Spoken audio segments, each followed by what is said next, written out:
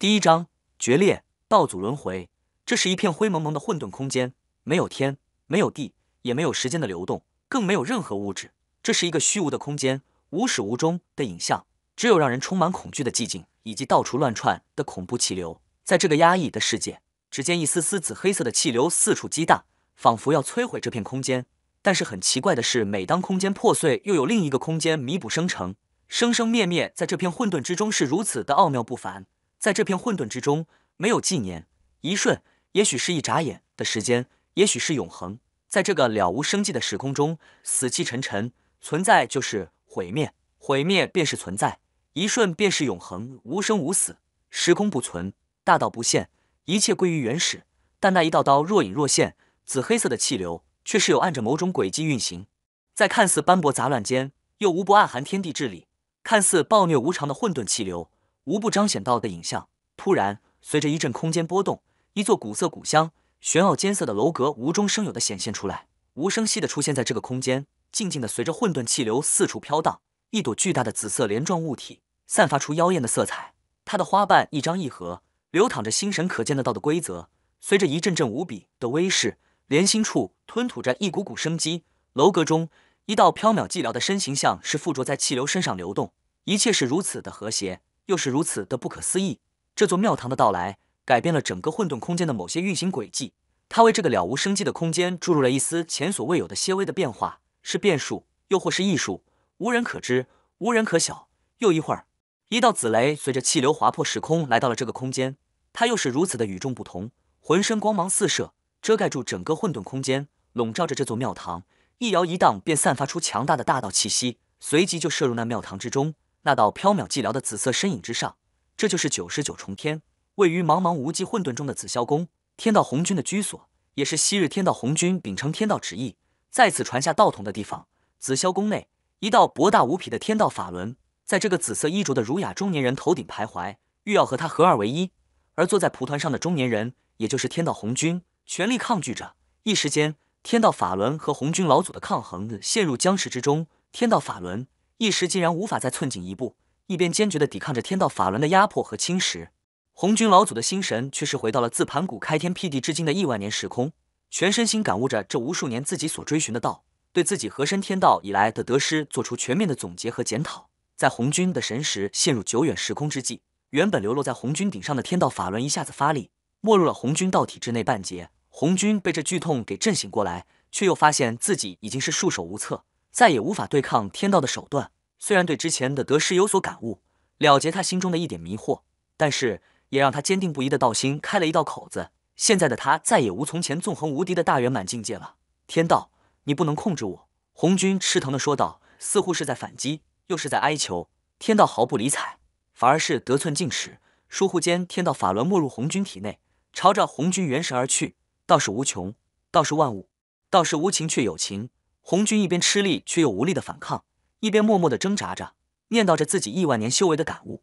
这句寄语不只是红军老祖自己这些年的感悟，更是他很久以前从盘古身上和盘古临死前获取的记忆。这是对道进一步明晰的阐释。我明白了。红军浑身一松，原本涣散死寂的眼神竟一下有了生气。道是无情却有情，哈哈！红军大笑，最后更是加了一句：有情至简，无情至繁。说完，不理会天道的逼迫，竟放弃了对天道侵蚀的反抗，还将元神也让给了天道。原本泾渭分明的两股力量互为相融。逐渐的不分你我，就在天道快要彻底控制红军的元神之际，红军舒了口气，大显神威，一道虚影自身体表面浮现而出，浑身波光荡漾，似有若无。红军竟然大变模样，再也无任何迷惑、疯狂的神色，他给人的模样就是冷静，冷静的可怕，就像是一尊没有生命迹象的物质体，甚至连灵魂元神的波动都无法捕捉得到。紫霄宫被他变成一个绝对压抑的空间，随着天道跟红军本尊不分你我。这虚影也凝结成一个阴暗的实体，他从红军身上走了下来，转身回头看了一眼已经被控制的红军本尊，复杂的眼光流露而出，发出一声难以言喻的轻叹，接着决然离去，无影无踪。天道也在影子走后，才彻底的占领了红军的肉身元神，侵占红军的肉身。天道法力也是使出了吃奶的劲，对于红军元神的出走无可奈何，但有了一个可以摆布的傀儡，又有了一个可以容身之所。一直以来无法完全发挥的实力，终于可以借助这副躯壳进行施展。嘎嘎，随着尖涩刺耳的机械声，天道大笑数声，不只是三界混沌，连整个宇宙都在天道的笑声中风起云涌。紧接着，紫霄宫一闭，一切都又逝去，一切又恢复先前那波澜不惊、死气沉沉的模样。只是自此以后，仙界再无天道红军，有的只是蜗居紫霄宫的天道也。自此，仙界天道至此才算是真正掌控着仙界宇宙众生的命运，整个宇宙的运行轨迹或道。自此，才真正受天道一人掌控。自此以后的仙界，才真正落入天道一人的掌控中。当忙完一切的天道，这才探查起红军元神的去向时，却发现无可查探。哼！天道一声闷哼，又是惹起仙界风起云涌，天地失色。不过，对于红军元神的出走，天道倒是不太在意。洪荒尽在我手，区区一个红军的元神，又能搅起多大的风浪？红军元神的出走，虽然也带走了很大一部分气运，使天道的实力有所削弱。但天道很是自信，这些都会慢慢回来的。只是天道不知道的是，红军元神的出走，正是红军秉承昔日盘古大神的意愿，为天地万物生灵留下了一线生机。红军元神的出走，在千年后，在仙界再次强势回归，再次入主仙界，重新以强势的手段，重新规划和制定新的规则和天地法则。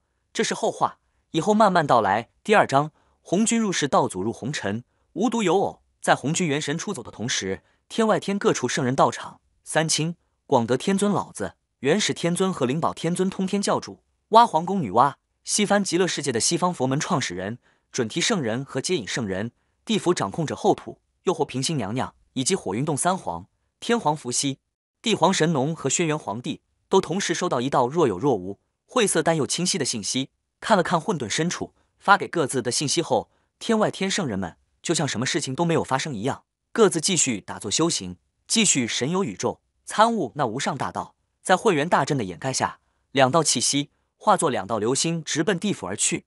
地府后土娘娘亲自迎接，亲自将这两道气息亲手送入尘世轮回。由于天机晦涩不明，后土娘娘即使是以她堪比圣人的修为，也无法看清这两道气息的来头。只是，自然是紫霄宫道祖亲自关照，后土只能是兢兢业业的完成。后土。乃至仙界所有大神通者，做梦都不会想到，此次进入六道轮回的正是紫霄宫天道红军的元神和他的贴身侍童皓月。他们自是也无法预料，在千年后的仙界将掀起怎样的惊涛骇浪。红军元神红尘轮回，在仙界没有激起半丝涟漪，仙界依旧按照某种既定的轨迹和规则运转，仙界的生灵依旧是生活在如常的生活中，一如既往的是那样那样的一成不变。不过，红军元神在轮回之前。却是做了一件事情：仙界、人间界、神农架，这个昔日神农尝百草的地方，苍茫恢宏的原始森林，一望无边。作为神农大帝昔日曾经到访的圣地，自是不凡。这里灵气浓郁，万物生长的欣欣向荣。这天，一道紫色的流星来到此地，待显现出那若有若无的儒雅身形时，这个紫色的身影打量了一番这片天地，满意的点点头：“是了，就是这里了。”这道紫色的身形，正是红军那出走的元神。他要在轮回之前好生谋划一番，为自己将来的重生埋下伏笔。红军的元神在茫茫原始森林里到处转转，仔细寻找自己的隐身之所。待他来到一处显现于地表的垂直洞穴时，嘴里喃喃道：“也罢，就这里吧。”随手一挥，周围景致一变，洞穴周围出现方圆百丈的空旷地带。红军元神直接飞入洞穴之中，将一朵残破不堪的紫色莲花和一个灰蒙蒙、毫无光泽的大珠子放置在洞中。又是吐出一口清淡素雅的清气，一个和红军元神一模一样的虚影出现。红军元神叹叹气道：“本尊有劳道友在此为我守候这洞府了。”那道虚影道：“你我本自一体，道友莫要客气。如此，我在此等候那有缘人到来便是。”红军元神点点头，再次叹叹气，没有再言语，只是环视一番这新开辟的天地后，依旧是化作一道紫色的气息飞出洞外。出的洞外的红军元神这才拿出一个树状的东西，随手一抛。这树状之物顿时见风而长，化作一株没有一片叶子的参天大树，正好立在洞口，将这片洞府遮掩得严严实实。此时的红军元神虽只是以元神的形式存在，但一身滔天法力，并不比在紫霄宫被天道法轮侵占的本尊肉身合身天道之前弱多少。刚刚做完这些，红军元神豁然警觉，在察觉异状之际，猛地回头，却见两只狐狸怯怯地盯着自己看。红军在此地所做。乃是绝对不能泄露半点风声的，不然做出了那么多的刻意安排，心血就全白费了。如果被天道察觉自己的行踪，不说将来是否能完成轮回大计，就是眼下在天道的强势之下，小命儿都不保。红军顿时心生杀机，一道森森寒意射向那两只白狸。哪曾想，那两只狐狸不但没有转头逃跑，反而是矫健轻快地跑到红军元神面前，亲昵地在红军元神的腿上蹭啊蹭，那架势就好似久别逢故人一般。其实这两只白狐是神农架修行了几百年的狐妖，已经初步具备了灵性。刚刚亲眼目睹了这人的大神通，哪敢逃跑？不如反其道而行之，说不定还一线生机。红军元神一见。心下杀机顿消，又是叹叹气，暗道：既然这两只狐妖已经有了灵智，又再次偶遇，还真是缘分一场。红军元神吐出两口清气，那两只狐妖随即化作一男一女，对着跪拜在自己面前的新化形的狐妖，红军元神指着雄性白狐道：“你就叫逍遥吧。”又指着雌性白狐道：“你就叫瑶娘。”又是对着这两只狐妖道：“你二人在此结为夫妇，在此为我守护这一片天地，等待将来的有缘人到来。记住，吴关尔等将生一女儿。”那有缘人便是你们的女婿，就这样吧。无趣了。在两只狐妖的千恩万谢之下，红军元神又是大显神威，用盘古大神遗留的混元大阵，将这片天地和外界隔绝起来，将这方天地隔绝于外界不同的空间。最后看了看一眼自己本尊，为止奋斗拼搏，为止欢悦和哀伤的仙界，这才直奔地府轮回去了。红军元神轮回了，进入了茫茫红尘俗世去了。红军元神从此在时世的轮回中苦苦寻觅属于自己的道。只是谁也不曾想到，一场史无前例的变动，让红军苦心经营的这方天地，随着天道将人界和仙界封印隔绝，被遗留在了地球之上。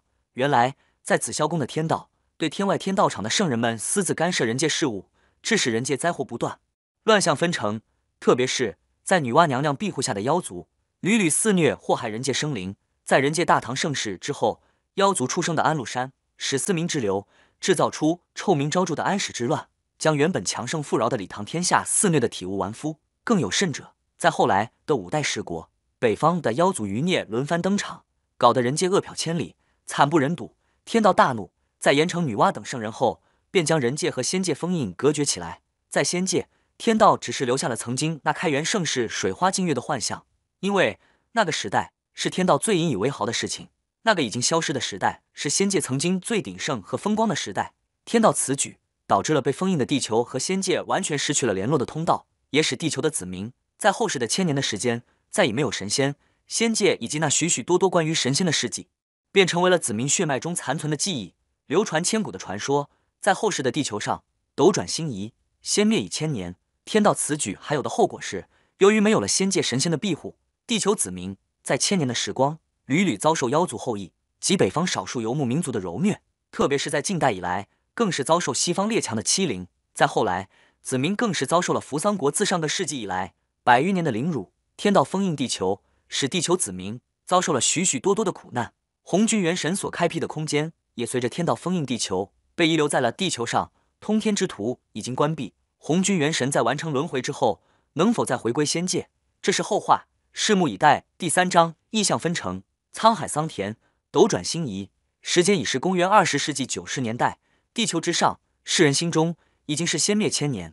如今的世界是无神论者和唯物论者的世界。曾经的天国，曾经的仙界，只是子民血脉深处残余的记忆，还有的是传承千年不朽的传说。曾经仙界发生的那一幕幕，或是荡气回肠，又或是哀怨凄美的故事，如今只成为历史长河里经久不衰的传奇和神话故事。地球上的子民，无论是盛世富饶的泱泱天朝，还是饱受凌辱的羸弱时代，地球上的子民。在没有仙界神仙的庇护下，用自己民族柔弱但又坚韧不拔的肩和民族性格担负起自己的命运。如今通天国已经在遭受了诸多耻辱后，进入了新的盛世。此时的通天国人民，国富民强，丰衣足食，和先前的羸弱如淤泥之别。通天国在经历百余年的耻辱后，再次以崭新的形象傲立在世界强国之列。虽然如今通天国依旧受到敌对的列强虎视眈眈，但此时的通天国。没有哪个国家突发失心疯，再次端着刺刀，再次踏上通天国的土地。通天国如今以前所未有的姿态和自信，面对着如今的各种机遇和挑战。通天国西南川北某地，地处深山，这里风光巍峨雄伟，大气恢宏。昔日的三国古战场贯穿剑门古道，这里丰富深厚的历史文化，吸引了许许多多的人来此游玩，凭吊那曾经的烽火连天、战马嘶腾的年代。曾经名扬天下的大周武皇帝则天，也是出生在剑门雄关外不远的川北重镇广元，古历州府，古家门关，古剑门蜀道，在曾经的历史上留下了浓墨重彩的一笔。而如今，在这人杰地灵之地，一个个突如其来的异象再次吸引了许多人的眼球。一农户墙角，两位老妇人在晒太阳聊天。二黑他娘，你说这几年的年成真好，这老天爷就像是长了眼睛一样，该下雨时就下雨，该出太阳就出太阳，真身风调雨顺啊。另一个串门的农妇则说道：“是啊，真是好奇怪啊。你说说，那个李家妹子得胃癌已经大半年了，医生都不下药了，已经下了病危通知单，通知家人准备后事。谁知昨天突然就像个没事的人一样，一下子龙精虎猛起来。”太奇怪，还有呢，消失多少年的麻雀、喜鹊，还有山鸡、野猪的，这两年全都出现了。张姐，你说这是不是预示着某种吉祥之兆啊？先前的那位农妇又是说道，很显然，对于这两年的反常现象很是不解。不要说哦，要不然你那位又要说你封建迷信了。在这两位老妇人聊天之际，一个早已失明的小女孩独自在院坝里玩。这个小女孩叫丫丫，三年前在她两岁时患眼疾。就此失明，是个可怜的小家伙。原本依照他父母的意愿，是将他遗弃，是奶奶要死要活的，才留下了他。正当两位老妇人聊天，失明小女孩独自玩耍之际，从天际突兀的滚来一团乌漆漆的黑云，刹那间笼罩整个天空，顿时狂风大作，电声雷鸣，巨大的惊雷声，直震的房屋瓦片叮当作响，炫目的闪电将原本昏暗的大地照得通明瓦亮。老妇人忙将女孩拉到屋檐之下。两大一小均是战战巍巍地看着天空。小女孩虽然看不见，但震耳欲聋的雷声也是使她惊恐不已。两个老妇人惊慌地想着：莫不是刚刚的话得罪老天爷了？可刚才的话好像都是好话，没有半点对老天爷的不敬呀？为啥？这说翻脸就翻脸？串门的老妇人这才猛地省悟，自家的衣服还晾在外面的呢，忙风风火火的就要回家去，却是被女主人拉住。你看这么大的雷声、闪电和大风。你敢回家？老妇人向天空一看，不由缩了缩脖子，道：“湿了就湿了吧，出太阳再晾干。”谁知狂风惊雷一半天，却是没有掉下一滴雨。这风云雷电来得快，去的也快。不一会，黑云散尽，天空恢复蓝天白云。两个老妇人拍拍胸口道：“好吓人！这么猛烈的风，这么吓人的闪电，从来没有见过。”话音刚落，就见一道色彩无比妖艳、绚丽的彩虹横跨东起天际，是那样的清晰。能真真切切的看清不同颜色的边界的，又是那样的朦胧诗意，令人遐想连连。在许多人的目瞪口呆中，世人就见在那彩虹之上走下几个衣饰光鲜、衣袂飘飘的仙女，正是传说中的仙女散花。随着一阵异香扑鼻，一阵阵如天籁般的音乐声，一辆由十匹天马拉着通体金色的华丽马车顺着七彩彩虹而来。突然，一道玄黄之气像闪电一般直向小河对面一家农户而去。九条九爪金龙。九只七彩凤凰在那家农户屋顶久久徘徊飞舞，亲眼见证着离奇一幕的众人心下均是一个念头：莫非那户张姓人家正是有个孕妇？莫非此乃贵人降生？随着一声洪亮的啼哭时传来，那屋顶隐约漂浮着一朵硕大的紫色莲花，按着某种轨迹缓缓转动。屋顶的九龙九凤舞动得更加欢快，天上的仙女更是将无数的花瓣散落大地，一时间仙乐阵阵，花瓣似雨。在好一阵之后。天上彩虹才慢慢消失，一切才慢慢恢复如常。奶奶，奶奶，好美呀！那个小女孩看着满天的七彩霞光和漫天的花瓣，嘴里呢喃道，小脸儿痴迷不已。小小的脸儿，异彩连连，你又看不见，美什么美？奶奶眼睛看着眼前这不可思议的景象，嘴里训斥着小孙女：“不是的，不是的，奶奶，我能看见，奶奶，我能看见了，好美啊！”小女孩欣喜地大叫着。两个老妇女。这才注意到，这个小家伙原本暗淡无光的眼睛，如今是熠熠生辉，灵动异常。老奶奶欣喜若狂地抱着小孙女哭道：“你真的能看见了？老天睁眼了，丫丫能看见东西了。”老奶奶随即咚的一声跪在地上，倒手不已道：“谢谢老天爷，谢谢老天爷！如今的时代虽然是无神论者和唯物论者的时代，但刚刚亲眼目睹了这奇幻的一切后，人们更是确定这户张姓人家生下了贵人，难怪。”这两年来的不一般的吉祥之兆来到如此蹊跷，原来这一切的一切，全身拜这个刚刚出生的贵人所赐。只是他们很少好奇，如果真是贵人临世，那么要什么样的贵人才能有如此大的排场？龙凤绕梁，天女散花，难道是玉皇大帝转世吗？这是亲历这次事件的人们心中同一个疑问。而与此同时，在相隔百余里的临县紫铜县三清观，一位须发皆白、穿着文有太极八卦图道袍的道者，眼含热泪看着东北方向那一项，嘴里呢喃道：“师尊，你终于降临人世了吗？”第四章，天赐乃上天所赐也。这个老迈的道人，正是那伴随红军元神入世的道童皓月。想当初，在紫霄宫的道祖红军，有三个贴身道童，昊天和西瑶，是红军紫霄宫传下道统之时，负责打开和关闭宫门，并且主持日常事务。后来，妖皇帝俊、妖帝东皇太一所主持的天庭，在妖族和巫族的战争中轰然坍塌。在那次惨烈的战争中，天庭之首帝俊和太一战死，于是天庭无主，红军便将昊天送上了玉帝之位，而童女西瑶则做起了天庭王母娘娘。只是这个皓月。至始至终一直跟着红军身边，一直到红军分出元神进入尘世，也是由这个皓月伴随，并暗中保护轮回转世中的红军元神，一直到现在。皓月如今的道号叫清虚子，已经在这里等待他降世，已经等了数百年。清虚子一次次羽化，又一次次再生，如今总算是迎来师尊降世。如今曾经的紫霄宫天道红军的元神终于降世，清虚子此时心里怎能不激动？现在是红军元神轮回转世最后一世，也就是说，意味着红军元神历经十世轮回就要大圆满了，也就意味着天道红军将以全新的姿态和强势返回仙界，和天道决力，为仙界众生在天道之下获取一线生机。清虚子明白，紫霄宫那位天道红军早已不是通常意义上的红军老祖了，而是天道的傀儡，天道驾驭仙界众生的工具。如今在世的红军才是仙界众生新的希望。可以想象。随着新的红军回归仙界，仙界将激起终于的惊涛骇浪，要爆发怎样的碰撞？红军元神轮回时世，也就意味着皓月又或清虚子陪伴和保护红军元神的转世经历了十世。这一世，随着红军元神的入世，红军元神在历经十世后将功德圆满。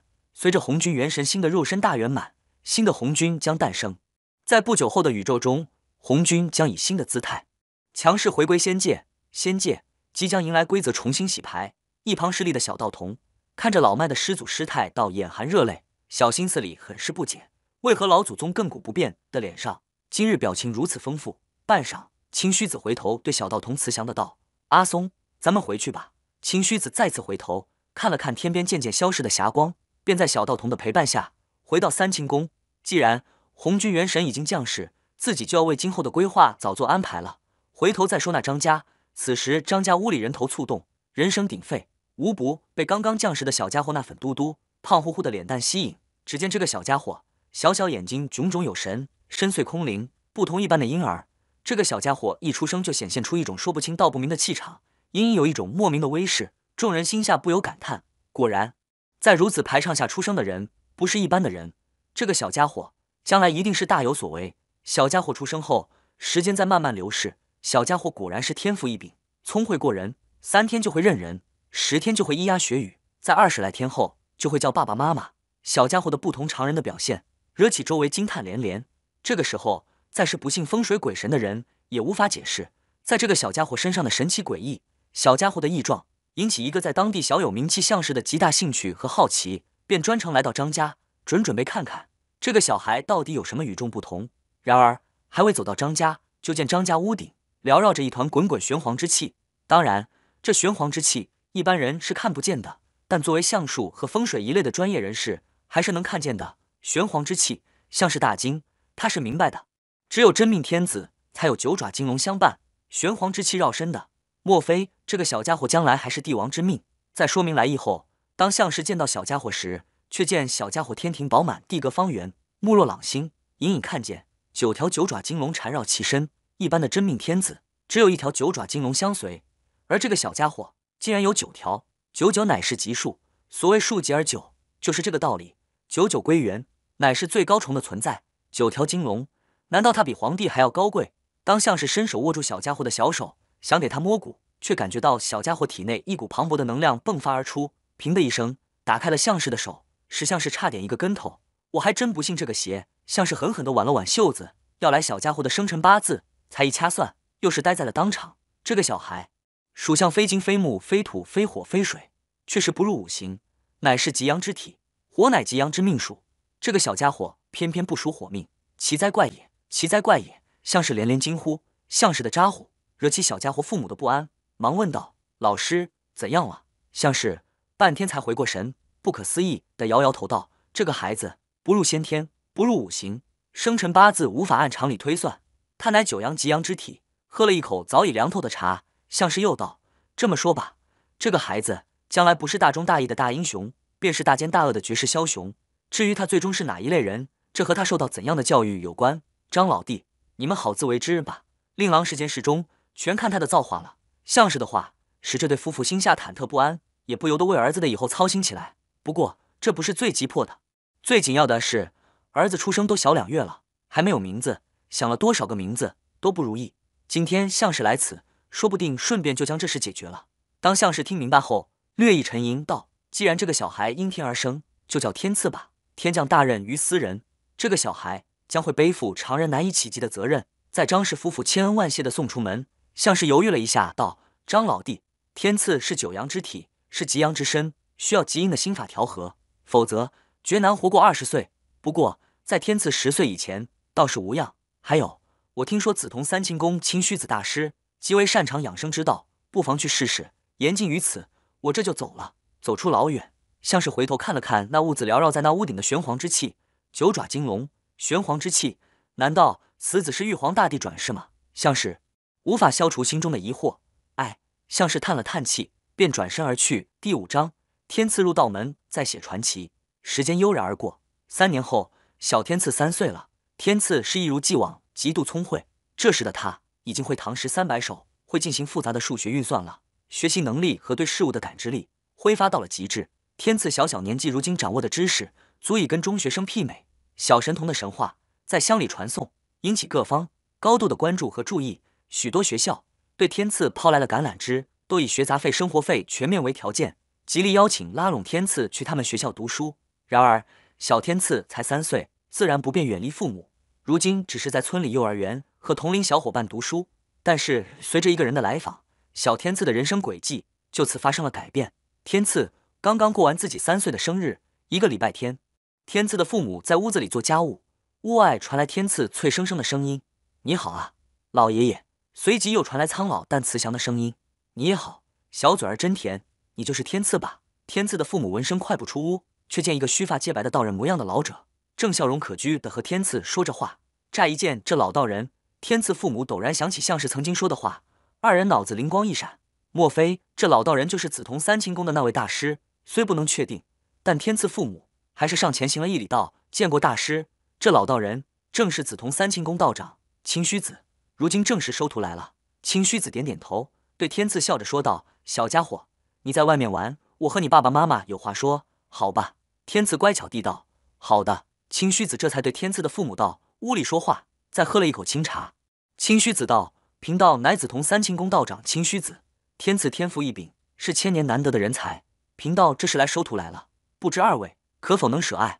不过你们放心，一个月天赐可以回家四天，以便你们亲人团聚。”说完，清虚子便看着这夫妻二人，等待他们的答复。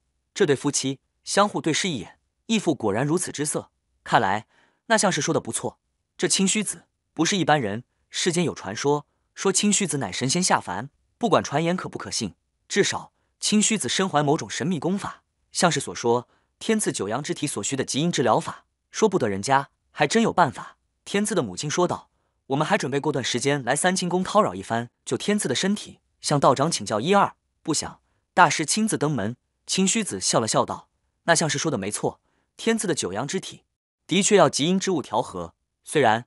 贫道也没有很好的方法根治，但暂时压制是没有问题的。让他学习道门玄法，对于他九阳之劫还是有好处的。清虚子和曾经相识的话同出一辙，天赐父母便深信不疑。为了天赐的身体和未来，尽管不舍，但他们没有多少选择的余地。为了天赐，他们只能是让他跟着道祖去三清宫修道，而且紫铜县离家也不远，想孩子了，可以随时去看他。在群山间，一辆黑色的丰田汽车。在大山间蜿蜒穿行，后座上天赐眨巴着灵动深邃的大眼睛，好奇地看着车窗外一瞬而逝的景致。这是小天赐第一次出远门，第一次坐小汽车，副驾驶位子上是清虚子，开车的是一个中年光景的道士。如今的年代，即使是方外不入尘世的道门，也体会着现代生活中的高科技手段，手机、汽车和网络通讯，也是深入方外之地。丰田汽车来到一个叫长岭的地方，这是一个港口小镇，在这个叫西河的河面上，大小船只来往穿梭，各式人物匆匆来又匆匆而去。小小天赐看着轮渡码头上来来往往的车流和人群，眨巴着大眼睛，也不知道在寻思着什么。看着天赐那若有所思的小大人模样。清虚子捋捋胡须，笑道：“天赐在想什么？”看着车窗外那些芸芸众生，忙忙碌碌，天赐道：“这些人是不是早就注定了，在他们各自在世间的位置，各自为这个世间运作，而各司其职？”驾驶座上的中年道人讶然回头，这句话哪里是三岁孩童说的？这样极富哲理的话，一般的成年人也说不出吧？难怪会引起道长如此重视。原来这小孩还真不是一般人。清虚子慈爱的摸了摸天赐的小脑袋。是啊，众生皆是注定的。不过有顺天应试者，也有逆天被盗者。顺天应道者，顺天应试；逆天被盗者，则是在天道大势之下谋取一线生机。对于清虚子深奥的话，天赐也不知道听不听得懂，只是我了一声，依旧是看着外面的忙碌，不再说话。而清虚子则看着身边的天赐，心里却是发酸，眼睛潮湿。老师啊，轮回十世，就为那位众生在天道大势之下谋取一线生机，难为你了。下午，清虚子带着小天赐来到了紫铜三清宫，在当众介绍天赐后，天赐就此正式深入道门。小天赐以三岁的年纪离开父母，学习玄门黄老之说。当然，对于天赐在世俗界的学业，清虚子没有忽视。在三清宫不远的镇上小学，天赐在这里读书。如今的时代是高度发达的现代社会，天赐自然是要接受现代教育的。而天赐的父母基本上在两个礼拜都会来紫铜看看儿子。看着自己的儿子在这里生活的很好，身体壮壮的，天赐父母在高兴欣慰之际，更多的是对清虚子的感激感恩。时间在一天天、一年年过去，天赐慢慢长大了，也在继续着自己惊世骇俗的传奇。十二岁已经学完高中的课程，就连一般大学课程，天赐都已经掌握的差不多了。一时间，川北小神童响彻全国，乃至在全世界，天赐的名头同样是大名鼎鼎。在天赐十三岁那年，在经过各部门的一路绿灯，不到法定年龄的小天赐参加了全国高考。高考如约而至，一个个莘莘学子们怀着紧张兴奋的神情迈入考场，迎接这决定命运的两天。小小天赐则是在高自己许多的大哥哥大姐姐们堆里，一身轻松的走进考场，又一身轻松的度过了这对于别人来说至关重要的两天。当最后一科考完，天赐走出考场，低声的嘀咕了一句：“看来全部满分完全没问题的，居然这么简单。”在他后面出来的一个胖子，听见他的小声嘀咕，十分光荣的昏了过去。当然，结果也是如天赐所估计的一样，或许有些遗憾，他的成绩是七百四十八分，离七百五十分的满分差了两分。可见天赐的答题的完美，没有让阅卷的老师找出一丝一毫的问题，毫无疑问的在全国引起了轰动，全国上下争相报道这件事情，而紫铜一中也如校长的愿，成为了这件事的焦点。不过，天赐在把高考志愿填叶市岛海军舰艇学院之后就离开了，所有问题麻烦都抛给了一中校长，而校长则是乐此不疲。不过，在公布成绩的时候，却引起了全校的轰动，因为天赐的成绩实在是太恐怖了：数学满分，语文满分，理科综合没有疑问的满分，只有英语，因为最后的作文里有一个老师不认识的单词，这让那个英语老师很受打击。怎么可以写老师不认识的单词呢？简直太不可原谅了！于是大手一挥，给减了两分。总成绩七百四十八分，这样的成绩对于高三的学生无疑是颗原子弹，炸得他们是体无完肤。他们整天埋头学习，却只有那可怜的一点点成绩。这个每天很悠闲的人，竟然可以得到这样的成绩，这还让不让人活了啊？有的人甚至开始诅咒高云天：七四八，七四八，你就像你的成绩一样去死吧！天赐对于这些没有太大的表示，因为他现在正在校长的办公室里和校长谈判。原因是以天赐的成绩，报考清华北大都是绰绰有余。却是没有想到天赐会报考海军舰艇学院，校长就此和天赐沟通商量，看看天赐是不是再考虑一下。而天赐却令校长失望不已，没有半点挽回的余地。用天赐的话说：“金子不管在哪里都是要发光的。”第六章入学。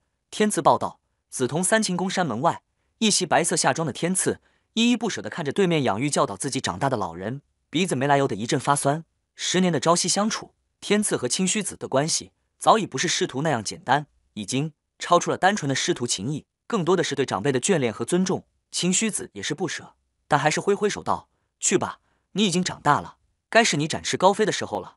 天赐，你要记住，为师平日里教导你的话，行得正，让自己永远生活在阳光之下。天赐重重的点点头，擦了擦潮湿的眼睛，毅然转身走下山去。天赐明白，自己这一下山，就意味着自己从此不会再被庇护，一切自己的路，一切就要自己来走。回头再看看身形略显寂寥萧条的老人，天赐大声道：“师傅放心，天赐绝不有辱师傅的栽培。”说完，天赐迈着矫健的步伐走下山去。在百里之外，天赐的出生地再次上演着一幕亲人离别。好了，别哭了，天赐又不是不回来了。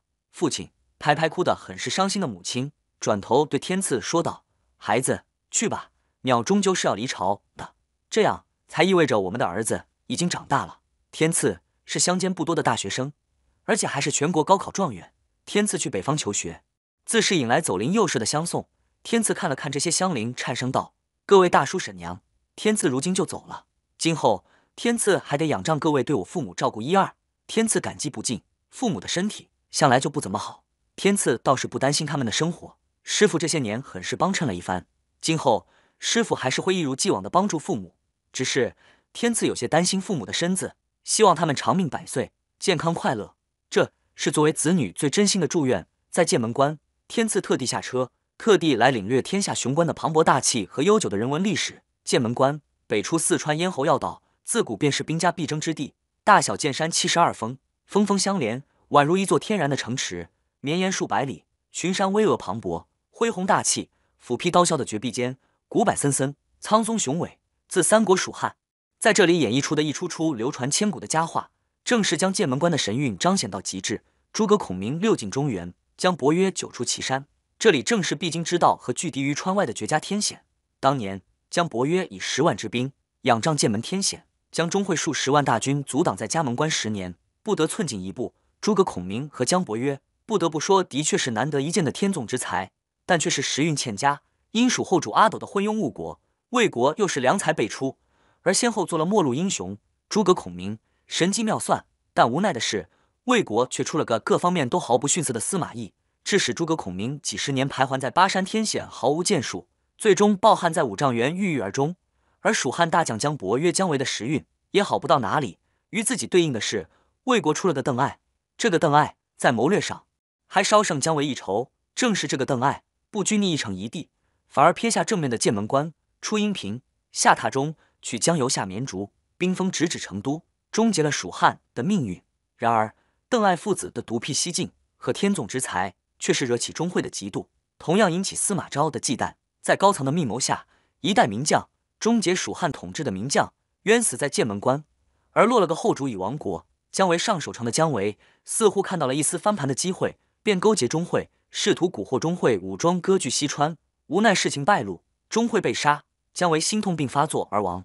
随着姜维，蜀汉一代名将的陨落，剑门关在千年的岁月中，感怀和传唱着那刀光剑影、战马嘶腾的一幕幕恢宏悲壮的画卷。也正是那许许多多的故事。在剑门关留下了许许多多的古迹和传说，藏书洞、姜维墓、晒尸石、点将台等等，这些遗迹像游人，仿佛在诉说千年前的那一幕幕铁马金钩的悲情岁月。夜已深了，火车发出咔嚓咔嚓极富节奏的声音，将本是昏昏欲睡的人们摇晃得沉沉睡去。天赐此时毫无睡意，像个小大人一般，身姿挺拔的坐在座位上。天赐。心神还沉浸在不久前在剑门关对历史上上演的那一幕幕悲怀壮烈的故事感染。壮志未酬如何？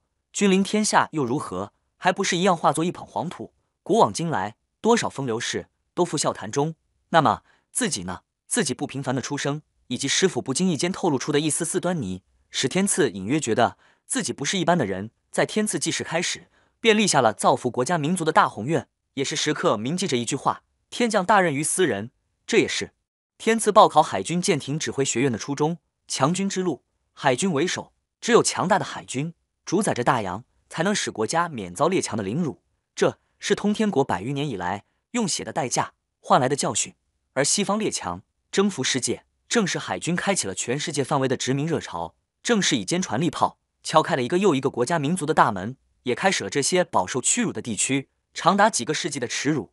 这其中。就包括曾经闻名于世的泱泱天朝帝国通天国，来到海岛，在海岛游玩了几天的天赐，在入学时来到海岛海军舰艇指挥学校报道。通天国海岛海军舰艇学院是通天国历史最悠久的海军学院，早在大清国洋务时代，海岛就设立了全国最早的海军学校，只不过当时叫做北洋水军学堂。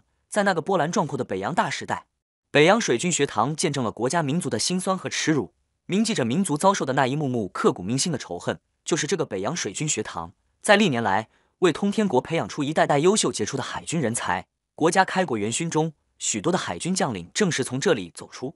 而在当今时代，海岛海军舰艇指挥学院依旧是国家最高等的海军学院。即使是在国家首都海军指挥学院，其名头和声望和海岛海军舰艇学院相比，也要弱上一线。不过，令天赐意外的是，这里并没有多少前来报道的学子。不过，天赐随之释然，盖因为。海岛海军舰艇学院历年都是在海军各大舰队和地勤人员里挑选有潜力的优秀人员来海岛修造，并没有向全国各地学校征收。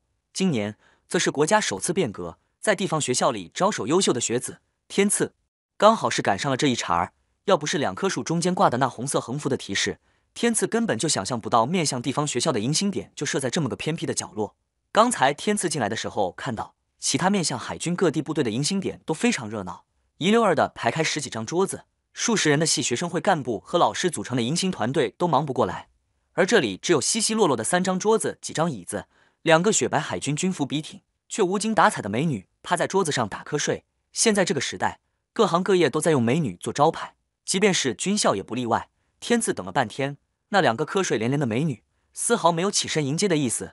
天赐摸了摸鼻子，只得走过去拍了桌子后，一个胖乎乎的女孩才迷迷糊糊的抬起头。找谁？听到这胖女孩如梦呓的问题，天赐差点晕倒。这儿难道不是迎接新生的吗？他竟然问自己找谁？啊，我来报道的。天赐又是摸了摸鼻子，说道。胖女孩听了天赐的话，又是茫然的扫了扫四周，这才嘀咕着说道：“哦，原来这不是寝室啊！”天赐差点一个跟头摔死，感情他还以为自己在寝室睡觉呢。胖女孩丢过去一支笔，砸在另外一个还在打呼噜、嘴角流着口水的另一个女孩地头上，喊道。丫丫接客了，天赐这次是真的是服了这个胖女孩了，佩服的简直是五体投地，每一句话都是无比的经典，而且这还是他无意间说出来的，可能自己都不知道自己的幽默。另一个女孩也是满脸茫然的抬起头，脸上有被桌子压出来的淤红，嘴上沾着口水丝，说道：“来了几个？”一个胖女孩回答道：“对天赐说道，你是哪里的？来登记吧。”第七章上课初始时，天赐张天赐，我来自四川。呀两个女孩儿同时尖叫一声：“你就是那个从四川来到张天赐？他们可是早就收到学校领导的嘱咐，说是全国高考状元要来本校就读，要他们注意一下。张天赐神童的名声早已响彻全国。张天赐一报自己的大号，自然是引发着两女的极度兴奋，而天赐却是被他们的尖叫吓了一激灵，也是让他再次领略了一把咋咋呼呼的女儿心性。做人难，做名人更难，这是天赐此时的感叹。他明白，即使是在这北国军校。自己的小日子也是清静不了。经过昨晚的一顿好睡，天赐的车马劳顿感消退不少。昨天已经熟悉了自己所在的班级教室，今天一大早便准时来到自己的所在教室。向往已久的大学生涯就此开始了。面容清秀，肤色白皙，身形消瘦的天赐踏入他人生的第一次大学课堂，举目一看，教室了三三两两坐了一多半人，四下望望，寻找自己的座位。这时，一个身穿雪白海军军装、娟秀文静的女孩儿走了过来，浅笑道。你就是张天赐吧？学校领导交代了，让我带你入座。又转头对教室里同学道：“大家注意了，这位就是全国高考状元，十三岁的张天赐，大家欢迎！”同学们一起惊呼。他们虽然早就知道今年的高考状元来此读书，也是知道通天国闻名遐迩的状元十三岁，只是当真正见到本人时，还是有着不一样的震慑。十三岁的高考状元，哇塞，太牛了！天赐微笑着点点头。扫视了一圈众多学长，立即就判断出这些大一新生中，绝大多数是从部队上选拔出来的，而真正从地方学校里走出来的不多。着从他们各自散发出的本我气息上，可以判断的，军人天生就有一种英武豪迈的气势，而地方学校的学子欠缺的正是这些。在这位漂亮的学姐带领下，天赐走向自己的座位时，一条长腿横亘在过道中，一个身材魁梧的家伙，身子半躺着，闭着眼睛吹着口哨。眼睛不时半睁一下，挑衅的看着天赐，那意思是说，小样，有本事走走看。原本浅笑嘻嘻的漂亮学姐见状，俏脸一寒道：“张军，老大不小得了，怎么跟个孩子似的？把臭脚拿开！这个叫张军的，脸上顿时向美女学姐送上献媚的笑容，道：“美女姐姐要过去，小弟弟当然遵命。这是这个小兔崽子，免谈，除非他能凭自己的本事走过去。”说着，随着嘎巴嘎巴响，张军向天赐挥了挥波大的拳头。靠！天赐一阵郁闷，自己好像还不认识他吧？怎么跟自己过不去？对正要暴走发飙的美女姐姐道：“没事，我能应付。”天赐弯下腰，伸手弹了弹张军雪白裤脚上的一丝灰尘，又是轻轻拨开横亘在过道上的腿，这才好整以暇的说道：“这位学长，过道是同学们来往走动的公共场所，下次，下次我不想再看你的脚在过道里。”张军，典型的军人，俗话说新兵蛋子，老兵油子。这个张军在参军前就是高中毕业生，在部队上，在军舰上五六年的军旅生涯，将他打磨成铮铮铁血汉子。只是出于军人通常的毛病。那就是看不起文拽拽的文化人，用他们的话说就是文人多奸诈、虚伪，而且还酸溜溜的。再加上今天的新学弟天赐，不但是全国的高考状元，而且还是个十三四岁的小屁孩。张军更是看不起天赐。下次，下次我不想再看你的脚再过道里。天赐平淡但不容置疑的话，激起张军凶性大发。你丫的小屁孩一个，算个什么东东？敢跟老子这么说话？但张军在发飙之际。目光碰到天赐清澈深邃的眼睛时，心里没来由的一颤，一股发自内心深处的惧怕油然而生。不知为什么，张军从眼前的这个小男孩身上，却是感受到一股莫名的威压，一种上位者的气势，再已生不出半丝反抗的心思，还有一种甘愿向他臣服的念力。张军晃晃大脑袋，很是不明白自己今天这是怎么了。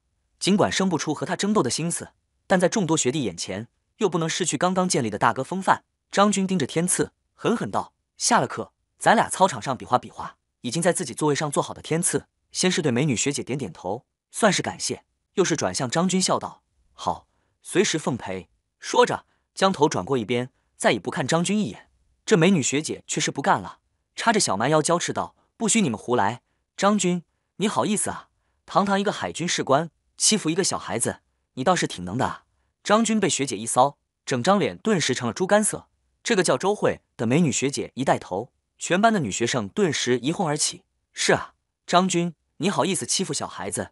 张军，我原本以为你是个顶天立地的男子汉，原来只会欺凌弱小，太让我失望了。面对全班所有女生的奚落，张军顿时傻眼在了当场。这话儿是怎么说的？刚刚还左一个张哥，右一个张哥，转眼就集体改旗易帜，集体倒戈了。这小杂毛还是个孩子呢，就对女生具备这样的杀伤力。这要是长大了，那还得了？那还不得是老少通吃？张军身后的死党，视为知己者死的气概，在女孩们的同仇敌忾中消散的干干净净，紧闭着嘴，灰溜溜地坐回各自座位。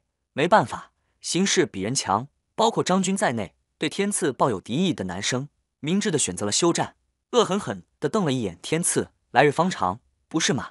这时，门外走进来一位忠孝军衔的男子，一个胖乎乎、戴着眼镜的中年男子。从他温文尔雅的气派上，天赐推断出，这个老师是没有经过半次军训的文职教员，是典型的文职军人，典型的学院派精英。推推眼睛，这位老师本就不大的眼睛眯成了一条缝。今天是新学期第一节课，同学们好。随即是一个不太标准的军礼，虽然不是通常意义上的职业军人，但既然是军校，培养国家将来栋梁的场所，军礼是必须的。老师好，在同学们洪亮的声音中，同学们的军礼可就标准多了。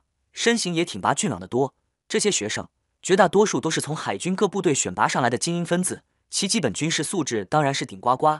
即便是少数如天赐一样是从地方学校里走出来的学生，平时也不少做军训日所进的军礼，也是比这位老师标准硬朗的多。同学们好，我姓何，何子华，是海军舰艇指挥学院主任讲师。下面开始上课。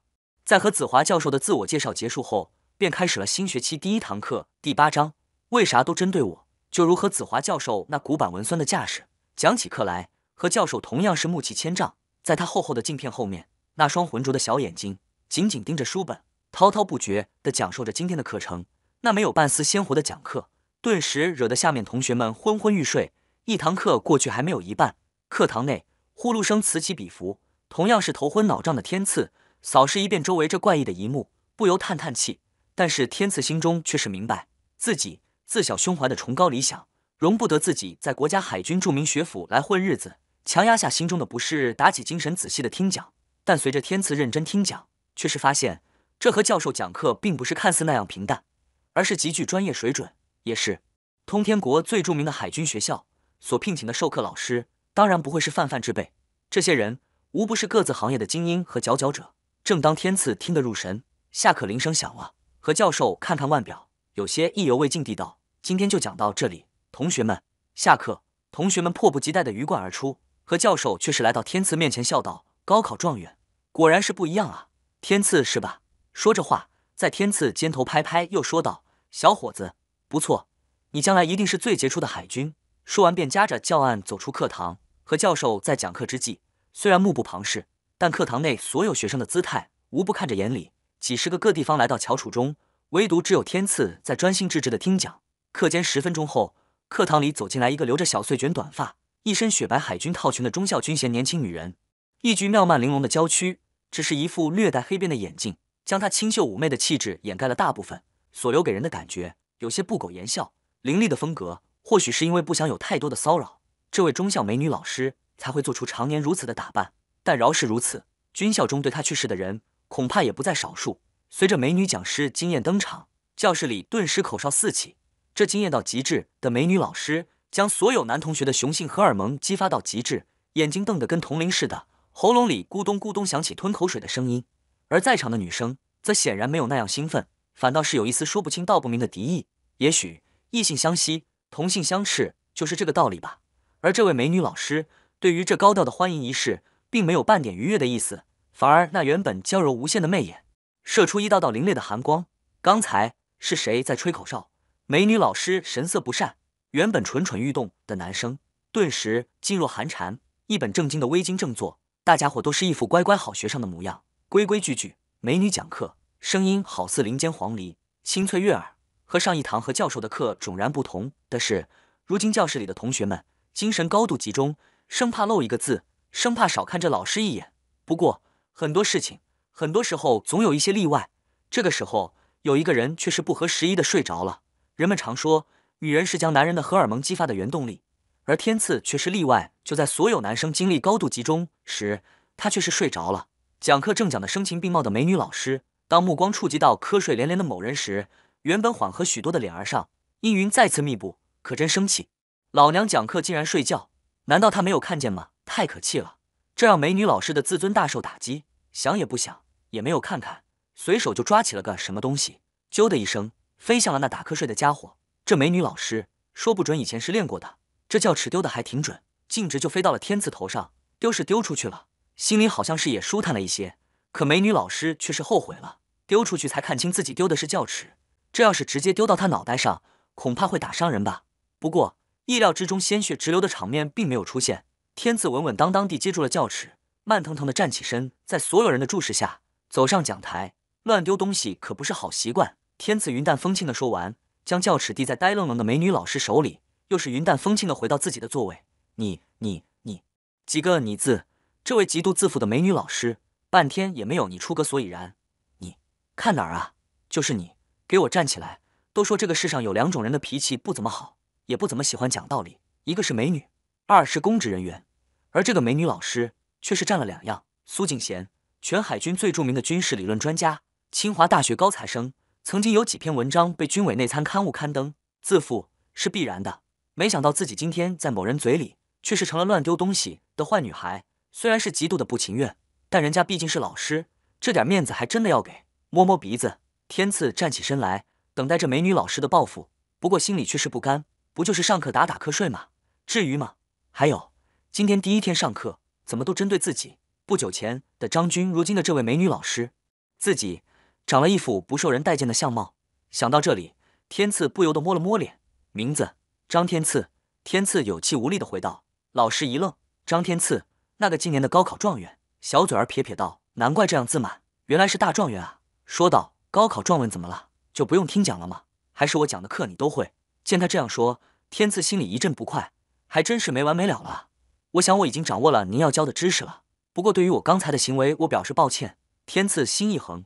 淡淡的说道：“这么说，你的意思是没必要上我的课了？”老师严厉的问道。“我想是的。”天赐依然用淡淡的语气说道。“那好，只要你能解答出黑板上的题目，我可以允许你不用来上我的课。原来他为了向同学们证明自己的知识，特别是这个不知道尊师重道的家伙，美女老师把便把清华大学信息工程博士课程的题目拿了来。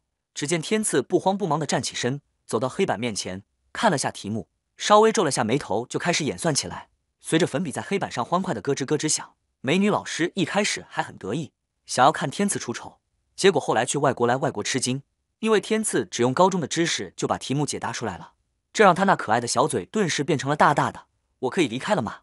走回位置的天赐淡然向美女老师问道。美女老师还没有恢复过来，茫然的点了点头。天赐也不管他的反应，也不管同学们瞠目结舌的表情，直接走出了教室。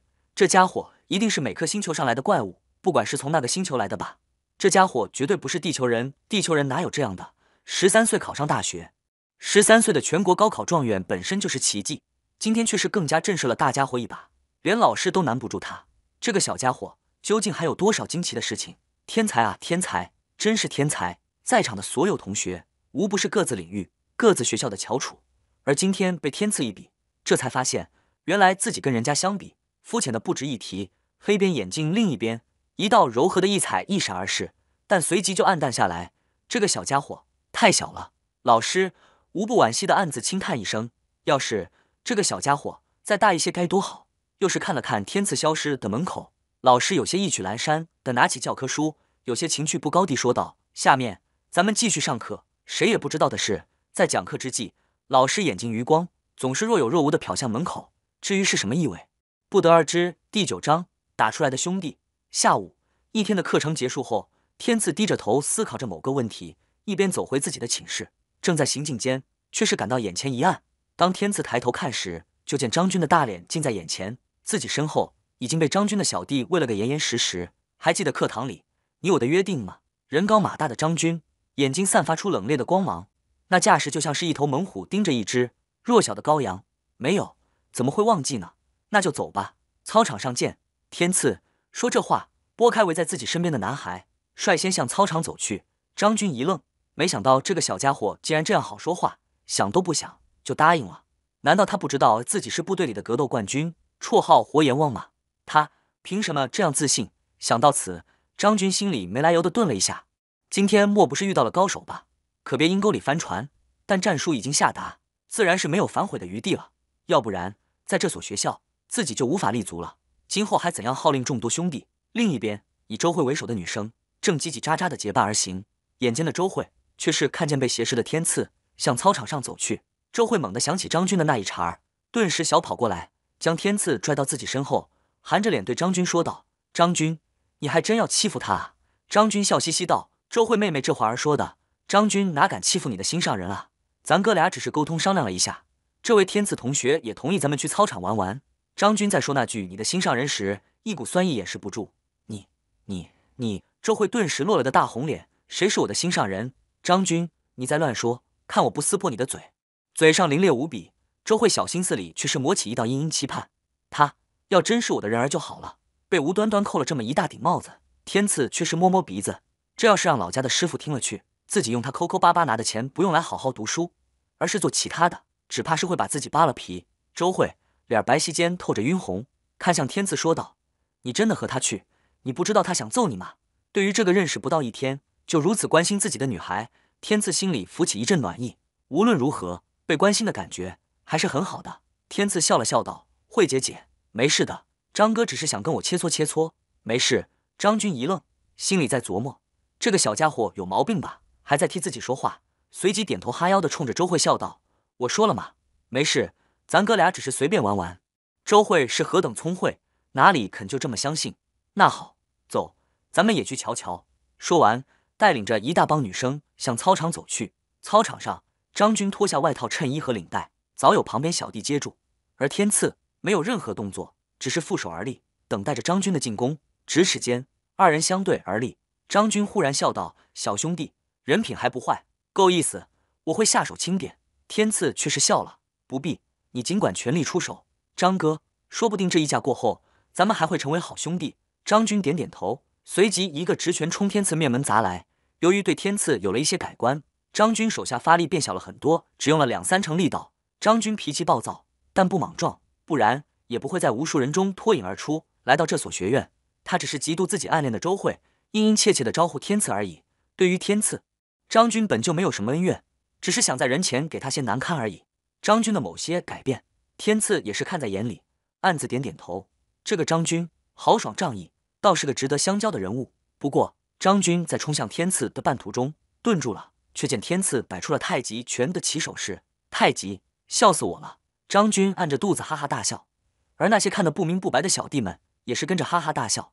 虽然不知道自家大哥笑的什么，但既然是大哥在笑，怎么也得配合一下气氛，跟着笑才说得过去。笑罢，张军说道：“天赐兄弟，小心了，看我怎么打趴下你的太极！”说着，又是挥起拳头冲向天赐。在二人身形相错之际，张军的拳头已经快要触碰到天赐的脑袋。张军开始在琢磨，是不是象征性的敲他的头一下，不然。真要把天赐打伤，学校的处罚暂不提。首先周慧那儿就难以交代。正在张军胡乱想着，却是只觉得自己身子一轻，一股绵柔的力道将自己丢了出去。平，张军重重的摔在草坪上，四仰八叉，摔得很是不雅观。作为千锤百炼的海军士官，这样的摔打对张军来说当然算不得什么。一个虎跳，张军翻身而起，不可思议的看着天赐道：“你是怎么做到的？”太极要义已经制动，借力打力。后发先至，天赐淡然道：“再来。”张军虎的再次像猎豹一样，急如闪电一般扑向天赐。这次的张军用上了十成力道，以期打倒天赐。无视张军爆发的力道和速度，天赐深邃的双眼一凝，身形一晃。张军还没看清状况，就觉身子一轻，平。张军再次结结实实的趴在了楼面上，这次摔得更加彻底，连天赐是如何出手的都没有看清。不来了。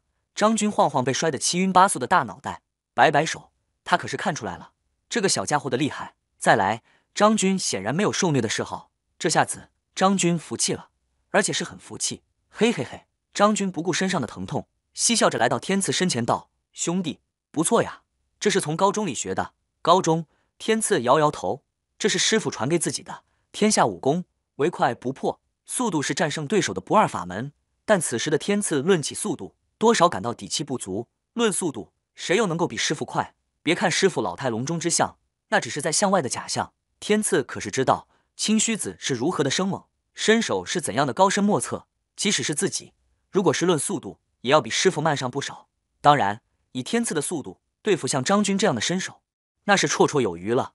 张军一直就看不清天赐，在天赐小露一手后，张军明白，这个天赐绝对不是表面看上去那样简单。他那如星空一样深邃的眼睛深处。还隐藏着不为人知的秘密，豁达奔放是军人特有的秉性，张军也不例外。既然无法看穿他的来路，最好是成为朋友，甚至是兄弟。张军深深明白，像天赐这样的人，尽管只是个少年，实在是不宜将他列为敌人的阵脚。和这样深藏不露、可怕的人为敌，这恐怕是所有人的悲哀。张军可不想成为那悲哀的人。天赐兄弟，不打不相识，咱们就做朋友吧。张军很正式的伸出手，天赐。笑了笑，伸手握住张军的大手，道：“既然是一个教室的学友，自然是朋友，是兄弟姐妹。”张军不傻，天赐那“兄弟”一词的含义意味着什么？好，咱们是兄弟，是打出来的兄弟。张军那些小弟笑了，周慧以及那些女生也是欣慰的笑了。这样的结局是最好的结果。第十章，张军的表白。出人意料的是，张军在上次吃瘪后，没有再和天赐作对，而是和小自己差不多十岁的天赐成为了好朋友。作为老兵和久立人士，张军隐约明白，天赐非池中之鱼，总有一天会一飞冲天，成为人中之龙的。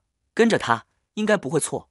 不过，张军不和天赐作对，并不意味着还有某个不长眼的人不和天赐作对。另一个暗恋周慧的男子亲手导演了一出针对天赐的行动，这让天赐心生感慨：自己真的就不招人待见？怎么都和自己作对？好几次，天赐在寝室镜子前仔细端详自己的脸，还是蛮有亲和力的嘛。为啥都和自己过不去？天赐和张军还有周慧三人，在一次晚上看了一场电影后，溜达着返回学校，在几人议论着今晚电影的剧情间，经过一处较为偏僻的小巷，刚刚走进小巷深处，却见几个人高马大的彪形大汉，颇为默契的围了上来。为首者天赐几个一瞧认识，天赐和周慧还未及说话，见势不妙的张军问向为首者李强：“你丫的想干啥？”李强也是海军学院的学生，如今在读大二，比他们高一级。李强暗恋周慧，并不是什么秘密，所以张军自然也是知道的。不过张军也是知道，就如自己一样，周慧对于李强的示爱不屑一顾，而今天这个家伙上演这一出，翻天了吗？李强叼着香烟走上前来，笑眯眯道：“张哥，说起来咱俩是同志，我们的敌人是这个小子。今晚的事情与你无关，张哥就当是看戏好了。”李强之所以没有找张军的麻烦，那是因为他看到人家周慧根本就不鸟他，只是随着这个小家伙的出现，周慧明显改变了许多。他明白，能让一个女人发生改变，就只有一种事物——爱情。爱情的力量是伟大的。这句话可不是随便说说的，所以李强今晚勾结了几个在社会上混黑的练家子，来给天赐上一课，要他知道大丈夫有所为有所不为。张军为人粗犷豪放，但心思很是慎密，几个呼吸间就明白了李强的意思。但既然亲口承诺和天赐做朋友、做兄弟，那么今晚的事情就绝不能袖手旁观。尽管也知道天赐其实很能打，但要同时对付好几个大块头，张军也没有把握。即使是自己，能全身而退吗？李强看见张军沉默片刻，还以为张军心有所动，走到张军面前又说道：“你我是一个系统里走出来的兄弟，犯不着为一个外人伤了咱兄弟的和气。这样，今晚一过，咱们公平竞争，我李强再以不恃强凌弱，怎么样？”是敌是友，张哥你看着办。深呼一口气，张军怜悯的看着李强笑道：“李强，我为自己和你是一个系统里走出来的感到羞愧。你给咱们海军系统抹黑，李强恃强凌弱，你算个什么东西？还有李强，我告诉你，我和天赐既然是朋友，是兄弟，今晚的事情我张军绝对不会坐视不理。大丈夫行事光明磊落，哪像你这个小人，尽做卑鄙下流之事。”李强被张军一顿抢白，脸上一阵红一阵青，咬牙道。张军，平时我很是很敬重你的为人，是你不识抬举，你不要怪我。回头对那些壮汉叫道：“兄弟们，给我打！”张军脱下外套交与周慧手上，很是凝重的说道：“周慧，我张军别的本事没有，但有一种秉性，那就是张军绝对不会让兄弟和我喜欢的女人受到半丝伤害。”周慧一愣，没想到这个平时不声不响的家伙，此时来了这一出表白，心里顿时一阵澎湃，一阵异动。再看看张军，此时的他。忽然伟岸高大了许多，那平日里不算英俊的脸庞，此时却散发出一阵莫名的魅力。是啊，张军在一般人看来算不得英俊潇洒，但毕竟是个重情重义的真男人。他跟着他，虽然会平淡，但至少会很有安全感和真实感吧。张张哥，他人多，你要小心。周慧红着脸儿，嘴里呢喃道。张军一听，心下一暖，就如吃了人参果一般，顿时精神为之振奋，摸摸周慧的脑袋。便转身走向李强等人。对于张军的秉性，天赐很是欣赏。为了朋友挺身而出，知难而上，这份操节难能可贵。让天赐更加欣慰的是，张军的豪放终于打动了周慧的芳心。愿有情人终成眷属吧。伸手拦住经过身边的张军，天赐笑道：“他们今晚是冲我而来。我天赐虽小，但至少还是会履行男人的本能。张哥，你保护好周慧。这边让我来。”将嘴凑到张军耳边，天赐轻声道。看见没？周慧对你动心了，珍惜眼前人吧。张军一听，顿时落了个大红脸，看看天赐，点点头，便转身站在周慧身边。天赐说的对，男人就得面对一切，在乱局之下，对女性的保护是重中之重。看着天赐那瘦弱的背影，周慧问张军：“张哥，天赐偷偷对你说什么？”啊！张军一呆，随即就傻笑道：“天赐说，以后你欺负我的时候，不准我还嘴，更不准还手。”周慧顿时羞得满脸通红，狠狠拎了一把，道：“谁谁要欺负你了？”冰雪聪慧的周慧自是明白那欺负的含义。张军胳膊上疼得开始冒汗，啊，还说不欺负，这就开始了。张军那一副苦脸，在周慧看来很是受用。小样，我就是欺负你了，怎么样？周慧此时不时的偷偷打量这个刚刚令自己怦然心动的男人，又是看看前面那个家伙。这个天赐年纪小不说，而且隐约隐藏着什么秘密。他。从他那身上不经意散发出的某种气息，某种莫名的威势，周慧明白，想做他的女人不太现实。这个男人，呃，应该是小男孩，不是自己的菜。回头看看紧紧偎依在自己身边的张军，这个男人虽然并不出彩，但却很真实。哎，周慧又是看看天赐，最后将目光落在张军身上，就是他了。这边的打情骂俏，李强看着眼里，气得脸色发青。先收拾这个家伙再说。张军。你丫的先等着！第十一章紫罗兰酒吧。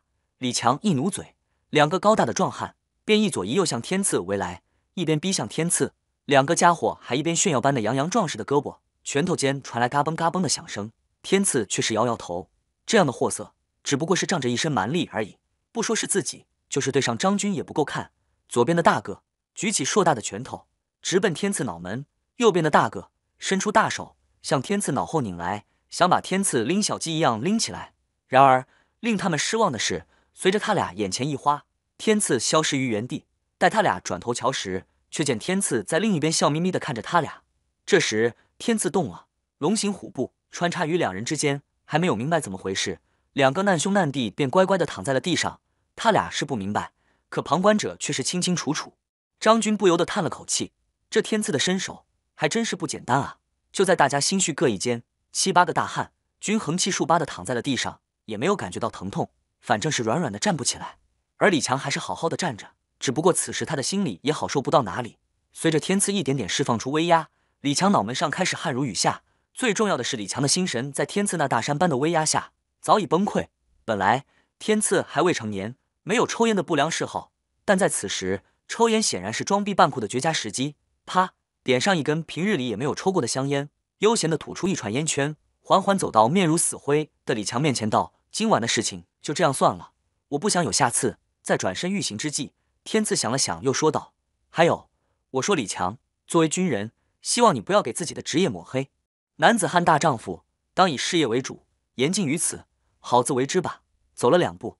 天赐看向瘫在地上的哥们，笑了笑道：“我说哥几个，你们就好好躺着吧，过了半个小时，自然就能站起来了。”那几个倒霉催的哥几个身无二两力，也无法说话，只得哀怨的看着天赐。他们却是明白了，自己几个这次算是遇到了高人。万幸的是，人家手下留情，不然要是遇到狠角色，哥几个真不知道会遭遇到什么样的下场。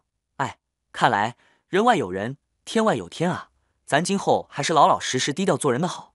这是这些难兄难弟此时的心声。天赐，啊，不，大哥。张军眼见天赐以及张军和周慧快要走远，顿时醒过神来，直挺挺跪在地上，大声叫道：“天赐！”三人愕然回头，周慧反应很快，很快的小跑到李强面前拽他：“李强，你这是干什么？起来！一个大男人像什么样子？虽然不耻今晚李强的所为，但毕竟大家都是一个学校的学友。看见李强下跪，周慧心里也不是滋味，没有理会周慧的拉拽。”李强决然看向天赐道：“大哥，我李强知道错了。我李强再次发誓，今后将堂堂正正、顶天立地做人。你说的对，不做出一番事业，对不起对我满怀希望的亲人，对不起这身神圣的军服。”顿了顿，李强继续道：“大哥，我李强愿追随大哥左右，永不背弃。”天赐笑了笑道：“起来吧，现在不兴这个，我天赐认下你这个兄弟便是。”刚刚满十五岁的天赐，在继张军之后。再次收了比自己大十多岁的小弟，天赐之所以答应李强，是因为天赐觉得李强的本质其实并不坏，只是被感情冲昏了头脑。这个是现今的年轻人通常爱犯的毛病。如若李强真的是品行不端之辈，哪怕他后台再硬，也进不了海军指挥学院。这些海军学院新人，无不是各自单位的翘楚，都是海军新一代的栋梁，新一代的希望。随着时光的流失，通天国海军未来的舞台，注定是他们的天下。本着治病救人的原则。该拉一把时，天赐还是会拉一把的。多了一位新兄弟，现在马上回宿舍显然是不太合时宜。在周慧的提议下，天赐他们便决定去附近的一个叫紫罗兰的酒吧坐坐。在行走间，张军却是好奇，便问周慧：“周慧，你经常去酒吧？”周慧小心思里一阵讪讪。酒吧在通常意义上来说是不良小青年经常光顾的地方，他可不想被自己刚刚动心的男人误会自己。但有人在场，周慧却是不得不硬着头皮道。我和几个学姐学妹去过，咋地了？现在就想管我了？张军，你是欠收拾了是不？看了看凶巴巴的小母老虎一样的周慧，天赐不由莞尔，还真看不出来，这周慧还是个小泼妇啊。李强则是转过身，明眼人都知道，李强是忍着笑，张军倒是很是习惯周慧的态度，反而是嬉笑着凑到周慧身边说道：“好了，不就是随口一问罢了。我张军这辈子都属于你管理，哪敢管你啊？想得美，谁要管你了？嘴上是如此说。”但红晕满面的周慧却是不自觉的紧紧偎依着张军，找不到心目中的白马王子，能找个被自己欺负的伴侣，也是件值得欢悦的事情。周慧看了看前面英俊的一塌糊涂的天赐，不由叹了叹气：这样的帅气，这样优秀的男人，恐怕只有天上的仙女才配得上他吧。三个大男人哪里又知道周慧的心神早已飞到了爪哇国，也自是无法理解女儿心的诡异和变幻无常。谈笑间，来到了周慧所说的紫罗兰酒吧。老家的清虚子虽然抠门。抠抠巴巴没有给天赐多少经费，但至少一两次的场面，天赐还是能撑起来的。将一张百元大钞递给门童，在门童点头哈腰下，天赐三男一女便进入了紫罗兰酒吧。在一个漂亮的女招待的招呼下，李强就想要包厢，却被天赐挡了下来。随便找个清静的地方坐坐，一会儿就该回宿舍了。你们三个，你们两个自然叫我大哥。那么今晚的消费我买单。本来天赐脱口准备说你们三个自然叫我大哥，却是想起周慧没有半丝叫自己大哥的意思，便改口说你们两个。果然是小女儿的心思甚密。周慧轻笑一声，随即恶狠狠瞪着天赐娇斥道：“你想让我叫你大哥？你一个小孩才多大点儿？哼，他们怕你，我周慧可不怕你。”说着，扬了扬粉嘟嘟的小拳头。三个男人不好编排一个女人，只得摸着鼻子，在女招待的带领下，在一处偏僻的位置坐了下来。有句至理名言，真是不假：宁愿得罪皇帝，也不得罪女子。张军和李强不知道天赐的身世家底，但既然是大哥要买单，他们自身无法说什么。久经人事的他们明白，买单看似简单，其实是一门大学问。什么时候该你买单，什么时候要任由别人买单，这是一门高深的社会公关学课程。这个酒吧的环境还不错，是都市小资消遣的场所。浅斟慢饮，欣赏着舞台上女人低唱，倒也很是悠闲。看了看腕表，天赐开始在琢磨，已经十点多了，是不是该回宿舍了？然而就在这时，原本轻松欢愉的酒吧内，随着一个摇摇晃晃的醉汉走上舞台。气氛顿时变了。第十二章斗殴。台上那女歌手正在唱到忘情之处，酒吧内的客人都被其美妙的歌喉打动。大煞风景的是，一个醉醺醺的肥胖男人，满身酒气，摇摇晃晃的走上台，手中捧着一束鲜花，操作生硬的汉话说道：“美美女，如此高雅正式的场合，突然冒出这么个人渣，这歌女顿时僵在了当初，不知如何是好。”台下众人一阵喧哗，纷纷谴责那个家伙。天赐的脸色顿时阴沉的可怕，他可是听出来了，那个肥胖的家伙是东阳人，一团莫名的怒火涌上心头。张军和李强也是将拳头捏得嘎嘎直响，两眼喷火，脸上的肌肉不住的抽搐。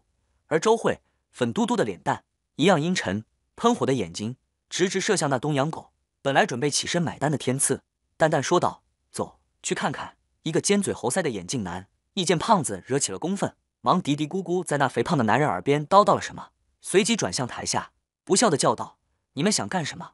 这位先生是东洋友人，滚回东洋去！现在的通天国可不是当年的通天国，小心灭了你东洋鬼子！”这个翻译模样的眼镜男不说话还好，一说话惹起骂声一片。几个愤青已经挽起袖口，和东阳男人的保镖推搡起来。眼镜男一见不妙，他明白如果事情惹大，可不好收场，便又在那东阳男人耳边叨叨。东阳男人此时的酒意已经消散些许，昏昏沉沉的肥大脑袋清醒了一些，也是见势不妙，就转身向台下而走，却不想被挡了下来。东阳胖男人一看自己面前出现了四个身穿白色军装的年轻人，三男一女，正直视着他。这个东洋男人一看这四个海军装扮的年轻人，却是笑了。通天国海军的不行，再来一次的话，必定会是第二个的海战。通天国海军的，通通的消灭的。啪！这个东洋人话音未落，脸上挨了一记清脆的脖管。那清脆的声音在酒吧那隔音效果极佳的室内格外刺耳。台下客人们顿时愕然，没想到，没想到一个年轻的海军学员竟然当众扇了外国人耳光，打得好！现在都什么时代了？如今的通天国早就不是那个任人欺凌的通天国了。而那个女歌手早已被张军和李强牢牢护在身后。张军、李强警惕的眼睛盯着东洋人的保镖，一刻也不敢放松。他们从那些保镖身上闻到了危险的气息，这些保镖无不是经过严格训练的高手。不过，这些保镖却是顾不上他们，主子被揍，他们哪里能坐视不理？七八个彪形大汉默契的配合，将天赐围在中间，又默契的同时向天赐出手，乒乒乓乓，天赐也是动了，快如闪电，急若旋风，静若处子，动若脱兔，一道耀眼的白影在众多保镖间来回穿插，令人眼花缭乱。台上局势已定，七八个保镖。就如不久前小巷里那样，这些彪形大汉一个个横七竖八，倒在台上动弹不得，只剩下天赐如泰山一般。还有东洋人和翻译不住的哆嗦，双腿发软。你你你难道不知道，你打的是国际友人，你就不怕引起国际纠纷？翻译半天醒过神来，大声的叫嚣道：“啪！”又一声清脆的声音，这次是翻译脸上挨了一记响亮的耳光。身为人，做事东洋狗欺凌自己的姐妹，你不配做人。天赐依然是面若寒霜。你你知道你今天打的是谁吗？你要为你今晚所做的付出代价。眼镜男捂着红肿的脸，恶狠狠地说道：“啪！”眼镜男刚刚说完，又是一记耳光，打得他原地转了几个圈儿。眼镜男捂着脸，恨不得钻入地下。他可是看出来了，这个年轻人根本就不在乎得罪的是谁，好汉不吃眼前亏。眼镜男捂着脸，再也不敢出声。妈的，老子今天真是秀才遇到兵，有理说不清。丫的，你挺狂，老子记下了，等着。东洋人在翻译和好不容易爬起来的保镖的簇拥下，灰溜溜而去。酒吧内喧嚣一片，男人们四下为了上来，纷纷举起手中的酒杯，向今晚见义勇为的英雄致敬。而天赐转头对李强说道：“向你道上的朋友说一声，请他们关注一下这位姑娘的人身安全。”天赐却是在担心，这些人恐怕会报复人家。他们虽然不太可能去学校闹事，但这个歌手，他们还是做得出一点什么事的。李强点点头，郑重的说道：“大哥放心，我一定交代下去，要他们二十四小时严密关注，不会打扰他的生活。”天赐点点头，他对李强的办事能力还是放心的。作为在本地人，李强在当地倒是还是有些影响力的。看着李强亲自护送那位歌女回家，天赐便买了单，向外走去。夜已深了，实在是该回去了。看着前面行走的天赐，新认下的大哥，自己眼中不时闪耀着莫名的光彩。这个年纪比自己小许多的大哥，外国发是看不清了，身手不凡，还在大是大非，事关民族气节上毫不妥协。天赐。在张军心中，除了神秘外，又多出了令人热血沸腾的魅力。而周慧则是又是一阵感叹：这个人看不穿他身上究竟隐藏着什么秘密，究竟有怎样的不为人知的故事。这几个月的相处，周慧本来认为自己外国来外国了解天赐，却是随即发现，随着自己外国发的深入了解天赐，随之却是多出更多的迷茫。天赐那不经意间散发出的气势，那刻意掩藏的不知名的东西。令周慧外国发发觉自己对天赐更加的不了解，这个天赐身上有多少个谜？一声轻叹，偎依着张军的周慧再次瞄了瞄前面的那个学弟，紧了紧张军的胳膊，向学校走去。第十三章逛街的那些事儿。时间过得很快，期中小考来临，当绝大多数学子都在紧张准备，以应付即将到来的中考，张军、李强以及周慧都明白自己与天赐的差异，自是不能像某些人那样清闲，莫等闲，白了少年头。这句名言，海岛海军学子们可时刻牢记着。中考成绩虽然对以后毕业的大考不会起到决定性作用，但至少会影响到各班级老师对各自学生的观感。能来通天国最知名学府就读，这些学生们无不是付出了常人难以想象的努力和艰辛。他们可不想在老师们心下留下个不好的印象。老师的评价最终会影响到各自毕业时的成绩。不过，和校园里一片紧张繁忙相比，有一个人却是自由懒散，无所事事。整日里不是在校园里池塘里钓钓鱼，便是溜出校园到大街上玩耍。天赐的自由散漫，惹起周慧叨叨不已。他虽然也知道天赐聪明绝顶，但还是当心这个小家伙，万一考不好也不是好事情。只是随着自己的叨叨，人家根本就不在乎。周慧最后不得不泄气，算了，自己还没把握呢，干啥操别人的心？至于老师们，才懒得过问他。他们经过几个月的了解，明白这个小天才是不会阴沟翻船的。学校里一派繁忙，此时的天赐正在大街上闲逛。天赐本就英俊帅气，虽然还未成年，但天赐发育的算是有些超前，一米七的个头，英武帅气，脸上的青涩之气已经消退了很多，取而代之的是男人的阳刚和成熟男人的厚重。又加之今天出来并没有换便装，穿着海军学员制服的他更是英气逼人。天赐的出现，惹得大街上风姿各异的靓女眼里直冒星星，一些胆大的美女。不时的上前来和天赐搭讪，要个电话号码，吃个饭什么的。美女们的豪爽却是吓到天赐了。可怜天赐哪里见过这种阵仗，只得捏着鼻子落荒而逃。天赐此时不由感叹：师傅曾说山下的女人是老虎，原来真的不假啊！是一些令人乱了心性的老虎，漂亮的老虎，令人无限遐想的老虎。难道就不知道顾忌一下，或者是含蓄一些吗？穿白色职业装套裙，波浪卷的女人。对身边穿黑色职业衣裙的女子勾勾可爱的小指头道：“文心，我和你打个赌。”说完，小嘴儿凑到黑衣女子耳边嘀咕了几句。黑衣女孩嗤笑一声道：“菲菲，你又哎，你个色狼，还真撞啊！你眼睛在看什么呢？”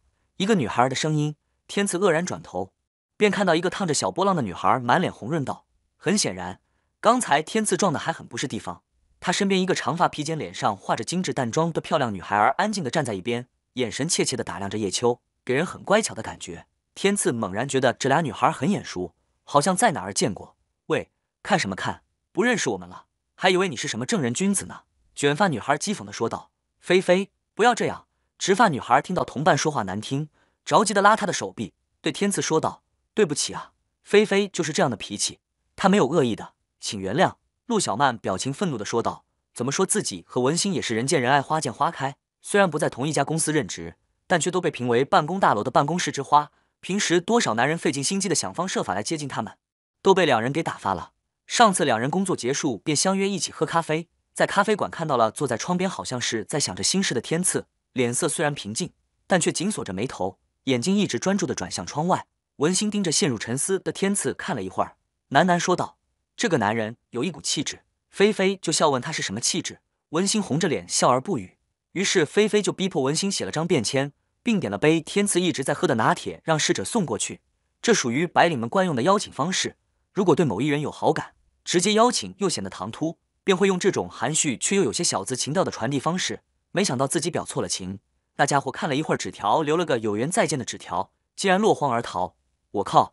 菲菲愣了半天，怎么也没想到对方会是这种反应。冤家路窄，两人再次出来喝咖啡，没想到正好又遇到那个逃跑的家伙。菲菲见他入神的盯着街边的商店看，便故意跑到他面前远远的站着，看看他是否会撞上自己。没想到他还真的撞上来了，还顺手推了自己一把。这天底下有这么巧合的事吗？这家伙绝对是故意来着，菲菲还是第一次被这么赤裸裸的占便宜。可这是自己主动送上来的，有苦也说不出，只好转移攻击方向。第十四章无聊。天赐这时才也想起来两人是谁。昨天逛街的天赐实在无聊，便进了一家装潢的典雅豪华的咖啡店。长这么大还没喝过咖啡呢。师傅给自己的资金虽然不太多，但也不至于让自己在外受苦，一两次的高端消费还是可以的。嗯，不愧是品牌咖啡。味道清香柔和，回味悠长。两杯喝完，侍者却很适时的端来一杯咖啡，放在天赐面前，时机把握的极好。而且咖啡正是天赐刚才连喝两杯的拿铁，自己什么时候点了第三杯咖啡？叶秋疑惑的抬头，身穿黑色套装的女服务员眼神暧昧的从托盘下面取了一张便签，递给茫然的天赐，上面是一行娟秀小字：“你喝咖啡的样子落寞而哀伤，不要因为俗事紧锁着眉头，生活中还有许多值得期待的事情。”紧锁眉头。天赐情不自禁地摸摸自己的脸，可能是刚才思考自己以后如何发展的事太入神了吧。噗嗤，有人轻声地笑起来。天赐转过脸去，便看到对面有两个女孩正向这边看过来。一个头发烫成波浪形的漂亮女孩儿正掩嘴娇笑，可能是被刚才天赐无意识的表情逗乐。另外一个女孩长发如清汤挂面般的披散在肩上，和现实流行的一样，发梢也漂染成酒红色，给人乖巧时尚的感觉。她也正偷眼看向天赐，只是脸上有一抹红晕。不及身边的女孩放得开，两女都穿着职业套装，里面是小翻领的白色衬衣，腿上裹着丝袜，一身办公室欧肉装扮。这一块属于海岛的金融区，外企和大型商业公司也多，可能两人隶属于哪一家公司，闲暇之余出来消遣。他们想，我还没成年呢。确实，天赐一身高英武俊朗的海军学院制服，再配上那清逸的面孔，确实很有杀伤力。而且他的身上总是锁绕着一股若有若无的、令人心悸的莫名气质。这种东西不经意间流露，对女人来说便说毒药。可能是刚才自己坐在窗边，眼神专注地盯着窗外，让他们以为自己是个做事很认真的男人吧。有句话不是说吗？认真的男人最帅。既然刚才已经装深沉，那就索性装到底吧。天赐很是努力地去想雨果的诗或者黑格尔的哲学，想找出一句能和此时情景相搭配的话儿回复过去。还没有结果的时候，手机却是急促的叫了起来。天赐一看是那位讲师的电话，叹叹气。逛街都不能得清闲。出于天赐非凡的天赋和成绩，美女讲师报复性的将一些本属于他职权的课程强行丢给天赐，让他代替自己讲课，这让天赐很是无奈。喂，状元在哪呢？该你上课了哦。既然无法推脱，天赐只能是信守承诺。叶秋取过笔，在便签上刷刷的写了“有缘再见”四个字，然后示意侍者送给那两个女人，自己结了自己的和他们那桌的单后，便匆匆离开。喂，他什么意思嘛？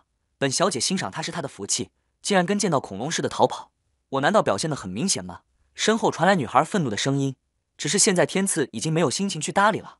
如果自己放了讲师的鸽子，今后的日子恐怕不得安生了。从在昨日记忆中回过神来的天赐，对文心笑笑说道：“没事儿，他看得出来这女孩脸皮薄，所以并没有难为她。不为难文心，不代表天赐不拿菲菲开刷。”转过脸问菲菲：“你怎么能说的这么龌龊呢？我为什么不能说？”你能偷看我还不能说了，我也就是看看，可把它穿在身上的却是你们女人啊！天赐笑眯眯的反驳：“谁穿了？”菲菲一愣，没想到他竟然会从这个角度来反驳自己，气呼呼的说道：“你看看，好像在哪儿买衣服的都是女人吧？我可没看到一个男顾客，女人买来还不是穿给你们这些臭男人看的。”天赐脸上的笑意更浓烈了，更加的意味深长，笑呵呵的点头：“是啊，所以归根结底，那玩意儿不就是给人看的吗？别的人能看。”我为什么不能看？难道你想穿在身上让我看？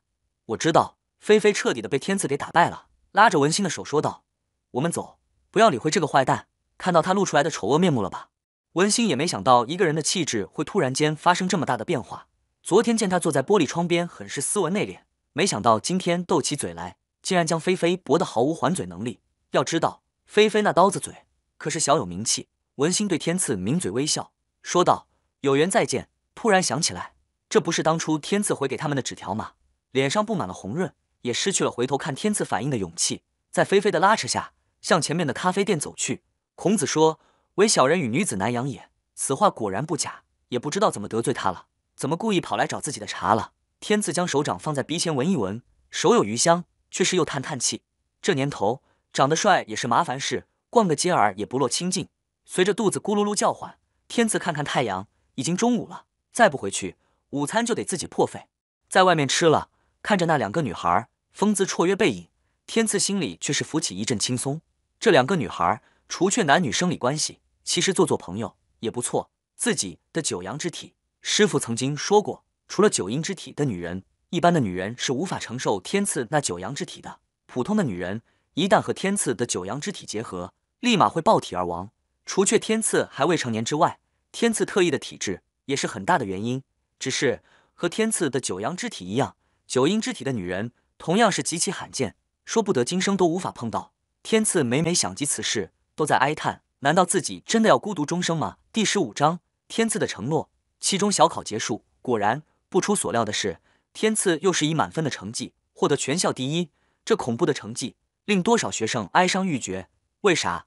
自己拼了老命考了这点可怜的分数，而人家整日游手好闲。却考满分，大家同样是人，这差别为啥这样大咧？水月湖是海军学院一处亮丽风景，位于校园东部，形状呈 O 形，中央有湖心岛，由桥与两岸相通。湖心岛的南端有一个石坊，湖南岸上有中庭、临湖轩，东可观湖光塔影，西可看中庭落霞，南可望湖山林木，北可览层楼壮影，处处都充满了诗情画意。水月湖在整个海岛乃至通天国北方都是大大有名。这里曾经是某个王爷的府邸花园，后来成为通天国水师学堂。这里每天清晨有无数的海军学院学子在湖边散步读书，学校的一些老教授也在湖边跑跑步、打打太极，是休养生息的好地方。学校对水月湖的维护工作做得很不错，所以一直处于原生态的自然风貌。这样的风景在海岛极其少见，也经常会吸引一些影视剧组或者广告商来这边取景。一方面能收到一笔可观的费用，另外一方面也能帮浅水湖打响名气。学校倒也是甘之如饴。经过考试，精疲力尽的学子们三三两两散落在水月湖周围，看书的看书，在草坪上小睡的小睡。唯有天赐依旧是靠着躺椅钓鱼啊，确切的说，应该是喂鱼。天赐的鱼线上从不拴鱼钩，鱼饵直接绑在鱼线上，任由鱼饵争食，没了再绑，如此周而复始。对于天赐如此怪异之举，周慧很是不解，曾经多次问过天赐，天赐是这样解释的。钓鱼的目的不是真正钓鱼，而是培养一种耐力，一种雅致。这话惹得周慧一阵撇嘴，一通白眼。而此时的天赐任由水中的鱼饵争食鱼饵，躺在靠椅上，天赐那清澈深邃的眼睛却是凝望着头顶的蓝天，久久不动，久久不语。谁也不知道此时的天赐在想些什么，他的心神飞到了何处。对于周慧、张军和李强的到来，仿佛是没有半丝察觉。而天赐身后三人也没有出声打搅天赐。他们明白，此时的天赐一定在展望着某些不为人知的愿景。大哥，展翅翱翔吧！你注定是人中龙凤，注定是一飞冲天。金色的朝阳洒在这三男一女身上，给这些年轻的学子染上一层庄严神圣的光彩。大半晌，天赐悠悠道：“张军、李强，你们当初为啥选择了海军这个职业？”张军和李强一愣，却是没想到大哥会突然问这个问题，一时不知该怎么回答。倒是李强反应快些。咱们民族的屈辱史是从海洋开始的。我的祖辈用生命维护着民族的尊严，我李强秉承祖辈的意愿，为强我通天海军，为通天复兴尽一份力，所以我选择了海军。张军也说道：“扬我国威，是我等毕生的职责和夙愿。”天赐赞许的点点头，拍了拍李强的肩头，说道：“是啊，咱们国家的屈辱史是从大洋开始的。不过，强我大地复兴通天，前途何其艰辛，何其艰难。但不管怎样，事情还是要做的。也不知从什么时候开始，天赐渐渐学会了抽烟，点上一颗香烟。”透过袅袅青烟，天赐转头道：“今后你俩无论在那个岗位，我希望你们记住今天的誓言，学好本事，做最优秀的海军。”这次周慧、张军和李强在天赐的影响下，这次小考考的还算是如意，虽然无法和天赐那变态的成绩相比，毕竟算是进步不少了。他们潜意识里明白，要跟随着天赐的步伐，得要付出常人难以想象的努力。做天赐的兄弟，得紧跟着天赐，至少不能落后太多。校长办公室。海岛海军学院校长今天第一次请天赐谈话，看着眼前年纪轻轻但举止沉稳的天赐，校长不由叹叹气：这样的学生，这样出类拔萃的学子，海军学院从未遇到过。这个小家伙经过一番雕琢，前途不可限量啊！事务繁多，今天咱俩是第一次单独谈话。有些肥胖的校长喝了一口茶，接着说道：“说吧，为啥宁愿放弃北大、清华那样的名校，而甘愿来这里？”校长和很多人一样。无法理解像天赐这样优秀的学生放弃名校而选择参军的意图。在如今的商业时代、功利心极强的年代，天赐的选择着实让人难以理解。捧着茶杯，天赐淡淡的说道：“说了你可能不信，但我借用我同学的一句话，咱们国家近代屈辱史是从海洋开始的。那么，我的愿望是抢我，抢我海军。”来到天赐身边的沙发坐下，校长拍拍天赐的肩头，叹了口气道：“现在抱有你这样理想的年轻人。”是外国来，外国少了。天赐啊，在你身上，我看到了咱们民族的希望，咱们国家再次辉煌的希望。就让咱们为自己的理想尽自己一份力吧。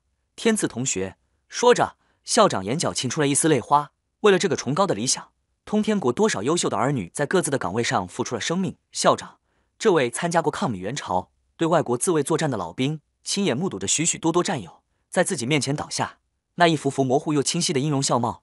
至今还在眼前浮现，也就是在历次战争中，如今年事已高的校长目睹了科技技术落后所付出的惨重代价。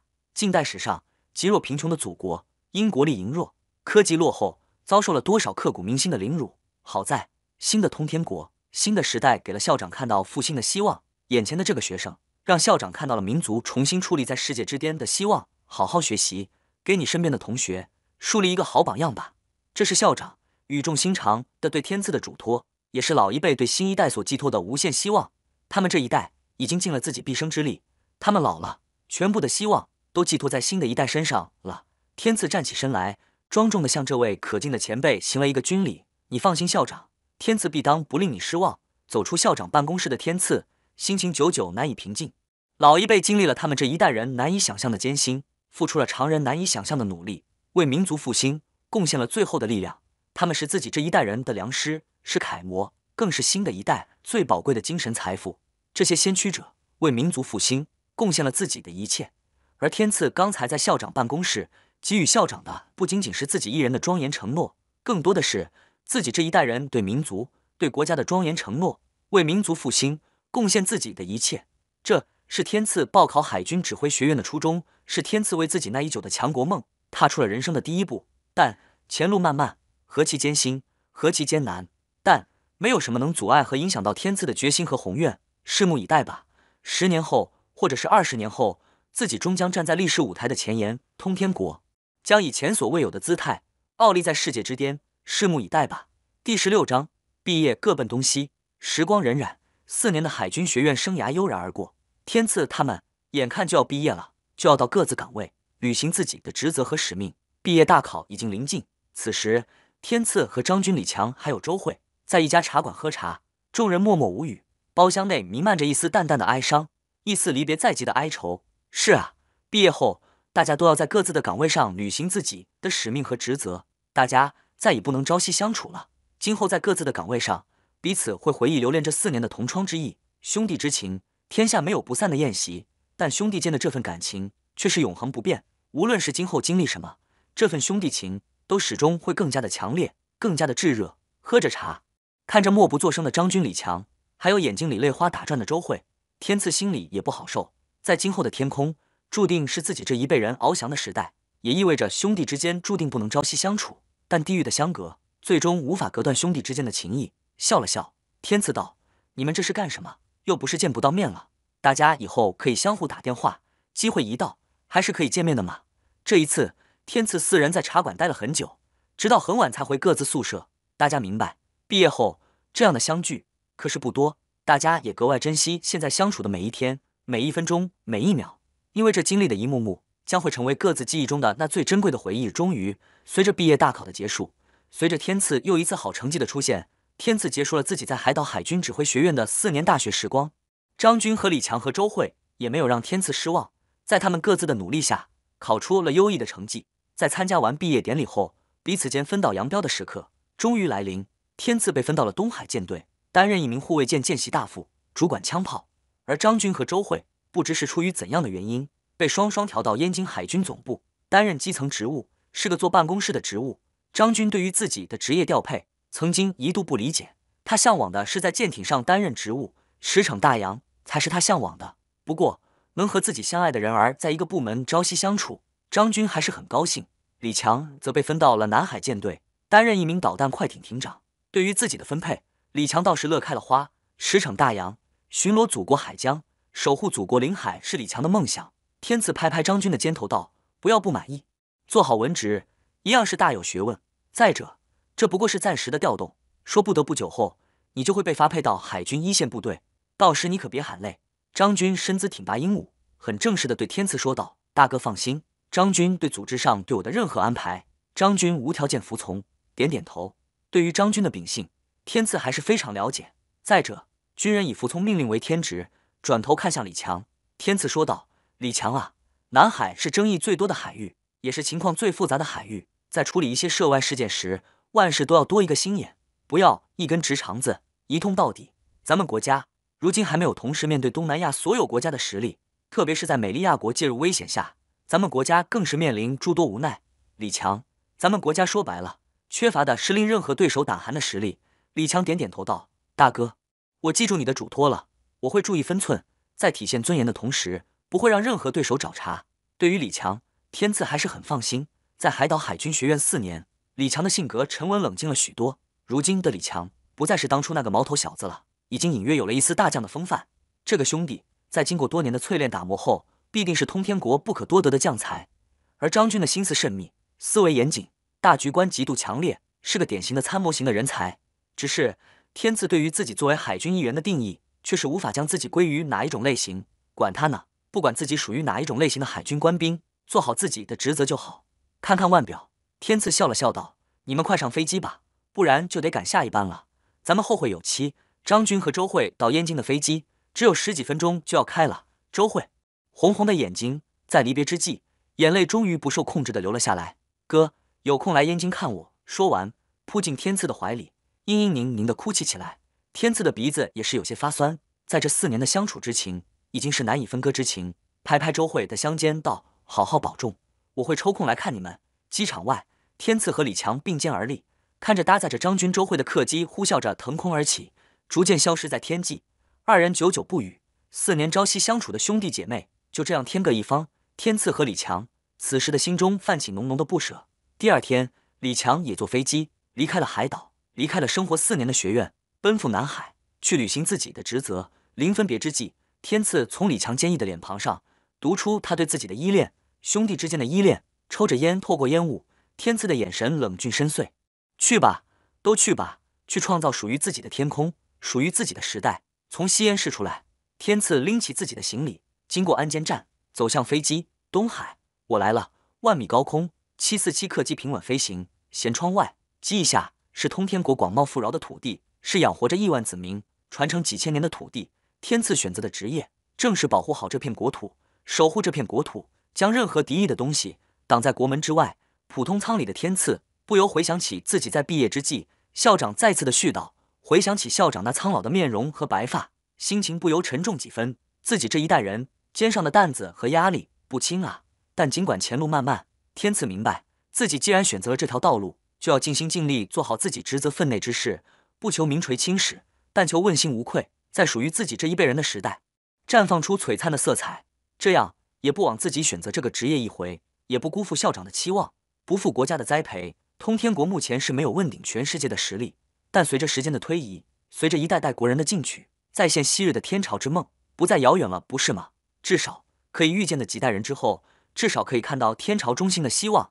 虽然自己在有生之年可能是看不到这一天，但至少自己为之奋斗过，努力过，不是吗？第十七章伏笔：东海舰队唐山号护卫舰上，舰长刘辉在舰上甲板举行欢迎仪式，欢迎新一任副舰长的到来。当英气飒爽、年纪仅仅十八岁的天赐站在全体海军官兵面前时，立即惊艳全场。除却天赐的英武俊朗外，十八岁的上尉副舰长这个头衔恐怕是开了通天国乃至全世界海军史上的先河。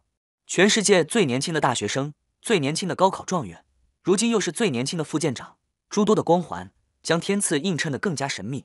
许多人都在问天赐是如何做到的。名人的烦恼，天赐已经领教的太多了。在战士们的热烈掌声中，在女兵的尖叫声中，天赐腼腆的拿起话筒说道：“其实能取得今天的成绩，我只不过是比一般人付出了更多的努力，比一般人运气好些而已。我相信，只要大家加强努力，大家都会成为通天国最优秀的海军。”走下讲台的天赐，却是又碰到尴尬的事情。几个漂亮的女兵拿着小本和笔，欢快的小跑到天赐面前道：“大状元，给签个名呗。”挠着头，天赐扭头看看刘舰长，刘辉却是笑了。这都是你的粉丝，你看我做啥？大家伙听说咱们国家最年轻的高考状元，最年轻的舰长要来咱们舰上任职，多少人兴奋的睡不好觉。签吧，签吧！追星族不仅仅是女兵，还有许多男战士，也是拿出各自提前准备的小本来要签名。一通签名，百十号人的签名会，只把天赐累得够呛。天赐在海军学院就知道了通天国海军装备和西方国家之间是怎样的差距，在后来舰上任职的很长时间，这种认同感。天赐更是触目惊心，在硬件上，通天国海军主战装备和西方国家的差距并不太明显，差距大的主要是在软件方面，即电子、火控和雷达方面。这是不是细微的差距，而是一两代的代差？而在现代军事冲突中，正是这方面决定着战争的成败。对于这个，天赐很无奈，和西方大国之间的差距不是一朝一夕就能拉近的，这得要经过长时间的技术积累才能得到改观。不过，好消息是。随着通天国国防预算的大幅度增加，科技实力的增强，这种局面会有所改观。目前，通天国对于军队装备的更新换代采取的策略是进口和自主研发双管齐下。从九十年代初到如今，通天国从北方的异国进口了大批最新装备，涵盖陆海空、苏二十七、苏三零战机的入列、六五二 D 以及大批先进装备的入列。通天国军队装备长期落后的现状得以稍许好转和改管观。但至真正拥有令列强真正胆寒的武备和技术，通天国还有很长的路要走。任重道远，令天赐欣慰的是，近代史的屈辱，在当今时代，通天国在海上面临的威胁，终于十国人和当局意识到增强国防力量的重要性和紧迫性。尤其是在近代史吃够了来自大洋的苦头，建立一支强大的海军，是十几亿国人最迫切的心愿。为了这个目标，通天国上下一心，进行着艰苦的努力，稳步提升通天国海军的实力。和天赐那年纪不匹配的是，天赐以严谨、极具专业的作风，还有那极度沉稳的风格，迅速征服了全舰所有官兵，赢得了所有战友的尊敬和爱戴。在一年后，刘辉舰长升任一艘驱逐舰舰长，而天赐则以十九岁的年纪，以少校军衔接任接任唐山舰舰长。天赐又一次以十九岁的年纪，打破了全世界最年轻的护卫舰正式舰长的记录。不久后，通天国与东洋国因东海珍珠岛争端起摩擦。天赐所在的唐山号护卫舰被编入一支特混舰队，对珍珠岛进行日常维权巡逻。天赐在那次和东洋海军之间的摩擦中，表现出了极具专业和智慧，在避免引发战争危险时，同时给予了东洋国极大的震慑。在那次行动中，天赐荣立特等功。天赐的突出表现得到了高层的关注。此次事件为天赐今后的道路奠定了坚实的基础，这也为通天国诞生一位着外国的海军将领。历史上最耀眼的将星埋下了伏笔，为不久后一位传奇将军的诞生埋下了伏笔。正是这样的伏笔，使通天国在几年后发生了决定性的转变，史诗般的强势崛起。两年后，天赐以中校军衔升任成都号导弹驱逐舰舰长。同年底，作为代职舰长，天赐被通天国燕京海军指挥学院招收为代职学院，进行为期六年的博士深造。通天国燕京海军指挥学院是全国最高级别的海军学院，是通天国海军将领的摇篮，是多少海军官兵向往的圣地。能够来此深造的海军官兵，无不是在各自领域最顶尖的人才。天赐被选拔，正是被海军高层重点培育的对象。可以预见，在不久的将来，天赐的官运是怎样的通畅。而通天国海军将升起一颗璀璨耀目的将星。在奔赴燕京之前，天赐回了一趟老家，看望在家的父母和左邻右舍，还有的是紫铜三清宫的师傅。自从七年前的一别，天赐还没有回过家。七年了，离家七年的游子终于回家看看了。七年的时光，父母的脸上皱纹深了许多，白发多了几缕。但随着游子的回家，父母脸上的皱纹像花儿一样绽放出美丽温馨的色彩。天赐这次是休长假，有足够的时间陪陪父母和师傅。七年的分别，父母日日望眼欲穿，自古忠孝难以两全，责任在身的天赐只能是将长时间对亲人的牵挂深深藏在心间，将全身心投入到自己所追求的理想中。而青须子则依旧是没有什么变化。依旧是七年前那般模样。天赐很是好奇，师傅是怎样的手段，能让自己的容颜历经多年不变？亲人相聚的时间总是过得很快。天赐所申请的两个月长假悄然间流逝。天赐再一次在父母的不舍中，在清虚子的如常絮叨中，踏上了燕京之行。那里，全新的生涯、崭新的机遇和挑战正等待着他。随着天赐的燕京之行，天赐的人生从此揭开了全新的篇章。天赐史诗般的传奇。就此徐徐拉开帷幕，通天国国家海军史上乃至历史上最年轻、最富传奇色彩的将军就此呼之欲出，而通天国史诗般的崛起，随着天赐的燕京之行，也就此拉开惊艳整个世界的大幕。也正是随着未来的天赐将军粉墨登场，也开启了某些国家赞歌的序曲。天赐的燕京之行，同时也为二十年后全世界翻天覆地变化埋下了深深的伏笔。第十八章：清虚子来访。据东阳新闻网四月十七日报道。四月十六日下午，正在美利亚国访问的东阳东京都知事太郎石恒于当地的一个研讨会上发表演讲称，东京政府决定从私人手中购买珍珠岛。东洋方称昌于列岛。他表示，此计划已经获得珍珠岛土地拥有者的同意。正在美利亚访问的石恒知事称，东京都政府正在积极推进使用政府预算购买珍珠岛的计划。他说，这一计划已经获得了珍珠岛土地拥有者的同意，接下来获得都议会批准后。准备在今年内完成购买合同的签约。石恒之士在二零一零年十月的电视节目出演中就曾经透露，自己已经与岛屿所有者进行了购买交涉，目的是防止这些岛屿落入外国人之手。根据石恒之士的透露，近日东京都政府与岛屿所有者已经达成了购买的基本协议。如果珍珠岛成为东京都政府的土地的话，东京都不仅可以开发，而且可以派驻警察。通天国政府一直主张，珍珠岛是通天国固有领土。近期并加强了对这一岛屿附近海域的巡逻和管理。珍珠诸岛位于台湾省东北，距基隆港约一百九十公里，距东洋冲绳岛西南约四百二十公里。珍珠诸岛总面积约五平方公里，岛屿周围的海域面积约十七万平方公里，相当于五个台湾本岛面积。据英国著名学者李约瑟所著的《科学技术史》记述，早在一四三零年完成的我国明朝顺丰相送一书，首先就提到了珍珠岛是福建驻琉球途中航路指标地之一。可见珍珠岛早就为我国人民发现、利用。靠着床头，吸着香烟，看着电视新闻的天赐不由得叹叹气。看来这东洋岛国仗着美利亚重返亚太战略的步伐加快，也加紧了挑战通天国底线的脚步。与此同时，南海有关争议当事国此时也频频向通天国发难。近几年，通天国的强势发展已经令通天国四周宵小心焦不已。通天国如今的国际环境是空前的复杂啊！只是如今的通天国。虽然国力大幅增强，但毕竟还缺乏震慑所有当事国的实力，特别是在美利亚介入的危险下，杀出一条血路何其艰难。燕京的六年博士深造已经完毕。前几天，天赐接到了海军总部新的调令，天赐不再是成都号导弹驱逐舰的舰长了，新的职务是东海舰队第一驱逐舰队的第一副司令员，军衔也随之提为海军上校。上校，天赐摸摸鼻子，貌似自己才二十多岁呢，就副师级干部了。这恐怕又开了世界海军史上的先河了。虽然不怎么清晰，但天赐总是感觉到自己背后有一只看不见的大手在操控着一切。从自己的海岛海军学院开始，到现在，总是有个神秘的力量左右着自己前进的步伐。天赐深深明白，如果不是这不知名的推手，自己哪怕是再出色，也绝对不可能二十多岁就成为副师级军官。那么，这个推手诱惑这个人究竟是谁呢？是师傅吗？但师傅乃方外人士，虽然有一定的能量。但貌似影响力也没有这么大。但除了师傅，天赐也想不到还有谁这样卖力的将自己往上推。不过如今看来，这样的推手对自己有好处，自己要出人头地，想日后实现自己的抱负，这样的推手来的正是时候。这几年自己还是很关注张军李强的近况，都混得不错，就如其张扬的性格一样。李强在最近几年在海军系统里格外抢眼，不仅仅是他极富专业的水准，更是以其嫉恶如仇的处事原则赢得上下追捧。更由于他那极度的民族主义的情怀。得到了广泛的支持和好评。李强如今已经在一艘导弹驱逐舰的舰长，中校舰长，是南海舰队炙手可热的新星。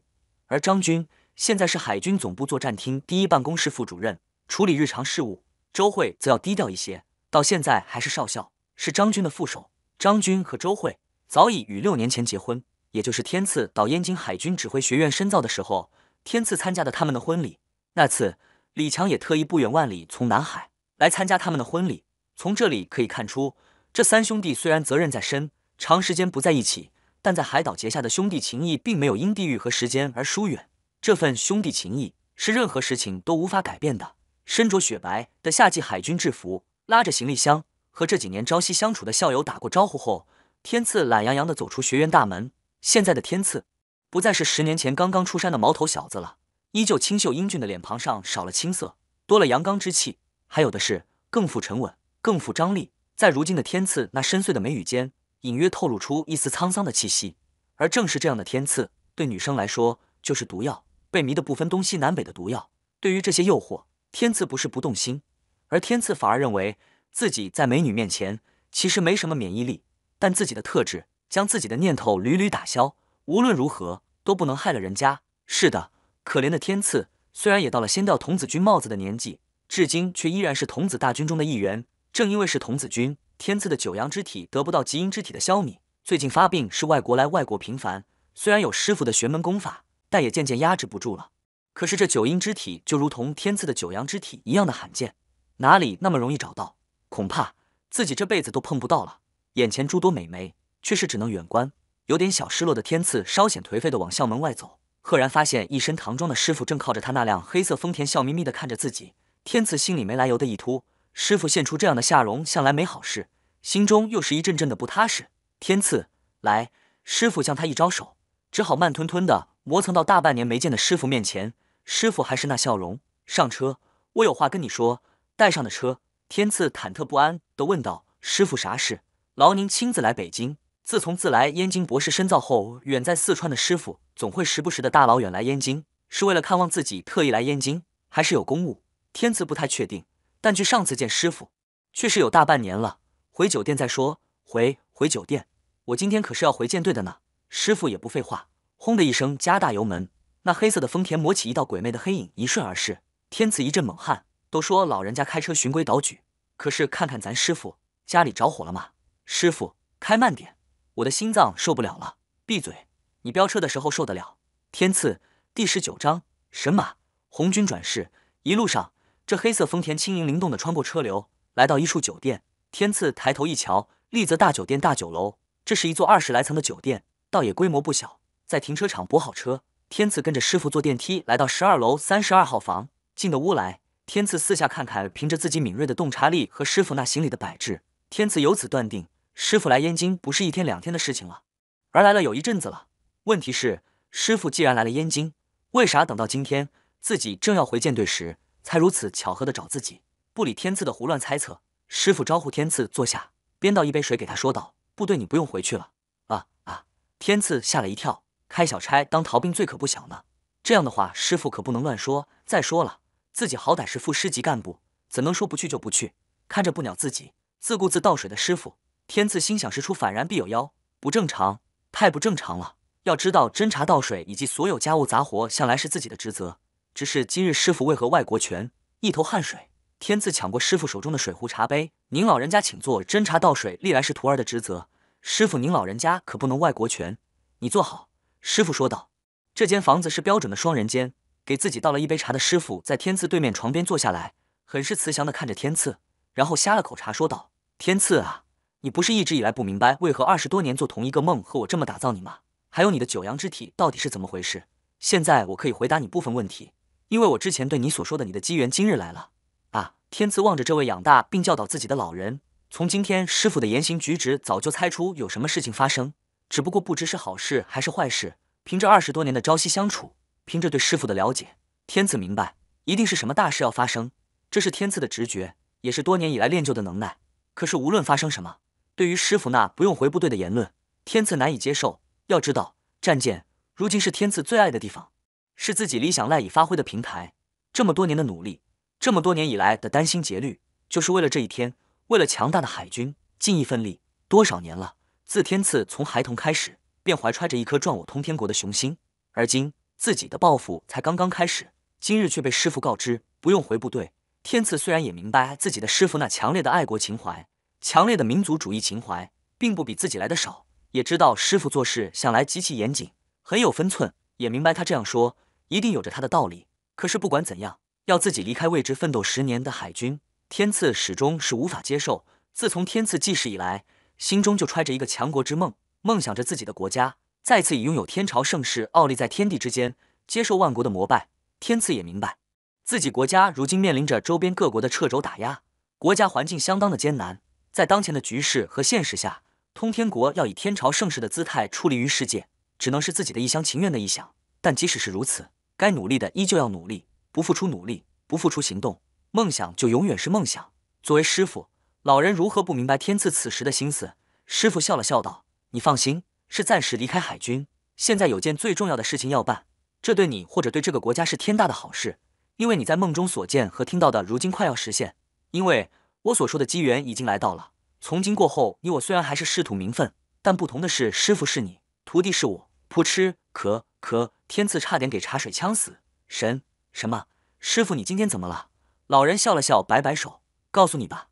说来你不信，你本是盘古开天以前就存在于混沌空间的人物，红军老祖，同当时盘古将臣共同生于混沌，三兄弟一体三生，盘古为长，你红军为次，将臣老三。盘古为造化玉蝶化形，红军为二十四品紫莲化形。而江辰则是二十四品先天血兰花化形。后来盘古开天地正道，却遭到天道算计，打碎了盘古本命所在的造化玉蝶，以至于盘古不得不化作大地万物稳定、刚刚开辟的新天地。说到这里，老人喝了一口茶水，道：“盘古大神身陨后，你和将臣为了守护盘古以身所划的天地，江辰在西方开辟出西方神界，而红军则在东方建立仙界。红军后来为了规范天地万物的规则秩序，以身合道，却被天道左右，成了天道的傀儡。”所以红军为了参透天道法则，最终对抗天道，留下一副躯壳；而元神则携带二十四品紫莲，在混元大阵的掩盖下，进入六道轮回转世十世。如今是最后一世，所以你道祖红军是时候回归了。道祖红军在神话中的人物，竟然是确有其人，而且是我天赐的嘴张的老大，久久不能合上，太匪夷所思了。自己在科技高度发达的今天，在无神论为主流的今天，竟然听到这样的说辞。而且这话却是在一向不苟言笑的师傅嘴里说出来，揉揉下巴，艰难的合上嘴。师傅，你老人家说笑的是吧？神仙老人点点头道：“我是你吉红军的徒儿皓月，今后你不能再叫我师傅了。至于详细的情况，在你真正回归的时候就知道了。明天我们去神农架，你就能以你现在的肉身合体。”天赐看着面前这位陪伴教导自己二十多年的老人，现在才发现这平时古板刻薄的老家伙，如今是这样的慈祥可爱。的确，老人虽然严厉。却对自己如同己出，自己的一切都是他所赐。天赐此时心中满是幸福甜蜜，望着这位白发苍苍的老人，他天赐不由心下一酸，目泛泪光，在老人讶然中跪在师傅面前：“师傅，一日为师，终身为师。您老人家的养育教导大恩，终身不忘。无论我是不是红军，无论我是谁，是何身份，师傅，您老人家永远是天赐的师傅。天赐再次发誓：假如我真的是红军转世，真的是天降大任于斯人。”我张天赐将以强盛国家民族为己任，让祖国傲立于世界之巅。天赐说完，深深的向师傅磕了三个响头。老人欣慰的拍拍天赐的头，好好。清虚子又对天赐说道：“还有一件事情，我现在告诉你，你所谓的九阳之体，纯粹是那相氏一家之言。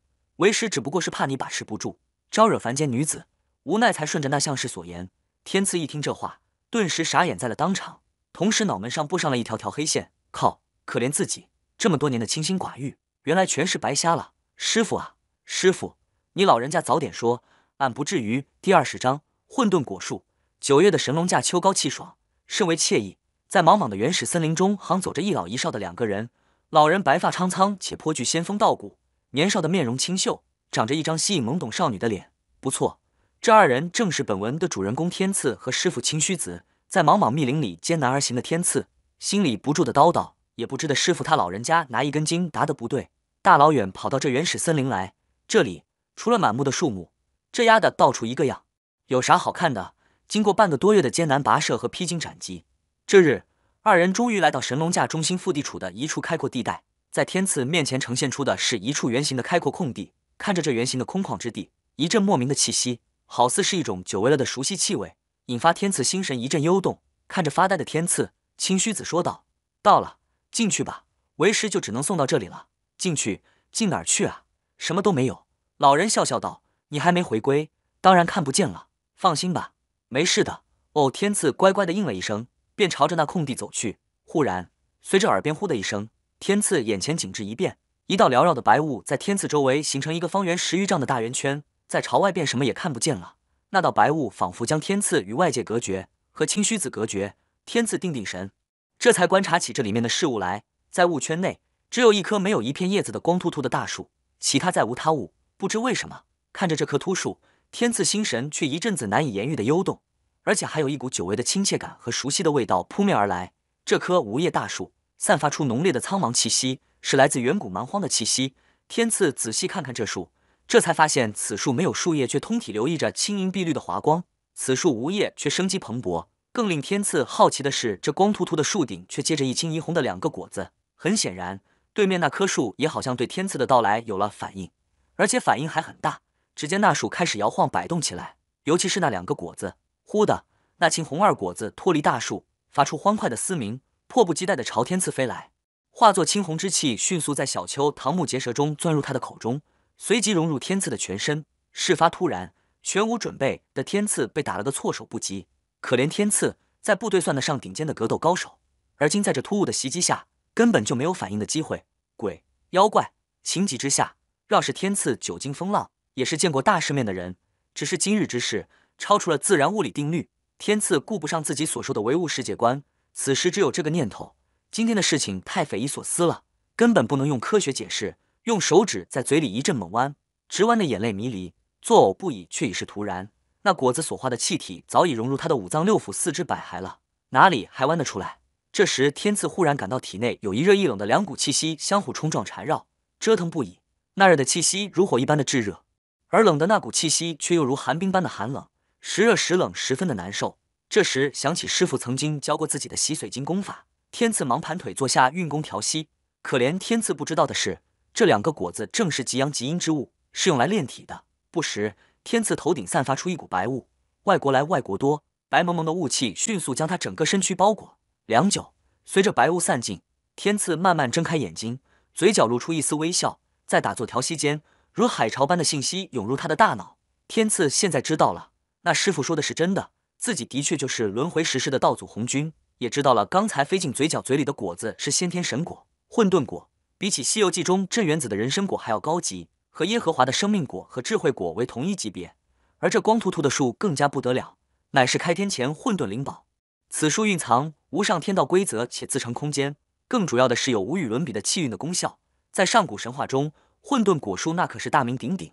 混沌果树还有一个功能是能镇压气运，在仙界诸多的先天灵宝中，论镇压气运的功效，混沌果树可谓老大之中的老大。即使是三清圣人老子的太极图、天地玲珑玄黄塔、元始天尊的盘古幡和妖皇太一的混沌钟，比之这混沌果树原始差了许多许多。太极图、盘古幡和混沌钟可是昔日盘古大神开天辟地之际，盘古大神开天斧所化的先天灵宝。乃是当初盘古大神镇压洪荒气运的顶级宝贝，个个可定天地，端的厉害无比。再后来，太极图、盘古幡和混沌钟分别为老子、元始天尊和妖皇东皇太一所得。这几件先天至宝，也在亿万年洪荒天地间上演出一段段佳话和传奇。而天地玲珑玄黄塔，则是和当时另一件至宝鸿蒙量天尺同时在开天之初诞生的功德至宝。天地玲珑玄黄塔主房具有无比坚韧的防御能力，是个打不破的乌龟壳。而鸿蒙量天尺则是主攻，无坚不摧。鸿蒙量天尺一化，毁天灭地。这两件功德至宝，一手一攻，相得益彰。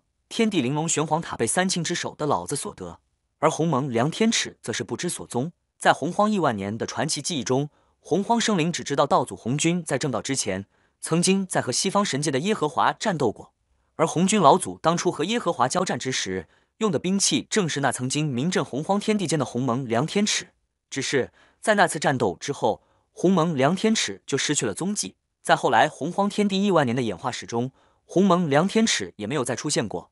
鸿蒙量天尺的消失，曾经令无数洪荒天地间大神通者嗟叹不已。回到主人公天赐，天赐在感受到那混沌果树的亲切和亿万年的苍凉气息，定定神，来到没了果子的秃树跟前。这混沌树像有灵性般的发出一声欢快的轻吟，化作一缕青色之气飞入小丘的眉心。灵宝有灵，和主人分别了千多年，如今总算是人宝在团圆。有了自己前世初步记忆的天赐，死没有惊慌，只是对混沌树消失的地方叹了叹气。那里出现了一个刚好能容下一人的洞口，黑咕隆咚，深不见底，一股强大的吸力吸引着他。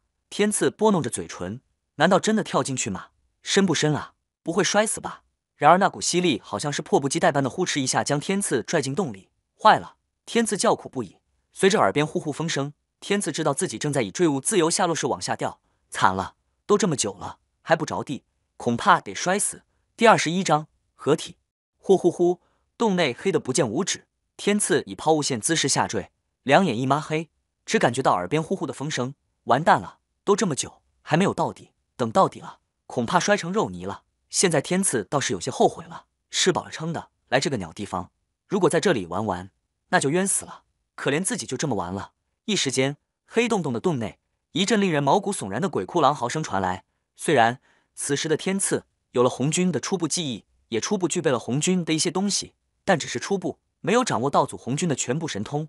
所以现在天赐不会飞，现在的天赐正在以物体自由下坠的方式摔下这不知名的洞底，也不知掉了多少时间。终于到底了，随着吧唧一声着地了。这一下摔得天赐骨头散架，眼冒金星，哼哼唧唧半天才摸索着爬了起来，伸伸腿，弯弯腰，确定一样不少完好无损，这才放下心来，强忍着疼痛四下张望，四下却是黑漆漆一片，什么也看不见。就在这时，只听得噗噗之声不绝于耳，忽然火光四起，天赐这才发现这洞底还挺宽广，这洞里恐怕也没有见过天日。一股刺鼻的霉味充斥着天赐的鼻腔。来了一个声音，如鬼魅般的突兀从身后响起，吓得天赐差点气魂出窍。是谁？是人？是鬼？天赐胆战心惊，又不得不壮起胆子问道：“无非人，还是那如幽灵一般的声音道：不是人，那就是鬼了。天啦，老家伙，你骗我到这鬼地方，我跟你没完！”天赐此时虽然具有道祖红军的初步记忆，却还是自己的心性为主，所以他会害怕。无亦非鬼？哦，不是鬼还好。天赐松了口气。你不是人，又不是鬼，那你是个什么东西啊？是你！天赐一边说着，一边转过身。是你，就是你，一直在我梦里骚扰我的人，就是你。你化成灰，我也认识你，就是这个人，和自己长得很是神似的中年虚影，在自己的梦中叨叨了自己二十多年。无也不是什么东西，无是汝，汝亦是无，你我本是一体。这中年虚影手指搂着他那性感的长须，摇头晃脑，慢悠悠的说道：“我，你。”天赐气羞羞的说道：“你我合体，就你这个德行。”我现在这个英俊潇洒、风流倜傥、人见人爱、花见花开的形象没了，我可告诉你老家伙，合体后还得是现在这个玉树临风的形象，知道不？而且还得是以我的意识为主。红军做了天道的傀儡，我不会又做红军的傀儡，否则免谈。得，天赐这条件开的，而且我可不做那素面青灯的道士。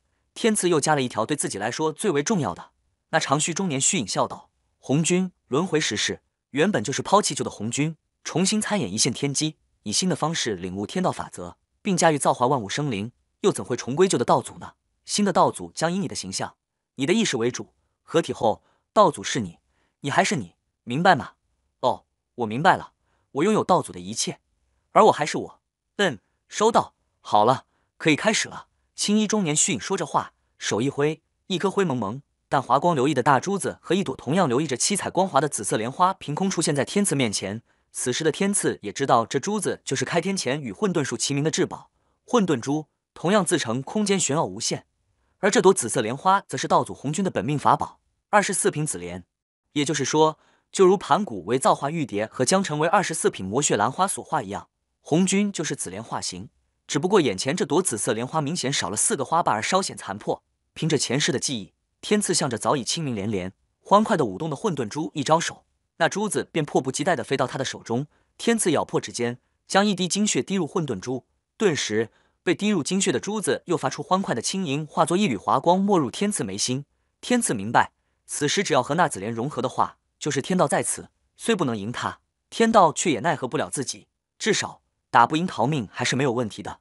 天赐心神一动，飘上紫莲，盘腿闭目，手捻兰花之状，开始了融合之行。而他的无师自通，正是源自红军的记忆。在旁守护的青衣人女婿微笑，千多年了，总算是要功德圆满了。十年、二十年、一百年、两百年，不知不觉中，三千年在弹指间悠然而过。终于，天赐悠悠睁开眼睛，只见此时的他浑身散发出艰涩玄奥的气息，近在咫尺，却仿佛感觉不到他的存在。融入天地间，感觉又散发出自然的气息，双眼如无尽星空般的深邃。旁边青衣中年人朝小秋一拱手道：“恭喜本尊融合成功，恭喜道祖归来，吾也该回归了。”天赐微笑点点头。那青衣长须中年人走到天赐身边，一点点，一点点融进天赐的身体。随着青衣中年人的回归，天赐的气息更加玄之又玄，更加晦暗艰涩。在经过三千年的融合和修行后，天赐才真正拥有道祖红军元神出走时的一切法力神通。当年红军元神出走时的境界，相当于大罗金仙巅峰的修为。大罗金仙的境界，在高手如云的仙界虽然算不得什么，但毕竟为后世的自己埋下了千年的伏笔。再者，以红军及盘古大法和自己的紫莲大法，即使是以大罗金仙的境界，再加上众多的先天灵宝，即使是遇到圣人之类的顶尖高手，也有一搏之力的。最重要的，天赐凭着前世红军对道的理解。对盘古开天的感悟，放眼仙界，谁能出其左右？仙界道法老祖宗可不是摆在那儿看看就完的。红军老祖亿万年的修为和心境，放眼整个宇宙，无人可比。虽然红军元神仅仅是继承紫霄宫本尊大罗金仙的法力，没有完全继承红军的境界，但这已经足够了。而经过十世轮回，最后一世的天赐，可谓是得天独厚。十世的天地演化的感悟，对万物众生轮回转换的感悟，最重要的是。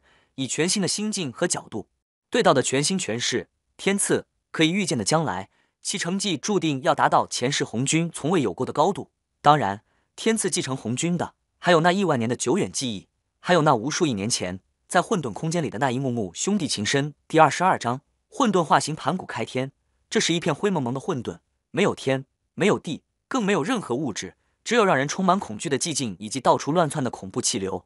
在这个压抑的世界。只见一丝丝紫黑色的气流四处激荡，仿佛要摧毁这片空间。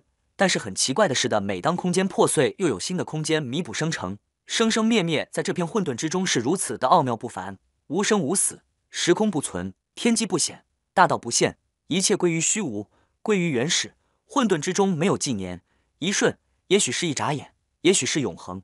在这个紊乱暴虐的时空中，存在和毁灭生生息息相互交替，也许是一瞬间。也许是经过了亿万年，紊乱暴虐的时空终于稳定下来。不知过了多少年，也或许是一瞬间，在这片混沌中，一块晶莹剔透的圆形玉蝶和一朵紫色莲花，以及一朵血红的兰花，突兀的、无中生有的出现在这片混沌空间。这三样物件的出现，使得这了无生机的虚无空间萌生了些许生气，华光流溢，分外妖娆。这三样东西的出现，在这片虚无的空间内，洋溢着道的影像、道的痕迹。那玉蝶叫做造化玉蝶。通体流溢着玄奥艰涩的大道气息，那紫色莲花则是二十四品紫莲，则是通体流溢着妖娆的紫色华彩，同样是透露出玄奥的大道气息。而这玉蝶和紫色莲花周围围绕着条条妖媚的紫色气体，鸿蒙紫气，鸿蒙紫气，大道之基，后世成为大神通者成圣的关键和基石。而那朵血色兰花则显然是个艺术，它发出道道另类的大道气息，显然和玉蝶莲花格格不入，也没有紫气环绕，却彰显着大道的气息。吸收着空间里暴虐的负面能量，倒也是显得不凡。不觉又是过了一瞬，也许又是亿万年。突然间，那造化玉蝶光华大盛，散发出无与伦比庞大气势和威压。造化玉蝶竟然突兀的慢慢消失，在消失的地方，一个怀抱巨斧的中年男子凭空出现。只见他髯须披发，求实健美的肌肉充满着毁灭的力量。此人缓缓睁开眼睛，查探了一番周边，将头转向身边那紫色莲花，脸上露出了亲和温馨的笑容。待看向那血色兰花时，清和的笑容里多出了一丝说不清道不明的表情，悠悠叹了叹气，便入定修炼，并守护起两个未化形的兄弟。不知是一瞬间，还是千万年悠然而过。那朵紫色莲花也是终于紫光大盛后，一个儒雅清秀的长须中年人凭空出现。虬须中年人第一时间察觉，对这紫衣中年人说道：“吾乃盘古，恭喜二弟化形成功。”那紫衣男子朝盘古一拱手道：“小弟红军见过兄长。”盘古哈哈一笑道：“自是兄弟，不必多礼，入定修炼，稳定修为吧。”红军点头，再看了看那血色兰花后，同样叹了叹气，便入定修行。在又经过千万年后，那血色兰花终于也在血色光滑之气过后，终于化形成功。在盘古红军的注视下，出现一个血红长发。面貌英俊，皮肤白皙，身着血红长衣的青年男子。那男子向盘古红军二人拜道：“小弟将臣见过二位哥哥。”盘古红军相视一眼，扶起将臣道：“自家兄弟不必如此。”自此，这混沌三兄弟便开始在这无尽的混沌空间四处游荡。盘古先化形，是兄长，法力自是高出红军将臣许多，便以大哥的身份将两位兄弟照顾得无微不至。而红军将臣也很享受被大哥关爱，在四处游荡中。三兄弟挖掘了许多宝贝，红军得到了混沌珠、混沌树和混沌鼎等等先天至宝，江辰则得到了和混沌、混沌树顶同源的圣光鼎和生命果树，还有创世宝书以及圣光剑。而盘古则将自己得到的宝贝分给了红军将臣，因为盘古认为这些没有开天斧来的犀利实用。这么一来，红军将臣更是笑得眼睛都挤到一块了。翌日，盘古三兄弟又晃晃悠悠地转悠到混沌中不知名处，一阵阵强烈的波动引起来这三兄弟的注意。戴德的来到源头之处时，却见不远处悬着一剑一戟。盘古的盘古真身在这两件兵器面前，竟然感到心忧。要知道，盘古已经修炼出不死不灭、金刚不坏的盘古真身，也就是说，任何物理攻击对盘古不能造成任何伤害了。而今却在这一剑一戟面前，强悍无比的盘古真身竟然感到了压力。不过，使盘古感到心悸的压力，绝大多数来自于那把剑——鸿蒙子剑，而那戟灭天神戟的威力则明显弱于这鸿蒙子剑。盘古对红军将臣说道：“吾乃怀抱开天斧出生，而你们二人却无兵器，看来此二物便是为你等而生。”于是红军将臣便朝那两件兵器发出真元，让他们自行择主。片刻间，那灭天神戟发出欢快的鸣叫，飞入将臣手中，在将臣滴血认主后，化作一道血气没入他的眉心。几乎同时，鸿蒙子剑也在欢快的清明后，再得到红军的精血，同样没入红军的眉心。看到此处，盘古高兴地说道：“哈哈！”恭喜两位兄弟又得到了无上的宝贝。在一次修炼中醒来后，盘古对红军将臣说道：“想我怀抱开天斧出生，大哥我近来忽有所悟，大哥却是身负开天之责，只是吾如今修为尚浅，无法完成开天大业。我等从此就要加紧修炼，以待早日完成开天大业。”于是乎，这混沌三兄弟又开始了修行之路。又是无数年过去了，这三兄弟再次醒来，只见盘古舞了舞开天斧道：“吾感应到今日便是开天之时，不过破开混沌谈何容易。”即使以为兄现在的法力也非常勉强，却需要贤弟二人助我一臂之力，不然便有身陨之祸。大哥，你说怎么办？小弟自然鼎力相助。红军江辰双双道：“吾知开天府主灭之道，而红军贤弟又有主生之道的混沌紫莲，生死循环，如此方可成就世界。虽然你为混沌紫莲化形，但吾知这些年来贤弟孵化出四大莲子，分别为青、黑、金、红，可以以此来造化生机，生成万物，再以混沌珠吸收天地乱流。”吾以自身化形时所得的五行七步先天五行大阵镇压地脉，又以造化玉蝶定住天理，到时候自然无忧。待为兄完成这开天使命，便可得正大道。到时我等三兄弟以后便可逍遥天地，岂不乐哉？哈哈！看着手舞足蹈的盘古，红军将臣不知为什么心中外国来外国臣，似乎感觉到不妙。只是盘古已经准备动手了，他们已经不能阻挡了，只能是尽力协助盘古，避免他真的身陨。遥远处。一高约百万里的结实壮汉，双手执巨斧，浑身散发着万丈光芒。直到混沌深处，只见他双目怒睁，紧接着又是一声暴喝，周围的气息更加暴乱。原本朴实无华的巨斧顿时散发着凛冽的金光。华丽的斧击过后，整一道华格混沌开始晃动起来，暴虐的气息顺着斧痕划破混沌。顿时，混沌空间撕开了一个口子，周围的气息疯狂朝着那个裂口涌去。吼又一声暴喝后。整个混沌彻底被劈开了，瞬间，一道阳清之气上升为天，一道阴浊之气下降为地。只见壮汉双手撑天，双脚踏地，双目透露着无限的欣喜，又显得异常严肃。就在这时，在清浊之气分开的地方，出现了一团玄黄之气，而后玄黄之气开始高速的旋转起来，不停的翻滚着，一道金光闪现，正是那后天第一功德至宝天地玄黄玲珑塔形成。此塔万法不沾，诸邪退避，炼化之后。不离头顶，先就不败，稳定气运更有神效，比起那先天至宝毫不逊色。接着出现了一团混沌紫气，它不停地柔合着开天时所产生的先天混沌精气与玄黄之气，最后一阵紫光闪耀，却是与天地玄黄玲珑塔并列的后天功德至宝鸿蒙量天尺出现了。此尺咫尺天涯，不沾因果，端的是近战远攻、杀人放火的好宝贝。突然间，屹立于天地间的盘古一阵紧张。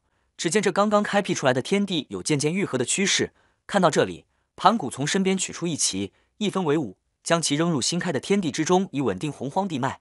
这时，又有一玉蝶从盘古额头上飞出来，到盘古头顶，它发出万丈光芒，显现天理，逐个对其进行梳理。不一会儿，这方天地便定型了下来，天地不再愈合，渐渐稳定。看到这里，红军将臣心中一阵欣喜。红军连忙祭起混沌珠，吸收天地间所有不稳定的气流，又从身上分化出四颗莲子，以紫莲之气促其成长，抛在天地四方，以此造化生机。看到盘古脸色通红，似乎有些撑不住了。红军将臣急忙的把自己的法力输送到盘古身上，只是他们修为日浅，起不了多大作用。第二十三章开天之图，盘古遭暗算。突然异变陡生，只见造化玉蝶中分化出一个疑似法轮状模样的东西。它一出来，便带着无边能量冲撞天地，趁着盘古一个不注意，夺走四朵莲花。盘古一看，不由得一阵脸黑，接着便是无边的愤怒。他拼着一口气砍下一斧，只见立于天上的造化玉蝶马上出现在盘古眼前，挡住了这一斧，接着便破碎散落在洪荒世界。而那法轮状物体受了余波，明显是受到了不小的伤害，只得丢下下青色莲花，马上带着红军遗落的三朵莲花，闻名后世洪荒天地间的金莲、黑莲和红莲，破开空间而去。造化玉蝶一失，天地立刻不稳，如从前一般渐渐合璧。红军一看，忙收回青莲，和一起将臣来到盘古身边。看到盘古一脸悲愤，一脸疲惫，喃喃地说道：“大道不公，天道无耻。”红军将臣哭喊着嚷道：“大哥，这到底是怎么回事啊？你快说话啊！”边哭边嚷。红军将臣咬着牙，拼命把自己的法力输送到盘古身上。盘古黯然地抬着头，满脸的悲戚。看着二位兄弟急切的模样，他心里一阵温暖。此时的盘古仿佛化身大道，看着红军，似乎要把他看得透彻。突然眼光一亮，他哈哈大笑，接着说：“苍天有眼，苍天有眼。”他阻止红军问话，淡然的说道：“兄弟，这次大哥恐怕就要身陨了，你不要说话，听我说完。”接着说道：“想我盘古出生混沌，为造化玉蝶化形，开天府相护，五行起保身，又读的鸿蒙紫气二十一道。”然无如此的大道眷顾，却终是遭了天道暗算。我曾经告诉于你，造化玉蝶不入先天，却奥妙不下于四大混沌至宝。自从无化形之后，一直参演其中之道，却没想到让其阴谋得逞。造化玉蝶乃是大道赐予天道规划世界之物，内含天道法则，欲平衡之道，护卫天地。然天地不出，天道不现，又何以能够领悟天道法则？吾如今破开混沌，生成洪荒，天道出显，他夺走莲花，灭绝洪荒生机，想我生化万物。而我刚才又想破开天道，但却被他以造化玉蝶相挡逃离。我打碎造化玉蝶，这个世界却是没有定住天理的宝贝，终究是要我顶天立地。好算计，好算计啊！说完，盘古便吐出鲜血。你们不要急，听我说完，不然以后想听也听不到了。呵呵，呜呜，大哥，这天地我们不开了，我们走吧，快走吧！红军江辰拉着这盘古的手哭道：“红军江辰，你二人给吾记清楚了！”盘古一声暴喝。直呼红军江辰的名字，接着又温柔的说道：“我开天辟地，得正大道，但如今受伤惨重，唯有顶天立地，身化万物，方可保住这方天地。刚才相斗天道，吾把它废掉了，以后可是大道五十，天眼四十九，吾留一线生机于后世万物，得知可避开天道暗算，大造化者更是可以得正大道，而汝便是众生的那一线生机。如今我破开天道，道行大进，终是看透了未来的某些轨迹，你要切记我接下来说的每一句话。”停了一会儿，开口说道：“你为紫莲所生，当是生生不息，除却大道无人可灭，却是惧怕封印。更为不凡的是，你出生之时，元神之中竟然蕴含着大道的鸿蒙紫气。鸿蒙紫气，大道之基，蕴有大道一丝规则。而你的紫气却是艺术，为那天道缺失的一道。此紫气不同于其他，是大道规则的种子。若能成长，必能尽得大道规则，成就不凡。汝当好自为之。而江辰则是艺术，自当于无开的天地自成空间。”只是你二人以后要和睦团结，不要坏了兄弟情分。大哥，你放心吧，天道不仁，以万物为刍狗，吾以后定会守候洪荒的。只是我们现在好好的去找个地方休息吧。呵呵，来不及了，我今天是逃不过这场灾难了。天道之私，他从我出生就开始算计于我，让我沉迷于造化玉蝶之道，苦思无的，便误了大道修行。如今天地已成，他却是自我毁灭，欲要自己天地合璧，与我相赌。若我舍不得这片天地，便只有身陨；若是舍得，他却是要自毁。可是我是真的舍不得这片世界啊！你看看多么漂亮，比混沌美多了。为什么？为什么天道如此自私，竟然容不下我？难道天道真的不能够容忍有人能够凌驾在他之上吗？哈哈！盘古一阵疯狂，接着便冷静地看着红军。我最不放心的就是你了。天道以后为了修补自己，必要找人合道和代理，而汝若不合道，却带有一线生机，将来必为天道所算。你要好的为之啊！红军慌忙问道：“大哥，那我该怎么办？”吾等三人兄弟一场，此番你失去三大莲花，却是子莲大损，当要花大量时间好好修补。汝亦有其他大道，却杂而不精，虽有大机缘，却道途艰难。汝今兼修数种大法，博而不精，又与天道为敌，恐有走火入魔、杀身陨灭之祸。今吾传你元神三分之大法，以后汝唯有本体隐居不出，化身行走洪荒，待到攻城之日方可出世。切记，切记，大哥不要再说了。红军自此之后与天道势不两立，就算拼尽性命亦是不惜，仿佛没听见红军所说的话一般。盘古继续说道：“无神陨之后，汝可以拿我之大脑，元神一分，占据盘古正宗，天道亦不敢轻易动你。这里还有造化玉蝶的一些碎片，汝可以支算计天道，好自为之。”接着又是一口鲜血，指着天地四方，只见五只小旗光芒大减，全身暗淡，又在盘古手上形成一奇特之旗——盘古旗，先天至宝。五行旗精华所生，以天地精气混合，魔神精气所化，可不会元大阵。此阵遮掩天机，天道亦不可探查。天道算计于我，我还他一报。五行旗功能大减，天地大乱。他以后要花更长的时间付出及修补天地。我本欲留开天府于你，但不想开天之时，须得腐化灵宝，护卫鸿蒙天地，故而最终留下这最锋利的开天斧刃与曾经孕育我亿万年造化法器所化之物与你，一为主攻，一主凡。是为盘古剑及盘古塔。接着一指，红军便落入大阵之中，又转向将臣说道：“三弟，你为艺术之命，加之今日修为没有受损，如今天道受伤，所以天道奈何不了你。望你自今后与红军一道守护无所开天地，无关你那本命血兰花，不久后会再生一花瓣，便是你将来的弟子。只是你将来这个弟子野心不小，望你注意。你与吾的修为不是同源，正因为你为艺术，所以吾之功法传你也无用。”将臣哭拜道。大哥，小弟不要你身陨呀！大哥，大哥，你干什么？为什么封印我？为什么？为什么？红军状似疯狂，他忽然发现自己被盘古封印于混元大阵之中，便发疯的攻击大阵，却是一点用也没有。盘古和蔼的看看将臣，又看着红军，仿佛要把他牢牢的记住，说道：“我走后必会生化万物，到时无以不是无。我观后世之人，人性狡诈好斗，即使为圣，也终因大道五十，天眼四十九。”故而天道有缺，而圣人终因为人所成，难逃狡诈与争斗。若有不孝之人，大可灭之，以为众生。若天要亡我盘古一脉，则贤弟可以我一分元神及九滴精血保我一族。呵呵。说完，盘古回光返照，把自己的元神及精血传给红军，用一片混沌碎片搭在混元大阵，掩盖天机。接着缓步离开，走向天地中心了。大哥，大哥，大哥！红军无力的喊道，眼流血泪，跪在地上呼喊着。第二十四章化身万物，盘古身陨。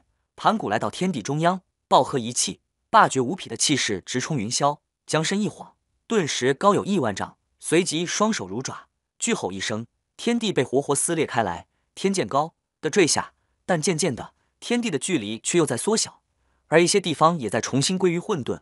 盘古一看大急，把盘古斧当空一扔，只见斧头炸裂开来，而三道霞光破空而现，真是锐气千条。祥云万丈，红军一看，原来是那后世著名的太极图。盘古盘与混沌中，盘古伸手一指，太极图。盘古盘，混沌中径直飞入手中。盘古把盘古盘径直一摇，一股毁灭之力瞬间射向那正欲重新形成混沌之处。就见那欲重新合拢的天地重新分开。接着，盘古又抛出太极图，只见一道白玉金桥缓缓沉入天地之间，支撑天地。眼见天地稍加稳定，盘古更加使劲的又敲响起混沌钟。一道道淡黄色的光圈荡开去，只见天地的形态更加稳固了，一些跌宕起伏的气流也似乎被定住了。接着，红军让混沌珠飘向天地之间，瞬间万丈，一丝丝混沌气流被吸进珠里，同时飘出一股股清淡素雅却生机盎然的气流，飘荡于天地之间。整个空间逐渐浮现出淡淡的太极状图，阴阳两极相生，四香八卦护眼，五行六合七杀九宫的奥义逐步出现。红军江辰在一旁傻傻的愣住了。正是于盘古的如此大法，他自己更是受益匪浅。看着开天的一一幕，红军江辰对道的理解更深刻了。但正所谓站得高，虽然看得远，但不能理解的地方也就外国多。混沌初开，万物未生前，有一混沌物，名无极，即为极性，指阴阳。无极为阴阳未分，无极生太极，太极生而阴阳也，故无极也就是道。道生一，一是为太极；一生二，二是为阴阳。太极图出为一个空圆，为无极之态。阴道之一点入其心，成阴阳。道是绝对的整体，无分割，无始无终，无状，无物可指。宇宙万物都是道的映射，是道无限复杂的镜像。只是将臣对道的理解却是另一种感悟，也正是这不同的感悟造就了后世的西方神界。天地的轮廓，外国来外国清晰了。天地间阴阳与幻象逐步化入虚无。红军默然，他知道了天地间的道终于成了，大道法则已经建立，混沌未开时孕育的天道治理，终于将在洪荒乃至以后的世界上演。因果循环，是非恩怨从此也将纠缠整个世间，除开圣人以外的所有人。正在红军沉思的时候，盘古所开的空间仍旧不稳定。虽然说相对于大神通大法力者来说，新开的天地已经比混沌有了很大的不同。但终归时，天地初开，死气沉沉。盘古略微一沉思，把三件至宝随手一抛，太极图盘古盘和混沌中引入天地间不见了。天地不稳，需要灵宝护卫。随即把身子一展，双手撑天，两足踏地，阵阵氤氲之气也从盘古身上散发出来，投入天地间。不知道过了多少年，连红军将臣都不自觉地陷入修炼好几次了。当红军将臣再次醒转的时候，盘古已经发生很大的变化了。只见盘古身上生气全无。想来已是在尽最大的努力燃烧生命了。盘古见到红军将臣醒来，抿嘴一笑，随即说道：“二位兄弟，看俺开的天咋样？这天真如你所说的一般，比混沌空间确实好多了。”盘古笑得很憨厚：“兄弟，大哥去也。以后我便羽身化为天地万物，日后世界托你照看了。”盘古看了天地最后一眼，红军答道：“大哥放心，必不负所托。”盘古嘴角露出了最后一笑，渐渐的倒在地上，含笑而去。天地之间再生变化，盘古元神一分为三，吸收了天上清气，精血十二份，吸收地底浊气，各自飞去。又有数道紫气，飞向天地间各处，和该天下万物各有缘法。盘古开天劳累所生的乌血形成一无涯的血海，他呼出的气变成了清风和云朵，发出的声音变成了轰鸣的雷霆。左眼变成了太阳，右眼变成了月亮，四角五体变成了大地的四极和洪荒巨山，血液化成了滔滔的江河。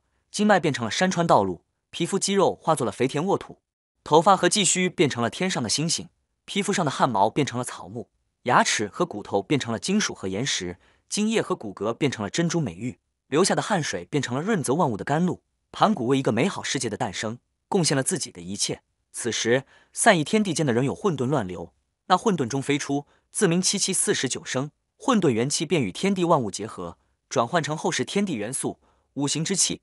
而后天道再现，携带三宝，连同造化玉蝶残片停留下来，浑身气息散发，一阵阵压抑布满整个洪荒。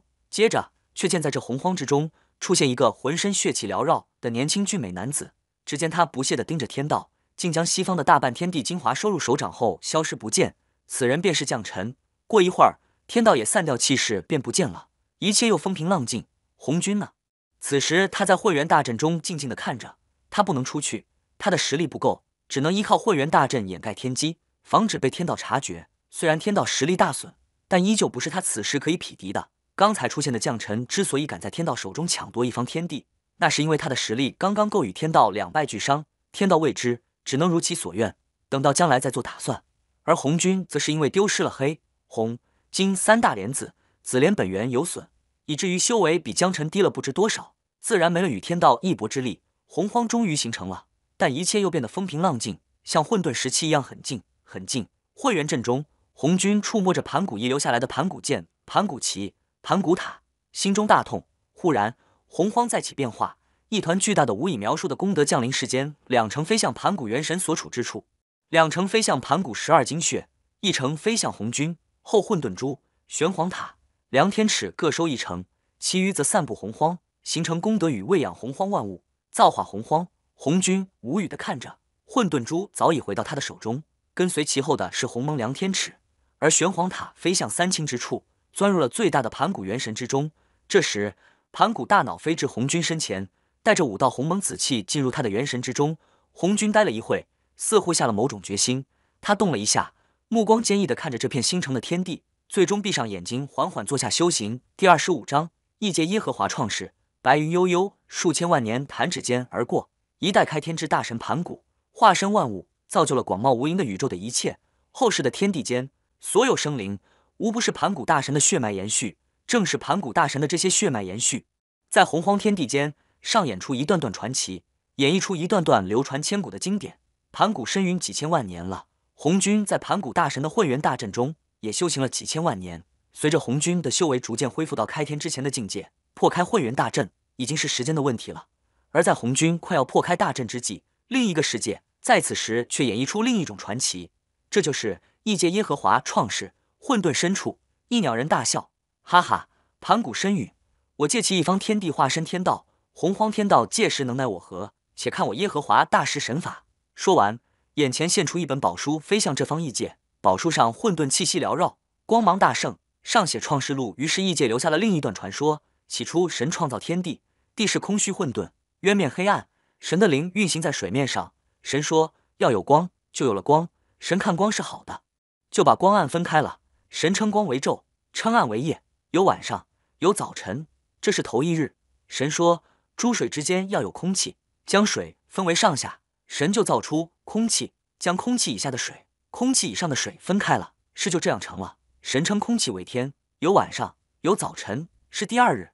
神说，天下的水要聚在一处，使旱地露出来，事就这样成了。神称旱地为地，称水的聚处为海。神看是好的。神说，都要发生青草和结种子的菜蔬。并结果子的树木各从其类，果子都包着核，事就这样成了。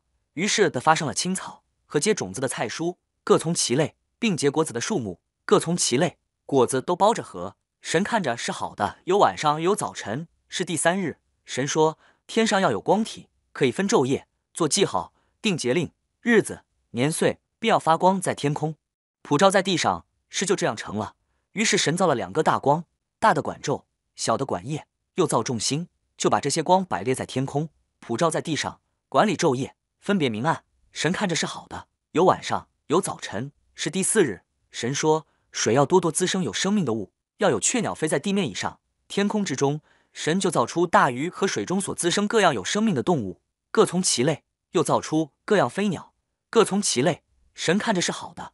神就赐福给这一切，说：滋生繁多，充满海中的水，雀鸟也要多生在地上。有晚上，有早晨，是第五日。神说：“都要生出活物来，各从其类；牲畜、昆虫、野兽，各从其类。”事就这样成了。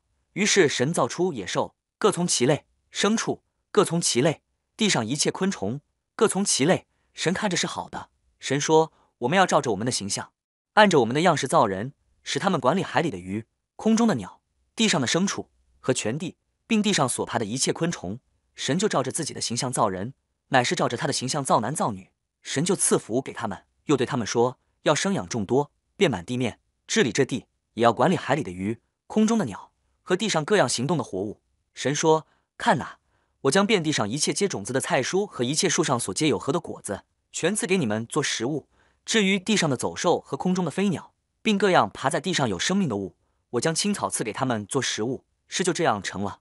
神看着一切所造的都甚好，有晚上，有早晨，是第六日，天地万物都造齐了。到第七日，神造物的功已经完毕，就在第七日歇了他一切的功，安息了。神赐福给第七日，定为圣日，因为在这日神歇了他一切创造的功，就安息了。创造天地的来历，在耶和华神造天地的日子，乃是这样。此人便是开辟出西方世界降臣的弟子耶和华。耶和华的出世，早在盘古开天辟地之前。在鸿蒙未分的混沌空间时代，江辰的本体血色魔蓝忽然再生出一朵花瓣，江辰忽然有感，分出精血和元神一份，如此便成就了先天第一人耶和华大神。耶和华的出世是在盘古身陨之后，比红军开辟的东方仙界那些先天大神通者要早得多，如三清、女娲、伏羲等还要早许多年。如今三清、女娲等还未化形，那耶和华则具有了超外国圣人的修为境界。盘古大神的身陨。开创异界的将臣心灰意冷，整日沉浸在对大哥的无尽思念，对昔日混沌空间那兄弟情深伤感不已。千万年后，江辰再也无法在盘古开辟的天地里睹物思人，便将西方神界交与耶和华，自己却引入不知名的宇宙空间去了。而这个耶和华，正如盘古红军所担忧的那样，显然是野心勃勃，早就将江辰的叮嘱跑到了脑后。随着西方异界的日趋繁荣，江辰当初在天道眼皮底下掠夺的仙界，西方的精华已经消耗的差不多了。要保持和继续繁荣，异界需要更多的精华和资源。这不，耶和华的目光便瞄向了东方，又来东方打劫。这也就引发了自开天以来的第一场争斗——耶和华和红军之间的战斗。那个时候的耶和华具备超外国圣人的境界，但又不具备天道级别的境界，所以宇宙大道的规则结界对耶和华起不到什么作用。耶和华的异界和仙界之间的时空穿外国，倒也是来去自由。只是在耶和华又一次的东方之行，却是撞到了他最不愿意看见的人——红军老祖。按道理讲，耶和华异界具备了超外国圣人的境界。是没有必要害怕刚刚破开混元大阵的红军，因为那时的红军还未恢复到开天之前准圣的修为，和耶和华的境界直接差了两个大级别。此时的红军顶多也就是大罗金仙顶峰的修为，最多也就是一只脚刚刚踏进准圣的行列。然而红军还是令耶和华非常的忌惮。耶和华可是明白，红军如今的修为虽低，但毕竟是混沌空间诞生的老怪物，是和盘古和江辰同时出生的人。红军的心境修为。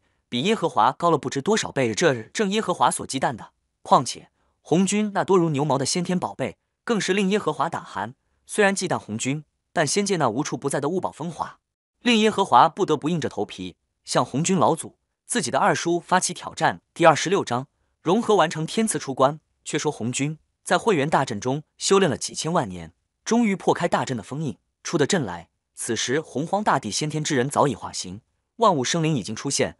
大地海洋一片生机盎然。那时的洪荒先天之人，灵智尚未开启，也不知道何为修炼。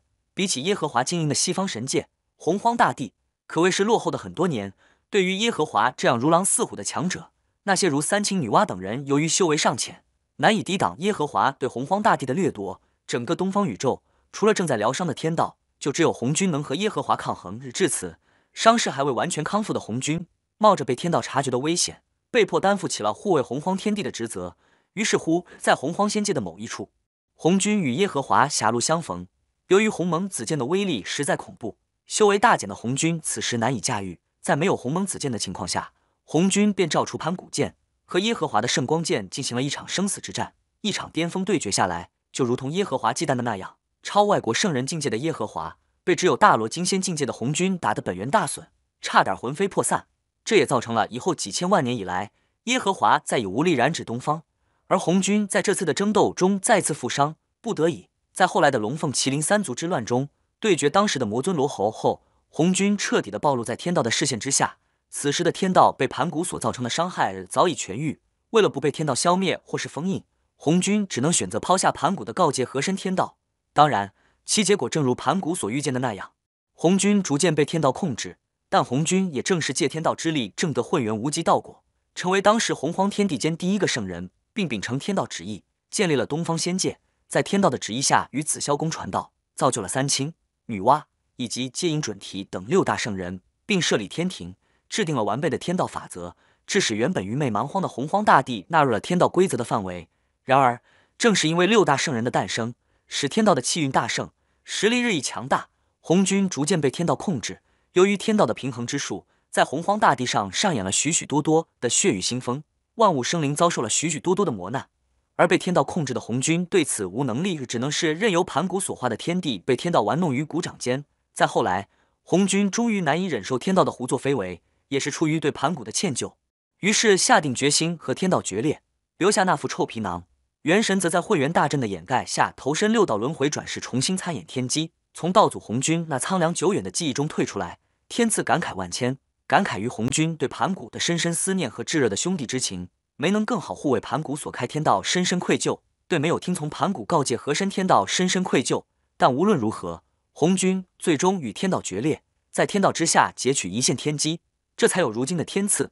而今旧的红军不复存在，除了至今端坐在紫霄宫的那副皮囊，存在了无数亿万年的红军老祖。天道红军随着自己的元神轮回转世，昔日的天道红军实际上已经不存在了，已经消失于天地间了。红军已经成为了后世民族久远的传说，子民血脉里残存的记忆。但是在某一种意义上说，红军老祖没有消失，只不过是以全新的形象和姿态重新面世。无论是哪一种说法，如今在地球上，在当年红军元神所开辟的空间内，新的道祖诞生。天赐继承的不仅仅是红军的记忆和无上修为和神通，更多的是红军未完成的使命和责任，那就是天界的安危。因为在红军的记忆中，天界将会在不久后迎来史无前例的浩劫，那就是西方神界耶和华的伤势已经早已痊愈，而且西方神界的实力空前强大，不是现今东方仙界能够抗衡的。而前世红军未能完成的心愿和使命，随着天赐这个猛男的入局，这个使命这责任便落到了天赐的头上。红军元神也好。道祖也罢，首先，首先自己是天赐，张天赐，天赐的目标不仅仅是继承红军的什么东西，而是要追寻自己的目标或道。红军曾经的努力之所以未能如愿，最终饮恨，那是他的修为不够，还有的是拳头不够硬。天赐如今要走自己全新的修真之路，红军大法已经难以成就大业，唯独的出路就是寻找自己的道，适合自己的路。由于红军元神的出走，天道的力量相应衰退，便招来了一劫耶和华的侵扰。要不是耶和华忌惮那六大圣人联手的话，恐怕西方神界早已入侵东方仙界了。天赐明白，仙界安危事关重大，事关红军对盘古昔日的承诺，如今肩负史无前例的责任。天赐明白自己的责任是何其重大艰难，更何况地球通天国，随着自己的奇遇，也应该彰显自己的民族性格，露出自己的獠牙了。被外族欺凌了千余年，特别是在近代史上遭受的耻辱，这些是该偿还的时候了。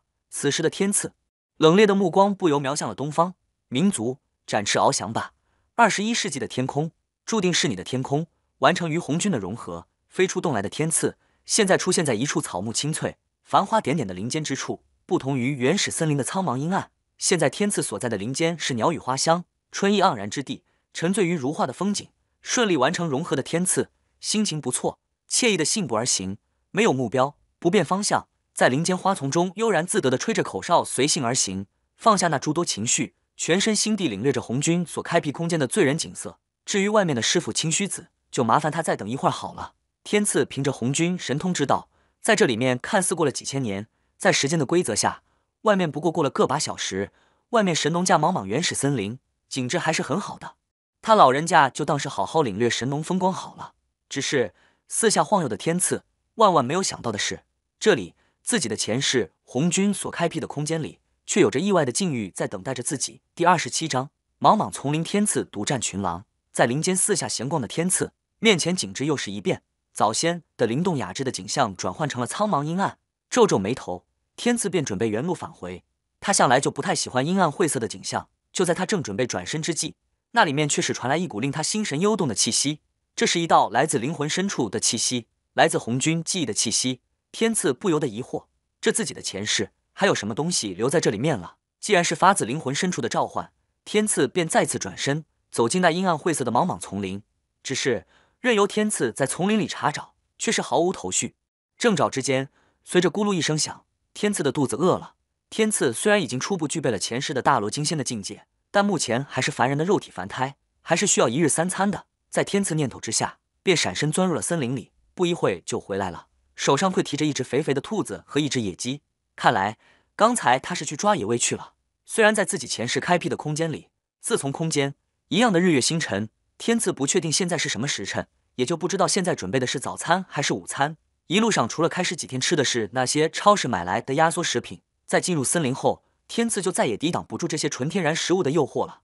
哎，可怜的是这些可爱的小动物们，即将要进他的肚子里了。把兔子和野鸡在溪水里收拾好后。就以变换之术幻化出烧烤的架子，把兔子和野鸡放上面后，然后架子下面突然就燃起来了一团火，缓缓地烤着架子上的食物。只不一会的功夫，架子上就散发出诱人的香味。看着架子上烤的金黄的兔子和野鸡，饥肠辘辘的天赐不由得直流口水。就在天赐要享用这顿丰盛的晚餐的时候，忽然心生警兆。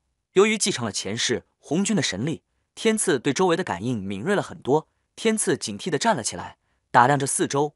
不一会儿的时间，随着四周草丛的沙沙作响，周围就闪现出一个个狗一般的头。当然，在这里是没有可能有狗的存在。天赐知道他遇到狼群了。野生的狼通常都是很凶狠的，而且狼是群居动物，被这样一群狼盯住可不是怎么好的事情。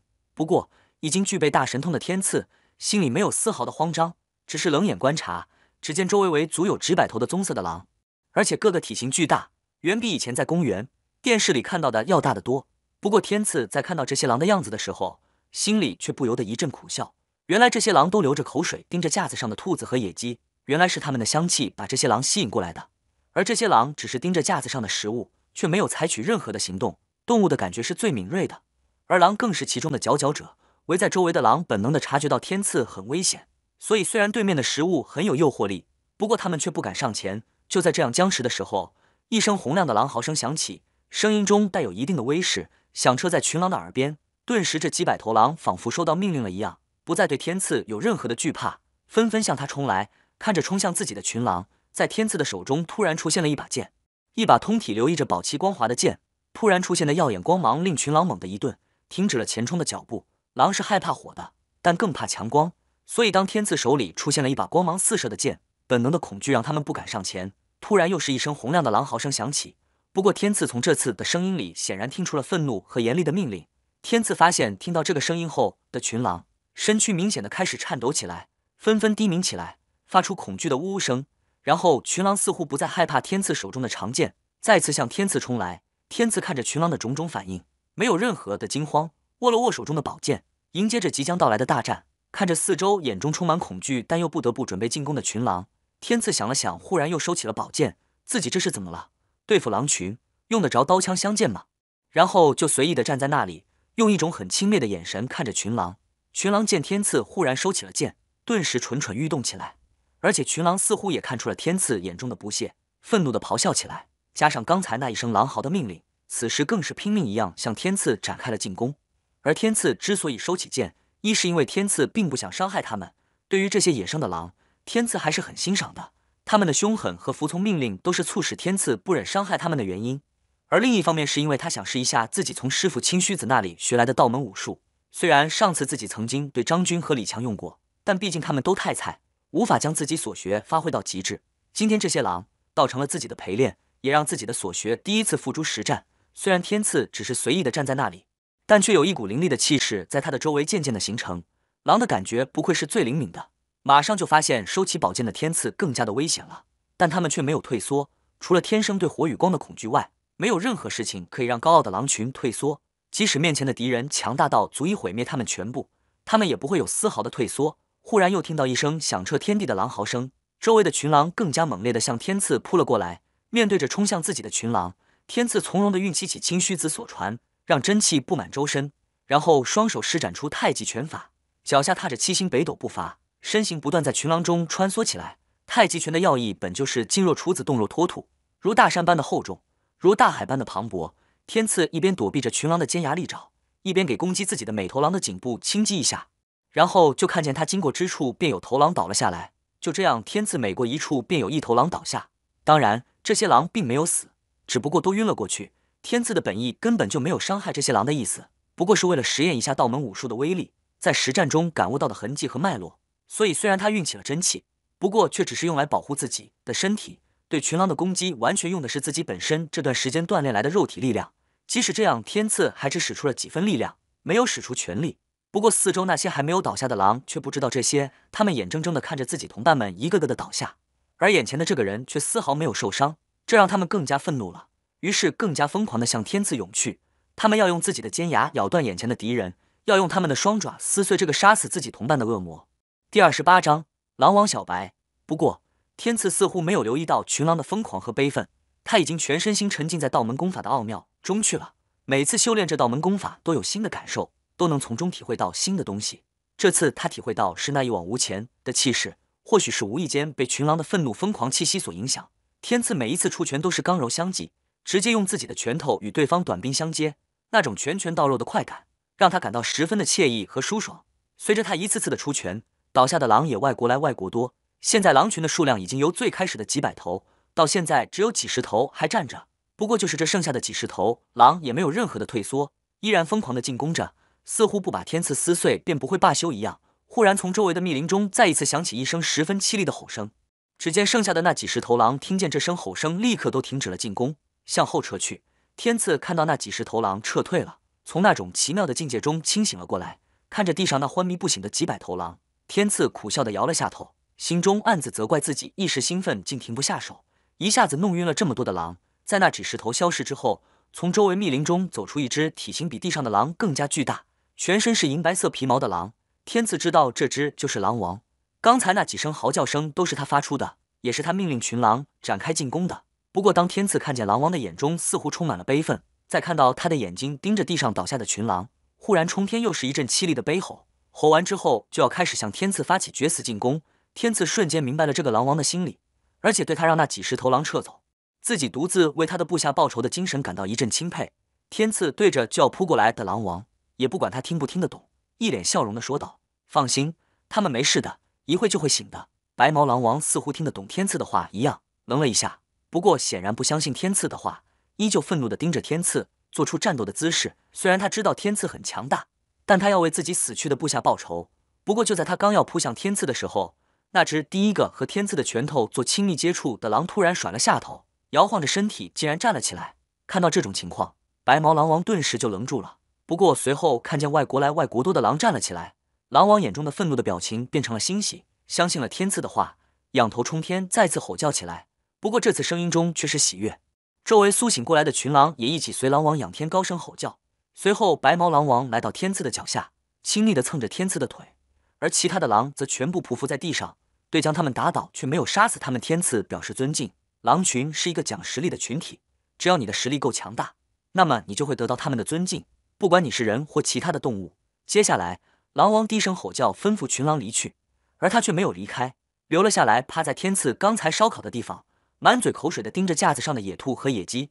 天赐这才知道，原来这场战斗的罪魁祸首就是这个貌似纯洁的白毛狼王。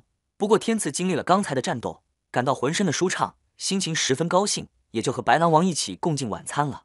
他把那只肥肥的兔子给了白毛狼王，自己拿着鸡吃了起来。白毛狼王用双爪紧紧抓住那只油油的兔子，吃得不亦乐乎。看着狼王的样子，天赐也露出了开心的笑容。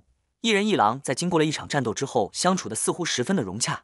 小白，你不要再跟着我了，再跟着我就要生气了。在丛林间，天赐一边艰难地向前走着，一边对跟在他后面的狼王说道：“小白，天赐给狼王取的名字。”而狼王对于这个名字似乎没有什么意义，欣然接受了。不过自从和天赐共进了一次晚餐后，狼王小白就赖上了天赐，天赐走到哪里就跟到哪里。一开始天赐也不在意，每次自己做饭的时候也总是做多一点分给狼王。不过这样过了几天之后，小白的胃口似乎外国来外国好了，而且似乎觉得每次都吃的不怎么过瘾了，开始自己去打猎，然后送到天赐面前，让天赐烤给他吃。一开始天赐也是很乐意狼王去打猎。自己倒落的清闲，不过似乎小白的胃口外国来外国大，一开始顶多也就是些兔子之类的小动物，虽然数量多些，不过天赐觉得还没什么。后来他打到猎物的个头外国来外国大，这样的结果直接导致天赐每次做饭的工作量急剧增加，每次做饭都要用很长的时间才能做好。而狼王小白居然几口就把天赐辛苦做的食物吃完了，使得天赐很郁闷。这样的状况一直到昨天晚上，小白竟然带回来一只身体长近两米、身高也有一米半的老虎。彻底让天赐受不了了，真不晓得只有那只老虎一半大小的小白怎么把那只老虎弄回来的。而天赐十分奇怪，这个小白怎么打得过老虎呢？所以天赐爆发了。为了不再受小白的压迫，所以天赐决定甩开狼王小白。不过让天赐感到吃惊的是，不管他走到哪里，小白都能找到他，而且是在他每次做好饭的时候刚好找到他。这使得天赐心里纳闷：以自己现在的速度，小白怎么就能跟上自己呢？这个小白到底什么来历啊？怎么有这么快的速度呢？小白，我求你了，你不要再跟着我了，快回到你的家吧。你还有那么多部下呢。作为一个狼王，你怎么就这么没觉悟呢？你这么的不负责任是不对的。你知不知道？你不要拿这种眼神看我，就算你在装可怜，我也不会心软的。你快走吧。啊，被你打败了，我怎么这么倒霉啊？遇上了一只无赖狼。原来面对天赐喋喋不休的唠叨，小白只是歪着头看着天赐，那张狼脸上露出不明白的表情。而且最让人无奈的是。在他眼中，居然还隐隐有泪光闪现，完全是一副被抛弃的可怜模样。而听到天赐不赶他走后，又马上一副欢呼雀跃的样子，变脸速度之快，令人咂舌啊！使得天赐很是无奈。你不要高兴得太早，让你留下来，我可是有条件的。以后你每顿只能吃一只野猪或者野鹿，不许再打像老虎那么大的了。你要是不答应，以后就没饭吃。天赐知道小白能听得懂自己的话，所以明确的做出了要求。小白听天赐这样说，马上露出了沮丧的样子。好像受了很大的委屈一样，不过不答应就没饭吃。为了自己的肚子着想，小白最后还是妥协的点了点头。就这样达成了互惠互利的协议后，一人一狼又和平相处了下来。不过接下来，小白似乎有意要带天赐去什么地方的样子。每次天赐要走的方向不对，他就用嘴拉着天赐的裤子，把天赐带回正确的方向。天赐也知道小白颇有灵性，而且对这里似乎很熟悉的样子。反正自己对这里的情况也不是很熟悉，有一个地头狼来领路也不错，索性也就跟着小白走了。而一路上，小白每次打猎的时候，都会给天赐带回来一些不知名的果子。天赐开始也只以为这是小白拿回来讨好自己的，也就没怎么在意。不过天赐在每次吃了这些果子之后，就觉得自己全身都暖洋洋的，浑身舒坦。这让天赐明白这些果子肯定来历不凡，也因此把小白的伙食给增加了一些。吃到甜头的小白更加勤快的给天赐带来那些果子。不过天赐随之就释然，自己的前世所留下的东西，自然不是普通的东西。在过滤了一下红军记忆时，天赐顿时明白了眼前这个卑鄙贪嘴的家伙是何来历了。自己的前世看来还真是处心积虑啊。为自己安排了这一个个曾经紫霄宫的随从，那么下一个出场的也快要出场了吧？第二十九章，天赐战蛟龙狼王进化。凭借着前世红军的记忆，天赐现在知道了小白的来历，难怪能干掉老虎，原来出身不凡啊！小白的前世乃是紫霄宫神兽，乃是一只白虎，在红军的元神轮回之际，也被红军给弄到了这里，等候自己的到来。和小白一起被弄到这里的不只是他一个，还有一条青龙，一只朱雀。想必另外的两个小家伙也是在等待自己吧。而小白在这个空间里没有继续他白虎的造型，而是成为飞天魔狼。飞天魔狼本是洪荒天地间最是凶猛善战的神兽，是极其珍惜的品种。那么青龙和朱雀如今是以怎样的形象等待自己去发现？不过小白此时的心性显然和当初紫霄宫大相径庭，不再是当初的老实本分，而是有些奸诈和卑鄙。小白现在干的事情。令天赐就哭笑不得，狼是不可以无耻到这种地步的。我说你怎么让我跟着你走，还拿果子讨好我？原来是让我给你充当打手来了。见过无耻的人，没见过你这么无耻的人啊！无耻的狼，面对着眼前长十几丈、有水桶般粗的传说中才有的蛟龙，天赐恨不得狠狠踢小白的狼屁股。做狼都做到如此奸诈卑鄙，普天之下恐怕就只有小白独此一家，别无分号。这丫的小白干不过人家，倒是知道找帮手。这家伙还是蛮聪明的。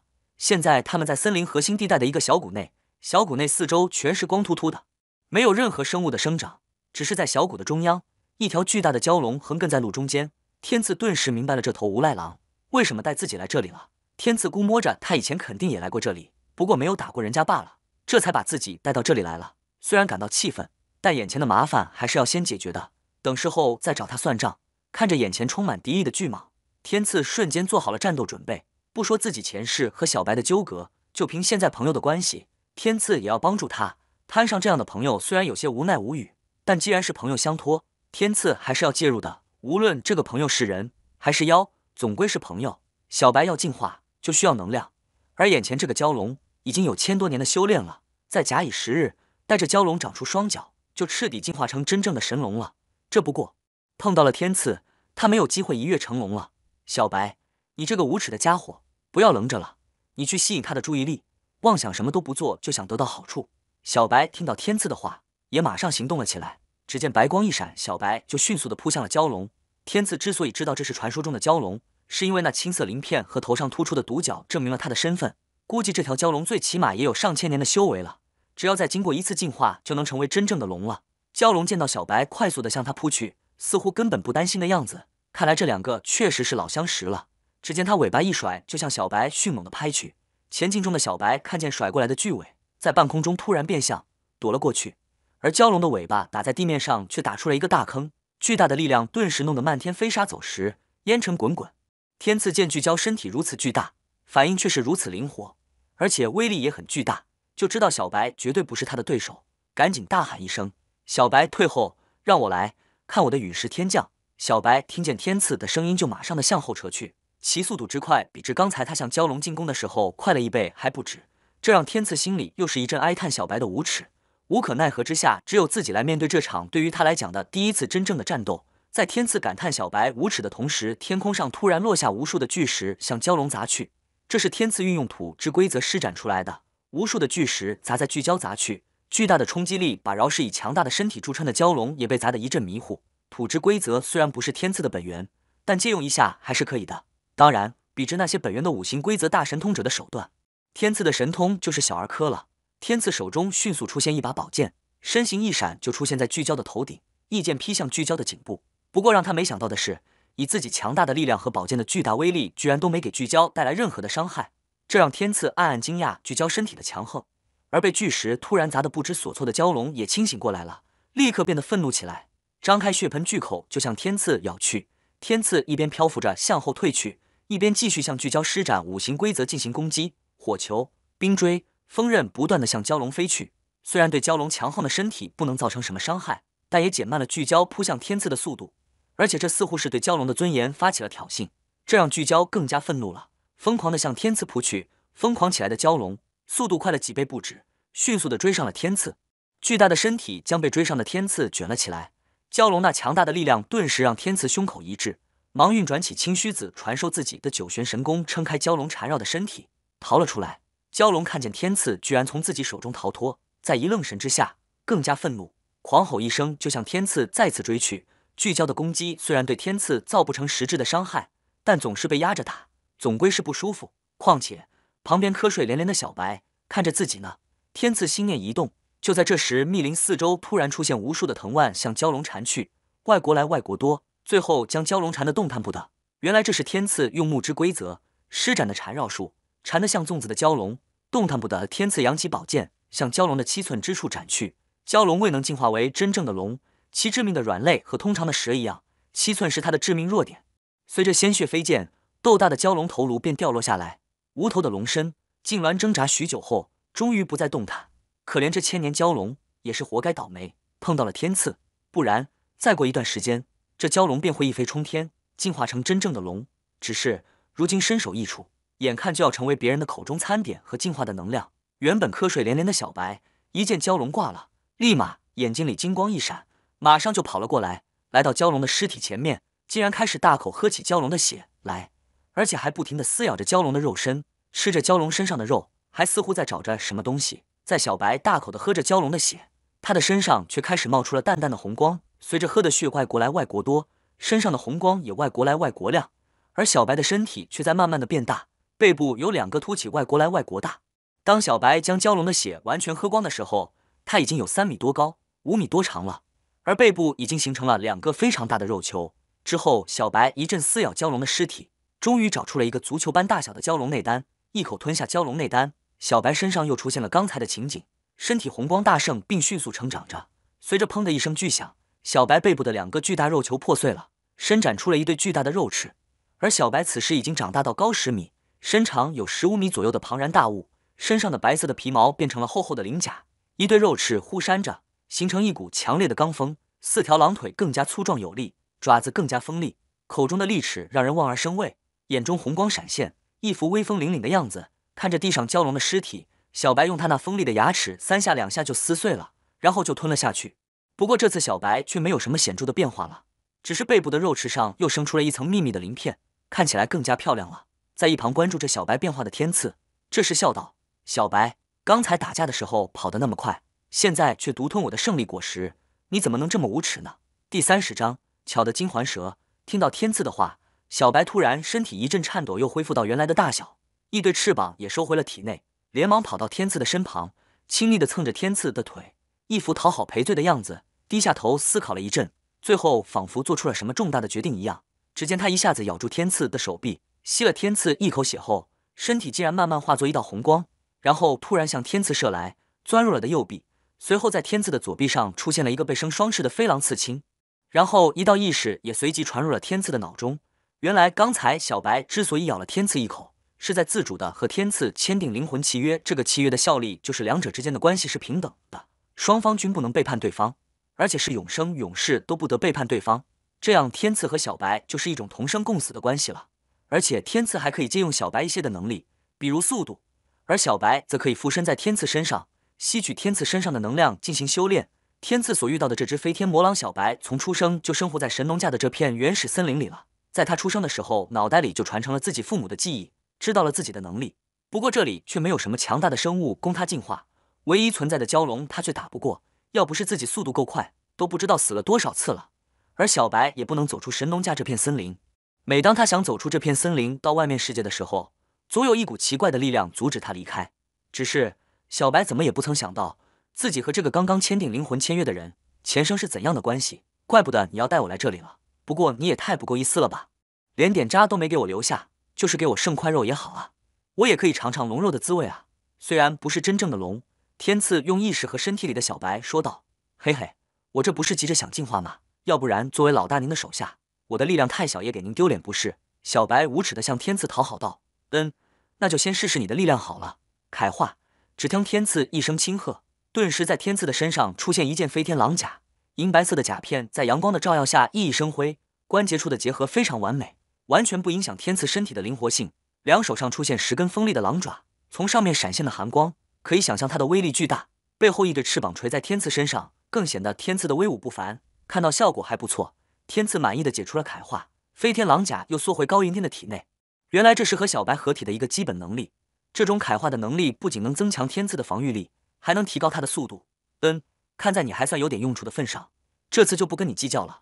不过下次有好东西可不能独吞了哈，要懂得孝敬你老大我。天赐在这些天的修炼中，性格也在发生着变化，由原来的对任何事都很冷淡，到现在居然和小白开起玩笑了，正逐渐恢复他的本性，一人一狼。继续在茫茫丛林里游荡，老大，快过来看，这里好像有些不正常。前面传来了小白的狼嚎声，天赐忙向小白走去，却见小白正在一片草地旁边远远的看着。那片草地的不知道被什么破坏了一样，大片大片的被腐蚀掉了，传来阵阵的腐臭气息。天赐知道这肯定是剧毒导致的，不过不知道是什么毒，竟然有这样的威力。小白，不要靠近，那些有剧毒，小心不要沾到身上了。天赐提醒着小白。嘿嘿，老大。你不说我也知道的，没看我离得那么远吗？小白得意的说着，没有理会小白。天赐继续观察这片草地，发现被剧毒破坏的草地向着前方的树林延伸进去了，招呼了一声小白，沿着这个线索向前走去。一路上更是让天赐心惊，只见一路上的树木有多处都被剧毒腐蚀断了，更有甚者，一些山间的岩石都被腐蚀出了深深的洞。这样厉害的毒，让天赐提高了警惕，继续向前走着。渐渐听到几声呱呱和嘎嘎的怪叫声。知道前面可能有危险，叫小白留下来。对于不用出力的主意，小白当然不会反对了。天赐身形一闪，向前飞掠而去，落在一棵大树上，向着发出声音的看去。只见前面的空地上，一只蟾蜍模样但比一般蟾蜍大出几倍的怪物，正和一条浑身金黄的蛇对峙着。那条蛇只有拇指般粗细，一尺来长，和那只蟾蜍怪物比起来，倒显得有些小巧玲珑的样子。不过天赐却没有对它有丝毫的轻视。原来这条金黄的蛇名字叫做金环蛇，乃是上古一种，皮若金刚，刀剑难伤，且不惧水火，还能凌空飞击，快若闪电。而它最大的特点就是以毒为食，通过吸食毒物增加自身的修为。它的颜色，外国黄表明其修为外国深。看这条金线蛇的颜色，就知道它修炼起码千年之久。同时，金线蛇分泌出的唾液能解天下任何的毒，并且金线蛇颇通人性，如果能收服的话，也是一个不可多得的臂助。所以天赐一见到金线蛇就有了收服的心思，而与之对峙的是蟾蜍毒蛤，也是一大毒物，毒性不在金线蛇之下，且和金线蛇是天敌。看样子这还是场大战。不过天赐在凝神一回忆后，顿时笑了，原来是你啊，青龙。只是如今这颜色不同了，还有个头也小多了。堂堂九爪青龙，如今却是这般模样。既然是自己前世的神兽，那么接下来天赐就知道自己该针对谁了。就在天赐沉浸在对这条金环蛇的前世记忆中，只见蟾蜍毒蛤张口喷出一股毒雾，快速的向金环蛇涌去。而金环蛇只是把口一张，就把这些毒物吸了进去，然后嘎嘎怪叫着，一副很享受的样子。这可把蟾蜍毒蛤气坏了，背上的那些疙瘩快速的抖动着，忽然涌出无数的毒液向金环蛇射去。金环蛇似乎对这些毒液也有些忌惮，快速的闪在一旁，躲过了这次攻击。而那些毒液落在地上，顿时响起滋滋的声音。那片岩石马上就被腐蚀了下去。看来这一路上的破坏都是蟾蜍毒蛤弄的。射出那股毒液后，蟾蜍毒蛤忽然转身向后快速的逃去。可它毕竟没有金环蛇的速度快，只转眼间就被金环蛇给挡住了去路。看见逃跑无望的蟾蜍毒蛤，眼睛瞪得大大的，忽然从口中吐出一颗黑色的圆珠，向金环蛇攻去。天赐知道这是蟾蜍毒蛤的内丹，看来是蟾蜍毒蛤要拼命了。只见黑色的内丹不断的向金环蛇攻击着。而金环蛇似乎没料到这只蟾蜍毒蛤竟然练出了内丹，只得运用自己的速度躲避着蟾蜍毒蛤内丹的攻击。天赐知道现在正是收服金环蛇的好时机，于是现出身形，跳到战斗的场地，伸手一招擒龙手，就将蟾蜍毒蛤的内丹吸到了手中，同时运用混沌真元切断了内丹和蟾蜍毒蛤之间的联系。失去了内丹的蟾蜍毒蛤顿时萎靡下去，变得奄奄一息了。而金环蛇则警惕着看着高云天，随时准备攻击的样子。小家伙，还不快去消灭你的死对头？等什么呢？你要是不要的话，我可就要把他收了哦。天赐笑着对金环蛇说着。似乎听懂了天赐的话一样，金环蛇快速飞向蟾蜍毒蛤，一口咬在蟾蜍毒蛤的脖子处。不一会的功夫，蟾蜍毒蛤就死透了。然后金环蛇开始吸取蟾蜍毒蛤的毒液，好像是在吃人间美味一样，一边吸着一边向天赐嘎嘎怪叫，似乎在说着感谢的话一样。不一会，金环蛇就将蟾蜍毒蛤身上的毒液吸食干净，只剩下了一张皮。随后，金环蛇忽然向天赐怀中射来，不过被天赐的护身罡气给震飞回去。落到地上的金环蛇嘎嘎怪叫着，声音中似乎充满了委屈。看到这样，天赐伸出手来示意金环蛇过来。只见嗖的一下，金环蛇就落在了高云天的手中，抬起小脑袋对着天赐嘎嘎的叫着，然后视线则对着天赐另外那只手中的黑色内丹，小小的蛇嘴中流出了滴滴口水。天赐顿时明白了这个小家伙的意图，也没在意，直接就把蟾蜍毒蛤的内丹给了金环蛇。金环蛇张开那个小蛇嘴，一下子就把内丹吞了下去。看来。我遇到的都是些贪婪的家伙啊！天赐笑着说道。第三十一章，蛇王出万蛇来朝。看到金环蛇主动认主，天赐不由感叹，自己的前世还真是用心良苦啊。而小白和这个金环蛇显然没有了前世的记忆，只是在冥冥之中，出于前世的一丝联系，对自己产生亲近感。这就叫做万物皆有缘法。当然，当然，对于如今的金环蛇和小白认主，天赐自然是毫不犹豫。这小白和金环蛇的前世神通。还是很恐怖的。如今他们虽然还未能达到前世的神力，但随着时间和自己的帮助，都不再是问题。天赐将自己的真元向金环蛇尾巴上的红点输去，而金环蛇在得到了天赐输入的真元后，又开始发生了进化，颜色再次由金色向暗金色转变，同时在头上渐渐的长出一个凸起的独角。金线蛇那可爱的小额头也慢慢的浮现出个王字，这让天赐很是高兴。对于这两个小家伙未来的境界恢复，天赐还是抱有很大期望的。原来天赐现在体内的真元是在继承了红军神通之际，更是继承了红军在混沌时代的真元。混沌真元是组成如今世界的最本源能量，而这个能量也是让小白和金环蛇进化的根本能量。而金环蛇似乎对混沌能量的感知特别的敏感，所以金环蛇在感觉到天赐体内的混沌能量后，才迫不及待的要认天赐为主。而现在他得到了天赐输送的混沌能量，开始向蛇王进化了。随着天赐混沌真元的能量不断输入。金环蛇的颜色已经完全转变成暗金色了，同时尾巴上的红点也已经消失不见，头上的独角和王字也都慢慢的进化完毕。金环蛇进化成蛇王后，兴奋的一阵轻笑，声音洪亮，不再是以前的嘎嘎怪叫了，并隐隐散发出一股皇者的威严。天赐感觉着声音中威势，心想这可能就是这些异类进化成王之后与生俱来的气势吧。呵呵，还算不错，最起码叫的不那么难听了。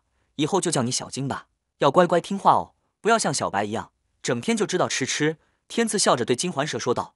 小金在天赐手中昂起头，不住的点着，似乎对天赐说着“我很乖，很听话的”我的样子。天赐看到小金居然这样的通人性，也是很满意，吹了声口哨，把在后面小白喊了过来。只见白光一闪，小白就出现在了天赐面前。嘿嘿，老大，这次你得到了什么好东西啊？看起来很好吃的样子哦。小白看到天赐手中的小金，说道，一边说着还无耻的流了些口水出来。小白。你怎么就一点进步都没有呢？成天的就知道吃，你知不知道这样很丢脸的？要是让你以前的手下知道了，你身为狼王的尊严何在啊？这个是小金，你可不能欺负他哈。你是先来的，以后你是大哥，要照顾好小金，知道吗？天赐一听小白的话，不由哀叹一声：这丫的小白，脑子里除了吃，还能装下别的东西不？但该打的预防针还是要打的，免得他一个不注意，真的把小金给当点心吃了。所以天赐一边嘲讽小白。一边很是认真的对小白说着：“切，老大，你以为我不知道你手里拿的是什么吗？那可是金环蛇王，天下鳞甲类的王者，是以后可以进化成九爪龙神的存在。他不欺负我就好了，我哪敢欺负他啊？老大，你这次得到的好处可不小哦。不过您要是把他给我吃了的话，我就有他的能力了哦，以后肯定更厉害。老大，怎么样？考虑一下啊。”小白讪讪的说道，语气中竟然带着那么一点点的嫉妒，是在嫉妒小金的天赋吗？天赐不由心中莞尔，哦，小金居然可以进化成九爪神龙，他是什么生物的后代呢？有那么厉害吗？还要怎么进化啊？其实知道小金的前世今生的天赐，装作不明就已，假意问小白：“我的传承记忆里没有提到他的父母是谁，不过肯定很强大就是了。在我的记忆里，金环蛇王进化成的九爪金龙比那些生来就是九爪金龙的龙还要强大呢，是我们飞天魔狼一族唯一在成年之后还不能战胜的。”小白语气中满是酸味的说道。而小金看到天赐看向自己那疑惑的样子，好像为了证明自己很厉害似的。小金再次发出一声轻笑，声音向四面八方传了出去。其中透着无尽的皇者威势，声音传出去不一会的功夫，就听见四周传来了沙沙的声音，并且声音外国来外国大，并不断的向天赐他们这里靠近。天赐马上将神识向四周探去，天赐才终于探寻知道是什么东西造成了这个声音了。不过，即使以天赐现在大罗金仙的境界，强韧的心性也不由得倒吸一口凉气。原来四周不断靠近的，竟然是各种各样的蛇，毒蛇、蟒蛇，大的、小的、长的、短的，不计其数。把天赐所在周围方圆百米内都围满了，并还有扩大的趋势。不过这些蛇只是围在天赐十米以外，不敢靠近，并且全部把头趴在地上，没有一条蛇敢抬起头来。天赐还发现这不计其数的蛇排列的十分整齐，没有任何显得混乱的地方，就好像是接受检阅的士兵一样，迎接着他们的王者的检阅。老大，这下你清楚了吧？看这阵势，我要是敢欺负小金一下，这些蛇还不跟我玩命啊？他们就是每个吐一口毒液，不说毒了。就是淹也能把我淹死啊！小白笑嘻嘻对天赐夸张的说道，而小金更是把头昂得更高，让天赐看自己，一副我很厉害的样子。不过那样子却显得很滑稽，让天赐看得笑了起来。呵呵，知道你很厉害了，快把这些蛇弄走吧！这么多蛇围在这里，感觉可不是那么好哦。天赐对小金说着，同时心里对小金也更加喜爱了。天赐心下又是一阵感叹，果然是龙之皇者，还未成年就具备如此的威势。假以时日。一旦进化成九爪金龙后，又该是怎样的威仪？小金发出一声低鸣后，成千上万的蛇又非常有秩序的退走了，还是那样的井然有序，那样的整齐，就如仪仗队一样的工整。小白和小金，又或白虎和青龙，如今正是再度皈依自己。有了这两个小家伙不时的叨叨聒噪，天赐的旅程倒也不是太单调。只是下一位朱雀也该出场了吧？第三十二章后果。不过令天赐意外的是，任凭自己怎样探查朱雀的气息。在这苍茫的丛林里，就是探查不出朱雀者。在天地五极中，属于南方，乃是属于火性之物，是极阳之物。在民间传说里，朱雀是洪荒太古时代凤族族长奉天之女，后来被女娲娘娘收为大弟子，也就是后世闻名天下的九天玄女。而天赐所想的朱雀，却不是比朱雀，但和九天玄女有着极深的渊源。天赐所想的朱雀，乃是九天玄女产下一卵，后被女娲娘娘送与天道红军，做了紫霄宫神兽。镇守紫霄宫东南，而在红军元神轮回转世之际，同样被带了出来。而今小白和小金都已回归，只是这朱雀却是不知所踪。他会到哪里？天赐明白，无论朱雀此时在哪里，但不会在这里，因为以朱雀那强烈的火性特质，既然探查不出，那么就只有一种可能，它流落到了别的地方、别的空间。既然朱雀不在这里，这阴暗晦涩的丛林就没有什么逛头了。没有人会喜欢阴暗潮湿又闷热的原始丛林。要不是天赐寻找小白和小金，他才不愿意来。至于朱雀，天赐相信会见到他。凭着红军的心系甚密，绝对不会给弄丢了。机缘一到，自然会见面的。小白和小金虽然吃了各自需要进化的能量，又吸收了自己的混沌真元，但毕竟灵智尚未开启，修为太浅。于是天赐便将这两个新认下的小弟弟丢进自己的混沌珠空间里修炼。那里面本源纯正的混沌元气要多少就有多少，对于修真者好处是多多的。小金虽然对天赐很是不舍，但还是很听话。唯独这小白又是一阵耍无奈，惹得天赐头疼不已，没好气的直接将小白丢进了混沌珠空间。要是任由小白那张狼嘴呱噪下去，天知道他会到哪里去。随着天赐的意念移动，先前的空间景象不复存在，现在出现在天赐面前的是一处草木青翠、繁花点点的林间之处。不同于原始森林的苍茫阴暗，现在天赐所在的林间是鸟语花香、春意盎然之地。沉醉于如画的风景，天赐惬意的信步而行，没有目标，不变方向，在林间花丛中悠然自得。正行进间，一阵悠扬婉转的歌声飘来，如林间百合般的动听。天赐不由大为奇怪，在这红军开创的空间还有人吗？便寻觅着歌声的方向而去。至于师傅嘛，就让他再等等好了。由于这里的时空不同，虽然这里面已经过了几千年，在外面不过是过了个把小时而已。再等等好了。走着走着，天赐面前赫然开阔。一片平整的草地出现，只见芳草萋萋，绿树婆娑，好一处幽静之处，再放目远望，赫然发现前方潭水中竟然有女孩在里面戏水玩耍，乌黑柔顺的秀发，水潭边凌乱的放着衣物。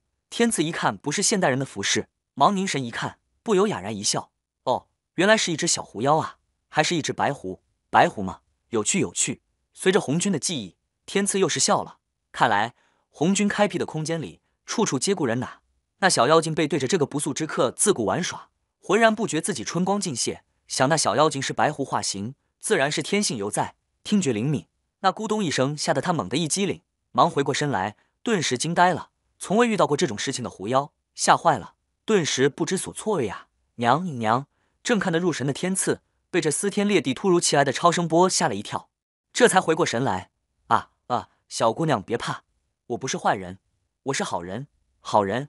如果现场有观众的话，绝对会被这家伙这句好人给雷到。好人。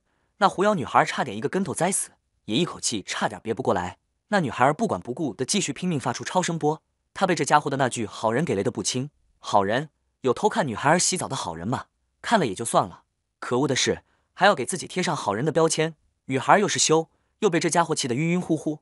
娘娘呀！女孩无计可施，没办法，只好寄希望于这超声波了。肺活量被激发到极致，再一次声震山林。啊！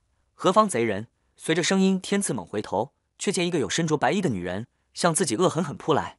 这女人倒是和那女孩有几分相似。天赐摸摸鼻子，不由一阵苦笑，知道这是人家的妈妈来了。天赐的神念告诉他，还有一个还在途中。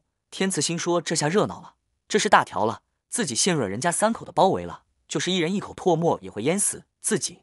哎，啥不好干，偷窥。又看看那紧咬银牙、杀气腾腾的女人，天赐又是叹叹气。心里道：“这就是偷窥的后果。原来这三口之家是红军再次点化的两只狐狸守护他开辟的空间，还告诉他们不久会生一个女儿，会被一个有缘人所娶，而这个有缘人正是自己，而这个女孩就是自己的爱人，而眼前这个杀气腾腾的女人却是自己的丈母娘，只不过却是在这种场合下见面。”天赐不由叹叹气，摇摇头。那女人手中宝剑已捅到胸口，于理由亏。况且天赐也不太喜欢跟女人动手动脚，何况。这个还是红军为自己安排的丈母娘，老神在在也懒得理会。天赐任由那女人在自己身上乱捅一气，开玩笑，要是那么容易就被刺到，那还是红军吗？天道红军第三十三章，原来是一家人。捅了半天，那女人不由泪得汗如雨，看着面前那张老神欠揍的嘴脸，那女人恨得牙根痒痒，却无计可施，只得恨声道：“汝是何人？竟做的如此下流之事？为什么主人开辟的空间里还有人？”而且是个奇装异服的年轻男子，看样子还是个胆大包天的人。那女孩不知什么时候穿好了衣服，杀气腾腾的冲了过来。娘，别跟他废话，杀了他！照着天赐身上没头没脑的猛刺。啊，这个天赐尴尬的挠挠头，要解释吧？此时此景，显然人家不会听。天赐很是明白，有些事只能是外国解释，外国糟糕，索性就紧紧闭上了嘴，任由这母女俩长短宝剑在自己身上招呼。既然自己干出了偷窥的事，虽不是故意，但该承担的责任和后果还是要承担的。什么叫做男人？遇事不推三阻四的，敢于直面错误的人才是真男人。住手！正当这里纠缠不清的时候，一个浑厚的男音响起，随之又一道炫目的白影的飘到跟前。天赐一看此人中年光景，温文尔雅，一身白衣，这一家三口都是一样的颜色。这时，那男子朝那母女喝道：“放肆，还不快拜见道祖！”道祖母女一阵头晕。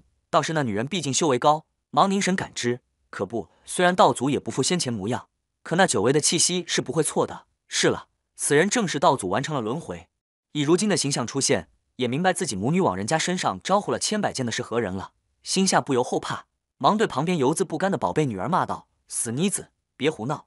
那小妖精一百个不情愿，也只得随父母跪地参拜。她很早就听父母说过，有一天会有一个人来娶自己为妻，这个人是自己。”哪怕是父母也不能胡闹的人。当然，他刚刚知道这个家伙竟然是什么道祖，所有神仙和道法之祖。虽然随着父母参拜，心下却是大大的不屑。道祖，道祖又如何？还不一样无耻吗？这小妖精嘴上不敢说，心下狠狠将这货鄙视腹诽了一通，顿时觉得神清气爽了一些。拥有了红军元神转世之际神通的天赐，哪能不明白这小妮子的心思呢？只是自己这形象在他心里不知成了什么样了，自己这人生从此便多了个大大污点。天赐一阵头疼，一阵无奈。天赐在他们的介绍下，知道了自己前世给自己钦定的亲氏这一家子的名讳。中年的俊秀男子叫逍遥，刚刚在自己身上上下其手的美妇叫西瑶，这是自己的前世在转世之际赐给他们的名字。而自己刚刚的女孩小狐妖叫娇娇，白娇娇，娇娇，这叫做白娇娇的小狐妖，哪有半点娇小柔弱的架势？刚刚的凶悍倒是比较符合小泼妇之类的，不就是看了几眼吗？至于动这么大的肝火吗？跟着逍遥、西瑶和那个油渍愤愤的娇娇，跟着这一家三口来到山间一处小河边，在葱翠的树木映衬下，一处优雅别致的竹屋出现在小丘面前。只见庭前繁花点点，彩蝶飞舞，当真是一处清幽之处。天赐不由叹道：“前辈好雅兴啊！”那夫妻二人忙诚惶诚恐的说道：“道祖这杀小妖了，前辈二字万不敢担。”天赐制止那二人的跪拜，说道：“旧的道祖已不复存在，现在在你们面前的是天赐。”张天赐，今后我不想再听见你们嘴里再喊出“道祖”二字。我既然要娶你们的女儿为妻，那么首先是你们的女婿。说到要娶娇娇，天赐却是心虚的瞟了瞟猛丢白眼的娇娇，心中又是一叹，心想自己这光辉形象只怕是恢复无期了。虽然天赐再三声明自己首先是逍遥和西瑶的女婿，是晚辈，还是架不住这对夫妻的执拗，没办法，只得在主位上坐了下来，并接受了这对夫妻的上茶。已经习惯了彼此之间身份地位的这夫妻二人。自然是觉得天经地义，而白娇娇就不这么想了。凭啥爸妈要在下面站着，这个家伙却要坐着？令娇娇感受最为真切的是，自己在下手一战，在气势上首先就矮了这个可恶的家伙一头。碍于父母的威仪，娇娇不敢造次，但偷偷低丢几个白眼还是可以的。宝贝女儿的小动作，夫妻二人心知肚明，却也无可奈何。总不能在道祖女婿面前斥责女儿吧？道祖会怎样想？逍遥见天赐并不在意，心底下不由长长吁了一口气。看来转世道祖对于娇娇的刁蛮任性不太介怀。过的一会，天赐对着二人说道：“你二人修行了几千年，又照看我这方天地，劳苦功高，是时候挣得道果了。这里有九转金丹二粒，去炼化吧。我自己也要再次闭关十年，以期在修为上有些许突破。”夫妻二人惊喜不已。九转金丹，好东西啊！凡人食之立地成仙，像他们这样有着千年修为的妖类，便可到达天仙的境界，可以飞天位列仙班。作为千年狐妖，他们自是明白九转金丹的威力和珍贵。果然，道祖当初的承诺，如今的他没有食言。修炼成正果，是所有修真者梦寐以求的梦想。特别是他们这些下界妖类，在功德圆满之际，还得承受天劫的考验。古往今来，多少修真的妖类，在天劫的考验下烟消云散。而有了九转金丹，则不一样。服下九转金丹，便可直接达到天仙的境界，直接被天庭接引使者招上天庭任职。而免去了令多少妖类闻之色变的天谴考验，逍遥和西瑶忙千恩万谢的拜谢，在吩咐了娇娇后，双双进入内室修炼去了。天赐看看娇娇那留意着绿光的美目，笑了笑，冲他招招手来。哼，娇娇大大地白了天赐一眼，又将头别了过去。他最恨的就是这张笑眯眯的嘴脸，这个表情很容易使他想起自己被看的情形。一想到此，小妖精不由又粉面涌起一片红霞，无地自容，紧了紧手中的短剑。心想是不是趁爹娘不在，将这色狼讨厌鬼杀了一了百了？第三十四章贿赂。哇塞，太好玩了！小妮子欢呼雀跃。此剑能御妖斩妖，逢魔诛魔，就是大罗金仙也得退避三舍。只是此剑威力太大，不可随意使用，否则会有伤天和。娇娇毕竟还是一个涉世未深的小丫头，纯粹的愣头青。天赐还得苦口婆心的叨叨几句，不然天知道这疯丫头什么时候一发愣，胡乱使上一通。这自己前世苦心营造的天地就遭殃了。知道了，啰里吧唧的。天赐的叨叨显然引起娇娇小姐的不耐烦。只听说女人唠叨，一个大男人也这么唠叨。天赐一听，心中不由又是一阵恶寒。看来这爱人大人还真是个小泼妇啊！不由得为以后默哀起来。又拿出一面杏黄色小旗，说道：“这个是戊土杏黄旗，立于头顶是处于不败，可接下大罗金仙顶峰的攻击。”看着天赐拿出的这面留意着宝气光华的小旗子。小妖精的眼睛都成星形了，心里外外道：“本小姐也是小富婆了，有了两件宝贝，嘻嘻。”而天赐却是另一种心思，自己那大脑混元空间里有许多先天灵宝，只是都具有毁天灭地的威力，实在不适合给娇娇。谁知道这小丫头会不会一时兴起，胡乱使上一通？要是那样的话，到时恐怕是天地浩劫了。况且这些先天灵宝要有着大罗金仙顶峰以上修为的仙人才能驾驭，而娇娇只是一只化形不久的小狐妖。连地仙的修为也没有，就连娇娇的父母至今还未能超脱于六道所致，就更别提娇娇这点可怜的修为了。所以天赐只是给娇娇一件三流的灵宝，当然，按道理来说，作为天地五方旗之一的戊土性黄旗，历史悠久，乃是盘古开天辟地之际，镇压当时洪荒地脉的宝贝。和东方青色宝莲旗、北方癸水旗、西方素色云降旗，还有南方离地焰火旗，合称天地五方旗。只是当初盘古为了提炼混元大阵和五方旗精华而练出了盘古旗，所以后世的天地五方旗威力大减，再以担负不了镇压洪荒地脉的重任。后来天地五方旗逐渐分离，被不同的人所得。东方青色宝莲旗被西方佛门创始人接引圣人所得，西方素色云将旗为西王母所得，南方离地焰火旗被三清之首太上老君所得，北方癸水旗被北海龙王所得。只是这中央戊土杏黄旗不知何故落入昔日天道红军之手。如今又被如今的天赐传承下来，而如今作为对未来爱人的贿赂，被天赐又转手送给了娇娇，将修炼仙术和戊土奇炼化之法以神识印于娇娇脑子后，娇娇便欢快地跑进闺房去了，直接将这个可恨的家伙，这个被指定的未来相公丢在了客厅。娇娇此时满脑子都是如何炼化刚刚到手的宝贝，还有的是按照这人所教修炼仙法。可怜天赐自从在丛林里和小白他们一起吃过烧烤，都大半天了，至今还饿着。无论是未来的岳父岳母，还是娇娇，没有人问过自己吃过没。看了看娇娇进入自己闺房的靓丽白影，天赐又是摇摇头。乡下的人就是没有见过世面，一点小东西就兴奋成这样。舔了舔发干嘴唇，紧了紧发瘪的肚子，天赐开始布置时空结界，自己进入混沌珠空间里修行。天赐从红军的记忆那里知道了天道的强大和可怕。虽然自己以目前大罗金仙顶峰融入盘古精血的肉身。加之混沌空间里各种足以毁天灭地的先天灵宝，遇到天道尚有一搏之力，自保不是问题。但天赐是不会满足于现在的结果。天赐知道盘古在身陨之前传于红军斩尸之法和完整的盘古大法，而这些功法如今完完本本地被自己继承。盘古当初说的不错，红军的本命紫莲受损，要恢复需待十日。其实，在那洞里，天赐便有了打算，那就是斩出三师，各自修得无上大道，到时三师归位。不说天道，就是遇到大道，也有与之抗衡之力。只是天赐看看自己目前这可怜的大罗金仙修为，就是一阵苦笑。斩尸者乃盘古大神独有神通，整个仙界唯有早已化身万物的盘古会，再就是后来的红军老祖会这种神通。所谓斩尸者，乃人有三尸之虫，即一个人具备不同的本性，也就是通常所说的善念和恶念。斩尸就是将人的不同本能分离，一分为四，本尊所斩之尸和本尊一样的境界。也就是一下子多出三个一样实力的帮手，这四力一旦合力，那该是怎样的境界？一旦斩却三尸，便能以斩尸成就圣人之身。而这样的斩尸圣人，比起所谓的那些功德成圣的大神通者，境界要高得多，只是比以力正道成圣差一些而已。但是斩尸也不是那么好斩的，达到准圣巅峰的大神通者才能斩出一尸，混元者，也就是功德正道的圣人，才能斩出第二尸。而且这仅仅是通常所说的画出分身。而不是纯粹的盘古斩尸之法，而天赐目前的修为仅仅是大罗金仙巅峰，离斩师所需的境界还差得远。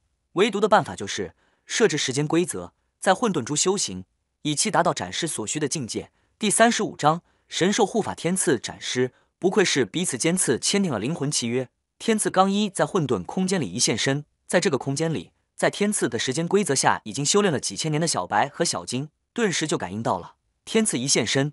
小白和小金就飞快地跑到天赐身边，摇头晃脑的撒欢儿。小金嗖的一声窜上天赐的肩头，立马钻入天赐的怀里。这里是小金雷打不动的地盘，小白倒是也想进去享受享受，然而块头太大，天赐的怀里却是无法容纳下一只狼。天赐的怀里被小金霸占，小白便用脑袋亲昵地蹭天赐的腿，长长的狼舌头上口水直流。老大，你太不够意思，把我和小金丢在这里，一丢就是几千年。也不说给送些吃的，嗨，老大，这次来总该带些好吃的吧？小白的贪嘴，天赐已经具备了一定的免疫力，将小白踹出老远，笑道：“你一天就知道吃，也不学学小金多乖。”小金被天赐夸赞，虽不能言语，但将小脑袋扬得高高的，发出嘶嘶之声，欢快地拍打着尾巴。话虽是如此说，天赐还是拿出烧烤架和一些上次存下的野味烧烤，自己也还没吃呢，可别亏了肚子。一见天赐做饭。小白便乖巧地趴在地上，眼巴巴地看着天赐忙活，狼嘴上口水吧嗒吧嗒的直流，看得天赐又是一阵摇头。吃过烧烤，拍拍滚圆圆的肚皮，天赐说道：“我这次要再次闭关千年，你两个再次为我护法吧。”小白尽管贪嘴顽劣，但天赐既然是办正事，倒也不再玩世不恭，和小静老老实实地为主人护法。混沌珠内，盘古旗依时而展，掩盖天机；盘古塔择时而动，盘古剑蓄势待发。在盘古旗掩盖天机下，此时的天赐正在混沌珠的空间内盘腿闭目，手心朝上做捻兰花状，将心神全身心浸入浩瀚宇宙，全身心感悟到的痕迹，感悟从盘古开天始，天地间亿万年来的演化。天赐虽然继承了红军元神的神通，但心境修为远远无法匹配。况且，仅仅是大罗金仙的修为是无法进行展示的。要展出第一师，最低的要准圣巅峰的境界。天赐如今需要突破的正是心境修为的突破。混沌珠内没有纪年，或是几千年过去了，又或是刚刚过了一瞬。此时的天赐气息苍茫古朴，散发出远古苍凉又孤寂的气息，所散发出的无尽威压，使身边护法的小白和小金。感受到了心颤的压力，此时的一狼一蛇相互看了看对方，心下均是明白，主人的境界终于突破了大罗道果，而进入了准圣境界。混沌珠空间内，混沌气流此时呈漩涡之状，向天赐提供着无穷无尽的能量。残破的紫色莲花则牵引出一丝丝心神可见到的气息，缠绕着天赐。不知又过了多少年，随着天赐体内又是砰砰几声响，天赐再次突破了准圣境界，进入混元境界。此时的天赐。所发出的气息，更是深邃玄奥，玄之又玄。天赐既然在几千年的时间里，由大罗金仙突破到了混元境界，那么斩师就是在必行了。在混沌元气和紫莲那道的牵引下，受益的不仅仅是天赐，作为护法和旁观者的小白、小金也是受益匪浅。他们虽然还未化形，但在这道的牵引下，却是开启了灵智，终于是修为大涨。小白的境界本来就比小金要高很多，此时已经隐约触摸大罗境界。而小金则稳稳当当停留在了太乙金仙巅峰的境界。这两只紫霄宫曾经的神兽，机缘一到，便要渡劫化形了。签订灵魂契约还有一个好处，就是天赐的境界外国高，作为灵魂契约签订者，小白和小金的境界也就随着水涨船高。也就是说，小白和小金就是什么也不做，也会随着天赐境界的提升而提升。而天赐展示之行已经开始了。良久，天赐面露痛苦之色，终于在身形一阵波动后。从他身上走出出一中年人，此人黑衣长须，散发出浓烈的毁灭气息。此人在渐渐凝视后，观其相貌和本尊天赐十分神似，只是神色气质不同。此人虽然同样面目清秀，但散发出的是桀骜不驯啊、豪爽豪迈的气息。此人既出，便朝天赐一拱手道：“见过本尊。”小秋满是疲惫的脸上露出一丝笑容：“你就叫盘天吧，你的道号就叫破灭天尊。”说罢，将盘古功法化作一道玄黄之气射入盘天眉心。又拿出一尺道：“此乃鸿蒙量天尺，此物乃后天功德至宝，与天地玄黄玲珑塔同时出生。玄黄塔主防，而这量天尺却是主攻。以此功德之宝，无人敢灭你，就是天道也不敢。就作为你的护身之宝吧。”说完，将量天尺抛给了盘天。盘红接过鸿蒙量天尺，滴血认主后，便入定修炼起盘古大法。看着身边入定的盘天，天赐心中心绪万千。之所以给他起名为盘天。就是因为天赐有感于盘古和自己前世的兄弟情深，而这个盘天的性感简直就是盘古大神的翻版，而盘天正是修行的盘古大神的破灭之道。所谓灭之道，即为破灭之道，即开天辟地，以力破开天道正道，斩出盘天。天赐的修为大损，刚刚达到的混元境界还没来得及热身，便哗啦啦直往下掉，在准圣巅峰时这才稳住。天赐不由苦笑，这斩尸之道果然不是人干的事情，仅仅才斩出盘天。自己好不容易突破的修为的境界就掉了这么多，那么接下来的两位呢？叹叹气，天赐再次入定，不知又是过了多少年。忽然，天赐又是面露痛苦之色，身形再次波动，一个面目同样清秀、身着青色长袍的人分化出来，此人却又是另一种气息，生生不息的生命气息。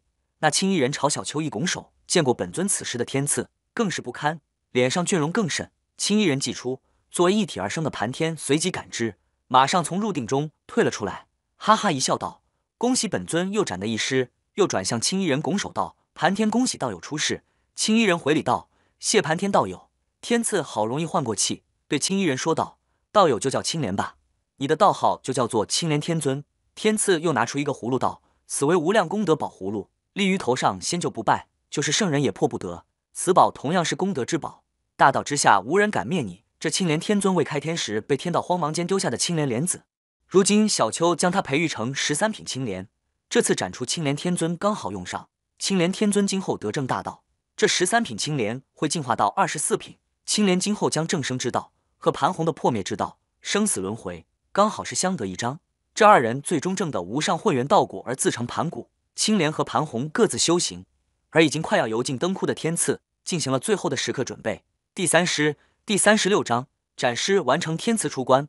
天赐斩除盘天和青莲，由混元境界哗啦啦止掉，掉到大罗金仙的修为，这才停了下来。按照常理来说，如今回复到先前大罗金仙境界的天赐，已经失去了再次斩师的条件。然而天赐不甘心就此罢手，他明白自己的时间宝贵，没有太多的精力放在展示之上。只有这次拼尽本源，展出最后一师，不知有修行了多少年。天赐的境界停留在大罗金仙顶峰，再已难以寸进。天赐叹了口气，斩吧！将气势调整到巅峰的天赐深吸一口气，大显神威之下，随着天赐身上波光荡漾，一道虚影再次从天赐身上走下来。这道紫色的虚影慢慢凝实成一个充满亲切自然之气的紫衣中年人。这中年人朝天赐一拱手道：“见过本尊。”而青莲与盘天又是第一时间祝贺。此时的天赐面色苍白，有气无力。天赐已经消耗了自己辛辛苦苦在混沌珠空间无数年修为本源，为了强行斩出最后一尸，天赐道基大损。如今的境界已经掉到了普通的仙人，就是像娇娇那样刚刚化形的狐妖，都可以狠狠的揉虐天赐。由此可见，天赐为此做出的牺牲有多大。天赐疲惫不堪的脸上，面前挤出一丝笑意，对紫衣人说道：“你就叫紫莲吧，道号紫莲天尊。”说完，将那残破的二十四瓶紫莲交与他，道：“这是我本命载体，如今便是你的本命法宝。这混沌紫莲恢复先前完好，需要很长时间。如此就有劳紫莲道友了。”又拿出一顶抛给他，道：“次顶为混沌至宝混沌鼎，能炼化万物，且具有超强的防御和无边功德。”刚刚来得及说完，天赐便精力枯竭，一头栽倒在地。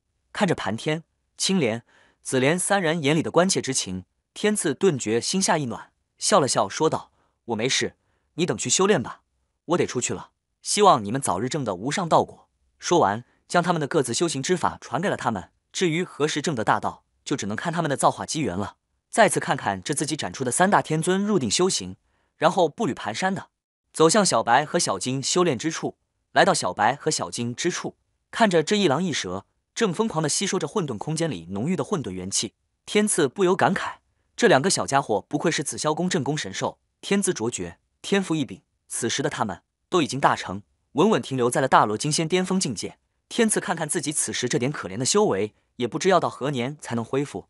看着主人此时的倦态，平日里油嘴滑舌的小白意外的很是乖巧，没有往日喋喋不休的聒噪，而是用脑袋使劲蹭蹭天赐的腿。小金本来就很乖，见天赐如此萎靡不振，更是用小脑袋轻昵的碰碰天赐的脸颊。这两个小家伙如此通灵性，天赐心里更是暖暖。他明白。他们这是在安慰自己。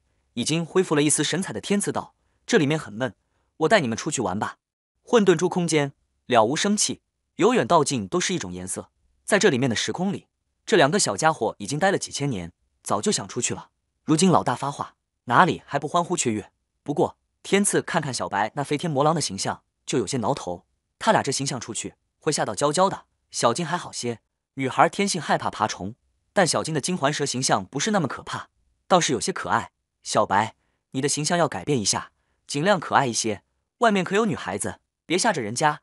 小白和天赐签订了灵魂契约，天赐的一些秘密自然能窥知一二。变贼笑嘻嘻道：“老大，是你的相号吧？”天赐没好气的瞪了小白一眼，道：“是我的，咋地了？你想不想出去？想出去的话就变形。一想到能出去，又能吃到老大的烧烤，小白哪里还墨迹？一阵白光闪现过后。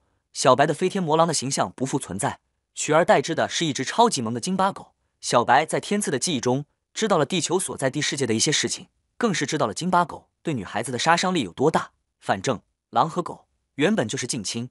天赐无语的看着面前这只咧着嘴笑的金巴狗，心下又是一阵哀叹：这丫的小白还真是卑鄙奸猾。当天赐退出混沌珠，现出身来，发现逍遥夫妇正关切地注视着自己。而娇娇那灵动的大眼睛眨巴着，盯着混沌珠出神。见天赐现身，小妮子说道：“把这个破珠子给我。”说完便去抓。天赐忙说道：“这个确实不能给你。”娇娇一撇小嘴儿：“不就是个破珠子吗？小气。”不过随即见到天赐的倦态，心下莫名的一疼。小丫头也不知道是为什么，这种感觉怪怪的。看看面前曾经占自己便宜的家伙，这个令自己恨得牙根痒痒的家伙，可是不知为什么，见到他疲惫的神态，心中莫名的萌生出说不清道不明的心绪。人常说母女连心，这小丫头细微的心理变化没有逃过母亲夕瑶的眼睛，嘴角露出意味深长的笑意。哎，女儿终于长大了。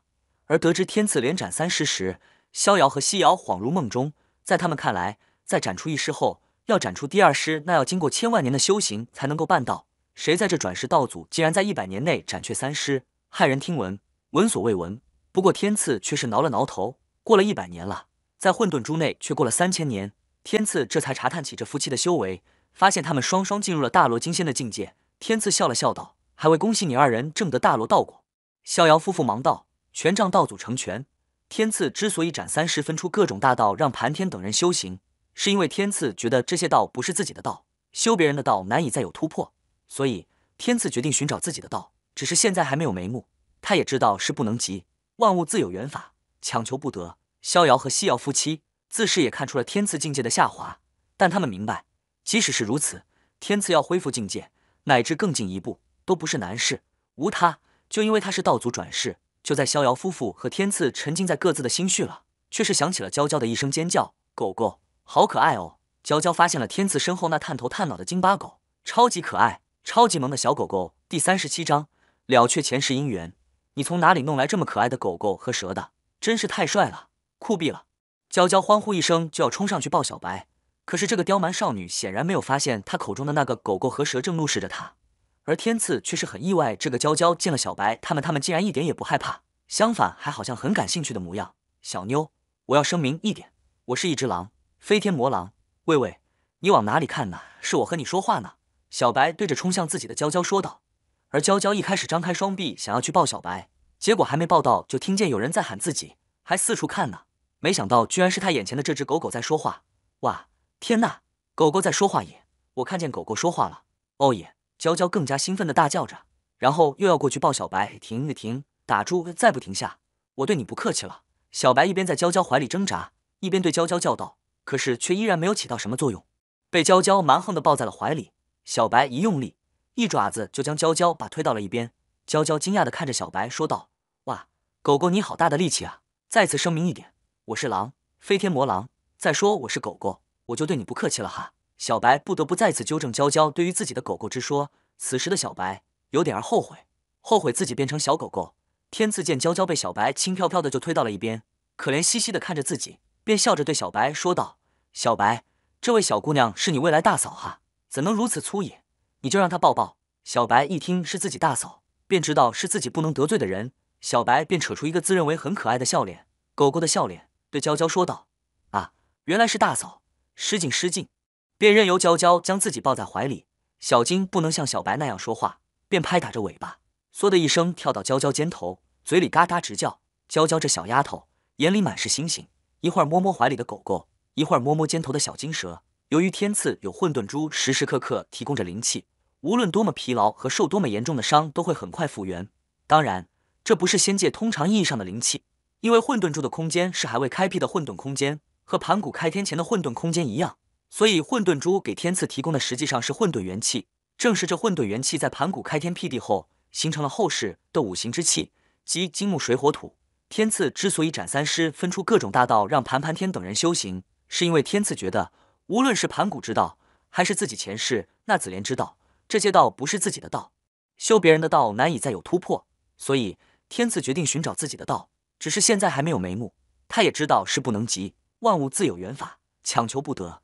于是天赐放松心情，整日和这一家子相处玩耍，倒也是逍遥自在。只不过在不知不觉之间，天赐身边多了个小尾巴，而且是魔人的小尾巴。是谁？还有谁？当然是娇娇了。现在心中有的只是对于他一种难以言喻的依赖。娇娇不知道自己是怎么了，反正只有待在他的身边才感到安心。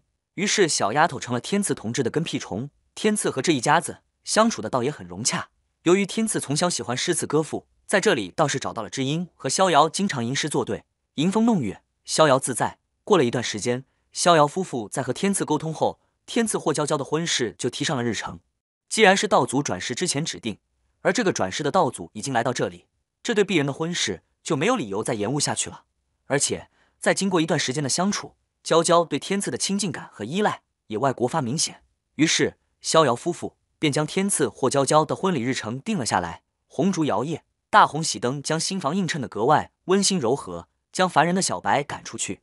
天赐看看床沿坐着那蒙着大红盖头的新娘，就是一阵恍惚，就这么成亲了。回想起自己在外面的时空里，地球上可怜的天赐无法也不敢对任何女子心生情愫，天人有别的鸿沟使他难以跨出那一步，以至于天赐到了自己前世开辟的空间来。虽然仙妖同样有别，但至少人家能勉强承受自己的本源。既然前世姻缘已经注定，那就随缘吧，别碰我啊！这这小丫头还在生气呢。天赐不由挠挠头。干嘛生气啊？女孩生气就不漂亮了哦。哼，给了天赐一个后背，没办法，这种情况只能是服软。谁叫今晚的杀生大权掌握在人家手里的呢？原来在某一只狗狗的主持下，新人拜堂的时候出了点小麻烦，要拜天地吧？天地是在红军的见证和协助下开辟的，所以不能拜。拜高堂，那也要看逍遥和西瑶夫妇敢不敢受他一拜。没办法，在夫妻对拜时，岳父母就是给他们一万的胆子，也不敢让天赐和娇娇对拜。最后是娇娇在父母的威压下委委屈屈的端茶拜了夫君，而天赐则是老神自在，受了娇娇端茶跪拜。娇娇不由愤愤不已，恨得牙根痒痒。天赐只得厚着脸皮，又凑向前，不知娘子要如何才能消气啊？哼，除非你也拜我一拜。哦，是找回场子啊？你蒙着脸也看不见呀？天赐莞尔，说完，贼手一伸，将那盖头掀了下来。见那娇娇凤冠霞帔，娇娇一把打掉那又伸前来的猪手，道：“还没有拜呢。”啊天赐忙弯腰朝美人儿深深一拜，娘子在上，小生这厢有礼了。扑哧，被那讨厌鬼一逗，芊芊展颜一笑，摆了这家伙一眼，便转过头不再理他。娇娇看着眼前这家伙，虽然可恶，却很有男性的阳刚之气，而且还很帅。闭着眼睛，紧张的等待那令人期待的时刻到来。第三十八章洞房花烛夜。怀着忐忑的心情，娇娇的小心肝儿就如鹿撞一般，难以平静。在这个时空里生活了千余年，娇娇虽然不谙人事。但在自己父母的不经意间的影响下，还是多少知道一些关于夫妻间的事情。而娇娇开始在琢磨该怎样要挟他，但又不至于惹恼他。正琢磨着，小心思有些蜥蜴的等待着。等了半天，娇娇睁开媚眼，却见那家伙咬着手指头，傻愣愣的看着自己，干啥？这回轮到娇娇迷糊了，她很是不明白，被娇娇硬邦邦话一打岔，天赐这才回过神来，在外面的世界，天赐儿时虽然跟着大人看过，但那都是许久前的事情了。但作为生物生命的延续形式，天赐还是知道，貌似这种事情，先要有趣有趣。天赐不由得腾出一只手，摸了摸鼻子，良久，天赐将自己也弄成原始人。次日，天赐醒来，见早已天光大亮，却见枕边之人余香犹在，而伊人已无踪。洗漱后，天赐穿戴整齐，施施然出的新房，来到庭前，只见娇娇在院内载歌载舞，倩影婆娑，红袖飘香，和庭前百花相映交辉，相映成趣。此时的娇娇少了些许青涩稚嫩之气，多了些许明艳柔和。看着庭院里娇娇曼妙的舞姿，天赐心里满是暖意。成家了，娇娇已经是自己的爱人，自己的生活从此多了个甜蜜的负担。对于这个天真无邪的爱人，天赐要做的是永远的爱护他，呵护他。无论自己的使命有多大风险，有多艰巨，首先要做的是保护好自己的家人。如果连自己的亲人都保护不了，纵然是今后立下丰功伟业又如何？君临天下又怎样？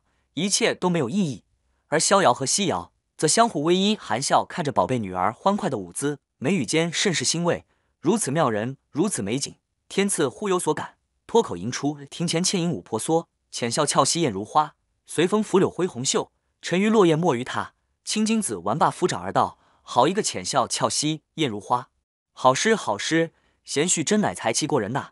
天赐忙摆摆手道：“这首红袖添香。”描写此时此景再好不过，只是在岳父面前似有班门弄斧之嫌，上不得台面。岳父过奖了，在终日的花前月下，迎风弄月剑，又是三月弹指而过。若不是身有重负，天赐真想在这世外桃源永远逍遥快活下去。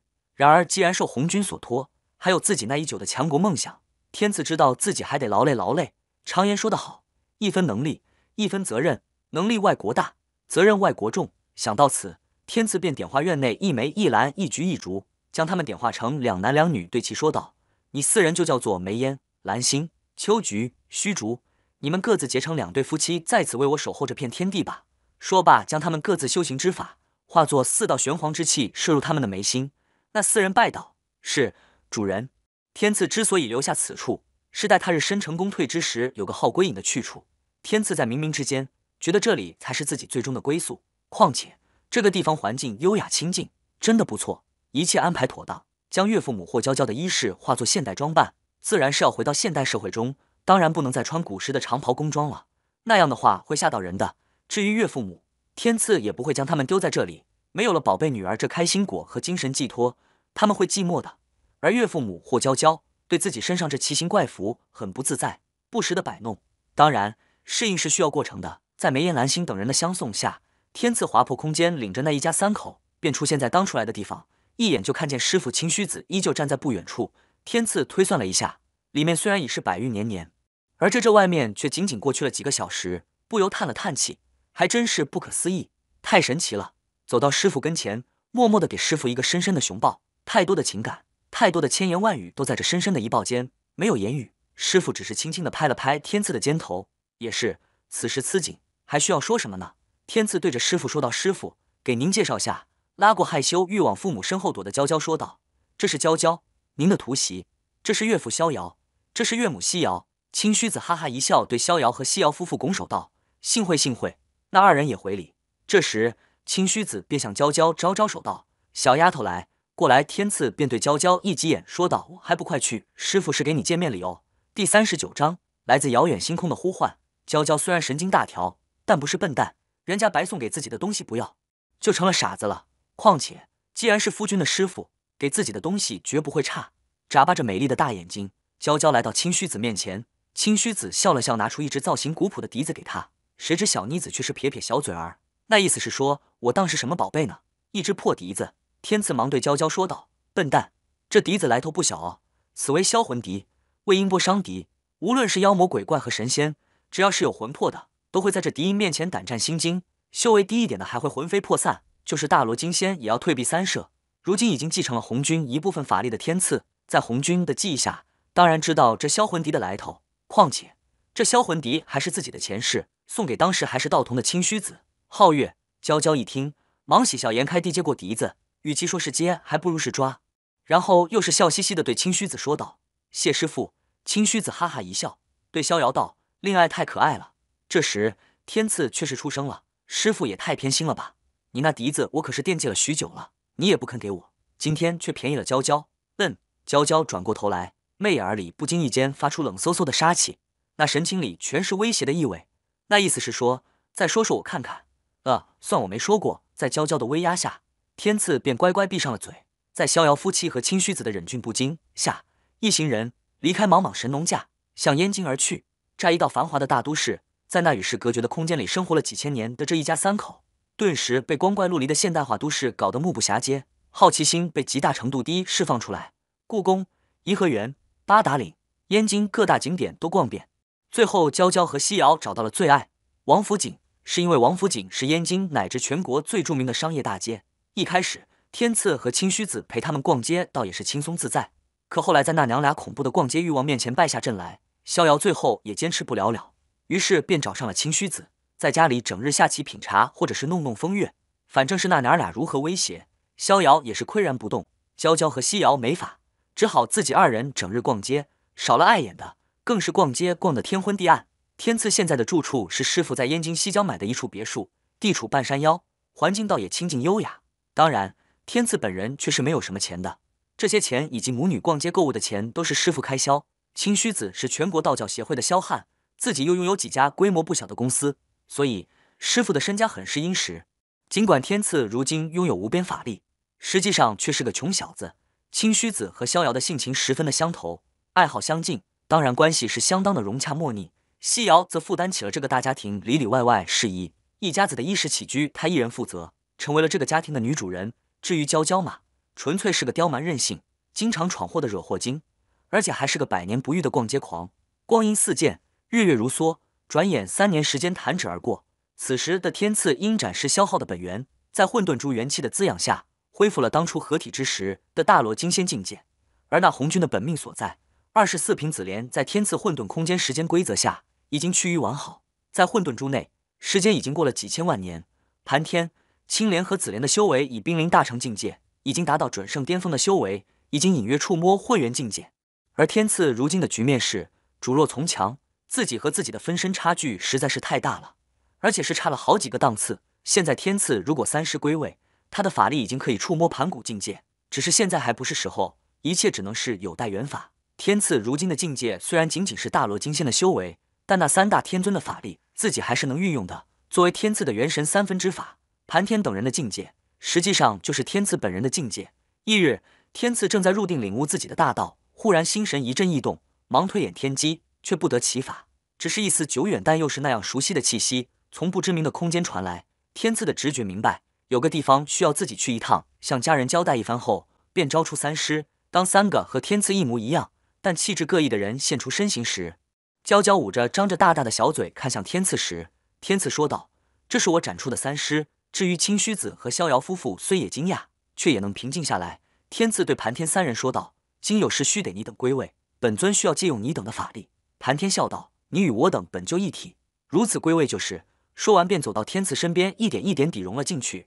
待三人完全融入天赐体内时，天赐顿时气势陡涨，那气势如高山般的巍峨，如大海般磅礴。娇娇修为最低，虽嫁于天赐。经过双修，得到了天赐的混沌元气的淬炼，而修为大涨。但毕竟起点太低，现在也只不过是太乙金仙的修为，而且还是初期的那种。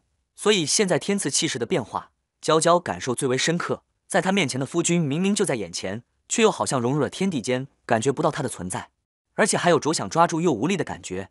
小妮子突然心下一紧，鼻子一酸，晶莹的泪珠顺着浩若精雪的脸颊滚落下来。天赐不由哑然失笑，轻轻拉过他的纤手。刮了一下他玲珑的粉鼻，傻瓜，瞎想什么呢？我不是在这里吗？看着这感人温馨的画卷，诸位长者眼里满是欣慰，尤其是西瑶感受最为深切。自己的宝贝女儿是什么样的性情，她当然最清楚。有时那淘气劲头，就是自己这个做娘的都头疼不已。看来宝贝女儿在转世道祖面前得到的是无尽的宠爱和包容，心中不由得暗自为宝贝女儿能有如此归宿感到无比欣慰。告别家人的天赐，划破层层空间，身体化作流星。以超过光的速度，朝着那股气息的来源之处瞬移而去。不过，此时天赐的心情还停留在与娇娇小别的情愫中。纵然是他现今有着超外国圣人的心境，但还是被那磨人的小丫头弄得心神不宁。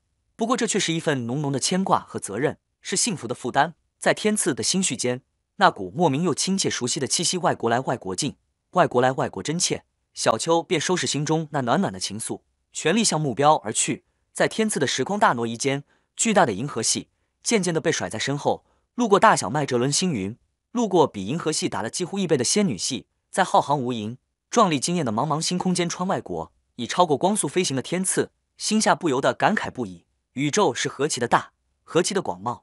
只是谁又会想到，这如此广袤的宇宙空间，却是一位大神拿着开天巨斧而成的。幸好三世归位，天赐才有能力在这层层空间穿梭。只是这也太远了吧？天赐推算了一下，如果按照平面空间的距离，怎么也有几千万光年了。然而还没有尽头，就在天赐自己也不知道穿外国了多少空间的时候，天赐出现在一片陌生的宇宙空间，在立于虚空的天赐前方出现一个巨大的星系。说它巨大，是因为这个星系比天赐所在的银河系大了五六倍。这个巨大的星系也是一个典型的涡旋星系，而天赐的意念告诉自己，那熟悉亲切的气息的来源正是这个星系。不过令天赐感到奇怪的是。如此遥远的地方，为什么会有这种熟悉的气息呢？而且这种气息是如何穿外国层层空间到达遥远的银河系？天赐百思不得其解。但天赐可以确定的是，这是来自这个星系的呼唤，可能是友好的呼唤，但也可能是向自己求援的呼唤。但无论是出于那种呼唤，但天赐可以确定的是，这个遥远的呼唤没有敌意。天赐在这个气息中闻到的只有清净，没有敌意。第四十章，戴儿公主。正在天赐的心绪百回千转间，随着左前方的虚空一阵波动，一条时空隧道凭空出现在天赐的注视下，从那时空隧道里缓缓驶出一艘宇宙飞船，确切的说，应该是星际战舰。说它是宇宙战舰，是因为那上面前后左右密密麻麻的炮塔清晰可见。不过天赐看看这星际战舰，却是苦笑。这战舰很大，不是通常意义上的大。地球上所有的战舰，在他面前就像是小玩意儿。就是当今美利亚国十二万吨级的福克级核动力航母，也不及这艘战舰的二十分之一。只不过这战舰似乎是刚刚经历了惨烈的星际战争，此时浑身伤痕累累，到处冒着大火浓烟。而那股令天赐心灵深处幽动的气息，正是从这艘战舰里发出的。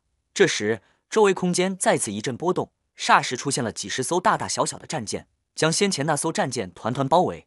而天赐却知道，正是被包围的战舰里面的人需要自己搭救，于是挥手划出一道结界，将那战舰保护起来，便向那里瞬移而去。现身时，天赐发现自己出现在一个类似于指挥室的大厅里，密密麻麻的机器和电子屏幕，和许许多多的身着类似军队制服的人。这些人的五官特征和肤色完全是纯正的黄种人，细微的差别就是他们的鼻子略短略扁平，嘴唇较厚，颧骨也略宽，身形比地球人稍小，倒是和南方的闽南人。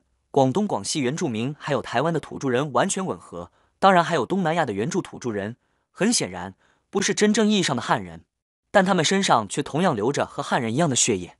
那么问题来了，他们是谁？怎么会生活在距地球亿万光年的宇宙空间？不过这不是最主要的，要紧的是自己被人家包围了。几十支在天赐看来是光能武器的枪齐刷刷的对着他。天赐明显看到这些人看见自己都愣了一下。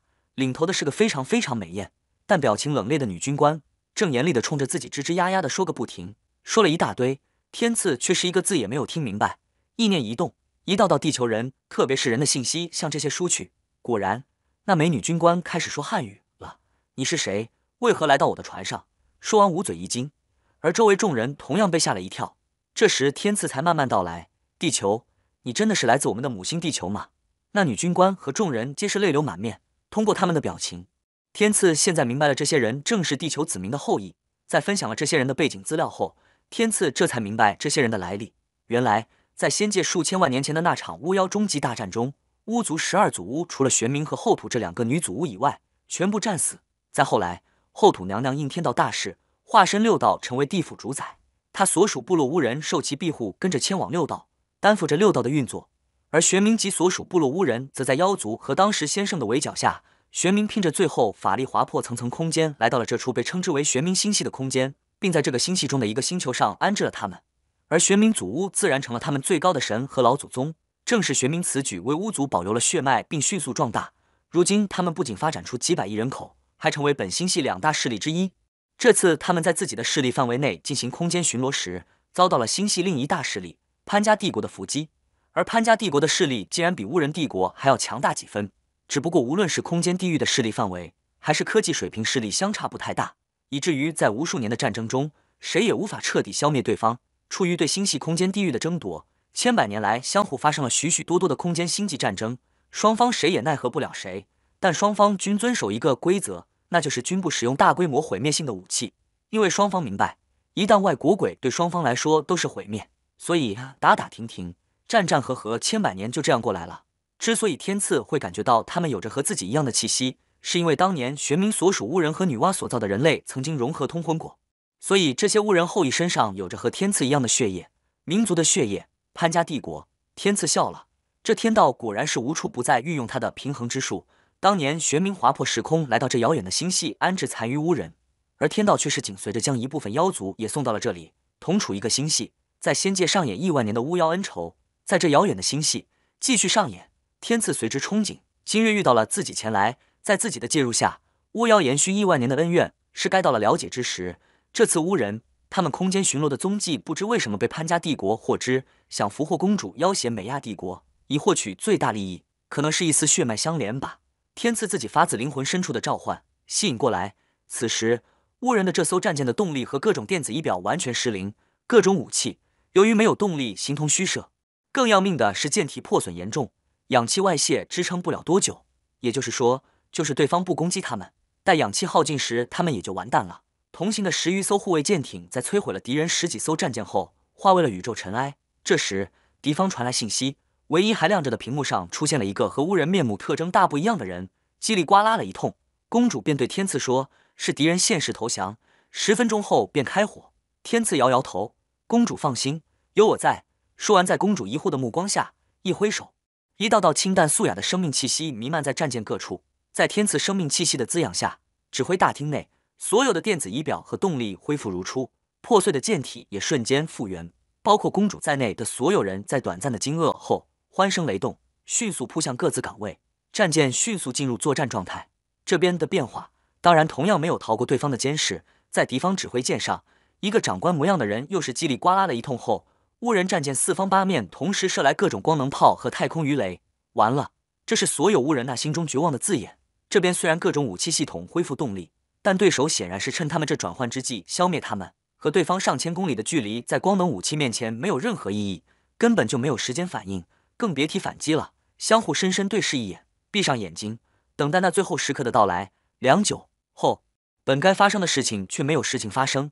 大家伙奇怪的睁开眼睛，正好看见舷窗外绽放着璀璨绚丽的烟花。只见那一道道毁天灭地的光能波，在距战舰百公里外的宇宙空间被挡了下来，绽放出无数朵妖艳炫目的花儿，炫目的光芒照亮了整个星际空间。事已至此，所有人已经明白，自己等兄弟姐妹此次能大难不死，全靠这位突兀来访的年轻人。众人没有言语，包括公主在内的所有人毕恭毕敬地向天赐深深的一鞠躬。八天赐点了一颗香烟，道：“该咱们了，留下那指挥剑，全部摧毁，自由射击。”公主回头下令：“除了旗舰，全部摧毁，自由射击。”大厅内一阵欢呼，全舰所有武器一起开火，一道道光束向四方八面射去。霎时。漆黑死寂的太空再一次举行了一场盛大的烟火派对，敌方数十艘战舰除了指挥舰，全部灰飞烟灭。敌人早就在看到攻击无果后就感到不妙了，只是已经晚了，想逃跑吧，却发现空间被不知名的力量禁锢了。刚刚还优势占尽的潘家战舰，此时却成了一个个巨大昂贵的火靶子。潘家帝国那些无数的战士，在意识最后散失之际，都无法明白是什么导致了如此的结局。当然，这些正是天赐的杰作。悠然自得地吐出一串烟圈，天赐心下一阵叹气，自己的烟瘾是外国来外国大了。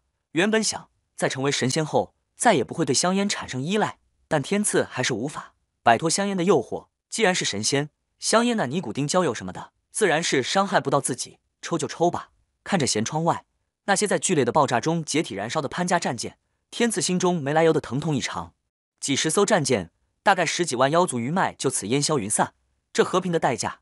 实在是太大了，但是不给他们一些永生难忘的记忆，他们绝对是不会按照自己的套路出牌。在某一种观点来看，为了今后不再流血，双方就此和睦共处，这样的代价又是值得的。收回目光，天赐对公主说道：“向对方传输信息，限他们一个月内来帕雅帝国谈判，否则期限一过，潘家帝国将不复存在。”天赐强硬霸道的话语令公主一愣神，这么强硬，想想也是，他有如此能力，还有什么办不到呢？那敌舰获取信息后，便如获大赦，穿外国空间而去了。现在他能穿外国空间，是因为天赐解除了空间禁锢。怎么样，公主不请我去你家坐坐吗？诸事已了，自己在乎，为此不惜亿万光年前来的人，完好无恙。天赐性情很是舒畅，便笑眯眯的看着公主说道：“看着面前这年轻神秘且拥有特殊能力的男人，公主心里突然生出一丝丝异样的感觉。这是一种自己从未有的奇怪感觉，也不知道为什么会有这种感觉。”只知道在这个人身边感到安全安心，就像是一只孤独的小鸟儿忽然找到了温暖的巢穴一样的温馨安宁。现在面对着此人柔和的话语和笑容，仙儿好似鹿状一般，一抹红晕不合时宜的涌了上脸颊。叫我戴儿吧，不知恩人如何称呼？天赐，张天赐。第四十一章，祖屋玄冥。恢复动力的宇宙战舰开始了再次的空间穿外国。戴尔公主以及其手下发现，现在的战舰动力更加强劲。他们虽然无法知道。这是什么原因造成的？但都明白，战舰有如此的超强动力，来自这个神秘的年轻人。当战舰钻出最后一个时空隧道时，这艘庞大的星际战舰舷窗外出现了一个巨大的蓝色星球。如果不那星球上大陆轮廓和地球不一样的话，很容易被误认为是地球。但这个被误人叫做美亚的星球比地球大了很多倍。天赐测算了一下它的体积，跟太阳系的海王星差不多，也就是说，美亚星球的体积差不多是地球的四十多倍。如此巨大的岩石类行星太不可思议了，而且具备生命生存的条件，太神奇了。而且这个美亚帝国所管辖的范围是何其广袤，如此巨大的星系，美亚的势力范围占了四成多，其所属人民也星星点点分布在无数的星球上。美亚管辖的空间范围比整个银河系还要宽广许多。从这里可以看出，美亚帝国其疆域是何其的广泛，大的难以想象。而天赐所在的地球，生命演化了三十多亿年。如今也算得上是高度发达了，但和美亚如今具备的科技水平，便显得是那样的不值一提。美亚帝国和其相对应的潘家帝国，早在几千年以前就具备了星际空间开发和移民的水平，而地球呢，连月球和火星这样的邻居都没有征服，这两地的文明差距是何其的巨大。假如地球通天国拥有美亚帝国千分之一，即便是拥有美亚帝国两千年前的科技水平，那么便是给那些曾经欺负咱们通天国的列强。唱藏歌的时候到了，此时的天赐已经在开始为自己的民族谋划未来的一些蓝图。更奇特的是，美亚星球还围绕着几十个巨大的卫星，最小的和地球的月亮差不多，最大的比地球大出几倍倍。这些大大小小的卫星，在各自轨道上竟然有序地围绕着美亚星球旋转，而这些卫星中有大部分适宜人类生存。天赐不得不感叹宇宙鬼斧神工和诡异的宇宙法则。美亚便如此强大，那么比美亚还要强大的潘家帝国呢？天赐不敢想象。这时，前方飞来数十艘战舰和戴尔的战舰汇合，戴尔的战舰在他们的护卫下，向那个叫做美亚星球的星球飞去。当天赐和戴尔一行乘坐着类似于地球飞机的飞行器缓缓降落在类似于机场时，远远见到一对中年夫妻在三个年轻男子及一批随从的陪同下迎了上来。妈妈。呜呜！戴尔扑进那雍容华贵的中年妇女的怀里，哇哇大哭起来。这时的戴尔早已没有了在星际战舰上的英武果敢之气，有的只是十足的小女儿佳佳不久前经历的惊魂一刻，足以使她鸣鼓终生。要不是遇到救星的话，此时早已化作宇宙尘烟了。万千感慨化作无穷无尽的泪水，哭的母亲肝肠寸断。而母亲自然知道了事件经过，一边劝慰，一边陪着宝贝女儿流泪。那国王和三个王子显然知道自己不是劝人的行家，安慰安慰了戴尔后。来到天赐面前，深深一鞠躬，道：“谢谢你救了我女儿以及全舰官兵。来自地球母星的朋友。”天赐笑了笑，说道：“国王王子就不要客气了，我与你们同出一源，便是兄弟姐妹。国王和王子都是豪爽的性情中人，就不再客套。”陪同小秋回到王宫，作为救驾的英雄，天赐自然是受到美亚帝国举国上下的热烈欢迎。同时，国王当着文武官员的面宣布与天赐结为盟友，并说道。如果这位盟友需要任何帮助，美亚全体人员将无条件支持。至此，天赐的美亚之行倒是有了意想不到的收获，最忠实、最坚实的盟友。接下来，天赐在戴尔这个全天候导游小姐的全程导游下，游遍了美亚星球各地和许多卫星。在美亚期间，天赐参与并主持了美亚帝国和潘家帝国的和谈，两国在现有各自实际控制的空间范围下，签订了永久和平的协议。战战和和千多年了，是该和平了。当然，能顺利达成和平协议和天赐展示出的恐怖实力不无关系。战争这个伴随了美亚帝国和潘家帝国千百年的状态，将随着天赐的介入而转换成期盼已久的和平。其实，在千多年的战争中，美亚帝国和潘家帝国也是苦不堪言。千年的战争消耗了各自无法估算的资源，还有在千年时间中，在战争中牺牲的双方将士，这也是无法估算的恐怖数字。两国和平的愿望由来已久。只是相互间缺乏信任、缺乏沟通，导致和平遥遥无期。随着天赐的介入，美亚帝国和潘家帝国终于坦诚相对，不失时机的抓住了弥足珍贵的和平契机。这个被美亚人称作玄冥星系的地方，就此迎来了期盼已久的和平。玄冥星系乃是美亚乌人为了缅怀和纪念自己民族最高的神，将这个星系命名为玄冥星系。只不过，玄冥星系天赐的心神没来由的一阵忧动。玄冥，你还好吗？你还要躲到什么时候才肯见我？才肯见那个曾经负你有负无人的红军？翌日，天赐正和戴儿在皇宫聊天时，天赐意念一动，凝神一算，嘴角露出一丝笑意。玄冥啊，玄冥，你终于肯见我了吗？你是否还在怪当年红军的绝情？其实，天赐一踏进玄冥星系的范围，就探查到了玄冥的气息。至于这么久才回应，恐怕是他的心结现在才有所打开吧。想想也是，被人放了鸽子，心情也不会好到哪里去。转头问戴尔：“带你去个地方，你去不去？”戴尔此时已经被这个年轻的神秘男人迷得不分东南西北。天赐要去的地方，戴尔当然是要去的。天赐便带上戴尔公主，直接瞬移而去。磅礴大气、巍峨雄壮的祖屋神殿，是美亚帝国最神圣的地方，是全体巫人灵魂深处的圣地，是巫人的精神中心。巫人为了纪念那几千万年前将现在的巫人祖先划破空间来到这里的玄冥祖屋，而特地建造的巫神殿。矗立着十座巨大的雕像，在巫人的传说里，这十个巨大的雕像是已经死去的巫族大神。祖屋本是十二座，传说中的另一个女祖屋后土，至今不知所踪。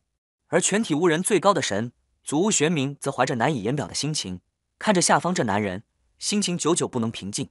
真是造物弄人啊！几千万年了，不想他却是这般模样出现在自己面前，蕴藏了千万年那久远苍凉的一幕幕幕，点点滴滴，刹那间涌上心头。千万年都未曾流的眼泪再已控制不住，顺着经历亿万年苍茫的脸颊滑落下来。你还好吗？玄冥祖屋艰难地问出了压抑千万年的问候，千万年的无穷无尽的思念，千万年没有尽头的孤枕难眠。此时仅仅是化作无声的泪花。短短几次的问候，我很好，你呢？还好吧？这是红军的问候。一代祖屋玄冥落泪，在红军的情感下，天赐心里也是很难受。早成玄冥被天道发配到这遥远的宇宙，是谁的错？如今再见玄冥，对于红军，又或天赐，乃至玄冥祖屋，是幸还是不幸？是孽缘还是善缘？玄冥啊玄冥，你好吗？这是天赐灵魂深处自己的前世对故人最真挚的问候。巫人心中最高的神流泪，帝国公主戴儿却是懵了。这巫神殿他也来过几次，可是那时候的玄冥娘娘是雕塑啊，怎么今天还会说话？说话也就算了，还哭了，这是怎么了？这可是全体巫人顶礼膜拜至高无上的神啊，这是为什么啊？戴儿晃晃小脑袋，掐掐脸颊，疼，这不是梦啊！一时间，小妖精的脑袋短路了，拍拍晕乎乎的脑袋，盯着玄冥。台上的玄冥在心情百回千转，但也注意到了戴儿的心情变化。看看这个自己见过几次的天之娇女美亚帝国公主，玄冥展颜一笑，如春风化雨，百媚太生。即使是美女中的极品戴儿，也被玄冥这惊艳一笑惊呆了。天了，好美啊！戴儿只是不知道自己倾慕的人带自己到这里来做什么。八天赐点上一颗香烟，透过烟雾看着那表情变化万千、曾经叱咤风云的一代祖屋玄冥，天赐心中也不平静，也不知道祖红军当初的决定是对还是错。玄冥哪，千万年了。你还是这般美丽，而我却是大大的变了。深深吸一口烟，晃了晃脑袋。你的外表是变了，但你无论是如何变，你还是红军。而你的承诺变不了，你对我万千巫人的承诺变不了。你的铁石心肠变了没有？这个我不知道。祖屋玄冥已是泣不成声。这下戴尔的大脑又短路了。他们认识，而且这个巫人最高的神今天的流泪，竟然是为了自己心仪的男人，这怎么可能？再看看天赐，顶多就二十多岁嘛。可问题是，娘娘的确是为他流泪，而且是关系复杂、难以言喻的流泪。难道他们曾经有一腿？戴儿心中酸意涌动，愈发强烈，媚眼不由迸发出强烈的电光，朝玄冥射去。不管怎样，只要是威胁到自己的感情，无论他是谁，就是娘娘也不行。一道道更加强烈的电光再次冲玄冥而来。此时的玄冥正由自感伤纠结不已，却见一道道灼热的电光奔自己而来，一愣神，随即明了，不由莞尔一笑：这小家伙打翻醋坛子了。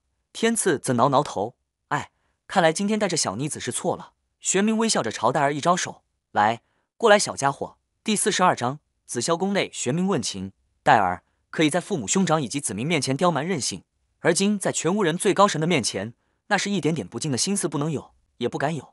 玄冥娘娘的至高无上的存在，不仅仅是高高供奉着那么简单，那是全体巫人心灵深处的精神依托和膜拜。玄冥娘娘不但是巫人最高的神。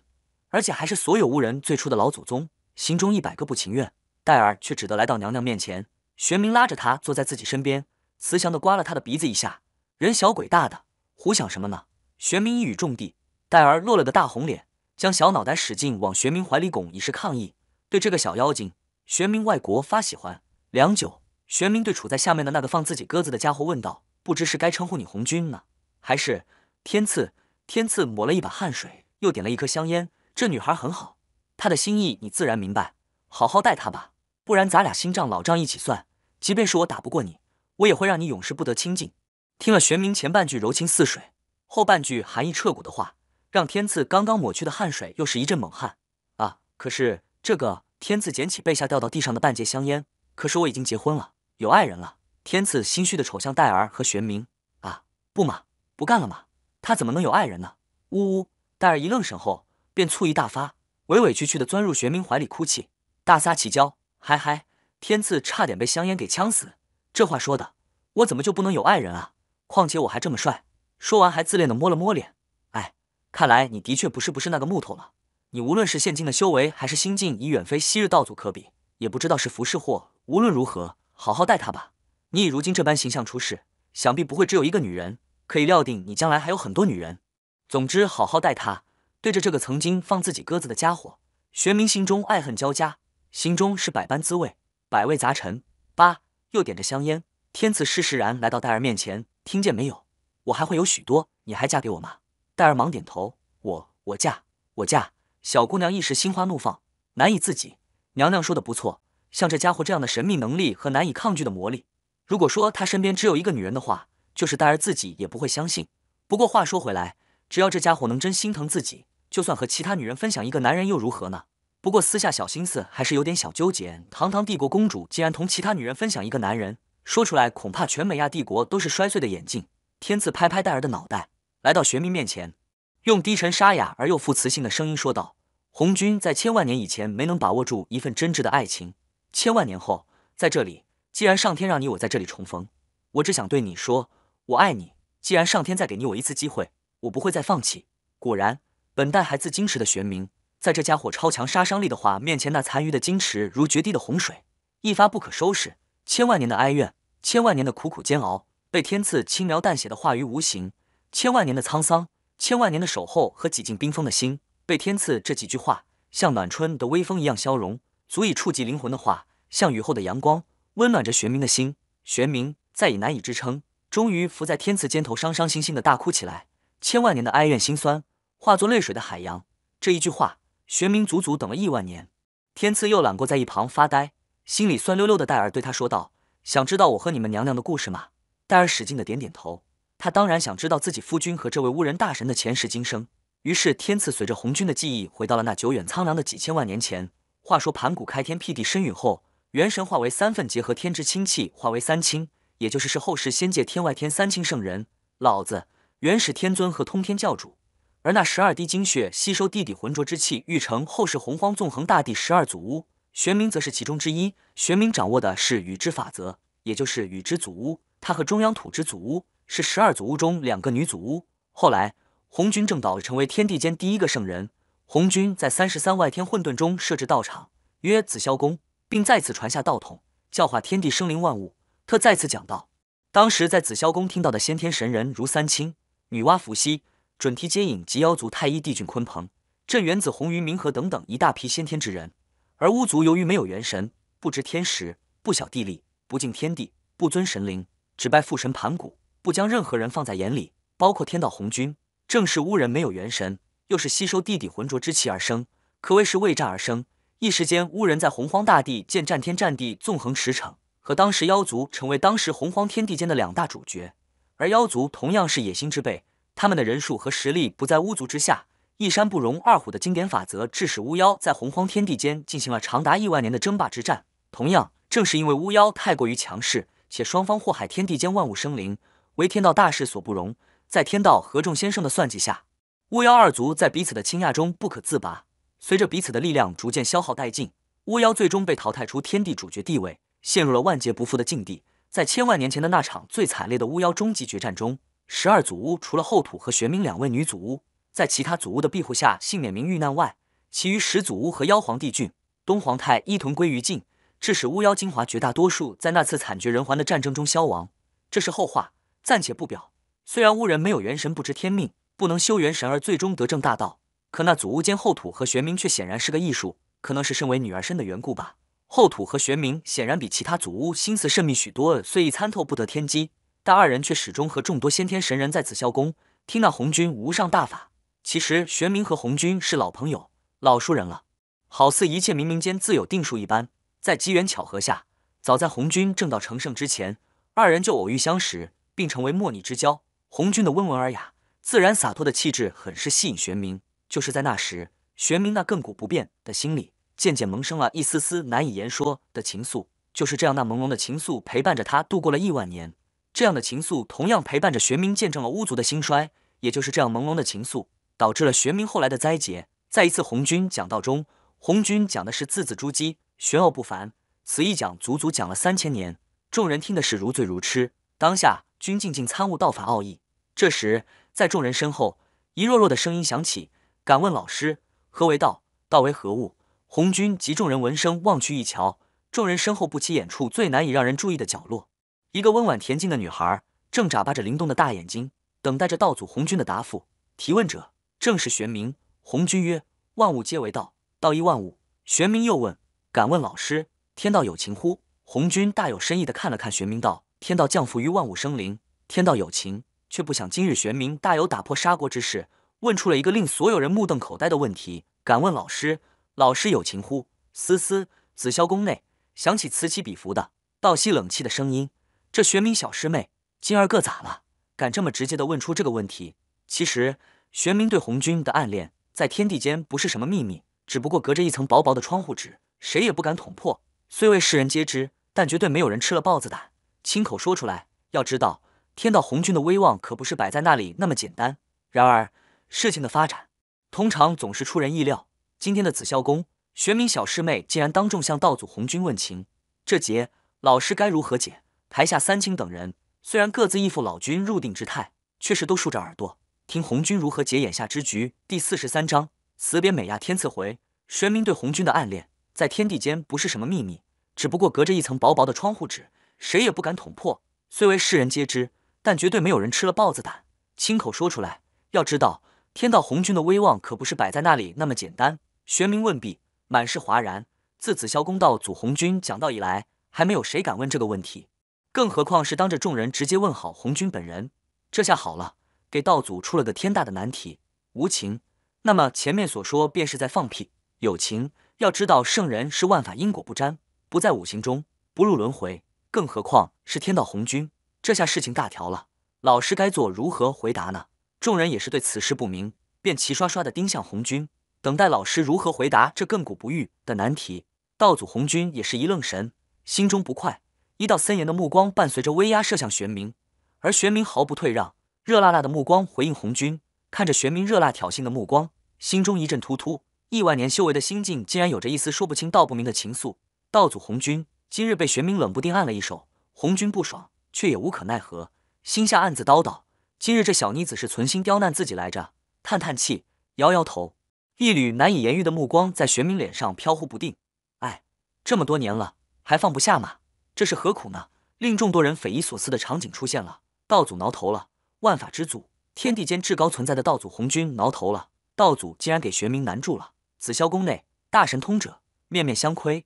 彼此大眼瞪着小眼，玄冥见火候已到，便向目在当场的红军和众人道了个万福后，拉着同样呆若木鸡的后土，施施然而去。终于回过神来的众弟子忙识趣的向老师告退，一溜烟而去，把红军一个人晾在了紫霄宫。哎，紫霄宫传出一声悠长的叹息声。因果以身合道的红军也未能幸免因果的缠绕，在后来那场巫妖决战中，十二祖巫只剩下后土玄冥及其所属部落残部。这正是因为后土玄冥在紫霄宫听到所结下的善果，因此天道之下留下一线生机。后土后来化身六道，成为仙界地府的创建者和掌管者。天道有感于后土化身六道并掌管六道之功德，赐予他元神一份。后土因没有鸿蒙紫气，虽然未能成圣，但他一身功德堪比圣人，在天道之下，就是圣人也不敢伤他，不然天谴之下将遭受万劫不复的惩罚。而玄冥的遭遇就艰难得多。玄冥虽和后土一起在紫霄宫听到。但他在紫霄宫那次向红军问情，同样结下了恶果。当然，惩罚他的不是红军本人，而是天道。本来玄冥那次结下的恶果，在天道之下应化为灰灰。在红军的坚决抗争下，天道便对玄冥也留下一线天机，以至于在巫妖决战中，玄冥同样幸存下来。在他的下属部落快伤亡殆尽时，在诸多妖族和满天神佛的围剿下，玄冥才从容不迫，优雅的将那些残余的巫人划破层层空间，来到亿万光年那后世的玄冥星系。而玄冥自己则负担起了护卫自己子民职责，直到今天。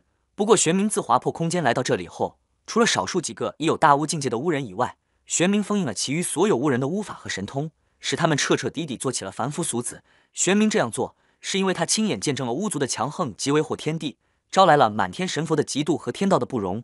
是也，玄冥希望自己的族人以平凡人的身份快乐安宁的生活。也许是有舍才有得吧。没有了法力神通的巫人，在千万年后。凭着自己民族的聪明才智，却在科学技术上突飞猛进，造就了今日傲视本星系的两大势力之一。听了娘娘与自己心中夫君前世那久远苍凉又凄美幽怨的爱情故事，戴儿如痴如醉，嗟叹不已，抱住玄冥，泪流满面的说道：“对不起，娘娘，真的对不起，我真的不知道你们以前的事情，对不起，娘娘。”对于面前这位娘娘，戴儿心中疼痛油然而生。没想到高高在上的巫人大神的命运是如此的多劫。更没想到，巫人竟然是以那种方式从地球母星而来。两个惺惺相惜的女人彼此紧紧相拥，用女人的方式诉说对彼此的尊敬、理解和包容。玄冥祖巫和戴儿如今已经结下了深厚的友谊。这种情感与是否情敌无关，也和玄冥是否巫族大神无关，有的只是女人之间对彼此的理解和包容。即使是占有欲再是多么强烈的女人，对于玄冥的前世今生，任谁都无法和他做情敌。既然无法做情敌，那么就做姐妹，最好的姐妹。天赐将美亚帝国势力范围内的所有星际空间布置了防御结界，如何攻击都不会有效果，就如上次潘家帝国战舰攻击戴尔那艘战舰一样。所有的攻击均被挡在外面。而帕雅帝国所有的星际舰队均有类似的防护层，而且武器系统、动力等等被天赐炼化，不必再攻击一次便停下来充蓄能量，而是不间断的连续攻击。这样的转变在瞬息多变的空间战场上，其效果是不言而喻的。也不知道戴尔是如何在父母面前吹风的。身在美亚帝国的天赐却是迎来了提亲。翌日，在王府客厅，国王夫妇正式向天赐同志提婚。天赐不由一阵苦笑，这小妮子还真性急啊。半晌后，天赐对国王夫妇说道：“想必您二老也知道我在地球有爱人了。”那国王叹了叹气：“哎，没办法，这丫头给我宠坏了，要死要活的非你不嫁，我也是没有办法。”天赐一见，便趁热打铁的说道：“要我同意也行，得答应我一个条件。”国王一听，没问题啊，什么条件也行。天赐叹了叹气：“可怜的国王啊！”某日，美亚帝国举国万城空巷，以庆祝帝国公主大婚。在所有巫人的心中，公主的声望仅仅在巫人大神玄冥娘娘之下，就是国王的声望也在这个全体巫人公主之下。那是因为公主不仅仅是因为那惊艳的绝世容颜和那善良纯真的心，公主最受爱戴的原因是她担着美亚帝国星际舰队总司令之职，担负着美亚帝国人民的安全之责。如今公主终于有了好的归宿，全体美亚子民从内心感到高兴。新婚夜，看着那娇滴滴、脸颊红晕满布的新娘，天赐心中不免一阵惭愧。是对于远在亿万光年外的娇娇和面前这位新的红颜的歉疚，自己真的如玄冥所说是个花心大萝卜吗？娇娇、戴儿还有那和自己的前世纠缠了亿万年的祖屋玄冥，三个女人也就意味着自己多了三个甜蜜的负担，个个有着沉鱼落雁、闭月羞花之貌，对自己用情至深，叫自己情何以堪？只能是今后全心全意的爱护和关爱他们了。而自己今日娶了戴儿公主，却对那可怜的国王狮子大开口，拐了人家宝贝女儿不说。还狠狠敲了人家竹杠，至此天赐心中的歉疚不免增加几分。次日，老神在在喝着茶的天赐，看着拖着犹自不变的身子收拾残局的戴儿，心下不由一阵哑然，一阵歉意不由咂巴咂巴嘴，喉咙发出咕咚一声。戴尔哪能不知道那心思，粉面一红，狠狠的给他一个大大的白眼。天赐心下一宽，还好没有落下阴影，和戴尔度过一个月的蜜月，拜访了戴尔的长辈和亲朋好友，在美亚帝国。天赐已经待了半年了，天赐觉得自己实在是该回地球了。不说地球上还有一个娇妻在等待自己的归去，主要是天赐觉得时间紧迫，已经没有多少时间可以浪费了。第四十四章玄冥的心绪。广袤无垠的宇宙空间，排列着由四个编队方阵组成的庞大的星际舰队。天赐将这些庞然大物按照地球海军编制进行分类。星际航母，这是个超级巨无霸，长三万米，宽一万米，高九千米。配备各型星际战斗机四千余架，这只是常规战时配置，在庞大的机库里还有上万架战斗机，也就是说，一艘星际航母所搭载的战斗机就有一万多架，还有数千架各型运输机。而这样的航母组成三个航母战斗群，每个群配备较之稍小的星际战列舰四艘，星际巡洋舰八艘，驱逐舰和护卫舰各二十余艘，以及各型辅助支援舰数十艘。一个航母战斗群共有各型舰艇一百余艘。也就是说，三个航母战斗群一共大约五百艘舰艇，这还不算完。三大星际航母编队之外，还有一支由十艘护卫舰护航的八十艘运输舰组成的运输舰队。这就是天赐向那可怜的国王敲的竹杠。当然，这也不是美亚帝国独自承担，这些战舰装备有一半是来自潘家帝国。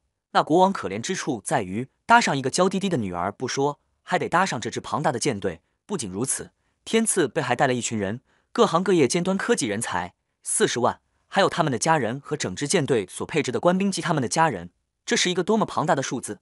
还有数不清的地球稀缺或没有的资源矿石，比如那运输舰上那数以千万吨万吨的黄金、白银和钻石，这些就是天赐为提升地球通天国的科技水平和国家经济实力，向人家借的装备、人员和财富，还有国家振兴而紧缺的各类人才，并对些人用神时签订了灵魂契约，今后他们所有人只会听命于自己或者自己指定的人和政府。天赐一身雪白笔挺的海军上将军衔的军服，更是显得英武挺拔。本来想让戴尔也弄个中将什么的玩玩，可这小妮子知道了地球的军队编制后，却心甘情愿地做起了中校秘书。这不，此时身着中校军衔军装的戴尔脸上红晕未消，自顾自地玩着电脑，再已不理会他。之所以此时的戴尔不再理会天赐，而同样是中校装扮的玄冥则慵懒地靠着沙发翻看杂志，眼睛都懒得抬一下。玄冥是在天赐的连番甜言蜜语的轰炸下。实在招架不住被这货生拉硬拽，连蒙带骗，这才跟来。不过他还是画出一个分身，保护美亚乌人，天赐将四大舰队组合成联合舰队，龙仪任第一舰队中将司令，龙二任第二舰队司令，龙三任第三舰队司令，龙四任运输舰队司令。由于美亚乌人的名字比较绕口，天赐便给他们取了版的名字。然而，对于取名字，天赐却是外行，只得以数字分别给他们取了新的名字。而联合舰队的实际一把手，则由戴尔的老部下老搭档雅青担任。二十多岁，同样貌美如花的女孩，战斗经验相当丰富，在曾经的美亚帝国和潘家帝国的历次空间战争中立下赫赫战功，是个外表娇弱、内心刚强的铁娘子。这次被戴尔点名要了过来，不知道进行了多少次空间跳跃，天赐渐渐感到不耐，太慢了，像如此这般，等回到地球就过了几十年了。天赐觉得没有多少时间可以浪费，无论是对于祖国还是急需自己的仙界，时间对于自己来说太急迫、太宝贵了，便对戴尔说道：“太慢了。”我把这舰队收进我的空间，我和玄冥瞬移而去。你待在这里，我也要和你们一起。嘿嘿，可以，只要你在外面可以呼吸和不怕变成满是辐射的干尸的话，当然可以。戴尔看着他携着玄冥一瞬而逝，戴尔贴着舷窗往外瞧，只是哪里还看得到？可怜的戴尔浑然不觉自己和整个舰队已经进入了天赐那混沌空间，还兀自不知。只余下他暗自恨恨，哼，谁不晓得你们想干什么？在无尽虚空间。玄冥看着偎依着自己的转世木头，那冰封亿万年的芳心再次被融化。此时的玄冥情难自禁，珠泪如雨如注，呜呜，积蓄千万年的哀伤化作悲怆的音符，划过空旷死寂的星空。既然上天让你我再次相逢，我不会再次让彼此遗憾。千万年的因果是该了结了。天赐的话语开始是含情脉脉，本来玄冥被这家伙前两句话感动得一塌糊涂，却又被这家伙毛手毛脚吓了一跳。啊，难道在这儿吗？转头瞅瞅。四下是无尽虚空，便捉住那猪手不行呢。在这光天化日下，像什么样子啊？这个当然难不住神通广大的天赐。要是这个都难住的话，那么就不是道祖转世了。天赐挥手一划，二人便出现在一间布置豪华的卧房里。这就是玄冥的宿命。本来已经被隔绝于天道范围外的玄冥，再次在机缘巧合下和那木头的转世重逢，是因果，是宿命，谁也说不清道不明。这家伙前世今生变化而已，太大了吧？哪里还有前世那木头的影子啊？这分明就是两个极端嘛！二人将身上收拾收拾，天赐又一话，房间消失。玄冥问道：“你把道祖的法力整日用来干什么了？”啊！穿过时空，前方不远处出现了一颗蓝色色的星球，如一颗璀璨的蓝宝石，令人遐想连连。这就是地球，怎么样？还熟悉吧？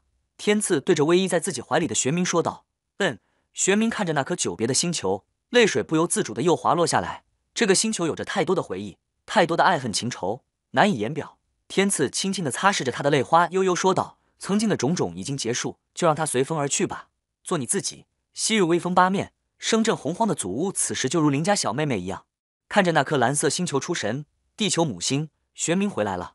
久别千万年的故土，玄冥回来了。第四十五章，娇娇的姐妹。泪花伴随着玄冥那苍茫久远的记忆，再次滑落如花儿一般的脸庞。玄冥的脑海里，玄冥的眼前。仿佛出现了往日的征战杀法，耳边战马在嘶鸣，战鼓声势震天，多少昔日的战友兄长历历在目。他们仿佛由自挥舞着战刀，向敌人发起决死冲击。十位祖屋大哥、后土姐姐，还有许许多多的巫族兄弟姐妹的音容笑貌，真真切切的在玄冥眼前晃动，仿佛巫族的强大、巫族的兴衰就在昨天，近的可以伸手触摸。战友们啊，兄弟姐妹们啊，玄冥好想你们。后土姐姐，你在仙界还好吗？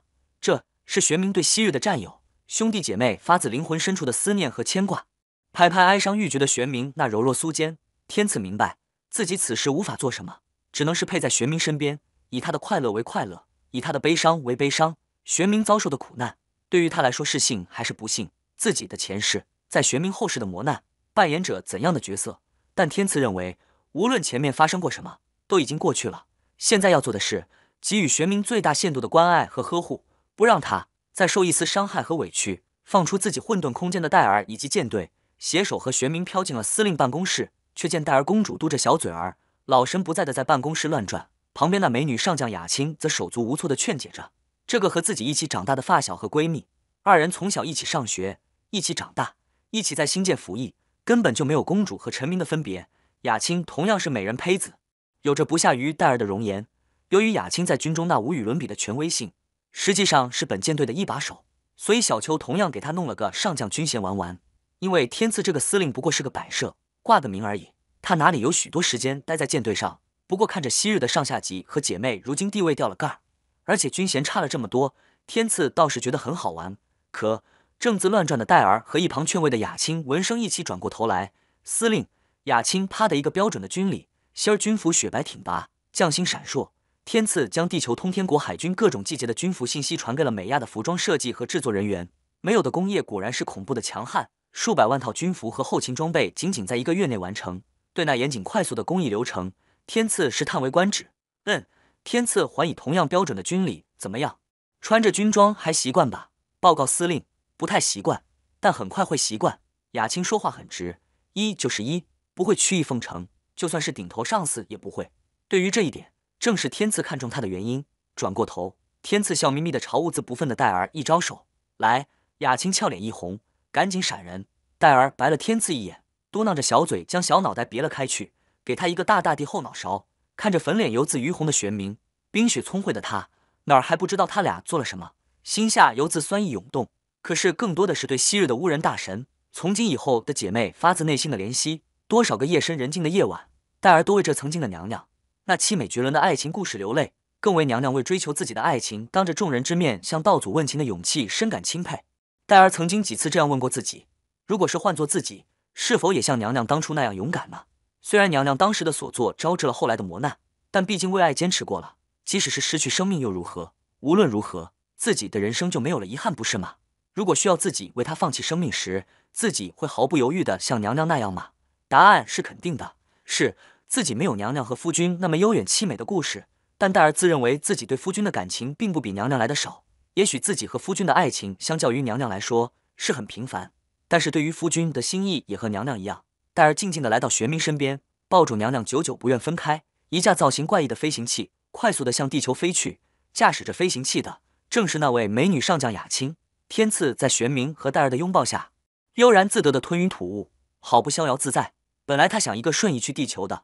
又方便又快捷，玄冥倒是没有问题，因为他本来就是穿外国时空的行家。论起穿外国本领，他比天赐来的更加娴熟。可是戴尔虽然经过和自己的双修，并经过了自己混沌元气的淬炼，现在也只是最底修为的神仙、人仙，无法承受穿外国时空时那时空风暴的伤害。而这个小妮子又不肯待在自己空间，无奈只好乘坐这架飞行器。不过也好，这自己的专机会有用处。整个舰队被留在了距离地球三百万公里的空间。如果将这些巨无霸飞临地球的话，绝对会造成骚乱。将飞机隐藏在空中，将不情不愿的戴儿硬塞进自己的空间，和玄冥瞬移到了自己在燕京郊区那栋别墅，放出满脸不忿的戴儿，这才摁下门铃。未几，门洞里现出了一个白头，正是师傅清虚子。进的院里，却见岳父母正打量着自己身后的两个女子。啊，介绍一下，这是玄冥，这是戴儿。一阵介绍，师傅和岳父不愧是男人，神回的很快。忙稀里糊涂的和玄冥速速打招呼，不过清虚子看向玄冥时却是神色大变。你是玄冥师姐？说着又看向天赐，天赐说道：“不错，他正是祖屋玄冥。”而玄冥则同样惊奇，没想到几千万年后，除了转世红军，还能再遇见故人。当时玄冥与紫霄宫听到时，清虚子是红军身边那三的道童之一，昊天后来做了玉皇大帝，瑶池则做了王母娘娘，而皓月则跟着红军的元神跟着转世。负责保护转世的道祖，如今再次重逢，二人不由心中感慨万千。玄冥和前世红军的爱恨情仇，清虚子当然也知道，并且从内心深深同情玄冥的遭遇。如今见昔日的祖屋，今日和转世道祖再续前缘，心下甚为欣慰。那还在为女儿感到纠结不已的西瑶，却见这女人好像和自己的女婿有着剪不断理还乱的前世纠葛，便安静下来。清虚子便向他夫妇诉说了玄冥和红军的前世恩怨后。天赐在向他们说了这次美亚之行和取代儿的经过。西瑶在以难以为自己宝贝女儿吃味。作为女人的她，同样为玄冥爱情的勇敢和率直所折服，也是遭受了千万年的磨难和不幸，是该有个好的归宿了。至于戴儿，同样是个好女孩，对爱情的执着同样令人敬佩。于是乎，芸娘再也忍不住朝玄冥和戴儿招招手，来到这儿来。二女一阵忐忑，看看天赐，天赐点点头，他俩只好怯怯的来到夕瑶面前。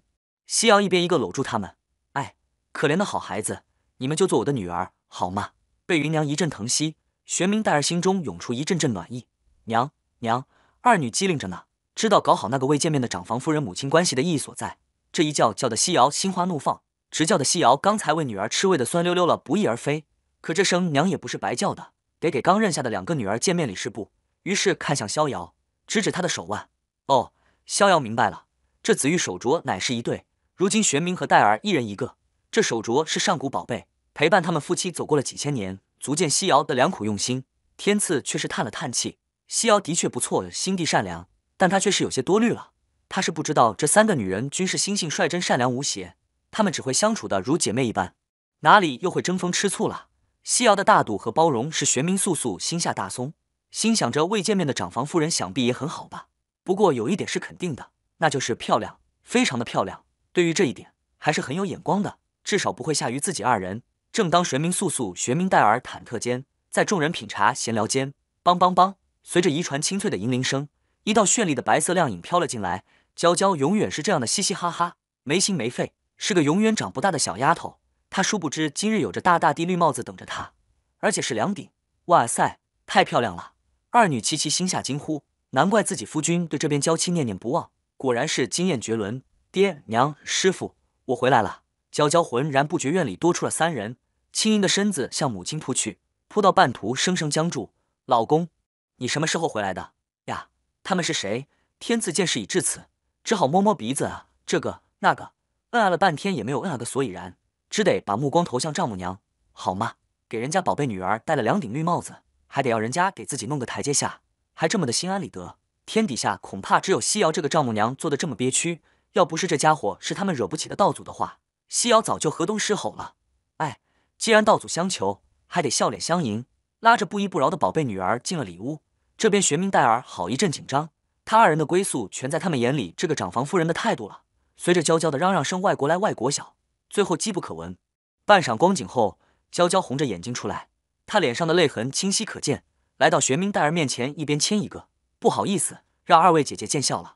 咱们今后就是好姐妹，同仇敌忾，一致对外。说完，杀人的眼光射向那个好色的家伙，见一个爱一个的家伙。同仇敌忾，对我天赐不由得又摸摸鼻子，而玄冥戴尔也同时瞄了过来，天赐不由冷汗如雨啊！以后有的受了。第四十六章，做客星际舰队，东海某岛，扶桑海事监察船驱赶我国渔民，在在我某海岛上立下永久戒庄，并插上了太阳旗。扶桑国当局还在我东海春晓油田附近向我国屡屡发出挑衅，相关文件文件被送进办公室，一位约莫五十岁左右的男子正翻阅着东海事件的相关文件。这男子正是现今通天国最高领导人李霄汉。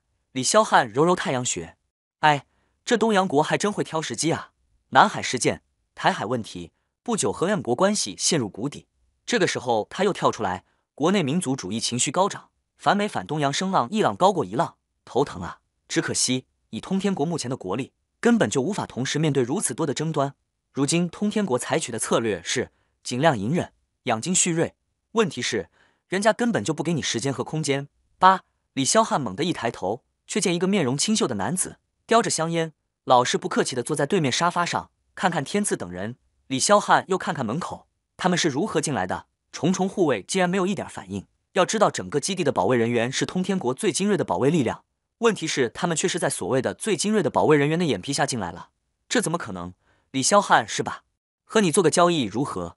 那男子靠着沙发慵懒地说道。有趣，不知你想要做什么交易？不愧是领导人，迅速平静下来，心中明白这三人能在戒备如此森严的国家政治中枢自由出入，自不会是普通人。倒也好奇这人是什么来路，又是如通过层层守卫的交易嘛？对于这个国家来说是千载难逢的机会。你放心，这个国家只会稳赚不赔，而且是最高利润。当然，交易成功后付我一百亿美金。一百亿美金？什么样的交易要一百亿美金？李霄汉刚刚喝到嘴里的茶水。差点呛了出来。这小家伙说那一百亿美金，就像是说一百美金一样。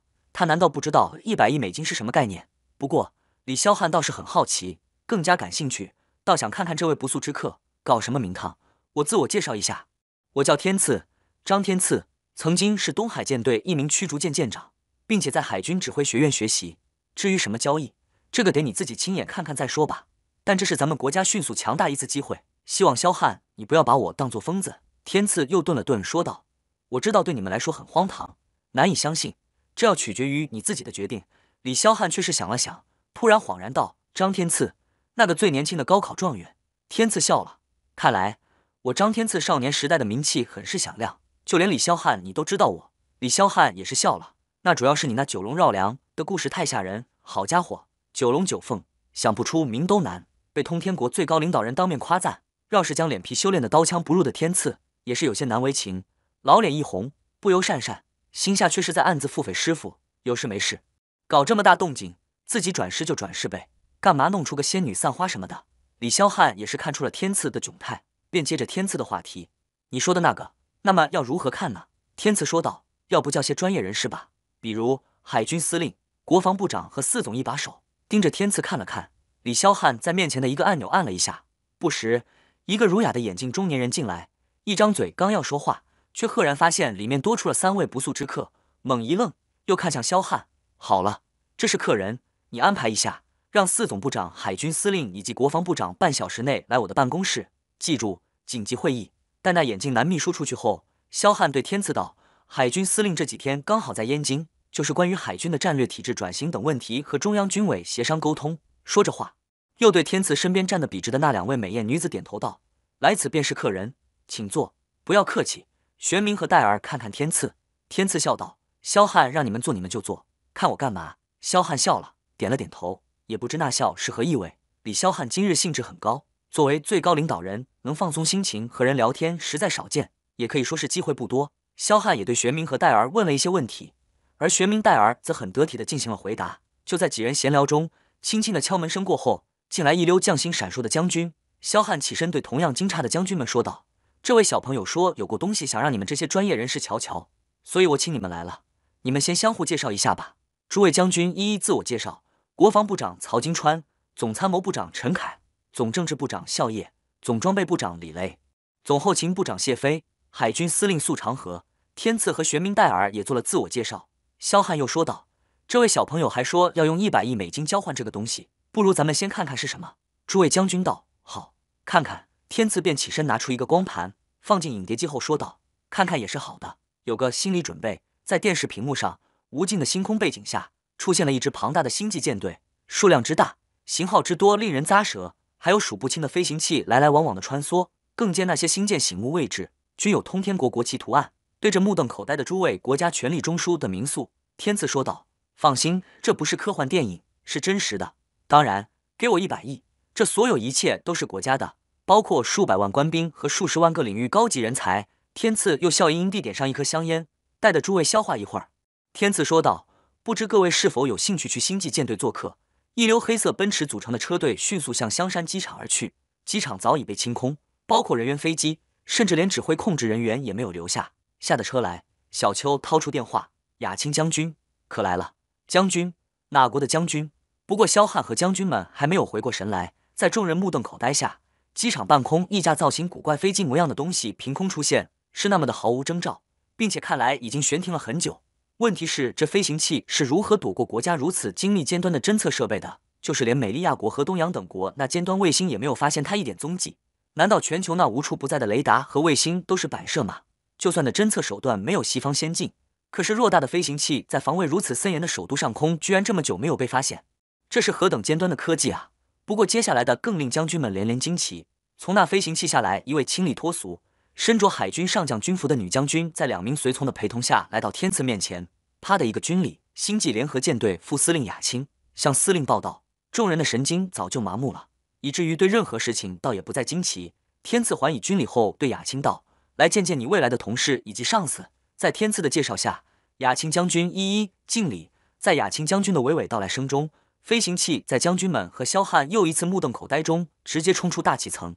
而此时，众人心里只有一个心声：如果国家真的有了这等科技手段，放眼世界，还怕谁来？在飞行器飞了约莫半个小时后，在星光的映衬下，前方出现了几个庞然大物。而这些大家伙在雅青口中说来，这不过是舰队里的小个子时，将军们再次无语。如果说这些长度约五六公里的大家伙还是小不点，那么那些还要大的呢？随着将军们一次次震惊和无语，在后来加入的看似是战斗机的飞行器的护卫下，穿过了一批比一批大的星舰组成的防卫圈，最后来到了舰队的中央，更加庞大的星舰面前，将军们没有了言语，只是彼此对望。众人明白，通天国将会以任何时代不同的方式崛起。经历了太多惊奇，已经神经麻木的将军们和萧汉倒也是老神在在了。随着那被天赐称之为星际航母的舰尾一道道闸门打开。众人所坐的飞行器随那些战斗机飞了进去，闸门随之关闭。带下的飞行器看着那巨大空间里停放着的那些密密麻麻、整整齐齐的数以千计各型空间战斗机，将军们不得不重新定位高科技的含义。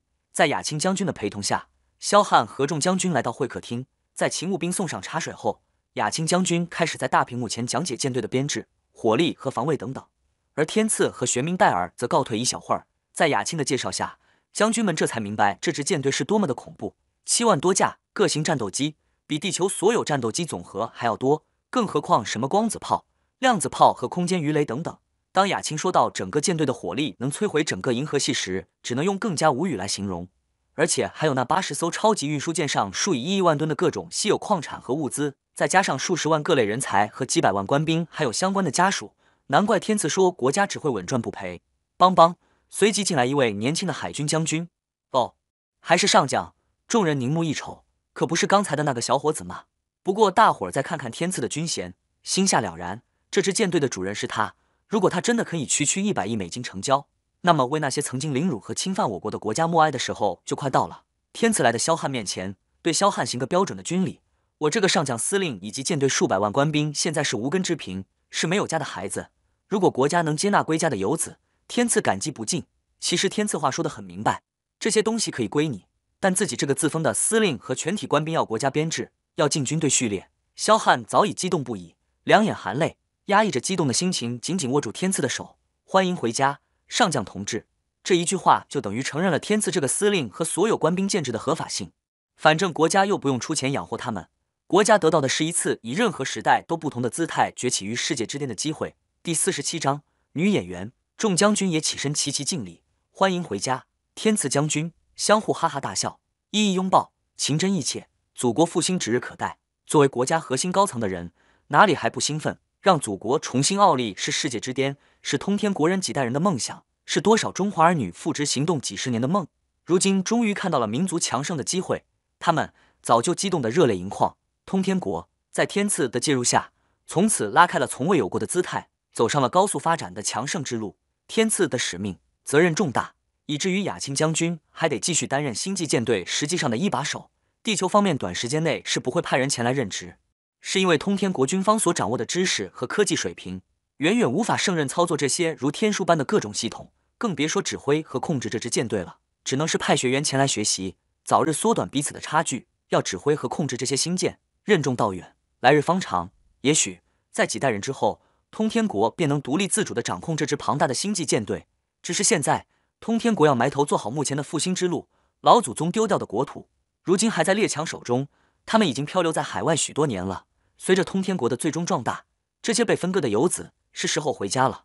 天赐如愿以偿的拿到了一百亿美金的支票，这下子天赐不再是一个穷小子了，成为了有钱人，而且很有钱。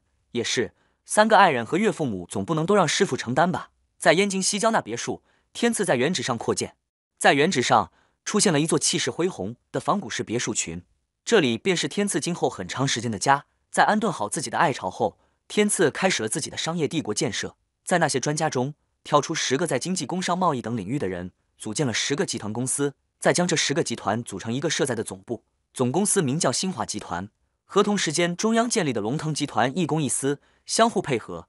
这两家资产超过二十万亿美元的超级集团，在国际上向那些金融大鳄和寡头发起了一轮又一轮的冲击，在全世界突然猛烈地刮起了超强的飓风，全球一片惊叹：国家为什么突然这么有钱？而那些专家中，负责军工科技的人直接交给了军委，从事武器研发和升级，特别是新材料学和新冶金工艺的传输，使国家生产的坦克、火炮和飞机、舰艇的装甲防护力提升了几倍、几十倍效能。新材料的运用还使导弹更加小型化，应用了新材料的中远程和洲际导弹的体积比以前小了几十倍，而射程更远、精度更高、威力更大，而且机动性和隐身性更好。有了外星科技的介入，的航母被提上了日程。冻结了曾经对乌克兰航母的继续研究，而从事自己全新的航母计划。自己的航母起点很高，核动力比 M 国的还先进，人称之为二动力，吨位是十二万吨。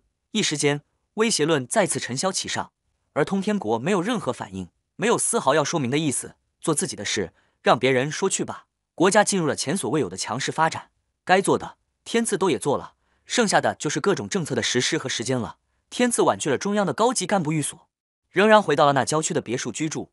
当然，此时的别墅附近驻扎了一个排的武警部队守卫，只是外围守卫。平时这些军人是不会进入别墅的，得顾忌天赐将军的生活隐私，不是？天赐的私生活，高层当然是心知肚明，但也不会将用在政府或军队的纪律条例来约束他。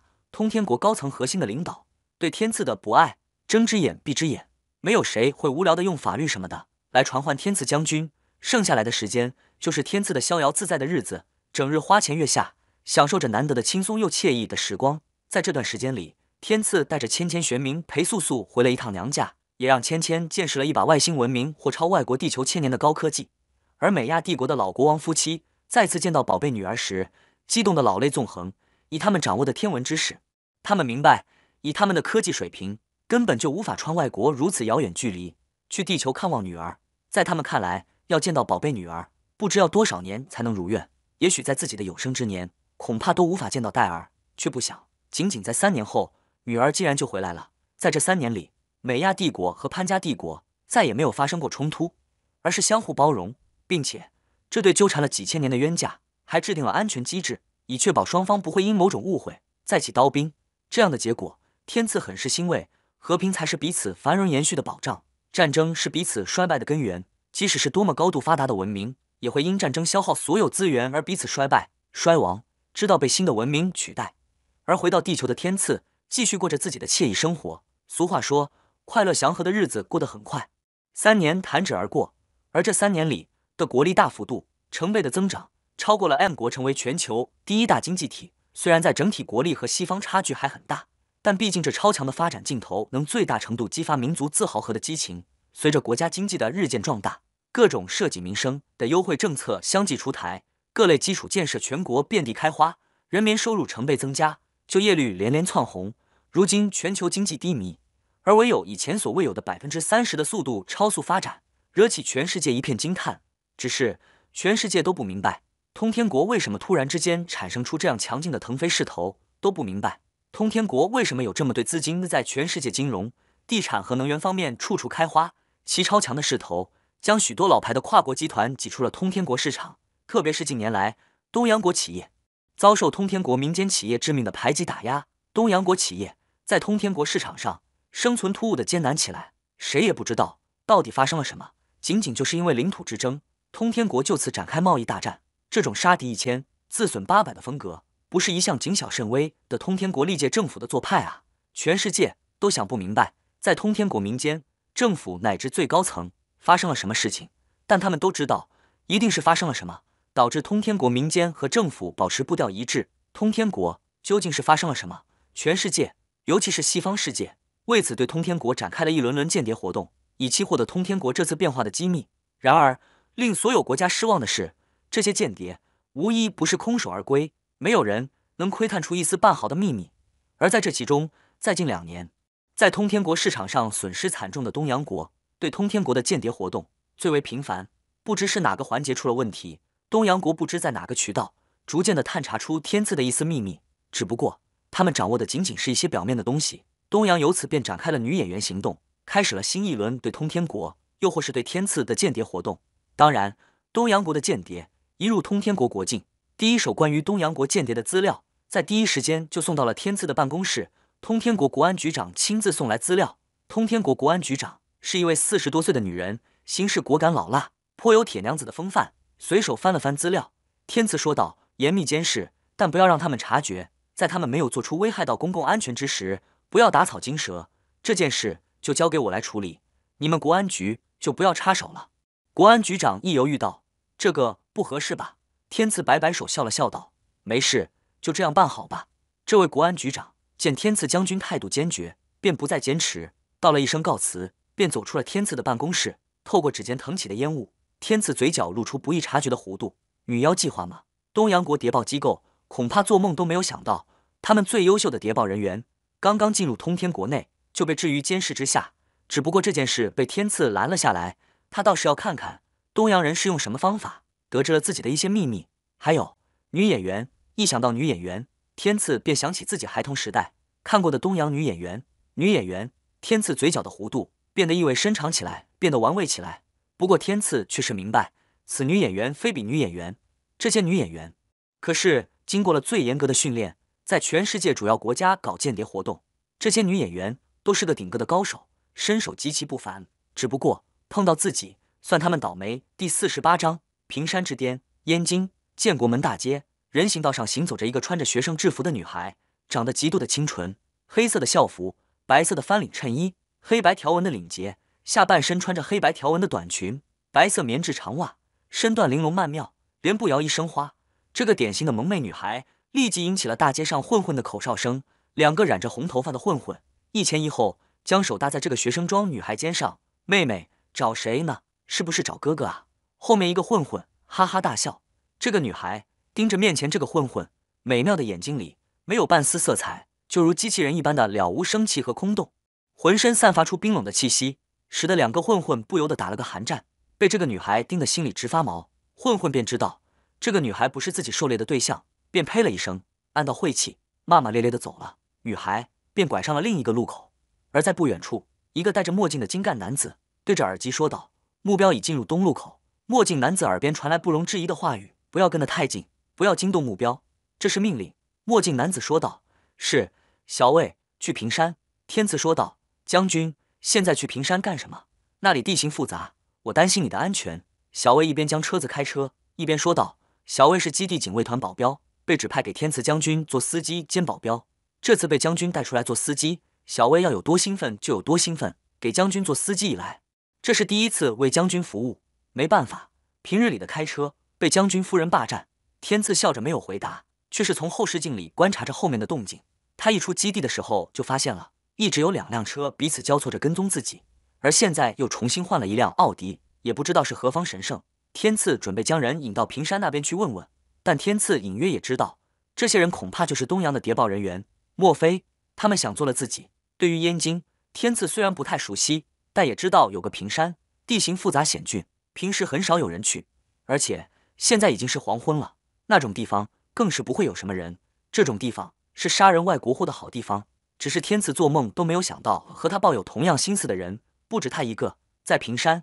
已经有人布局等待着他，只不过因缘巧合下，大家的想法都一样。而在后面奥迪车上的一个面目冷峻阴沉的女人，见天赐拐上了去平山的路，就是一愣，但还是决然跟了上来。而在某一处地方，正进行这一段对话。报告一号，目标进入建设路口，三号正在跟踪，暂缓跟进，由四号接手。报告一号，目标进入盘旋山口，往平山方向行驶，四号正在追踪。通讯器里的声音有片刻停顿。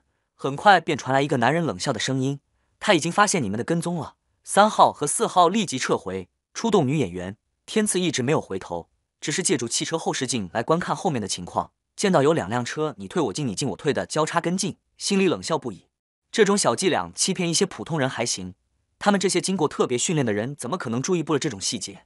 小魏就在前面那个路口停车。叶秋直指通往平山山顶的那条路，说道：“天赐推开车门走下车，对小魏说道。”你现在回去，这是命令。小魏一呆，可是将军，天赐重复一次，听好了，这是命令。小魏无法，这得嘱咐将军小心。后开着奔驰往回走，看到小魏开车走远，天赐才笑着往山上步行走去。这个时候才能一窥平山的全貌。一条盘山路旋转着向前蔓延，内侧是突兀而出的石壁，外侧则是深不见底的山涧，掉下去肯定会摔个粉身碎骨。天赐没有停留。一直走到半山腰，看到有一个稍矮些的山坡时，这才爬了上去，靠在一尊大石上休息。抬眼看着他刚才走过的方向，出来吧。都到了这儿，还掩饰什么？深深的吸了吸鼻子，感受到一股女人身体特有的淡淡香味，不由得笑了起来。果然是他们出动了女演员。难道他们是想在天赐想法时，一个女孩儿拐出巨石？果然，出现在天赐面前的是一个女孩，一身黑色校服，脚下是一双帆布鞋，方便奔跑和攀越。齐耳秀发显得更加清纯可爱，不施粉黛，清秀而冷漠。如果我问你为什么跟踪我，你会不会告诉我？天赐盯着女孩儿的眼睛，笑着问道。虽然天赐笑容灿烂，但心里却一下子警惕起来。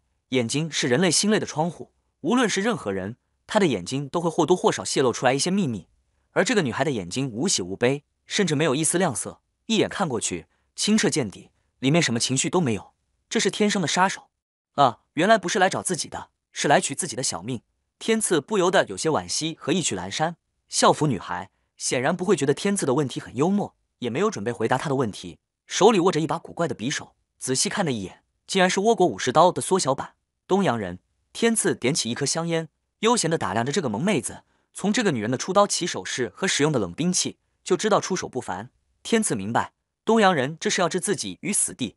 天赐心里有些寒意，感觉有一股很大的势力在他们周围盘旋，而现在所暴露出来的仅仅是冰山一角。不过随之轻松起来，再大的势力在自己手下还算什么？女孩没有回答天赐的话，单刀一束，以一个横砍的姿势向天赐扑了过来。虽然这把倭国武士刀比较小巧，但它的锋利却不是天赐可以忽略的。虽然自己是神仙，但也不会傻乎乎的用自己的身体和人家的刀硬碰。破空声起处，女孩的眼神终于改变了，兴奋而嗜血。天赐没有躲闪，顺手就弹出去一块石头出去。这一招天赐使用了无数次，甚至能将树上停落的鸟给打下来。而且他有一个从小养成的习惯，就是喜欢在身上装三块石头，以防万一。这次用在了女演员身上，校服女演员一刀劈飞天赐丢过去的石头，再次横刀向天赐扑过来的时候，已经失去先机。天赐动了，快如风，急如电。在他的刀去砍石头的时候，人已经到了女人的面前，单手一架，将她握刀的手向空中高高托起。这一招是为了将她的攻击架空，然后右手一拳狠狠地砸向她的肚子。噔噔噔，女演员连退几步，一直退到一块巨石上面，才减弱了后仰的力道。喉咙发甜，这个时候不敢张嘴，不然将内脏的血吐出来会伤了元气。再次抬眼看天赐时，就是一脸的错愕，还夹杂着一丝恐惧。能一招就将自己打飞的通天国人，为什么组织给自己的资料上没有注明这个自己猎杀的目标会武功？天赐本来是怜香惜玉，刚才那一拳却是在情急之下用足了力道，本来以为能把他打残的，看来这些东洋女演员的身体抗摔打能力还是极强的，不给对方喘息的机会，再次向他冲了过去。看到那个通天国男人再次扑来，女演员快速的呼吸了两次，立即感觉心里舒坦了不少，反手握刀，将舞刀当做匕首使用。也奔跑着向天赐冲过去，侠者相逢勇者胜。天赐被这个女人刁钻犀利的刀法逼得连退几步，竟然又退回到刚才站立的位置，心里就有些气愤。闪身又避开一刀后，右脚侧滑，身体一矮，便靠近了倭国女人的身体，同时也脱离了她匕首的攻击范围。女演员再回刀就朝自己的方向刺过来，这一刀即使能把天赐给刺中，也有可能会伤害到自己。两败俱伤、以命换命的凶狠招式，天赐哪里会给他这个机会？一把扣住他握刀的肩胛骨，另外一只手却从他斜下穿了过去，抓住他脑袋后面的衣领，身体左闪避开他的刀锋，然后借力打力，很没有风度的扯着女人的衣领，向面前那块一人多高的巨石上使劲的撞过去。砰！女演员的整个身体都结结实实的撞了上去，脑袋嗡嗡猛猛的几欲跌倒，鼻青脸肿，额头鲜血直流，表情狼狈恐怖。天赐拍拍手说道：“最讨厌别人装酷，这就是你不回答我问题的惩罚。”说完这句话后。心里突然觉得有些发虚，但想到这边人烟罕至的地方，不会有人听到自己说的话，这才放下心来。第四十九章天赐的报复。因为刚才因为避免脑袋撞到岩石，校服女生急切之下，用武士刀去支撑自己的身体，以此来缓冲身体和巨石撞击的速度和力道，致使刀刃也被折断了，丢掉了金丝缠绕的木质刀柄，擦拭了把嘴角的血渍。女演员又坚强的挺直了身体。对于这个漂亮的妞，不知为什么。天赐心中产生了一丝惋惜，像这般似花儿一样的花季少女，本应该在学校里享受快乐的校园时光，而如今却是担负着太过沉重的责任来刺杀通天国的高层。天赐本就是个善于怜香惜玉的男人，对于美好事物的消失总是感到惋惜。自己刚才的出手重了一些，就这么点儿本事就学人家跑出来杀人。由于对这个女孩产生了一丝怜惜，天赐对她的话语也没有先去僵硬，一脸玩味的说道：“是他们对你过于相信，或者说……”你的上头把我想的实在不堪，愚蠢的男人，你会为你的狂妄付出代价。女演员重伤之下又受到天赐的刺激，终于开口说话了。可能是说话的次数太少的缘故，或者是汉语水平实在太差，她的声音很悦耳，可说出来的话却让人感觉晦涩难懂。只是话语里面的杀意以及眼里的疯狂，却能清晰的看出他对天赐的态度，恨不得杀之而后快。天赐就是要被逼迫他说话，一个冷酷的杀手开口说话了，那么证明他已经乱了方寸。接下来，无论是对决还是逼供，都会容易一些。我只是不聪明，却并不愚蠢。”天赐笑眯眯的说道，说话的同时，开始一步步的向女演员走去，脸上带着和煦的笑容，如神话故事里微笑着收割生命的死神。天赐如闲庭信步的脚步，在女演员看来，却是犹如山岳一样，压得自己透不过气。这个令自己国家高层感受到威胁的男人，气息犹如高山一样巍峨，像大海一样磅礴。自己则像惊涛骇浪间漂浮在海上的小船，朝夕间就会沉没。而校服女演员不明白的是，自己的情报网为什么没有透露出一点点这个年轻的通天国高层人物会功夫的情报，以至于自己从一个猎手转瞬间成为了一个猎物，一个可怜兮兮待宰的羔羊。在距离女演员三步之远的时候，天赐跳跃起来，凌空一脚向她的面门踢过去。如果这一脚踢实了的话，至少能让这个女孩晕迷五个小时。那样的话，无论是在她身上做一些自己想做的事情，还是将她掳回去严刑拷问，时间方面都很充足。而校服女演员显然不知道这家伙此时的心思，只是知道他这一脚的凌厉，不由深呼吸几下，凝神，双手握了两次拳头。还好，只是有些疼痛，不会影响整个手臂的发力和柔韧性。极度柔和的身子向左侧滑行一步，避开天赐那凌厉一脚。在天赐准备转移攻击方向的时候，女演员一把扯住天赐，往后一扯，人也跟着天赐的身体飞退，然后再猛地前推，借力打力，一个漂亮的四两拨千斤，啾的一声，天赐被女演员直接丢了出去。天赐这一脚的速度足够的快，力道也十足的猛，被对方这一招类似太极散手的借力打力技巧给推出去后，快速向后退了好几步，这才稳住了身体。伊贺派和气道，天赐一脸诧异的看着这个娇滴滴但满脸冰霜的女演员。不由得点点头，不错，这才像个杀手了。右脚在地上抖动了几下，去除掉因血液倒流而引发的酥麻感，笑眯眯地对着女演员说道：“据传和气道来源于和太极有几分相似，都力求以柔克刚，借力打力逼人死角。而且据说这个难学难精，我来考验考验你吧。”女演员顶着伤势一击成功，也不敢贸然攻击。她现在受伤颇重，只想争取一些时间来调整一下内息，不然在接下来的战斗会死得更快。听到她说要考验自己的话，又见到他龙行虎步的向自己走过来，眼睛不自然的阴沉了起来，一硬脖软。这男人还真是自信。天赐大步走到女演员面前，化掌为拳，力道千钧的向对方砸去。等到对方刚刚起意来招架时，又快速的收拳，化掌向他的脖颈处切过去，而右腿也配合默契的攻其下盘。砰！女演员女人虽然接住了天赐一掌，下半身却被天赐一脚给踢个正着。踢下半身不仅仅是对男人有效。其实对女人也很有效果。虽然在承受这一招上，女人的身体构造方面优秀于男人，但是并不代表她们不会疼。当然，天赐本人还没来得及验证这一点的正确性。校服女演员脸色犟紫，眼睛充满了猩红的杀意和屈辱，却不得不捂着自己的胯部蹲在了地上。就如天赐所想，女演员承受的疼痛不比男人来的少。baby，女演员咬牙切齿地说道：“即便作为一个以杀人为目的的杀手，她也无法想象。”一个二十一世纪的男人会对一个女人使出这样的下流招式？我承认我是卑鄙了一些。天赐点点头，走到女演员面前，轻佻的用指头挑了挑她的下巴，说道：“现在可以告诉我是谁派你来杀我的吧？你们的目标是什么？”女演员咬着牙不说话，脸上满是痛苦神色，但眼神决绝。你听清楚，这是我问你的最后一次了。女演员又恢复了一开始的作用，无论天赐怎么问，她都是缄默不语。突然。天赐发现女演员脸色古怪起来，似是解脱，又似决然。天赐却是明白，像他们这样的杀手，通常是不成功便成人自杀，想都别想。天赐意念一动，手里已经多出了一粒胶囊，手指轻轻一捏，白色的粉末飘飘洒洒掉在地上。本来死志已决的校服女生，已经在等待自己毒发身亡的时刻到来。自己的组织纪律就是，任务失败，作为执行人的他们就要以死谢罪，这是自己国家定下的铁一般纪律。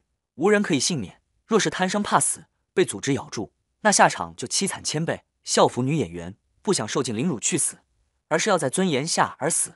只是等了半天，剧毒的氰化钾还没有毒发，转头一瞧，却是傻眼在了当场。那些足以杀死几百头牛的粉末就散落在地上。女演员很是不明白，自己以假牙的方式安置在嘴里的毒丸，她是怎样拿到手的？而且是在自己不知不觉中。这个男人是恶魔。天赐笑着看看没有死成的女演员，道：“想死没那么容易，这样就死了，太划不来了。你要干什么？”已经走了几步的天赐一愣：“干什么？呃，这个问题很有深度，你很快就知道接下来会发生什么故事了。”天赐脚步不停，向一处低洼之处而去。尽管这里了无人迹，女演员一听，立马就心下悲哀起来。这样的话，还不如快快死去，免得遭受这个家伙的凌辱。但女演员也明白。自己今天是在劫难逃了，狠狠地盯着天赐，眼里尽是怨毒。你要为今天所做的付出代价。在一处灌木丛之下，天赐最后一次问校服女演员：“最后一次机会，你们的组织到底有什么目的？”女演员：“狠狠地将小脑袋别了过去，留给天赐一个后脑勺。天赐哑然一笑，这女演员还是具备一些女孩原本的心性嘛。知道在劫难逃的女演员，泪花顺着花儿一般的脸庞滑落下来。第五十章，东阳女奴抽着香烟，天赐很少温柔的在纯子讶然的目光下，目光里早先的锐气不见，取而代之的是无尽的柔情。今后你就是我的人，不许再提死。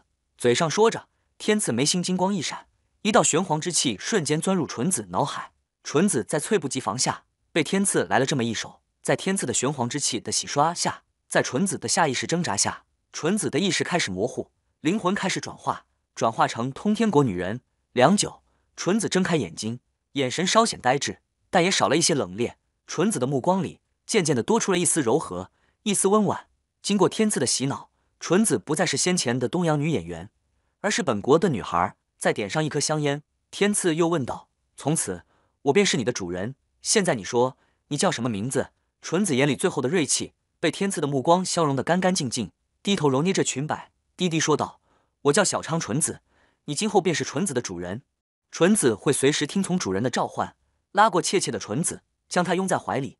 现在你可以告诉主人你们组织的一些事儿，以及你们来通天国最终的目的了吧？从小仓纯子的嘴里，天赐现在知道了，东阳国政府果然具备着不一般的敏锐洞察力。凭着通天国最近几年的异常强势。东阳国政府就察觉到了异常，便从此开始了对通天国展开的间谍活动。而小仓纯子属于东阳国黑龙会杀手成员，专职负责刺杀被东阳国列为刺杀对象的目标。而黑龙会则是东阳国最大的黑社会组织，是和东阳国政府有着错综复杂的关系。而像小仓纯子这样的女演员级别的杀手，负责训练他们的是东阳国伊贺派。伊贺派是东阳国历史最悠久、实力最强大的武术流派，在历史上。为东阳国培养了许许多多的间谍和杀手，黑龙会嘛，伊贺派嘛，也是时候该消失了。对于冒犯到自己头上的组织，天赐是不会放过的。天赐之所以最后还是没有杀死纯子，只是因为纯子的容貌使自己下不了手。没办法，在美女面前，天赐从来就没有什么免疫力。所幸的是，刚刚为纯子宽衣解带之时，天赐的手法不太暴力，以至于如今重新穿上衣服的纯子，照样是衣冠整洁。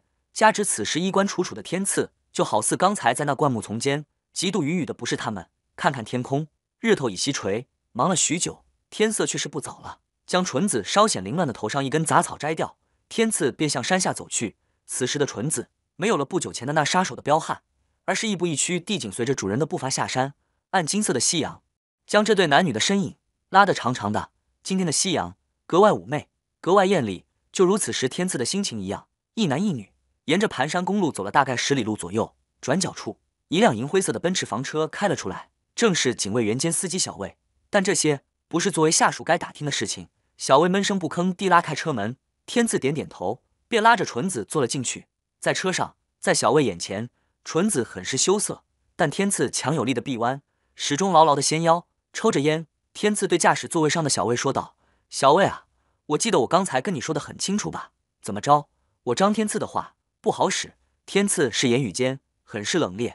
对于不服从命令的下属，绝对不能迁就。虽然不至于要给他什么处分，但言语上的训斥是少不了的。再是多么尽职的下属，再是多么优秀的下属，一旦自己的命令都不遵从，那么天赐便要开始考虑是不是要换人。军人服从命令是天职，做不到这一点，那么他就不是一个合格的军人。天赐将军的责怪，小魏其实也很冤。首长的安慰是他们最高的使命，在荒山野岭之下。最能把首长丢下，小魏即使是冒着抗命的危险，也要暗中保护将军。只是躲在暗处的小魏，在见识了将军不久前的那神鬼莫测的身手后，这才明白自己的保护是多么的可笑。将军如此手段，又何须保护？再说了，就凭自己这点三脚猫功夫，在将军面前连一个照面都走不了吧？只是不知张将军带着这个女刺客回去干什么？为什么不直接杀死她？小魏突然脑袋中灵光一闪，嘴角露出一丝不为人察觉的笑意。将军，这是看上这小姑娘了。面对将军的责怪，小魏只得苦着脸闷声不吭。有些事情是无需解释的，很多事情彼此都是心知肚明。拍拍小魏的肩膀，天赐说道：“下不为例，开车吧，我有些累了。”说完便靠着座椅，闭眼养神。废话，刚刚的一场大斗，不累不累才有鬼。即使是天赐以神仙的体格，这样的体力消耗也是吃不消的。小魏见将军不再介怀自己的抗命，心下一松。便点火发车，稳稳地顺着盘山公路下山。小魏此时却是在为将军感到揪心。小魏作为保镖兼司机，自然是住在天赐的别墅里。将军的一个爱人，两个情人，个个都是倾国倾城、沉鱼落雁。哪想到将军还不知足，今儿个还顺手带回去一个。小魏不知道这回将军如何向爱人和情人们解释这个，貌似也无从解释吧。首长的好色，小魏倒是没有觉对将军有什么不对。像将军这样优秀的年轻将军，有几个情人是很正常的事情。自古英雄配美人，这是自古以来就演绎出的多少佳话。况且在小魏这些新一代军人心中，神秘的张将军无疑是大英雄，是足以俯视众生的大英雄。作为通天国核心领导人的警卫员，小魏自然是对通天国如今的崛起和这位张将军有着一丝说不明道不清的关系。小魏也隐约知道，随着张将军出现。通天国将会以任何时代都无法相比的强势姿态，再次傲立在世界之巅。从后视镜里偷偷看了看闭目养神、似有一些疲惫的这位传奇将军，小魏心里生出一种难以言喻的豪情，血脉里腾起一种奔放。为这样的首长开车，是多少人几辈子修不来的福气；跟随着英雄的步伐，是多少热血男儿梦寐以求的事情。而这些却是发生在自己身上。再次看看将军，小魏便专注地开车。他明白。自己载着的可是通天国历史上最年轻的的将军，最年轻的军委副萧汉。他的安全关乎着祖国的未来，关乎着民族的命运。尽最大努力保障将军的安全，才是自己职责所在。党和政府如此信任自己，将如此崇高的使命赋予自己，这是多么光荣的事情啊！做好自己的职责，至于其他，何须多想呢？奔驰车披着暗金色的夕阳，拖着长龙般的烟尘，沿着山路平稳而去，留下一道被夕阳染黄的烟尘。久久不散。待奔驰车下山很久，当夕阳最后一丝光芒被大山遮蔽，半山腰一块突出的巨石上，坐着一个精干的年轻人。年轻人警惕地扫了眼周围后，伸手利落地举起几伏后，来到刚刚的激战之处，看了看现场凌乱的打斗痕迹，再到那灌木丛下刚刚的云雨之处，年轻人皱皱眉头，看了看奔驰车离开的方向，叹了口气，报告一号，女演员任务失败，女演员被目标掳走，确切的说是。女演员似乎已经背叛组织，目标和女演员已经在半个小时前离开。年轻人对着衣领处的通话设备汇报。半天，年轻人耳麦里传来嘶哑的声音：“你确定女演员叛变？”年轻人道：“是的，可以确定，纯子已经叛国投敌。”随后又问道：“一号是不是要制定计划清除女演员？”年轻人耳麦里立即传来急促的声音：“不必了，你既然确定女演员叛国，那么组织是通天国的机构就完全暴露了。”他们等着咱们去呢。任务已经失败，那么立即撤回，通知通天国境内所有组织成员立即撤离通天国。也意识到事态的严重性的年轻人关掉耳麦，立即向山下走去，被一辆奥迪车载着飞速而去。第五十一章将军探亲。小魏将车平稳地停在别墅外小停车场，以标枪般的军姿，以注目礼目送着将军带着那位女孩走了进去。别墅里面是将军的私人地方，是将军的隐私所在。小魏明白，别墅里面不是自己该去的地方。小魏还知道，将军今天在平山的行为，自己必须要严格保密。这个秘密恐怕要终生相守，直到最终带进自己的坟墓。看着将军进入别墅的英挺的背影，小魏笑了笑，开始仔细的擦拭爱车。这款崭新的奔驰房车，是通天国高层为将军量身定做的座驾，是雅利安国奔驰公司为将军量身定做、全手工打造的豪华房车。随着叮当的门铃声，门洞里出现一个白头。正是清虚子老人见天赐怯怯的不停的捏着衣角的女孩，满是玩味的看了看天赐，便打开了大门。对于天赐的好色，清虚子其实也没有奈何。天赐虽然在这个世界是自己的徒弟，但在另一个世界却是自己的老师。对于天赐的好色，清虚子也只能说装聋作哑，无法在天赐的作风上说些什么。只是这天赐今天带回来的女孩儿又是谁？在娇娇、玄冥和戴儿面前，天赐又该如何交代？不过，清虚子看看天赐的神态是那样的坦然，也就不再多想。也是，既然在短短几个月内给娇娇头上戴两顶绿帽子，现在多出这个女孩儿也不算什么。反正关于绿帽子，一顶是戴，几顶也是戴。如果要清虚子做出选择的话，清虚子宁愿选择如今的道祖，如今的老师。至少现在的转世道祖有着紫霄宫昔日道祖没有的生气和人情味。如今的道祖很真实，在娇娇。玄冥和戴儿的大白眼下，天赐摸着鼻子将纯子领到这些女人面前。天赐对西瑶道：“呃，我有感与岳母家务繁重，特地给你们找了一个全职保姆。又转向忐忑不安的纯子。纯子，天赐说道：“从今往后，这个家里的一切家务，你全权负责。先拜见诸位长辈和你的主母吧。”主人既然吩咐，纯子仅仅是凭着那微弱的东洋记忆，显然是无法抗衡，在灵魂的牵引下，来到西瑶面前，弱弱道：“纯子见过阿姨。”纯子，在场的人都是一呆，这妞还是东洋妞？天赐的三位爱人，杀人的目光齐刷刷射向这可恶的家伙。要是通天国的妞也就算了，如今倒好，整个外国妞，娇娇的大眼睛已经开始在院内寻找，小心思里开始在捉摸着找个顺手的家伙，给这可恶的家伙头上来上一下。太可气了！既然招惹外国妞，玄冥也没想到这前世道祖这一转世，人品就转成如此模样。但玄冥此时的心态倒是和清虚子有些共同。玄冥也是想，自己宁愿要这个花心的大萝卜，而不是昔日紫霄宫高高在上、没有半丝生命的道祖。如今的这个家伙，尽管可恶，至少是那样的真切，那样的真实。戴儿的想法却是简单的多，反正自己和玄冥姐姐一样，是属于三的角色。自己和这位叫纯子的东洋妞是一样的角色，没有什么不同。此时的戴尔，除了美目向自己可恶的夫君猛弯，倒也没有太大的反应。在三位女人的思绪间，纯子拜过了长辈，已经来到了他们面前。纯子拜见三位主母，纯子的温婉贤淑，惹得三女一阵怜爱。娇娇大大咧咧，笑嘻嘻的搂着纯子的苏肩道：“别听她的，咱们以后是好姐妹。”听见娇娇的话，天赐却是在旁冒杂音：“我重申一点，纯子是保姆。”娇娇丢给天赐一个大白眼，保姆，你把咱们女人当做什么？一边去，这里是咱们女人说话的地方。被娇娇一顿抢白，天赐摸了摸鼻子，只得讪讪而退。现在这种时候，显然不是招惹这些女人的最佳时期。被一大家子当成小丫头、小妹妹的娇娇，今天总算是找到了当姐姐的感觉，一种保护小妹妹的感觉。虽然为夫君的胡搞很是恼火，但做了一回姐姐，娇娇的心里总算是找回了一些平衡。在川北苍茫的大山间。蜿蜒的山间马路上出现了一道亮丽的风景线，一长溜由奔驰车组成的车队在万千人的注目下行驶。在那些便衣武警车队的护卫下，天赐一路上香车美女，一路之上招摇过市。如此晃晃悠悠十来天，天赐才在父老乡亲那惊诧的目光中，回到了阔别十余年的家乡川北某山村。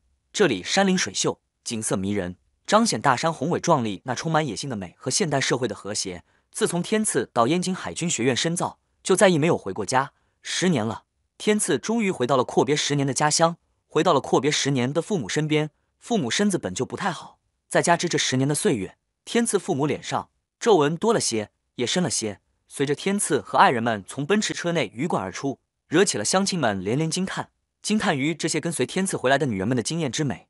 大家伙此时心里只有一个概念：这不应该是地球上的女人吧？此女应该是天上才有的吧？天赐则摸摸鼻子苦笑。他们还真不是地球人来着，不过这话是不能这样说的。来到乡亲们中间，天赐一一和这些同样阔别十余年，并始终照顾着自己父母的乡亲们一一打招呼，衷心的感谢乡亲们的帮助，并且邀请他们隔日来家中坐坐。乡亲们的惊呼不仅仅是天赐身边那些女人的惊世容颜，更多的是天赐的军衔、上将、海军上将，一些有些阅历并略微懂些军队建制的人，认出了天赐肩上那金灿灿的将星，随之而来的是乡亲们的释然。难怪了。也就这样的高级干部的家属才会享受到如此的待遇吧。一个排的武警全天候保卫，而且在天赐老宅地原址上建造了现在这规模宏大的中式别墅院落。但是现在显然是人家团聚的时刻，人家天赐十多年没回家了，是有许多话要和家人说的，所以乡亲们就一一告辞，在天赐的邀请声中各自离去，是带着无比自豪的心情离去的。啊，咱家乡也出了个大人物，上将，该多大的官啊！当然。上将这个词语在老一辈心中没有什么概念，只是从那些见过世面的后辈嘴里知道那是老大的官儿，这就足够了。天赐的父母在含着幸福的热泪，在享受亲人归来的喜悦之余，却是被儿子身边那些始终不离不弃的女人们晃花了眼睛。天赐这时对父母说道：“爸妈，这是岳父岳母逍遥、西瑶。”看见逍遥和西瑶夫妻，天赐的目前就是一阵感叹。你说大家都是差不多大的人，你看人家那长得。那样的年轻，人家根本不像个有这么大女儿的人。对于亲家的名字，老夫妻感觉有些生涩，但还是稀里糊涂的和亲家打招呼。至于清虚子，大家都是老熟人了，就不必劳烦儿子介绍了。儿子今天的成就，全仗人家所赐。天赐又拉过娇娇，对父母说道：“爸妈，这就是你们的儿媳妇娇娇。”娇娇忙乖巧的腻到天赐父母身边，一口一个爸妈，叫的二老嘴都合不上了。天赐又对父母说道：“这三位是我的秘书，玄明、戴儿和燕儿。燕儿及纯子天赐这次也把她带回了老家，看看这三个自到家后就和娇娇一样，始终腻在儿子身边的女孩。两位老人的目光变得意味深长起来。儿子是自己看着长大的，还有这些女人在儿子面前的表情。老人虽然年纪大，却不婚。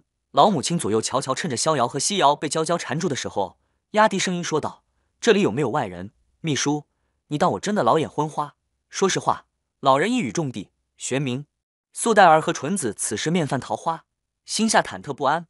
天赐则摸摸鼻子，笑嘻嘻的搂住老母亲说道：“啊，我坦白，是他们都是我的爱人。”老父亲一听却是笑了，嗯，不错不错。话未说完，母亲对父亲呵斥起来：“儿子混蛋，老子糊涂。秋儿是什么身份？你不怕他的前程受影响吗？”父亲还是一如既往的惧内，被抢白后便端起茶杯喝茶。天赐又笑嘻嘻的说道：“没事的。”上面知道的，事已至此，况且人家女孩就在身边，母亲也不好说什么。而且这三个女孩个顶个的漂亮，其实老人心里也喜欢的不得了，只是碍于现今法律，只是说说罢了。还有的就是自己作为女人，对男人那好色，见一个爱一个的臭毛病感到痛恨而已，就是儿子也不例外。天赐的母亲也怕刚才的话伤了人家女孩，便来到三女面前说道：“就别隐瞒了，干脆就直接叫娘好了。”玄明、黛儿和纯子一愣。没有想到这位老人转变的如此之快，见如今那窗户纸被捅破，便也不再矜持。三女围将上来，一人一声娘，叫得老人眼睛眯成了一条缝。天赐父母很开心，也尽情的享受着来之不易的亲人团聚。他们知道儿子的责任是不能长时间待在家里的，也不能经常回家，只是和儿子还有那几个又漂亮又可爱的儿媳妇享受着天伦之乐。而负责保卫和照顾小邱家人的警卫人员今天全部回避，把所有的时间都留给了这一家子。宴请乡亲们的宴会如期举行，在宴会上，天赐再次感谢了乡亲们对照顾父母的情谊，当场每个人派送了一个红包，里面装的钱不多，也就一万块。不过这足以令乡亲们震惊的了，一万块在现今的社会来说不是大数目，但也不是小数目。而天赐在所有的饭菜和酒水饮料里加了一点东西，就是这个就能让在座的人都能活到一百岁，到时都会是无疾而终。天赐为这些纯真的乡亲们所做的就是这么多了。天赐在老家盘桓了一月有余，整日和父母厮守。天赐的父母后来又生了两个儿子，而天赐的两个弟弟现在也是海军军官，也是常年不能回家看看的。他们都也成家立业，看来在自己的影响下，他们的前途还是有很大的发展。二弟现在是一名攻击核潜艇中校艇长，三弟则是海军总部里一名中校级别的局级干部，是个坐办公室的职务。而他们的爱人也从事着相关的职业，可谓是夫唱妇随。只是天赐在十年前来燕京之前见过他们一面后，到现在也没有见过他们。即使是近在咫尺的三弟，燕京海军总部也没有机会见到他们夫妻。虽然面试没有见到，但他们兄弟之间还是以电话方式经常联系，还在网络视频上相互道过平安。虽然亲人与亲人之间因各自所负的责任不能经常见面，但血浓于水的亲切不会因为地域的限制而疏远，相反更能使亲切更加升华。天赐没有主动去见他们的目的。主要是不想他们对自己产生依赖性，让他们在自己的能力下创造自己的价值。况且，由于自己在政府和军界的威望，他们已经在国家那里得到了很大的关照，有的是见面和团聚的机会和时间，不是吗？回到燕京，天赐将三个爱人、一个准爱人留给长辈，自己则来到了巡弋在距离地球数百万公里的星际舰队。戴尔本来是想跟来的，他也很久没见自己的美亚姐妹了，最后还是留在了家里，和三个姐妹为伴。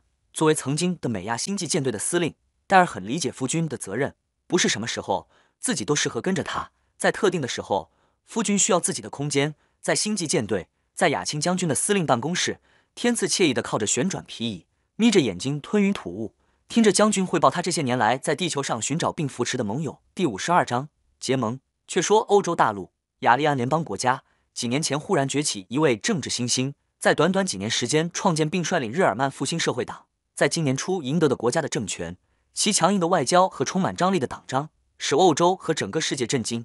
在他领导下的雅利安国家，单方面废除了二战后加于他们国家的各种限制，特别是在军事上的限制。在某个不明势力的支援下，雅利安加大军工科技的研发，并大肆扩军。在短短几年时间中，雅利安国防军队规模由十年前的三十多万扩编到现在的近两百万，一批批最新式装备同时装备部队。国力和军力在短短几年内迅速加强，和的超强崛起一样。雅利安这个在上个世纪给欧洲国家永生难忘记忆的国家，再次以强硬的姿态站立在列强欧洲面前。同样，也吸引了全世界的眼球。雅利安国发展的势头和轨迹，和上个世纪二战前如同出一辙，全世界一片惊呼：希特勒尔又回来了！随着国家的强势发展，雅利安的大国和民族情怀再次被点燃。世人皆是同一个问题：雅利安将意欲何为？今日的雅利安将走向何方？因施贝因这个当今最铁腕人物，将又会把雅利安带向哪里？会给欧洲乃至整个世界带来什么战争？不错，因施贝因，还有现在的雅利安国家，就是天赐委托亚青将军在五年前为通天国所结下的盟友。天赐之所以吩咐亚青这样做，是因为天赐明白，高速发展自然会引起全世界的关注和打压，成为全世界的关注中心。对于这来说，不全都是好事，所以就得找一个为分担所谓关注的伙伴，而这个伙伴还要具备分担负担的能力和实力。思来想去，天赐就想到了这个欧洲最强大的国家。天赐选他们是因为雅利安民族的由来。雅利安民族的前身是日耳曼人，发源地在今天北方，是通天国古代少数民族。由于遭到匈奴人的挤压，便逐渐向西迁徙到了今天的欧洲境内。曾经在罗马帝国时代做罗马人的雇佣军，为罗马帝国开疆拓土立下汗马功劳。后来随着罗马帝国的衰败，日耳曼人在其他民族的联手下推翻罗马帝国，并且创建了属于自己民族的国家——雅利安帝国。骨子里充满张力的雅利安人是耐不住寂寞的。曾经在欧洲的千年历史中东征西讨，给周边民族惹下了不少麻烦，特别是在上个世纪的二战，更是给欧洲带来几近毁灭的震撼。如今雅利安民族再次崛起，又如何不让周边各国忧心忡忡呢？正如天赐所愿，随着雅利安的超强姿态崛起，雅利安国家分担了至少一半不怀好意的关注，这就是天赐所希望的。现在的地球，通天国和雅利安引领着时代风潮，两国都正在经历着前所未有的高速发展。全力发展经济和军力，当然，在上个世纪吃过一次大亏的欧洲各国乃至全世界都在抓紧备战，同一个亏不能吃两次，不是？所以，整个世界被和雅利安拉进军备的泥潭不能自拔。和全世界的苦不堪言不同的是，国家和雅利安显然没有经济之忧，国力持续强劲发展。如今，全世界都沉浸在诡异的平静之间，只是大家都明白，战争随时一触即发，只是缺乏一个契机而已。不过，现在谁也不想打破目前的局面。那是因为大家都还能有做好战争的准备。在五年的时间里，通天国的十二艘十二万吨级的核动力航母已经完成海试，和相关的配置早已成军，并具有了相当程度的战斗力。通天国陆海空新型装备全部换装完成，其高度的先进性和高智能化实际上已经领先那西方所谓的高科技。只是可怜西方国家浑然不觉，只是以为性能彼此差不多而已。西方各国情报部门所掌握的材料是。通天国和雅利安国现今的装备水平比起它还有差距。天赐笑了笑，如今发动第三次世界大战的时机尚不成熟，通天国的国力还没有达到那样的实力，也没有完全准备好。而雅利安的实力还不够强悍，对雅利安的支援还得加大力度，至少要他们具备在对敌国的首轮攻击中就要具有毁灭性的效果，摧毁敌国的战争潜力和民众的抵抗意志，要一战就彻底摧毁整个民族的心理。对着直挺挺站立在自己面前的亚青将军说道。亚青啊，对雅利安人的支援力度还远远不够，财力、科技和他们军队的训练均需加强。是，司令。至于天赐所说的不够，是因为雅利安国军队所换装的武器系统的尖端性和高智能化还远远跟不上。在天赐看来，雅利安的装备至少要和通天国在同一水平，甚至是比通天国的还尖端。而且雅利安国的武装规模还不够大，没有在一战之下震慑整个世界的规模。在天赐的吞云吐雾间。一场规模更加空前的援助雅利安人的宏大计划展开，可以想象，不太遥远的将来，雅利安国将以天赐所愿的那样，将给欧洲和整个世界带来永生难忘的记忆。至于这个因施贝因，其实就是一个极端的民族主义者和极端的希特勒尔的崇拜者。作为潜伏着雅利安民族血性的年轻人，因施贝因不满当时雅利安帝国作为战败国所接受的屈辱条件，也对当时那些追寻着当时同盟国足迹侍从的政府极为愤恨，和千千万万年轻的雅利安青少年一样。因施贝因梦想着自己的国家再次以令世人恐惧的姿态出现在曾经制定不平等条约的国家面前，正是他激进的主张，迅速在雅利安引起了极大关注。因施贝因身边围绕着千千万万的追随者，他们是日耳曼新一代，具有浓烈的民族情结和国家情怀，同样对当局的妥协感到愤恨。时间一久，因施贝因成为了雅利安整个民族的偶像。他不仅吸引到青年到中年年龄段的追捧，最重要的是，因施贝因得到了军方的全力支持。因施贝因，在他三十多岁的那年，正处在事业低谷的他，家里突然来了一位神秘的客人。那晚，他们交谈了很久，至于是谈了什么，谁也不知道。只是从那以后，在一个神秘势力的支援下，因施贝因所创建的大日耳曼社会复兴党就此在雅利安政坛风声鹊起。不久的国民大选中，因施贝因的复兴社会党以压倒性的优势成为两院第一大党。因施贝因正式成为雅利安国家的国家元首。这个因施贝因在上台的外交方针，第一优先的外交目标便是东方的通天国。两国的交往迅速升温，签署了从政府到商业、旅游再到民间各种形式的合作。在这里面，日耳曼向输出了当今世界最顶尖的冶金业、装备业、电子等等方方面面技术。因为因施贝因这样做，就是履行着那个神秘势力对他提出的唯一要求，和东方的通天国结盟。而他则得到了后来那更加庞大的援助，就是这些援助。使雅利安在短短几年间发生了翻天覆地的变化。至此，作为第一个被邀请的外国人，因施贝因就是在笨，也知道了自己曾经参观的那外太空，那些星际舰队和通天国是怎样的渊源。因施贝因很庆幸自己以及自己所在的国家没有和东方的通天国为敌。此时，因施贝因心中有的只是对将来某些国家默哀，是真诚的为他们浑然不觉他们的末日快来到而默哀，因为他从那些外星科技里读出。读出那领先于地球一千多年甚至更久远的科技，在这些高度发达的技术面前，美利亚国和东洋国那些所谓的科技就如同原始社会。而且，因施贝因在和那个神秘实力幕后的主人通天国海军上将张天赐经过交流，因施贝因从天赐将军灵魂里读出的是，这位通天国传奇将军对一衣带水的禁灵是怎样的刻骨仇恨。因施贝因能理解，作为一个民族子民，能有这样的情节很正常，自己。不也是对上个世纪自己的民族所遭受的感到仇视吗？因施贝因由此可以断定，东洋国的日子不久了。而自己雅利安民族到时要做的是，全力的配合这个东方的盟友。此时的雅利安总理因施贝因正在自己的办公室回味不久前东方盟友那位年轻的将军所说的一句话：“这个世纪是属于雅利安和通天国的。”因施贝因将手中的红酒向遥远的东方轻轻晃晃，嘴里呢喃道：“为了这个彼此的理想，张将军。”咱们干杯！第五十三章岛国的苦果。在天赐的心神回到现实时，随着雅青将军拍拍胸口，雅青将军终于结束了报告。天赐站起身来，整理一下有些皱的军服，再伸伸懒腰，走过去把这位名震美亚和潘家两大帝国的美女将军轻轻拍了拍雅青将军那粉嘟嘟的俏脸，说道：“谢谢你有钱啊，谢谢你这么多年的辛苦，谢谢。”雅青一呆，浑身一僵，随即又是一阵眩晕，一阵猛晕。在他发呆的刹那间。天赐飞哈哈大笑着出了雅青的办公室，半晌，雅青才缓过神来，半瘫着坐在办公桌上，两眼迷离，那粉脸上腾起一片红晕，芳心咚咚如鹿撞一般，一阵阵的眩晕，一股暖流自丹田至上心头。此时的舰队副司令办公室如暖室生春，如此妙人儿，如此妙境，可惜无人欣赏，可惜可惜。回到自己办公室的天赐摇了摇头，其实他早就明白了，这位美亚帝国的传奇女将军对自己的暗恋。雅青若不是顾及到她和戴儿的姐妹情分的话，依照她那直爽性子，早就送报了。哎，也难为雅青了。天赐不由心下歉疚，但是对于雅青，天赐只能是停留在朋友或者是小妹妹的阶段。虽然自己也很喜欢这个果敢的女孩，但好事不能让自己一个人占尽世不，不然自己在玄冥心目中那花心大萝卜的形象就再难以洗清了。天赐是这么想的。哎，看机缘吧，给他找个好男人。天赐又叹了叹气，国家这次换届。李霄汉这一代领导人肯定是要连任一届，和上一代领导人，他们这一代是年轻、富有朝气的新一代领导人。要说他们和上一届领导人的区别的话，那就是国家主义和民族情结更加浓厚、更富张力的一代领导人。不过，无论是谁上台，和天赐的合作将是一如既往，国家发展的轨迹是不会改变，民众的民族情结更加浓厚。当然，天赐的海军上将这个头衔是雷打不动，也仍然是那星际舰队的司令。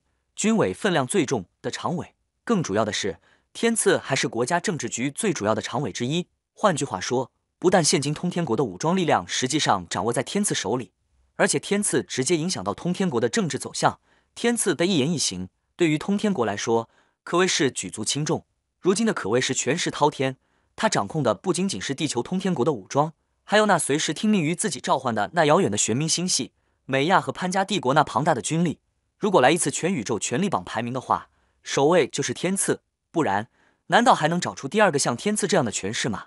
在遥远的外太空那源源不绝的资源和难以估量的财富支持下，通天国的经济总量早已远远超过美利亚国，而雅利安国则是后来居上，超过了东洋国，仅仅是以略微的劣势屈居美利亚国之后，成为世界第三大经济体。美利亚国这个曾经的超级大国，以无与伦比的科技优势和军事力量称霸地球百余年，如今在被通天国反超后，不得不委曲求全，坐在了第二把交椅。今年的世界主要国家经济总量排名极具戏剧性，通天国以绝对的优势于去年底超过美利亚国，而雅利安又于今年又超过东洋国。几年内，同一个国家被两个国家赶超，这在人类发展史上还没有发生过。而连续被反超的国家，便是曾经的第二大经济体岛国东洋国，昔日的第二名东洋国则滑至第四。印度随着和通天国的交好，在和通天国的经济交往中赚得钵满盆溢，经济总量的成倍增长，首次进入前五，屈居东洋国之后。而西欧传统经济大国经济总量已经滑落到前五之后，北极熊斯拉夫人凭借着能源优势，在第七位置上雷打不动。通天国经济连年蹿红，人民的生活水平也连年蹿红。被压抑百年的民族血性和认知感被激发，大国情节、民族主义纷纷抬头。没有上街游行，没有向外国动不动就演讲宣传，被激发的是对本职工作的热情，为国家再次腾飞尽自己一份力量。全国各地各类产业建设到处开花，到处是一片欣欣向荣的景象，和西方世界那清冷空旷的工厂形成了鲜明的对比。在通天国这边风景独好之际，东边那一衣带水的近邻此时却是心情复杂。现在的人民在面对外国人时，显示出的是前所未有的自豪，是有幸成为民族子民的自豪，心中那浓厚的民族认同感、责任感也比任何时候来得强烈。在外国人面前表露身份，神州大地一片欣欣向荣的红火景象；而在东方那一衣带水的列岛上，展现在世界面前是却是另一番景观。无论是曾经富庶繁华的京都大平原，还是东洋国工业中心九州，无一例外的被死寂空旷的萧条代替。曾经的世界制造中心不复存在。十余年前的繁华也不再重现，东洋国就如垂暮的老人一般，在自己即将终结的生命最后时刻，燃烧着残余的那一点点余热。百分之三十多失业率导致了九州全岛各大昔日喧嚣繁忙的工厂到处长满了荒草，整个东洋国处处呈现萧条暮气。而造成这一切的原因，就是失去了曾经的最大经贸伙伴——东海西海岸的大陆。苦酒既然已经酿成，那就得喝下去。只不过这沉重苦酒是全体东洋国人民共同来承担，因为。在曾经和西海岸邻国的恩怨中，全体东洋国国民实际上也起着推波助澜的作用。俗话说，人在做，天在看，一切因果终有了结之时。现在是东洋国该承担起那些历史责任和后果的时候了。抛开更久远的恩怨不说，在五年前，在五年前，东洋国和通天国在珍珠列岛和东海春晓油田的争端，还有东洋国在台海、南海问题上挑拨离间，处处向发起挑衅。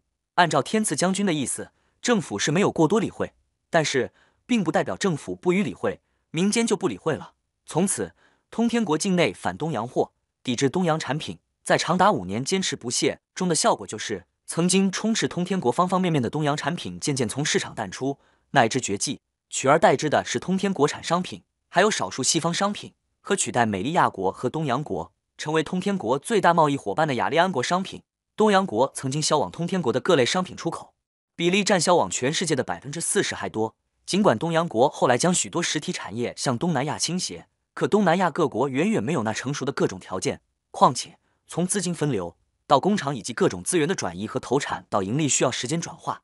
所以，尽管现在东洋国的经济好了一点，但仍然有着高达三成的失业率。这样的后果直接导致了社会和政局的不稳定。东洋国现在后悔了，现在是悔的肠子都绿了。当初根本就没想到。通天国对于东海以及在维护国家领土的意志上如此坚定，而且能量如此之大，尝尽苦果的东洋国慢慢开始行动起来，开始调整对通天国的关系，以修复东洋国和的关系，以期回到那曾经的经贸环境，使濒临崩溃的东洋国经济重新焕发生机。故而频频向递出橄榄枝。东洋国的外务大臣频频向通天国驻东洋的大使馆阐述希望修复两国关系的意愿，并且已在对通天国做珍珠岛和东海各种争端让步为饵。希望通天国取消民间长达五年年的抵制东洋商品的行动。在东洋国看来，发生的抵制东洋商品行动其实有着浓浓的官方背景，所以要想重现当初和东洋的贸易繁荣，还得解开官方的心结。要化解通天国官方和民间的仇视东洋国的情结，除了做好官面的历史道歉和忏悔外，那就是在涉及到利益的问题，东洋国都要做出巨大的让步。算盘打的是好，问题是会对于东洋国抛来的媚眼又是有着怎样的反应呢？令人心焦的是，西海岸没有传出一丝丝对于东洋国来说是好消息，或者是坏消息的一点点音讯。失望、失落不在于东洋国是否得到了想要的好消息，而是连坏消息都没有，而是政府对东洋国贴上来的热脸于无视。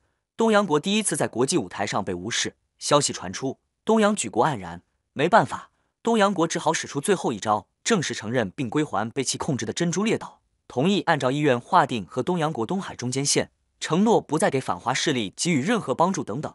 不过，东洋国再次失望了，通天国还是没有传出关于两国修好的信息。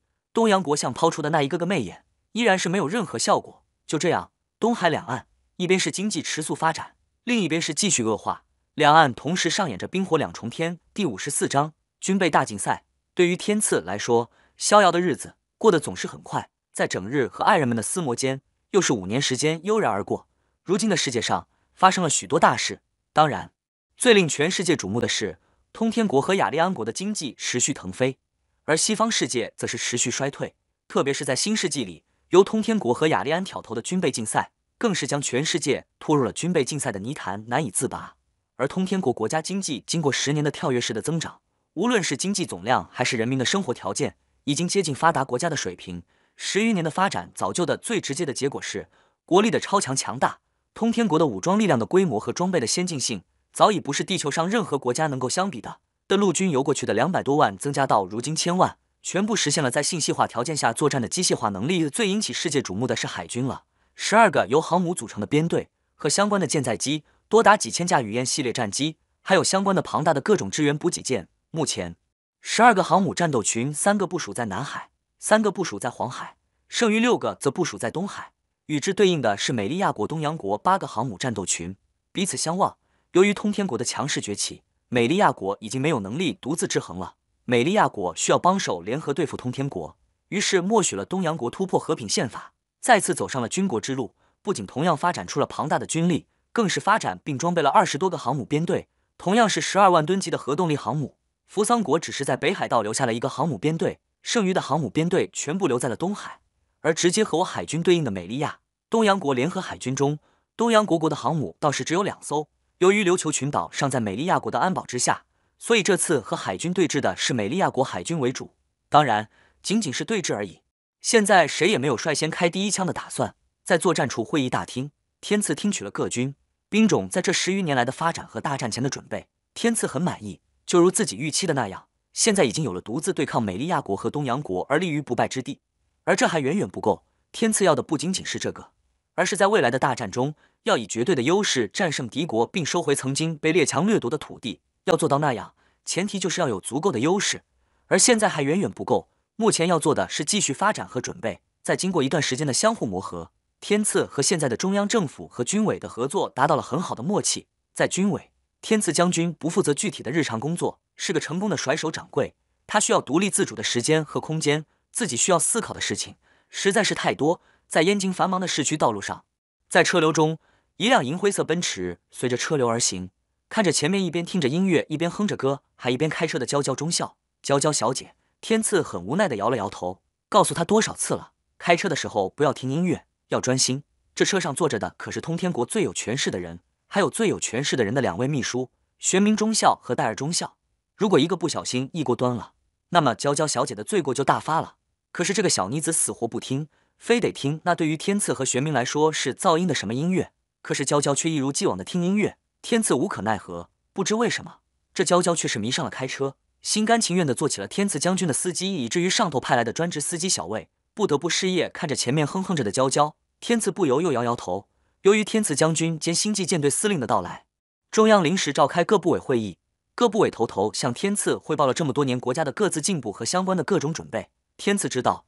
由于和雅利安这些年的强势崛起，全世界各国坐立不安，同时酝酿着对我国和雅利安国的一场阴谋。阴谋吗？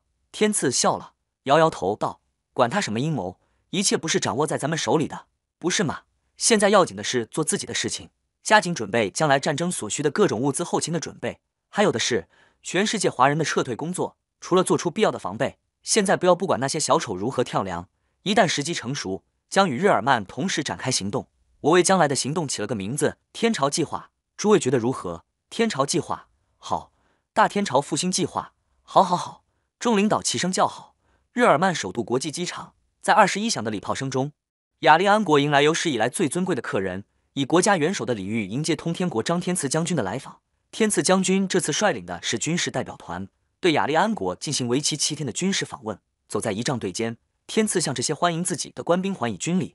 在雅利安国家总理因施贝因和国防部长凯恩的陪伴下，在接下来几天时间里，参观了雅利安全国各大军事基地。在期间，天赐在大日耳曼最高等学府柏林大学进行了演讲。这位通天国年轻的将军，那随意而风趣的演讲博得了许许多多雅利安学子的欢呼和热烈的掌声。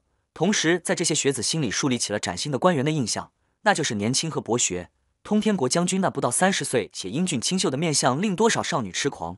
伴随着天赐演讲的女孩儿们的尖叫声和哭泣的声音，天赐此时在日耳曼这个异国少女的心中，成为了最具传奇色彩的英雄。同时，在通天国，那些在电视上看见初次出现在世人眼前的年轻将军，同样激发了许许多多少女的倾慕和尖叫。随着天赐将军走向世界舞台的前沿。首次出现在国人面前，全世界这才第一次知道天赐将军的存在。而事后，西方各国元首无不对着各自国家的情报部门的头头大光起火。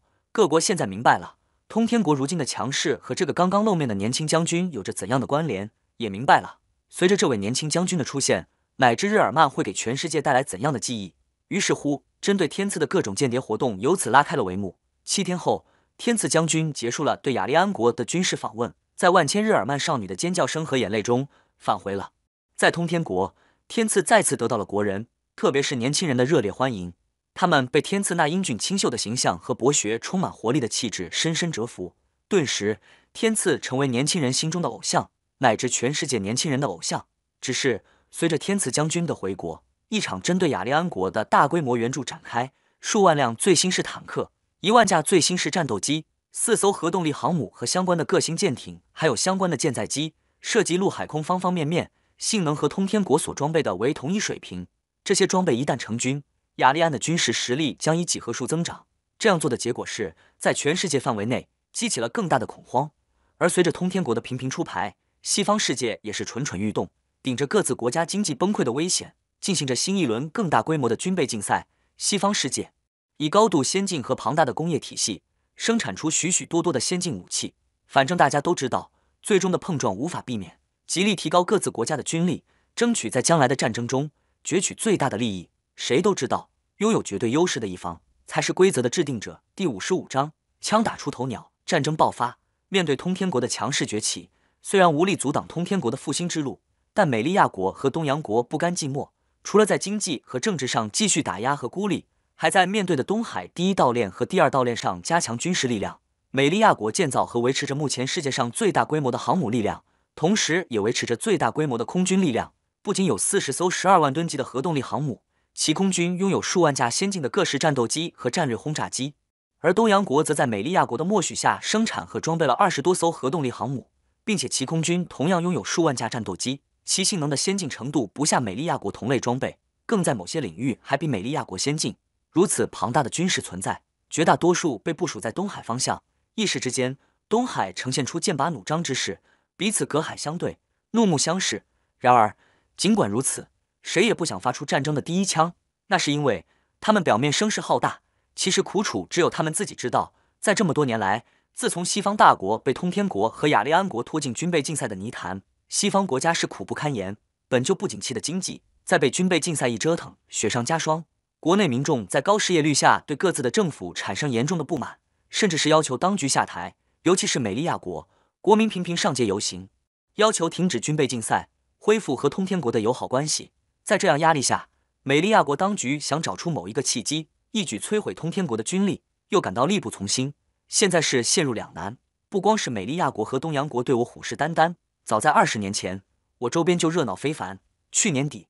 东洋国不顾和通天国爆发全面战争的危险，在珍珠主岛正式驻军，将珍珠列岛扶桑国战事实化。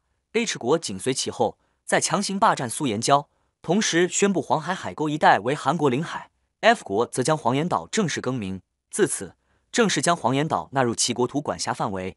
黄岩岛也被占领事实化，外国正式宣布所占的西沙、南沙二十九个岛屿为外国领土。东南亚各国也相继出牌。以各种方式现实其在南海的存在，并频频在南海举行联合军演，气焰极度嚣张。尤其是外国，在不久前悍然动用炮艇对我海监船实施炮击，虽然对我海监船没有造成实际伤害，但也开了一个国家对另一个主权国家的政府执法船动用海军主战武器的先河。虽然外国海军炮艇未必是真想或是真敢炮击通天国执法船，但也在一定的意义上等同于对一个主权国家开战。外国如此胆大妄为，有恃无恐，背后自然是站着大神。不过，当外国国真的遭受灭顶之灾之时，他背后的那些主子真的敢冒着和通天国全面开战的危险来帮助他吗？而在通天国内，风起云涌。各界人民纷纷走上大街，声讨外国的野蛮，一声声严惩外国的呼唤，由涓涓细流最终汇聚成汪洋大海。十数亿通天国人向中央政府请愿，邀请无力惩罚外国。在如此的大背景下，在一次例行会议上，天赐将军笑了：“这样啊，看来老虎不发威，真的被当成病猫了。那好，就先从南海开始，外国自然是送上门来，就先从外国开始。”说完，天赐重重一拳砸在桌子上。溅起阵阵水花。二零二四年二月三日，政府正式发布外交辞令。二零二四年元月底，我政府海监船在 XS 遭到了外国海军炮艇的袭击。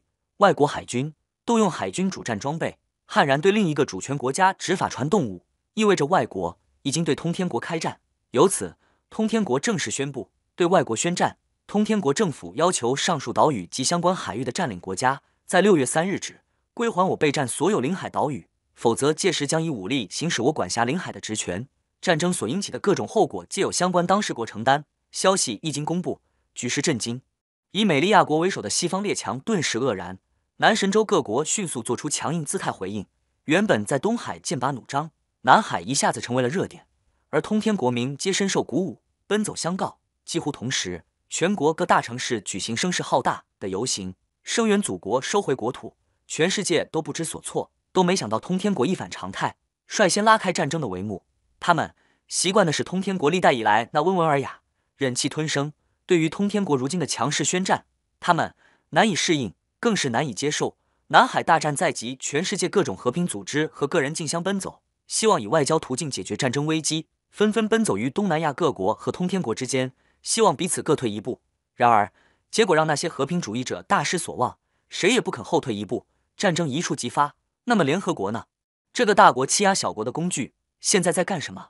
除了对于南海局势发出几道不痛不痒的冠冕声明外，实际上没有实际性的行动，好似对于南海地区那一触即发的战争无动于衷。其实，所谓的联合国明白，对于大国间的博弈，联合国根本就做不了什么。如今的南海局势，虽然是通天国和以外国为头的东南亚诸国相争，但哪里又看不出，真正博弈的对手是通天国和西方世界。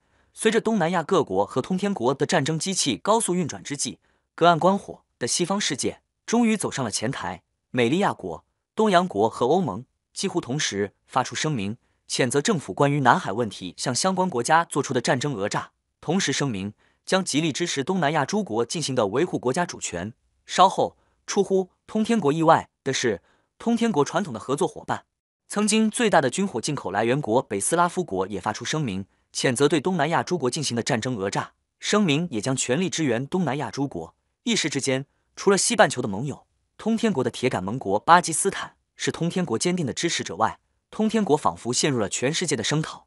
这是北斯拉夫国政府首次在重大国际问题上和西方世界站在同一个阵营。不过，令通天国欣慰的是，一向和通天国不对路的西方近邻印度，这次反常的保持沉默。叮铃，当红色数字跳到三点整时。坐在指挥室里的天赐将军一字一句的说道：“开始攻击。”刹那间，从三个航母战斗群百余艘战舰上腾起道道火龙，向西北方向、正西方、西南方向扑去。随着数以千计的巡航导弹飞出，随着三艘航母上数百架舰载机腾空而起，南海战争正式打响，开创了我先发制人的先河。只不过，这些导弹的打击目标却不是备战的相关岛屿，而是外国本土。几乎同时，在外国和长达千公里的边界线另一侧。也腾起了道道火龙。外国首都市民们在战争的阴霾下，开始着又一天的照常生活。一切是如此的寻常，是如此的祥和。没有人会知道，他们的国家会即将遭受灭顶之灾。外国国防部作战厅将军们正在对即将的战争做着评估，正在电子屏幕下忙着喋喋不休。他们其实也明白，在北方近邻那庞大的战争机器面前，自己的国家弱小的像一个小孩。他们这次之所以敢于豪赌一把，是因为西方世界给了他们定心丸。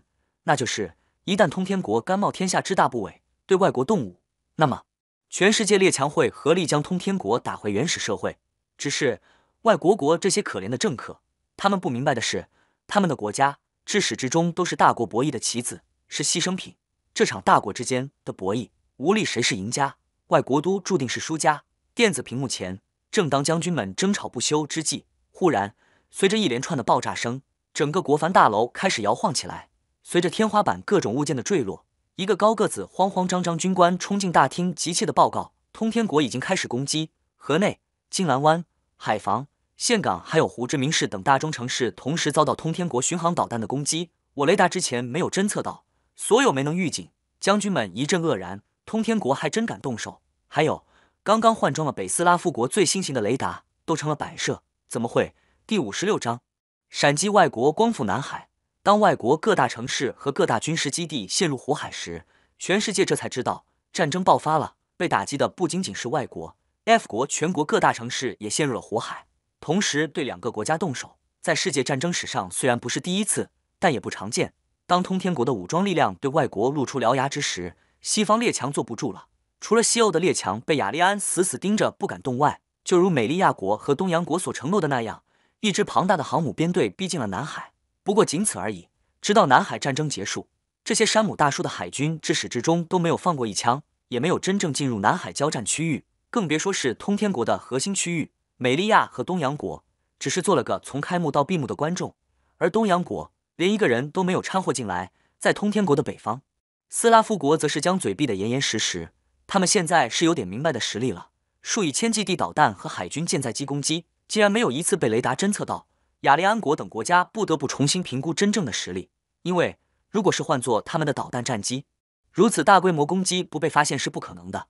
这是怎样的技术啊？西方国家不由得哀叹起来，同时也为自己等今后的命运担忧起来。通天国真的就强大如斯吗？通天国在经过了十余天的巡航导弹和弹道导弹的攻击后，和南海海军航母上起飞的舰载机对外国全境多方位、多层次的全天候轰炸后，云南和广西境内各机场起飞的空军战机则对外国北部地区进行了持续的轰炸，外国的指挥系统逐步瘫痪，所谓的信息化外国军队被打得现出原形。也把外国国内上下那膨胀的民族主义打得幽怨不已，使他们终于明白了什么叫做强大，什么叫做大国。六月底，在无数外国官兵的注视下，数万辆坦克由对面的友谊关向亮山扑来，在心惊胆战中不得不进行抵抗，由此与外国间亮山战役正式爆发。南海战争在陆地打响，是外国乃至全世界都没有想到的。外国当局的全世界这才明白，现在的胃口竟然是整个外国。那么对 F 国的轰炸呢？同样是整个 F 国嘛，人想干什么？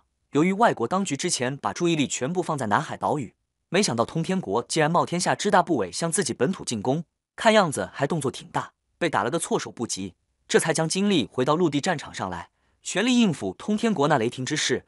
外国人反应倒很快，迅速将北部所有兵力集结在亮山地区，以死守这道首都河内的门户，因为亮山如果丢失。河内将直接暴露在军队的战刀之下，一马平川的外国北平原难以阻挡那庞大的装甲部队，那么整个外国就完了。亮山战役，双方投入了两百万部队，自二战以来，本世纪最大规模的战役在这里打响。经过十余天的艰苦战斗，外国军队在通天国陆海空强大火力的打击下，丧失了抵抗的意志，溃不成军。外国军队的重型装备均被空海力量摧毁，许许多多号称先进的飞机还未飞上天，便被变成昂贵的废铁。各处通信设施均被破坏，指挥信息不通畅。为此，外国军队陷入全面的崩溃危机。在海空力量和地面部队多层次、多方位、全天候的打击下，残余外国军不得不放弃他们坚守半月的亮山，离开山地，向首都河内撤退。至此，通天国在外国境内的第一场战役宣告结束。此役，外国军百余万被通天国军队消灭近八十万，只剩下三四十万残兵退向河内大平原。此战。大大消耗了外国军队的有生力量。不过，当通天国武装到牙齿的百万机械化军队兵临城下时，外国来势了。通过各种渠道寻求国际声援，又希望西方国家介入与自己国家的战争，希望将西方国家拖进战争的泥潭。但令外国人失望的是，西方此时没有了曾经的种种承诺，对外国的求助没有做出任何反应。外国危在旦夕，自上个世纪八十年代末开始发展的经济成果，如今化作炮火之下的烟尘灰。外国当局很后悔，为什么要惹怒北方的邻居？同时是恨恨如今那些西方国家的隔岸观火，刚刚又遭受了在河内城下进行的大会战的惨败，又损失了百余万正规部队，而外国南部的大批军队被堵在南部，自身难保，也难以支援河内战场。如今军队已经扫清了河内市区外围的所有据点，攻城也近在咫尺。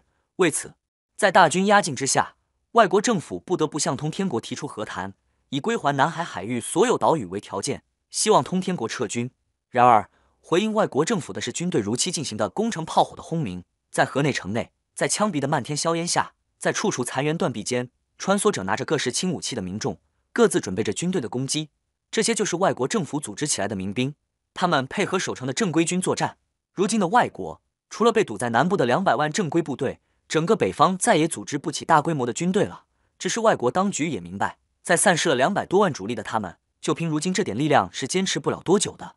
除非是西方国家武力介入，可面对如此强悍的通天国，谁又会冒着和直接为敌的风险替外国出头呢？可是如今局面要如何办？进城后又如何办？外国最高当局都快愁死了。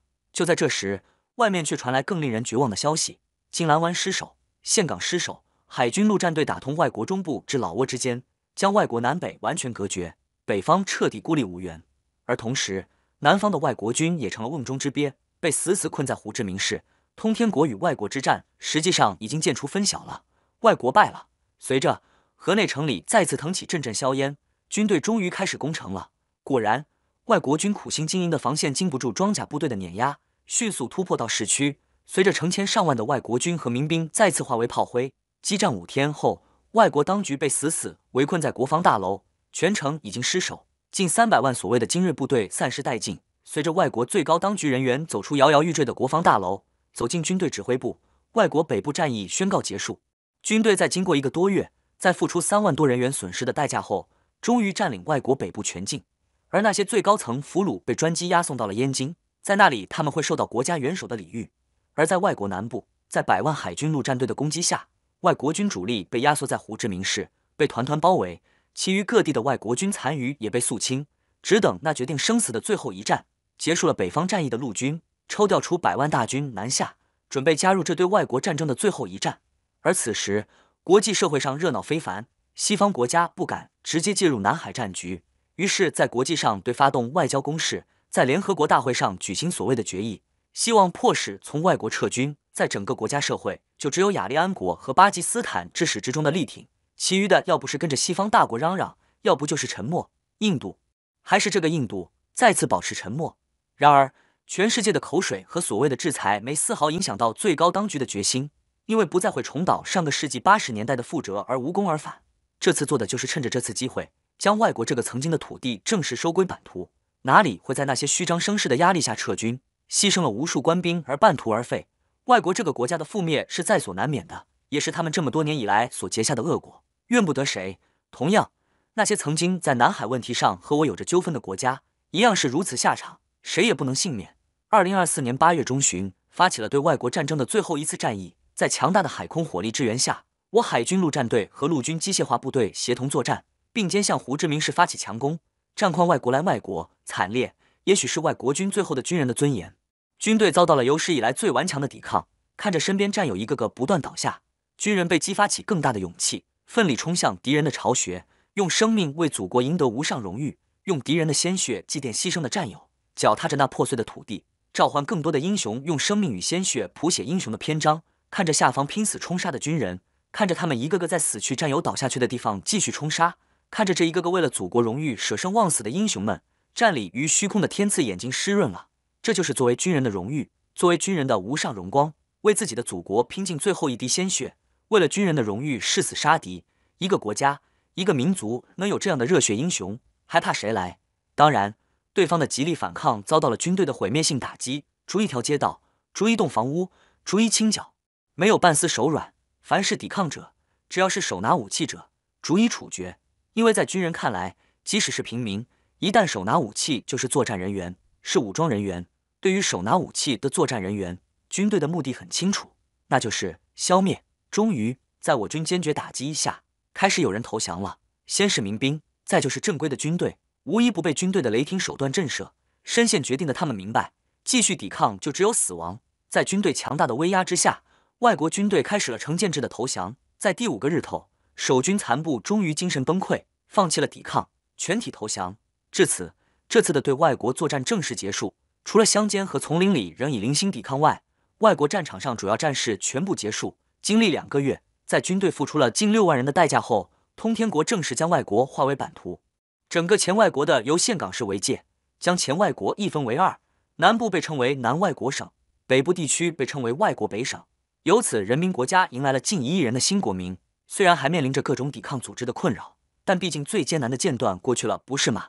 对外国战争的迅速结束，同时也跌破了许多国家的眼镜，特别是美利亚国，他们曾经在昔日的外国战场上吃尽苦头，在历时十年，付出了五万多人的代价后，不得不撤军。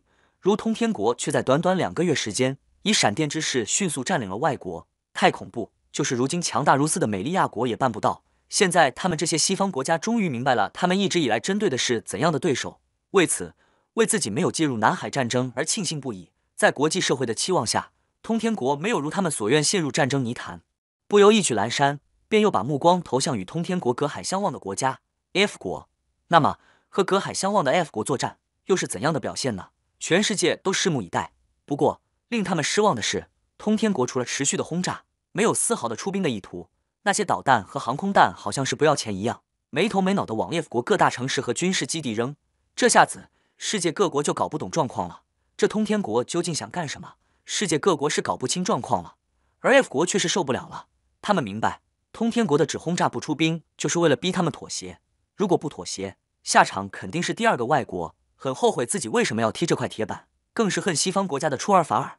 妈的，要不是听信了他们的挑唆，谁想惹人家？现在倒好，在通天国两个月持续的轰炸下，F 国没有一座完整的大楼，没有一条完好的公路和桥梁。F 国一下子回到了解放前。现在 F 国肠子都悔青了。二零二四年九月初，承受了三个月轰炸的 F 国终于支撑不住，向人民国家发出谈判的信息。最终在做出归还南海所有岛屿后，通天国结束了三个月的轰炸。持续三个月的南海战争就此告一段落，而其余占领岛屿的国家悄悄地撤走了相关岛屿驻军和相关设备。至此，整个南海九段线以内所有海域都被通天国实际控制。被分割霸占的南海诸岛和相关海域，在时隔几十年后再次回到了祖国的环抱。此次作战在付出几万人生命代价后，通天国战争意图全部实现。二零二四年九月中旬，燕京在雄壮的军乐声中，在人民英雄纪念碑下。党和国家领导人全体参加了南海战争牺牲的英雄追悼会，李霄汉、孝定邦和小秋分别代表中央军委和政府沉重悼念牺牲的烈士，充分肯定和表扬了各参战部队，并现场授予许多立下战功的英雄勋章。牺牲的英烈们安息吧。第五十七章，故人相约。在小魏的毕恭毕敬下，天赐下车，拖着略显疲惫的身子走向自己的爱巢。看着将军那略显寂寥的背影，小魏鼻子有些发酸，心中有些堵。像将军这样的地位。应该很寂寞吧？看着张将军的背影，小魏心里更是热血沸腾。能做这样领导的司机，人生足矣。作为将军的贴身司机，小魏亲眼目睹了将军那运筹帷幄的睿智，更见识了将军那对民族和国家的大爱。正是由于张将军这样的高级将领的存在，通天国才能像这次南海之战一样，随时给予侵略者迎头痛击。张将军的睿智和果敢，迅速得到了全国人民的爱戴。而小魏作为将军的司机兼保镖。更是对将军顶礼膜拜。南海之痛是全体国人的痛，是所有人民的耻辱。而随着将军的介入，百余年的南海争端朝夕消弭。天赐按下了门铃，随着大门打开，随着汪汪之声，一只超级萌、超级可爱的京巴狗摇头晃脑地窜进天赐的怀里，那模样就好似很久没有见到主人一般，又是金光一闪，天赐便知道是谁在自己肩膀上了。天赐哑然，自从来燕京后。自己就封印了小白的说话能力和法力，倒不是天赐太介意小白的整日聒噪，是因为这里是地球，是唯物主义者的世界。如果忽然狗狗说话，会吓到人。小金就乖多了，本来就不能说话，更是听话的不得了，不像小白，整日跟几个大嫂争抢零食。拍拍肩膀上的小金和怀里的小白，天赐向院子里走去，大老远就看见娇娇那丫头蹦蹦跳跳的小跑到天赐面前。娇娇撇撇小嘴儿道：“本来我够快的了。”还是让小白小金抢了先。天赐哑然，感情这小妖精还在吃小白小金的醋。天赐随即就叹息起来，这娇娇已经是为人之妇了，没有半点儿温婉矜持的样子。玄明和戴儿显然就比她优雅的多。刚刚想到玄明和戴儿，就见玄明和戴儿浅笑倩兮的来到天赐身边。玄明接下天赐的公文包，戴儿则揭下天赐的外衣，看看这如丫鬟般的玄冥戴儿。天赐再看看那背着双手的娇娇，不由生出一丝感慨：人比人，比死人。而西瑶看着被娶女还氏的女婿，再看看自己那宝贝女儿，心中浮起难以言说的酸楚。宝贝女儿，幸福吗？快乐吗？不过，当西瑶看看自己宝贝女儿脸上那幸福的模样，便给自己了肯定的答案：至少女儿很幸福，这就足够了。试问，像转世道祖这样优秀的人，怎能只有一个女人？从厨房里出来的纯子，已经万千融入了自己的新身份。虽然这一家子没有人把她看作是佣人，但既然是主人的吩咐。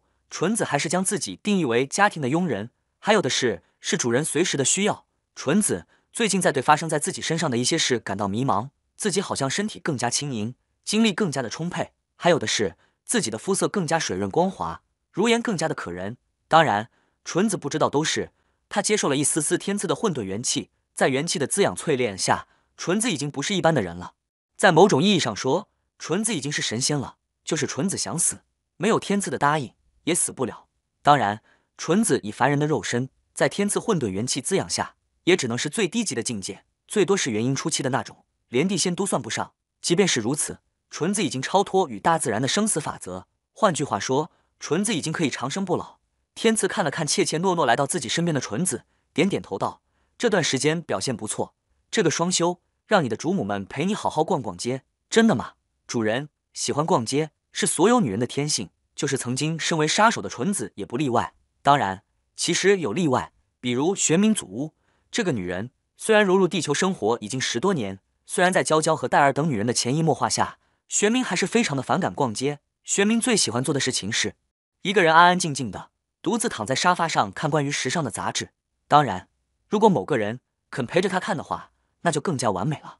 不过，作为身负沉重责任的天赐，恐怕无法满足玄冥这个最基本的愿望。回到男人身上，男人通常都不太在意细节。清虚子和逍遥都不曾注意到西瑶的心虚。清虚子看看这略显疲态的转世道祖，心中一阵不安，但还是问道：“天赐啊，你最近不眠不休，做了这么多事，如今战争已经结束，就好好休息吧。”天赐摆摆手道：“我不累。不过师傅，不是战争结束了，而是新的碰撞恐怕是无可避免。师傅啊，现在通天国虽然以雷霆之势荡平了外国，但也暴露了我军的不足之处。”各兵种之间的配合还不够默契，对付小小外国，伤亡几万人，不该啊！清虚子和逍遥都对军事这块不怎么懂，也就无法给予天赐什么建议，只能是暗自悔恨自己为什么不早早涉猎一些这方面的知识，至少可以和他分担压力啊！天赐喝了一口茶，说道：“不过这算是个教训吧，希望他们在今后做得更好。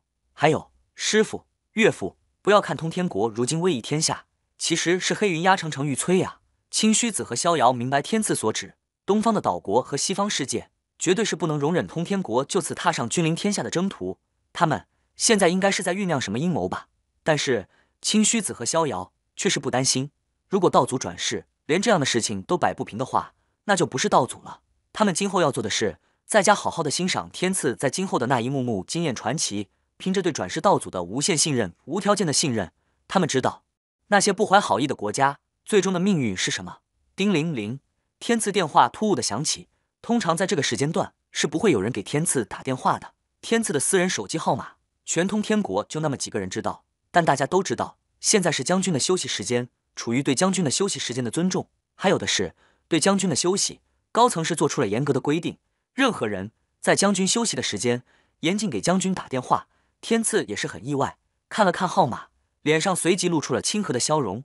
文心。自从海岛一别，天赐就如谜一般的消失在了文心和菲菲的生活。本以为菲菲和文心再也见不到那个在咖啡厅里邂逅的帅哥，本以为菲菲和文心那公司小职员的生活就过一辈子，谁想到世事总是出人意料。在十年前，一个神秘的男子找到菲菲和文心，建议他俩报考公务员。菲菲和文心对这个突兀出现的男子，很自然的抱着警惕的心理，但也是好奇的心态。菲菲和文心。最终还是听从了那个男人的劝告，报考公务员。谁知一考还就考上了。菲菲最后以街道办事处开始，后来风生水起的踏上了仕途的生涯。也不知是哪个神秘势力的关注和菲菲本人的努力和实力，如今的菲菲萧逸飞已经是通天国 S 市的常务副书记、副省部级干部。而性格温顺、不显山露水的文心更是不得了。文心以目前三十六岁的年纪，目前担任外交部第一副部长兼外事司长。副部高配。文心现在享受的是正部级高干的待遇。对于这两个和自己在海岛有过交集的人，天赐也不得不感叹，还真是人不可貌相啊！谁又曾想到，这两个女孩虽然在自己的某种关注下，但走上如今的高位，没有能力也是上不来的。第一副书记，外交第一副部长。天赐笑着摇摇头，接通电话，怎么样？副书记、副部长，怎么想起故人了？告诉你们哈，你们高升没有请客，这次得吃好的，燕京大饭店等我。说完便挂断了电话，转头向娇娇、玄明和戴儿道：“故人相约，请我吃饭，你们去不去？”而那一边，风姿更浓的菲菲却是和依旧可人的文心却是在犯愁。这个家伙，莫不成拿自己姐妹当凯子宰？燕京大饭店，那也要咱们姐妹请得起啊！菲菲和文心。虽然身居高位，却是在潜意识里遵循着某个男人的信念，一袖清风。那个曾经的小男孩，那大义大爱的心胸，至今影响着他们。那个神秘的家伙，在消失了好几年后，突兀的出现在中央和军委高层。想到此，纵然是身居市委副书记的菲菲，不由得爆出粗口。这对姐妹自从踏进各自仕途，也是很少见面，只能是在特定时间和节日，这两姐妹才能见面。身居高位，责任就大了许多。但正是这样的各自经历，菲菲和文心的姐妹情更加的炙热，更加的无间。第五十八章，再见了曾经的爱人。燕京的冬天很冷，站在燕京大饭店前的菲菲和文心不住的喝手，不住的跺脚。菲菲不由埋汰道：“就算是国家领导人吧，也不至于让两个娇滴滴的大美女在大冷的天儿眼巴巴的等他吧？这小家伙，普儿还是这么大。”听着菲菲在耳边唠叨，文心俏皮的说道：“菲菲啊，你敢编排政治局常委？他知道了。”看不收拾你，看看身边这个依旧是那样的温婉恬静的姐妹，菲菲叹了一口气。文心，你快乐吗？当初海岛那咖啡店的一面之缘，菲菲的心早已牢牢的系在那个帅气的小男孩身上。这么多年，不但不曾淡忘，那刻骨铭心的思念却是愈加强烈。已经身处高位的小帅哥，你还好吗？文心的心意，菲菲自然是很清楚。虽然他不表现在脸上，但菲菲知道，文心对那个男孩的爱慕不必自己少，只是彼此都明白。那个男孩不是自己姐妹的菜，菲菲很是好奇，像天赐这样优秀的男孩，他的爱人又会是怎样的优秀？凛冽的寒风透过脖子处缝隙，呼呼往脖子里灌，一个冷战。菲菲和文心不由得紧紧领口。夜色渐浓，大街上华灯初放，柔和的街灯倒是将刺骨的寒冷消弭了一些。菲菲和文心看看彼此懂得通红的脸蛋，相视一笑。这么多年了，彼此还是那么在乎那个男孩。如果不是那样的在乎，何以甘愿在天寒地冻的大街上眼巴巴的等他？突然，一辆银灰色的奔驰房车映入菲菲文心的眼帘。随着车门打开，那个令菲菲和文心刻骨铭心许多年的男孩终于来了。看着这个具备成熟男人风采的男人，这个在自己姐妹无数个梦里的男人，菲菲和文心的鼻子就有些发酸。菲菲和文心正准备欢天喜地的前往打招呼时，却见车内下来三个女人，硬生生止住脚步。出于女人下意识的比较之心，菲菲和文心倒是想看看。配得上天赐的女人到底是何方神圣？只是随着菲菲和文心的一打量，菲菲和文心便立即丧失了最基本的词汇组织能力。一阵惊骇之后，随之便是释然。也是，也只有这样的女人才配得上他。率先下车的女人，天姿国色，在白色风衣的映衬下，如天山雪莲一样纯净圣洁。紧接着的女人是穿着黑色风衣的女人，气韵高贵典雅，在她面前，令一切生灵都自感污秽。最后下车的女人。气质同样高贵，还具备着一种空灵玄奥之美，在他的面前，无人能坦然予以直面。一道淡淡的酸楚浮上菲菲和文心心头，坚守了十多年的梦，如今在这三个沉鱼落雁般的女人面前醒了。这个男孩还是往昔一般的云淡风轻，嘴角总是叼着那支迷死多少少女的香烟。天赐来到菲菲和文心面前，伸出右手笑道：“时隔三日，当刮目相看，当初的小姑娘，如今是省部级大员了，不得了。”心结既然已经放开，文心难得开起了玩笑，那哪能和你比啊？当年的小男孩，如今贵为中央领导了。天赐笑道：“你们的意思是说，这里的人，我的官儿最大，这顿该我请。”菲菲笑道：“那是当然。再说了，你也好意思要女人请客？就算是想请，燕京大饭店咱们也请不起。今天我和文心嘴馋了，蹭一顿好的。”听了菲菲的话，天赐点点头。菲菲和文心在官场的风评，自是知道一些。这对姐妹在各自的位置上，那是出了名的严谨和清廉。对范氏的手下，一贯是雷厉风行的铁腕手段，绝不姑息。在通天国官场，菲菲和文心闻名于世的，不仅仅是他们那美女干部的标签，令人印象最深刻的是他们正直不阿。天赐松开手，对菲菲和文心道：“给你们介绍下，娇娇，我的爱人，玄冥戴尔，是我的机要秘书。他俩跟你们一样的心思，跟我蹭一顿好的。尽管心中的那丝情愫犹在，但菲菲和文心贵为高级干部，随即就整理好心态，和天赐的爱人和秘书握手寒暄。只是在和这些女人寒暄之时，菲菲和文心心下却是撇撇嘴：秘书，当我是瞎子？哪有秘书有事无事的将眼神老往男人身上挂的？菲菲和文心。心里不由一些好笑，这个当初的小男孩，原来还是一个花心大萝卜。但正是这个家伙的花心，反倒使菲菲和文心感到天赐的真实，不是高层领导通常的高高在上、不近人情。在一行人往饭店里走，和天赐的三个红颜不同，菲菲和文心却是被这燕京饭店里的装饰晃花了眼。可怜菲菲和文心，虽然贵为省部大员，由于自律，像燕京饭店这样的场合还没有来过，请客人第一次来燕京饭店用餐，自然要吃谭家菜。谭家菜是唯一保存下来由燕京饭店独家经营的官家菜，长于干货发制，精于高汤老火烹饪。海八珍五十年代被总理安排进北京饭店西七楼，发展至今日，谭家菜已经不仅仅是一个菜系那么简单。从国家烹饪历史角度说，谭家菜是一块活化石，提供了一份研究前朝官府菜的最完整而准确的资料。在进入包厢之际，菲菲有意识地跟上几步，在天赐的耳边轻声说道：“张将军，他俩真的是你的秘书，不是棋儿。”被菲菲一语道破，天赐老脸一红，狠狠瞪了一眼菲菲，便讪讪走进包厢，看着陶冶式的那个男人，菲菲俏皮的脸上浮上一丝云彩。张将军首先是一个真实的男人，包厢是厅堂格局，是雅花香，古朴典雅，就好像置身于古代帝王人家的豪华饭厅。服务小姐红色短巾，成排的漂亮旗扣，个个美丽大方，观之赏心悦目，甚至令人飘飘然有被侍女服侍的感觉。谭家菜最出色的是燕窝和鱼翅。天赐点的黄焖鱼翅，娇娇和玄冥戴尔点了清汤燕菜，但这两道菜都是慢火细做，尤其是自己爱人们那道清汤燕菜，吊汤就要熬上几日，是以吃谭家招牌菜大多要预定。天赐其实对吃没有太高的讲究，吃饱不浪费是他的原则，但今天主要是照顾这些女人的喜好。这些菜养颜润肝，对女人很是有好处。不过对于天赐等人极具专业的点菜，服务员却是为难了。服务员小姐为难的解释道：“这些菜。”要提前一个礼拜预定，菲菲和文心却呆住了。自己姐妹也不少来燕京，两个人也时常出去大吃大喝，却不知道有这般讲究的膳食。娇娇看了看表，对服务小姐说：“你们有备菜的，你和谭经理说，给我们上。为了预防不时之需，比如领导人宴请重要客人，临时决定来北京饭店吃谭家菜，几道最著名也最难做的招牌菜，后厨每天都做上几道的，一般九点左右出厨。现在八点多，哎，时间却是刚刚好。”服务小姐听得娇娇知道备菜，态度更加拘谨起来，说：“我去问问。”服务小姐出厅堂不大一会儿，珠帘一挑，一名矮胖的中年人走进来，正是谭家菜掌门人，现在的谭家菜餐厅经理谭啸天。他先祖名厨，花名叫天，他就自号啸天。谭老板见这一桌莺莺燕燕，只有一个男人，就是一愣，但随即就亲和的和天赐打招呼。天赐这次出来是便服，加之被三个爱人化了妆，到现在没有知道。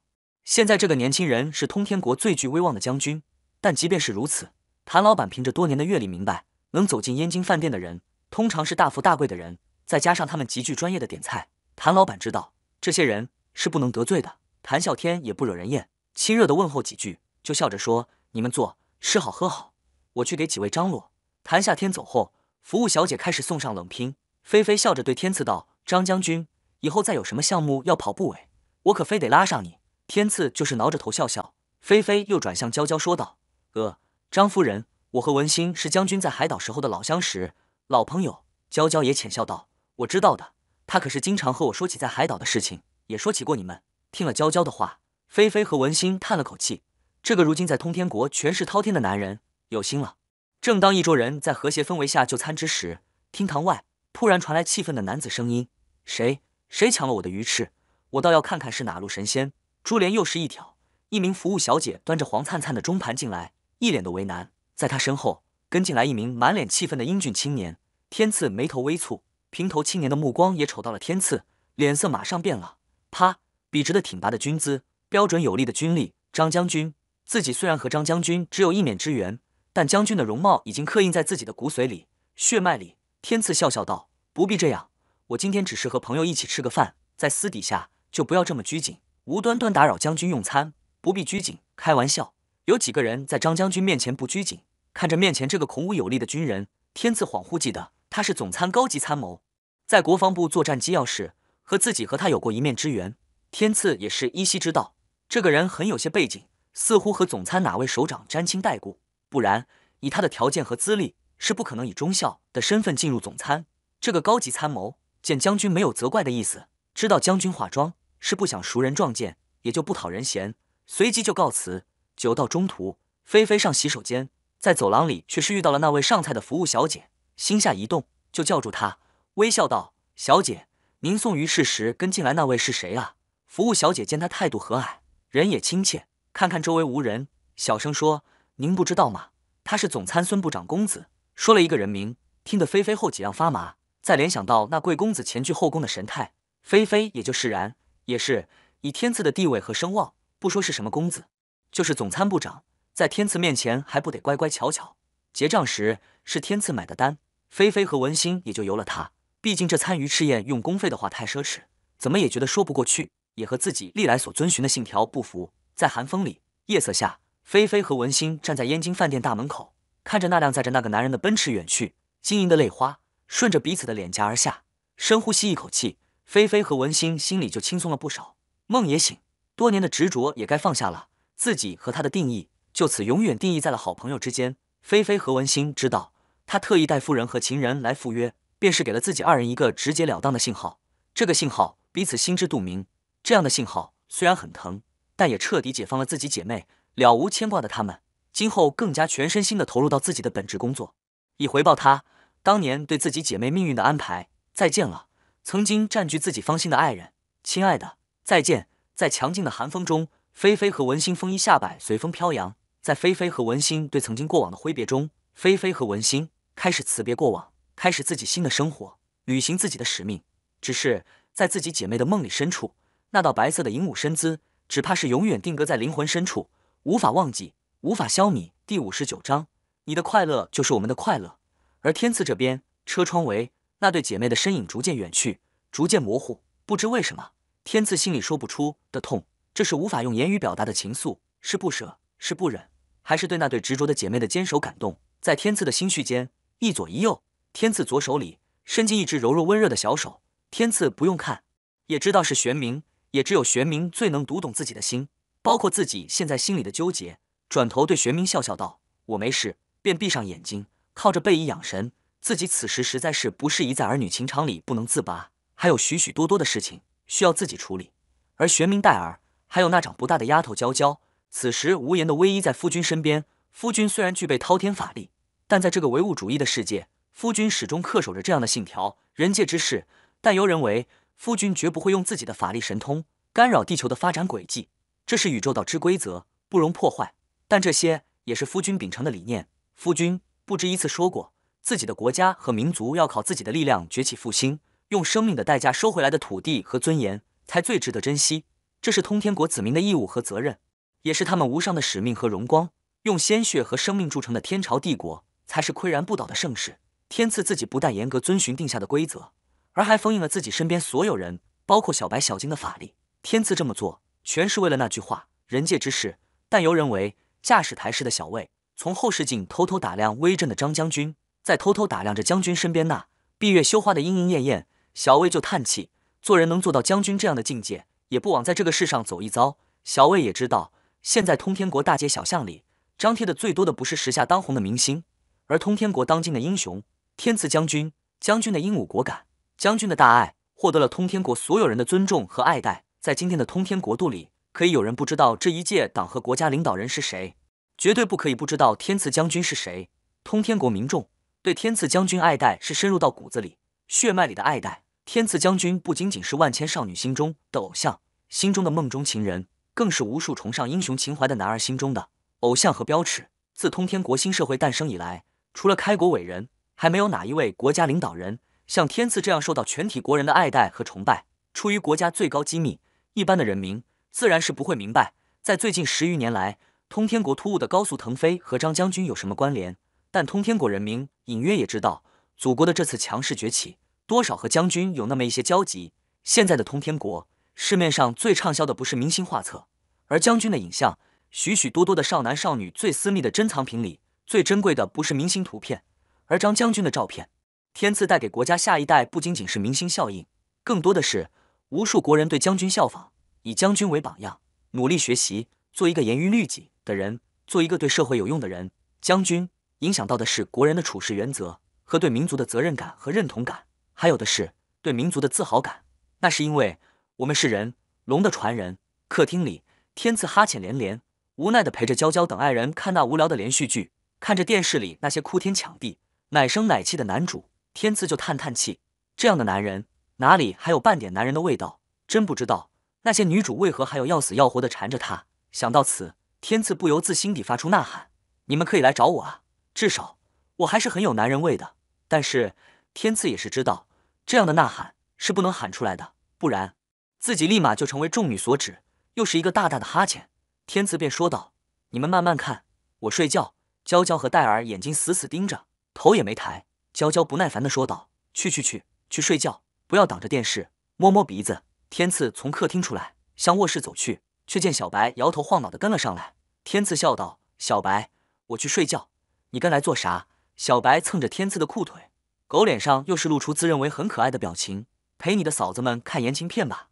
天赐不客气地将小白踹出老远，汪汪！小白对着天赐翻出一个人性化的白眼，赌气回到客厅，在临近门前。将屁股撅得老高，还嚣张的冲天赐摇了摇。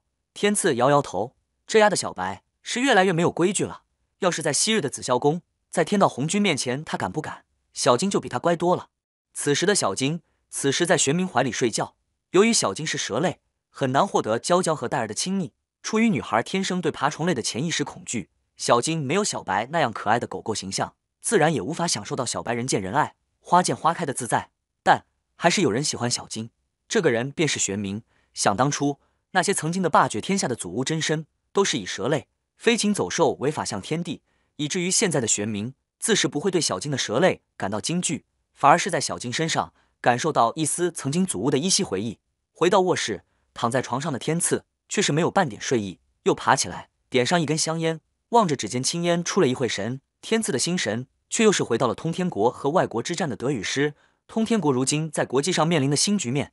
还有的是通天国将来的天朝之路，将要走到哪种规模？是仅仅收回在历史上被侵占的土地，还是开疆扩土？再过几年，或是十年，通天国将具备吞并全世界的能力，完全有实力将整个地球变成一个独一无二的国度。只是天赐觉得，将不属于大圈的文明强行粘合在一起，将来的某一天，这些便是动乱的隐患。想到此，天赐呼了一口气，还是收回曾经丢失的土地吧。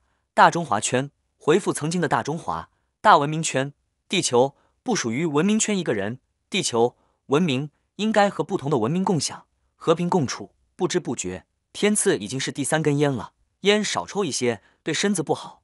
弱弱的声音在天赐身边响起，天赐转头，脸上露出亲和的笑，闻着玄冥身上那淡淡的体香。不光是玄冥，天赐知道，在仙界，在另一个时空内，那里所有的女人身上散发出的都是天然的香味。不像地球女人铺天盖地的香水味，足以熏死千万人。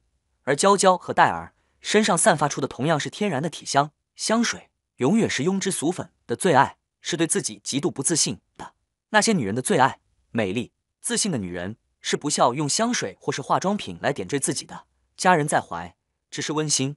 你怎么不和他们看电视？明知道玄冥最不喜欢人多，而喜欢清静独处。玄冥最不喜欢的还有那客厅里正放的起劲的言情剧，无聊。男人嘛，要爱就爱，要离就离，干嘛跟老娘们似的要死要活？玄冥更是看不惯电视里那些男主的娘娘腔。关于这一点，倒是和天赐不谋而合。天赐闻言不由哑然，原来那些男主在玄冥心里和自己想的是一样的货色。好笑的捏了捏玄冥秀气可爱的鼻子，天赐笑道：“那么你说说，男人应该是怎样的？”见夫君问。玄冥盯着天赐的脸庞，目光似水一般的柔情。男人就应该像你一样果敢霸气。玄冥的特点是对任何事物总是不说假话，一就是一，二就是二。男人就应该像你一样果敢霸气，这是一个女人对自己的爱人最高褒奖。天赐心中没来由一阵轻颤，自己原来在爱人们心里是如此的地位，他们总是在尽一切可能使自己快乐，用女人博大的心性。包容自己的一次又一次的花心和荒唐，而他们这么做唯一的初衷，便是要自己快乐。娇娇、戴儿，还有眼前这个玄冥，他们用心如此良苦，那么自己呢？自己有没有想过，他们快乐吗？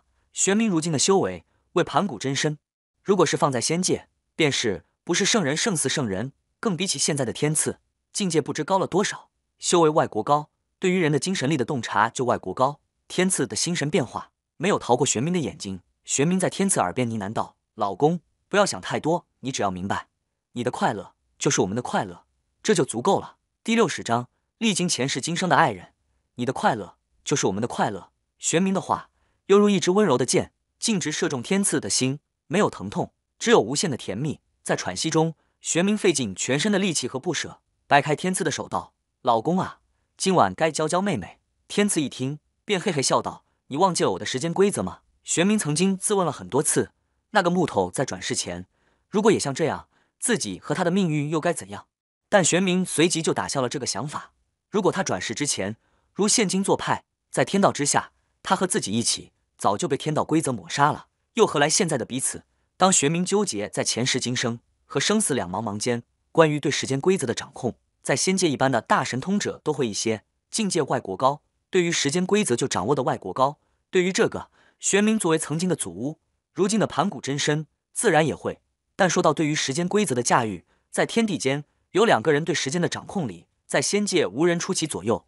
一个是时间之祖屋煮九阴，他的对于时间的驾驭能力在仙界独一无二。煮九阴在时间规则之下，将敌人杀死与不知不觉中。除了煮九阴祖屋，天地间对时间的掌控力，便是当初那紫霄宫传道的天道红军。也就是如今的转世道祖天赐夫君的想要，也正是玄冥的想要。既然夫君已经使用了时间规则，玄冥就不必怕有人突兀的闯进来。这里是自己的二人世界，如果有一天命运又要迫使自己离开夫君，到那一刻之际，便是自己以死殉情之时。没有什么能使自己离开夫君，唯独是死。即便是死，也要死在他的怀里。天赐和玄冥用灵魂彼此交流，我爱你，永远爱你，历经前世今生的爱人。看着身边那。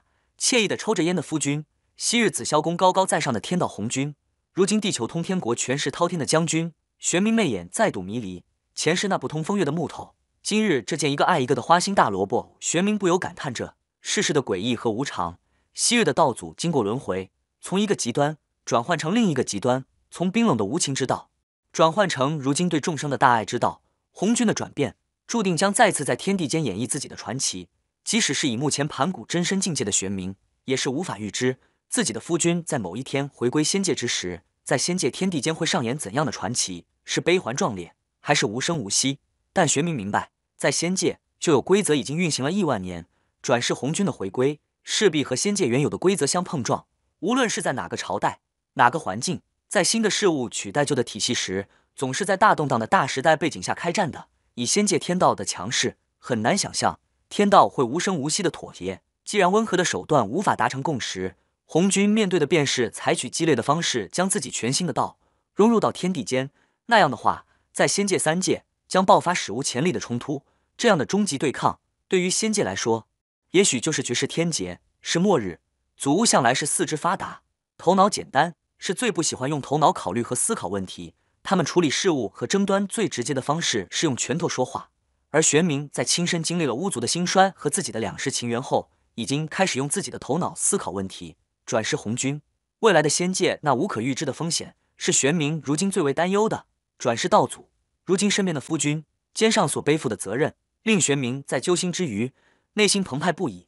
夫君的强势果敢，却是将玄冥心中那尘封的祖屋战意激发出来。要战便战，要死便死。玄冥也是明白自己在未来要做的事。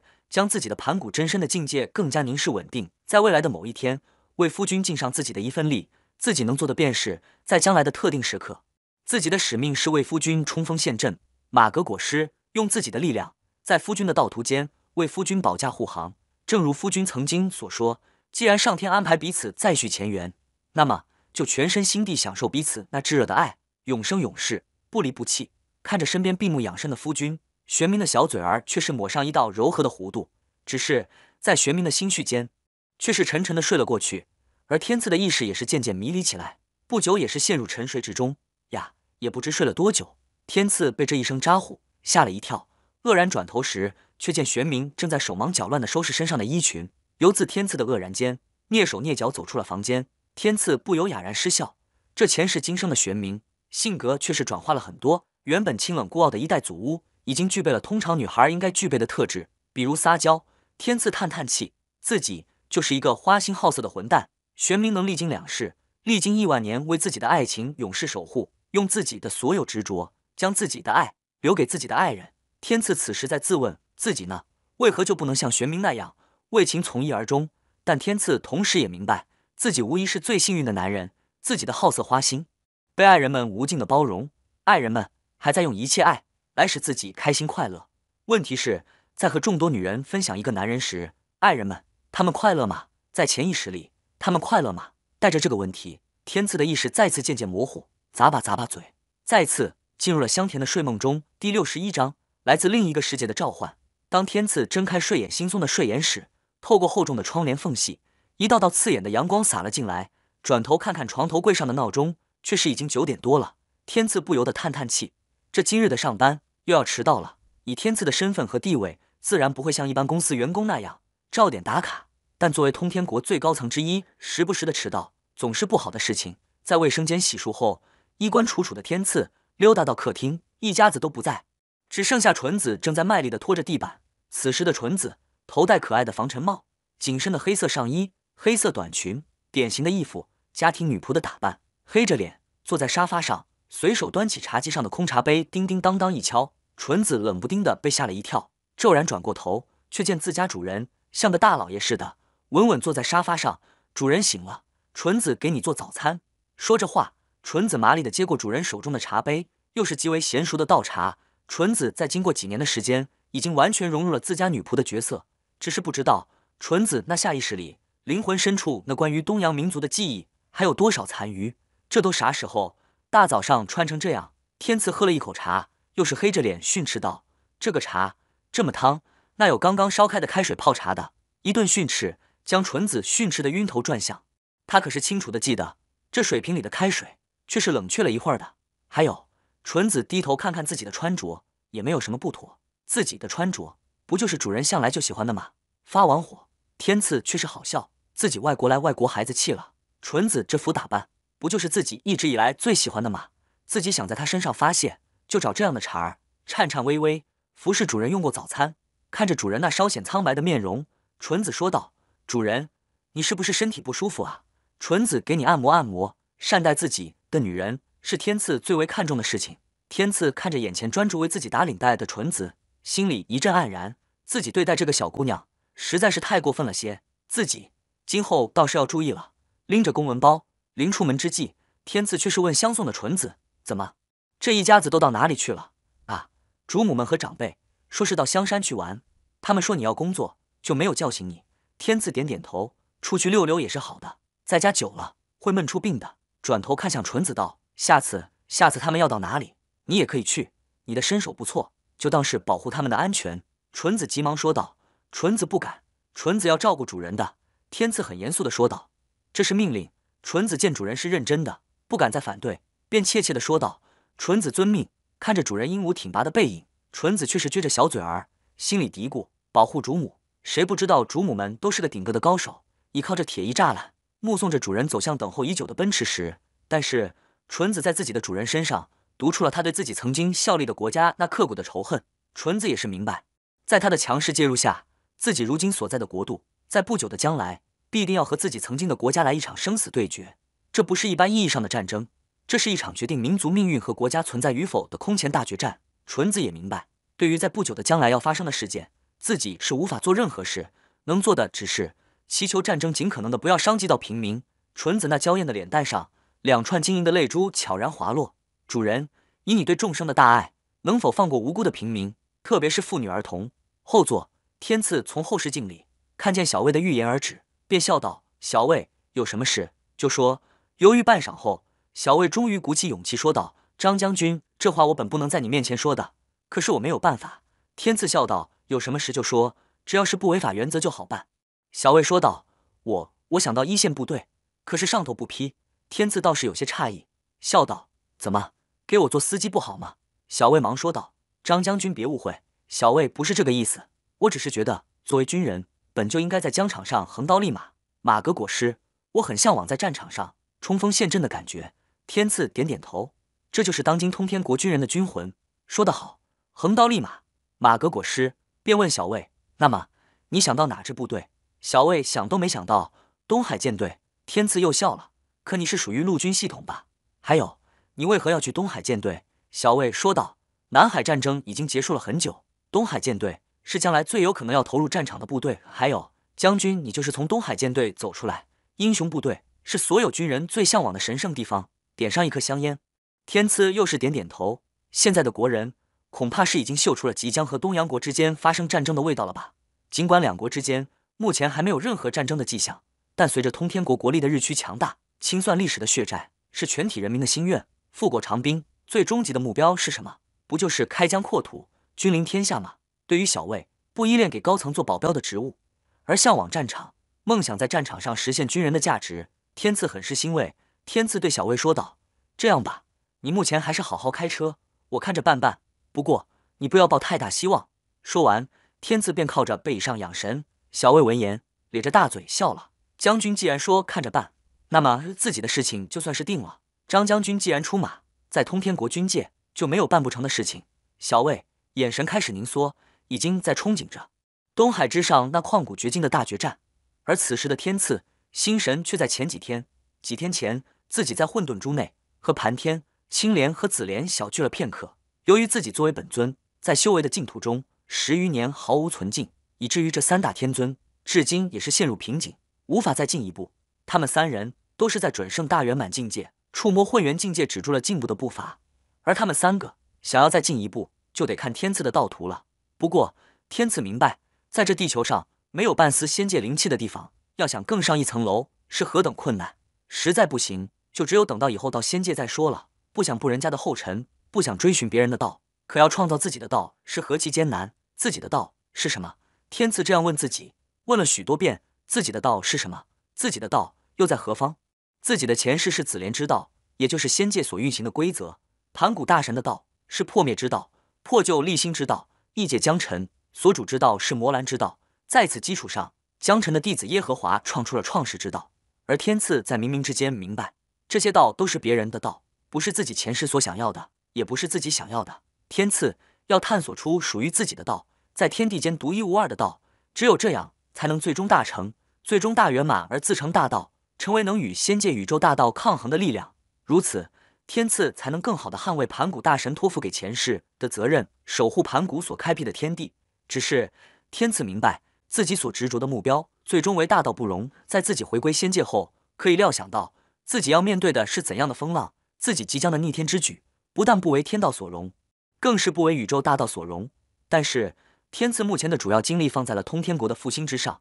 只有在通天国再次开创大天朝盛世之时，天赐才能放心的回归那属于自己的地方——仙界。在天赐灵魂深处，一丝似有似无的气息在召唤着他。自从天赐和红军的紫莲融合。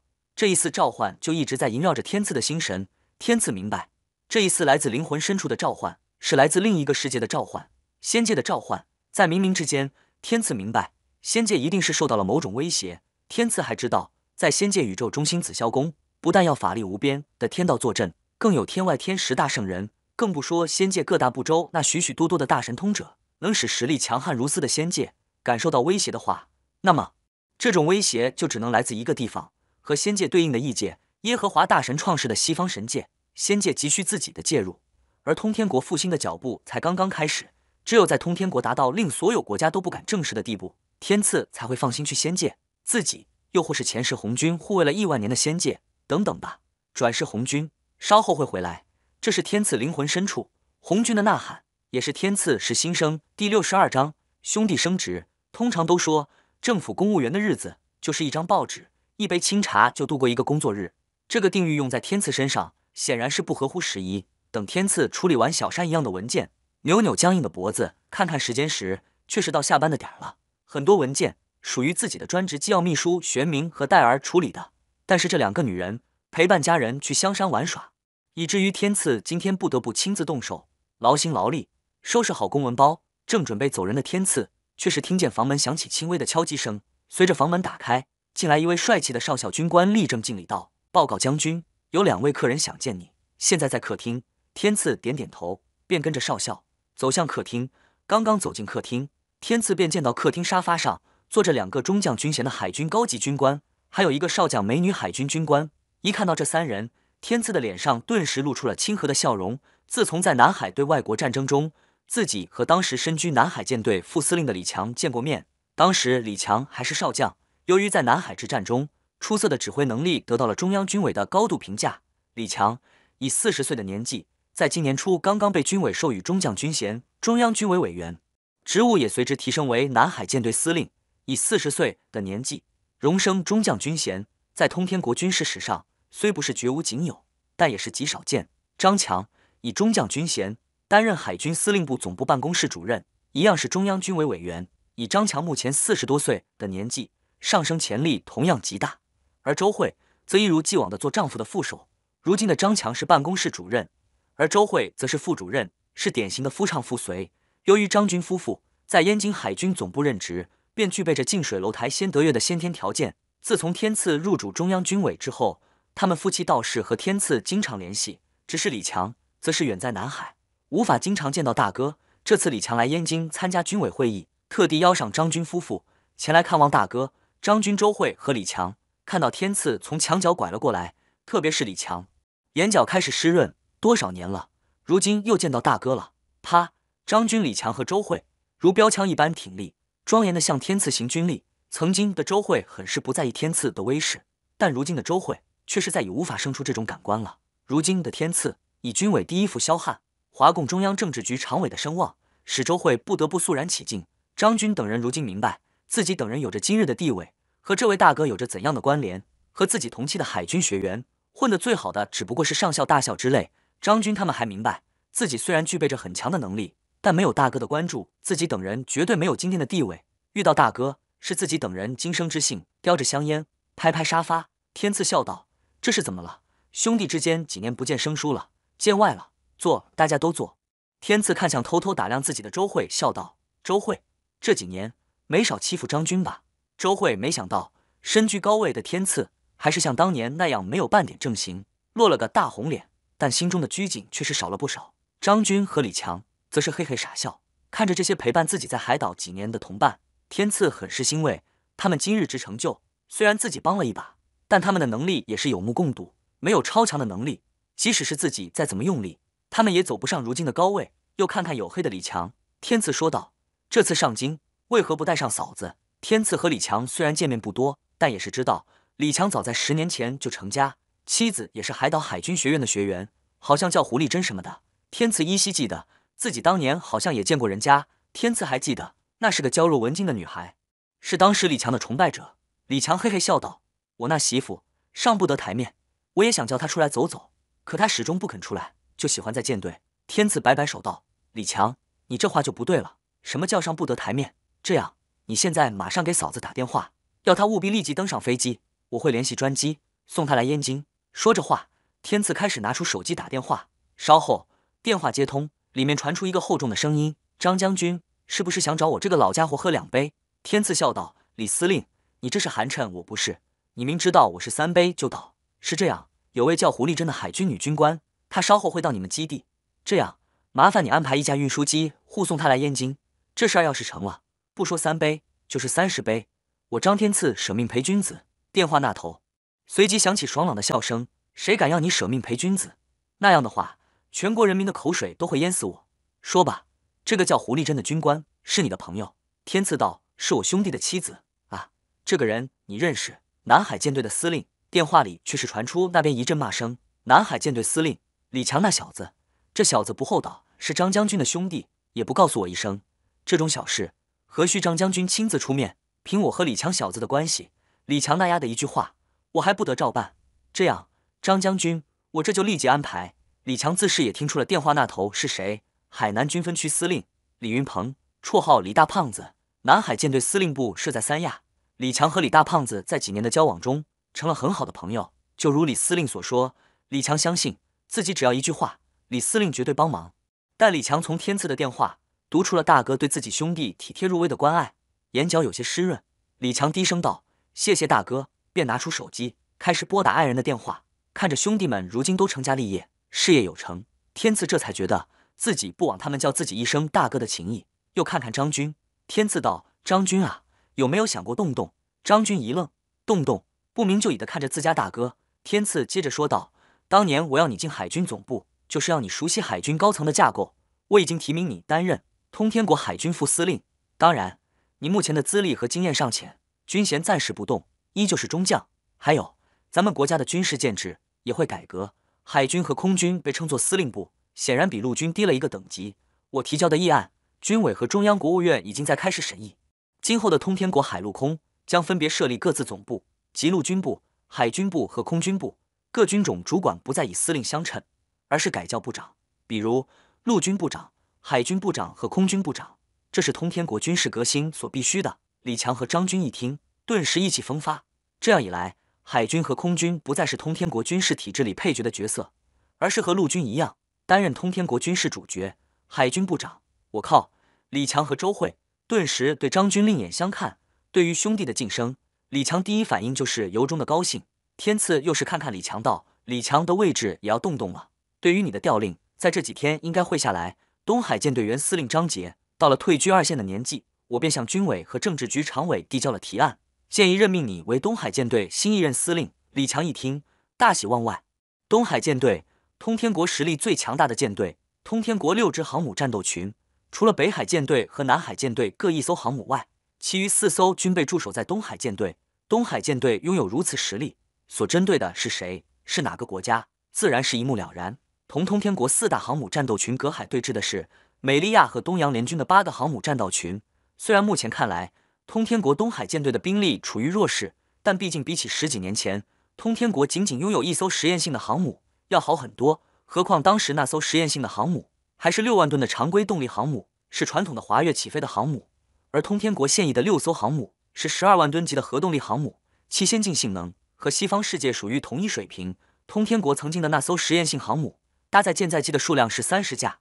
而通天国现役航母，每艘航母的舰载机常备搭载量是一百架，其中还包括预警机、直升机等等。这也是西方世界，特别是美利亚和东洋国对通天国忌惮，至今不敢动武的原因。他们明白，一旦和通天国在大洋之上，在进行航母之间的对抗时，即使是以数量优势的他们取胜，也是惨胜。他们即使是成为最后赢家，但除了自己满目苍夷的国土，也什么也没有了。和如今强悍如斯的通天国爆发全面战争。彼此都是最后的输家。从心神里退出来的李强立即就明白了，大哥的意思是，将来和东洋国和美利亚的大决战，自己将顶上去。李强还明白大哥另一番意思，打架要用亲兄弟。而对张军的安排更是一目了然。这位将来的通天国海军最高首长，即将会指挥通天国所有海军力量，同东海对面的联军进行终极碰撞。客厅里，女卫兵也不知道换了几次茶水。窗外的夜色已经很浓，在大家好的聊天中。两个小时悄然而过，天赐看看时间，对兄弟们笑道：“时间差不多了，咱们这就去丰台机场。人家嫂子第一次来燕京，可别叫人家等。”一行人来到停车场，小魏早已等候多时，立正敬礼。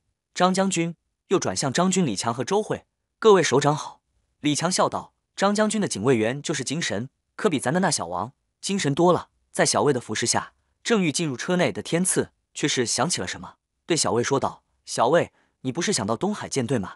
便指着李强说道：“这位李司令即将担任东海舰队的司令，你的事儿他看着办。”李强却是笑道：“怎么着？给张将军做司机不舒服，要到部队吃苦。”随即又说道：“这事儿就这么定了，可别到时后悔。”小魏腼腆一笑道：“谢谢首长。”在夜色下，金碧辉煌的路灯的晕染下，银灰色奔驰驶上高速，向丰台军用机场而去。第六十三章：阶级迎接弟媳。燕京的交通问题。是燕京人多年挥之不去的噩梦。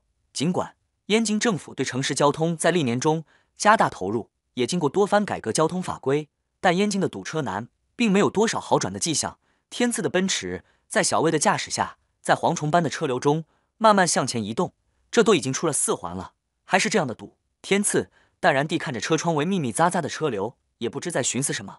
晚上九点多，小魏才满头大汗地开着奔驰进入丰台军用机场。由于挂着军委的牌照。大门卫兵立马立枪敬礼，目送奔驰进入机场。老远，在一家未曾熄火的巨大运输机旁，在料峭寒风中站着几个人影。在一群人里，一道白色的身影格外显眼。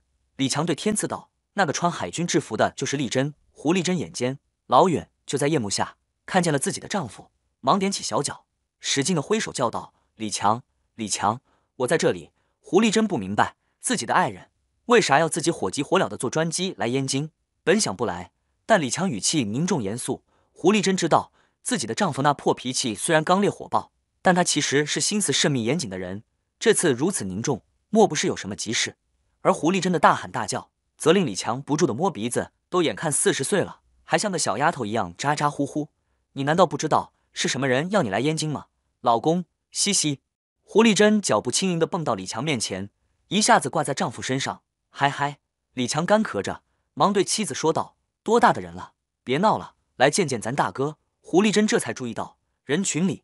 一个身穿海军上将制服的年轻人正笑盈盈的看着自己撒欢，俏脸顿时一红，便讪讪的从李强身上下来。不过，胡丽珍越看这个年轻的海军上将越面熟，脑子里轰的一下，顿时就依稀明白这个年轻人是谁。天赐，曾经的高考状元。胡丽珍自是从李强的嘴里知道，昔日海岛海军学院的小天才，如今已是通天国最具威望的将军。胡丽珍还隐约知道，自己的丈夫以火箭般的蹿升。和他有着说不清道不明的关联。胡丽珍对曾经的小天才，除了极度的好奇外，便是浓浓的感激。而如今自己却像一个小丫头一样撒欢，落入通天国如今最有权势的将军眼里。胡丽珍脸上的红晕又是浓了几分，心里不由暗自腹诽：老公，丫的李强，不早告诉我，看我回去不好好收拾你。胡丽珍忙整理一下着装，啪的一个军礼道：“天赐不，张将军。”天赐笑了，都老同学了，干嘛跟他们一样整这一出？随意吧。说完，满面严肃，很正式的便伸出手道：“胡丽珍同志，我谨代表燕京人民欢迎丽珍少将来燕京。”胡丽珍扑哧一笑，这当初的小天才，如今的张将军还是昔日那样风趣。胡丽珍心中拘谨大消，也是伸手和天赐轻轻一握，调皮的用小手指在天赐手中轻轻一划。哥哥，张将军年纪轻轻便身居高位，前途不可海量啊！天赐笑而不语，这才转向一旁的。正和李强聊得很是热乎的李司令笑道：“李司令，天赐哪敢劳你大驾，亲自来燕京，相请不如偶遇。走，咱哥俩这就找个地方不醉不归。”李司令哈哈大笑道：“张将军的美意，本人心领了。只是本人军务在身，难以陪将军了。说起来，我这次还有擅离职守之嫌。”天赐点点头，他知道像李司令这样五十多岁年纪的老一辈，是极度的严格要求自己，具备极高的操守。这次要不是自己的面子。你看看他会不会亲自护送胡丽珍千里迢迢来燕京？天赐点头笑道：“既然这样，天赐便不再勉强。等将军下次来燕京，天赐必当煮酒以待。”李司令道：“那是一定一定。”便向天赐这一干人打过招呼，便在随从的陪伴下登上了飞机。看着李司令那架运输机呼啸着直插夜空，天赐这才转身走向奔驰。奔驰房车的优点便是座舱内空间很大，坐了六个人还不觉得特别拥挤。天赐对这些自己的兄弟和弟媳道：“知道你们这么多年苦惯了，今晚就带你们去奢侈一番。”对于自己兄弟多年的操守，天赐很欣慰。在面对社会各种物质诱惑，他们始终自制自律，以国家军人的荣誉和党性为标尺。做一个清正刚烈的军人，天赐还知道李强和张军以目前的地位，相当于行政编制的省部级大员，却是都没有属于自己的房子。两位弟媳耳濡目染，都还没有佩戴过像样的首饰。在如今国家的今天。如此清廉的官员可以说是极为少见。天赐更是知道，正是由于张军李强的刚正不阿，赢得了各自系统官兵的衷心拥戴和热爱。当然，国家高层和海军高层自是也极为看重这点。张军和李强极快的升职和他们的自律不无关系。这两位海军地方大员为通天国军界乃至各个系统树立了一个极为正面的形象。张军和李强听到大哥的话，心里又是一暖。自己兄弟这么多年的一举一动。大哥都看着张军李强，同时也吁了口气，至少自己兄弟没有使大哥失望，没有给大哥丢脸。胡丽珍和周慧自从在各自的婚礼上见过对方外，这么多年其实很少见面。这次在燕京，在张将军的车里，两个女人迫不及待的叽叽喳喳的聊个不停，丈夫之间的兄弟情分，自然也拉近了两个女人之间的关系。原本和周慧聊天的胡丽珍，突然对着天赐冒了一句：“天赐啊，为啥这么多年？”你都一直这样年轻，你看看咱家李强都整个一老头子了，说说呗，你有什么养生诀窍？周慧一听，扑哧一笑，李强则是额头开始冒汗，忙训斥道：“女人就是麻烦，嘴一张也不看看是谁。”又转头对天赐笑道：“嘿嘿，大哥，丽珍就那性子，你不要见笑。”胡丽珍却是不忿自家老公的训斥，嘟起小嘴儿道：“问问嘛，干嘛那样严肃？人家天赐大哥都没有说什么。”尽管大大咧咧，但冰雪聪慧的胡丽珍也是怕惹恼了爱人大哥，从未曾叫过天赐大哥，今天却是小嘴儿甜甜的叫了一声大哥。天赐却是摸摸鼻子道：“我也是不明白，我为什么不显老相？”丽珍这个问题深度很大，我恐怕是无法回答，因为我也不知道这是为什么。这一车人唯独小魏一语不发。专注开车，他也无法参与这些人的话题，因为这些人最低的军衔是少将，在他面前，这些人个个都是他的首长，而小魏如今的军衔仅仅是陆军少校。不过，小魏明白，凭着自己或张将军的关系，在将来的东海舰队，自己的军衔应该提升很快吧。但小魏这个想法在脑海里刚刚一闪，小魏心里便是一阵羞愧，自己还是该做好现在乃至将来的职责。至于自己的前途，不是自己能想怎样就怎样的，况且这些也不是一个军人能够想的。从丰台机场出发，已经是晚上十点左右，燕京市区的交通总算是有了好转。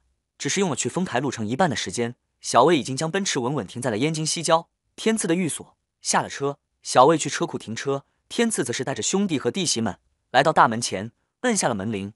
天赐在机场之际，便给家里人打了电话，说今晚有客人来家里，要家人多准备酒菜。门洞在院里灯光的照映下，出现一个白头。开门迎客者，无一例外的总是清虚子。清虚子看见天赐身后两男两女，四位匠心闪烁的海军高级军官，忙大开院门，笑道：“贵客临门，小老头不胜荣幸。”凭着天赐对这位老人的恭敬，张军等人自是也不能将老人看作仆人之类。果然，天赐开口说话了：“师傅，下次开门就让你的徒媳们代劳。你这么大年纪，要注意身体。”而张军、李强等人。却是一脸黑线。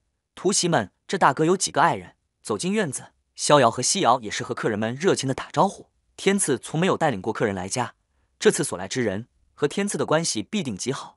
一如既往，小白还是第一个窜上天赐怀里撒欢，再就是小金窜上天赐的肩头。不过万事万物总有意外，娇娇这次没有率先跑出来搂住天赐撒娇，也不是玄冥和戴儿，而是怯怯的纯子围着可爱的碎花围裙。来到天赐面前，主人回来了，各位贵客，客厅里请坐。一边说着，一边接下天赐的公文包。进了客厅，纯子又是替天赐脱掉呢子大衣，挂在衣架上，再像旧社会的丫鬟，服侍地主老财一般，服侍天赐坐下，又麻利的为天赐倒好一杯冷热刚刚合适的热茶。忙完天赐，纯子这才为张军等人倒茶，然后浅笑道：“各位请慢用。”纯子和极度的专业架势，即使是世界上顶级酒店的专业服务员。也不过如此。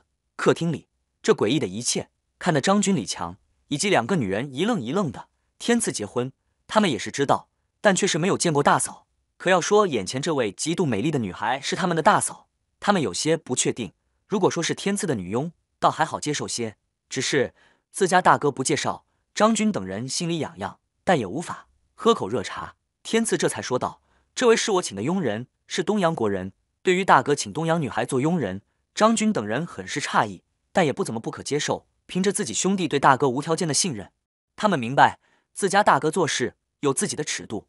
第六十四章天国之路。老公，嘻嘻，不见其人，只闻其声。天赐就是不回头，自是也知道这一惊一乍的谁。随着一阵清香扑面，娇娇大小姐已经挂在天赐怀里，其架势也毫不顾忌这屋里有客人在。等自家老公努努嘴，娇娇这才扬扬小手道：“大哥哥。”大姐姐们好啊，大哥哥、大姐姐，张军和李强额头开始冒汗。自家大嫂称呼自家兄弟为大哥哥，虽然以年纪来说，做天赐的大哥也不是不可以，只是自己二人小弟做了十多年，却被大嫂称之为大哥哥。张军和李强赶忙起身笑道：“大嫂好。”而周慧和胡丽珍却是始终喊不出大嫂这句话，只能是装聋扮傻，微笑着和娇娇点点头，算是打招呼，开玩笑。看看这个小女孩，顶多也就十七八岁。大嫂周慧和胡丽珍可是喊不出嘴。娇娇这小丫头便开始了在天赐面前邀功：“老公，今晚我做了好多菜，好辛苦哦。”天赐哑然一笑：“你做的菜，你不帮倒忙，就算是阿弥陀佛了。当然，打击打击娇娇小姐，也是天赐平日里很有意思的事情。你做的难道不是岳母和纯子，还有玄冥和戴儿做的吗？虽然被夫君一语道破，但娇娇并不难为情，反而嘻嘻一笑，使劲的勾着天赐的脖子撒娇。这边正热闹着，门口又是走进两个姿色同样惊艳但又清冷的女人。对于这两个刚刚走进来的女人，张军和李强却是外国看外国面熟，二人同时醒悟，这不就是大哥的两位机要秘书？莫非他们和自家大哥还真的有？张军和李强不由得充分发挥想象，遐想连连起来。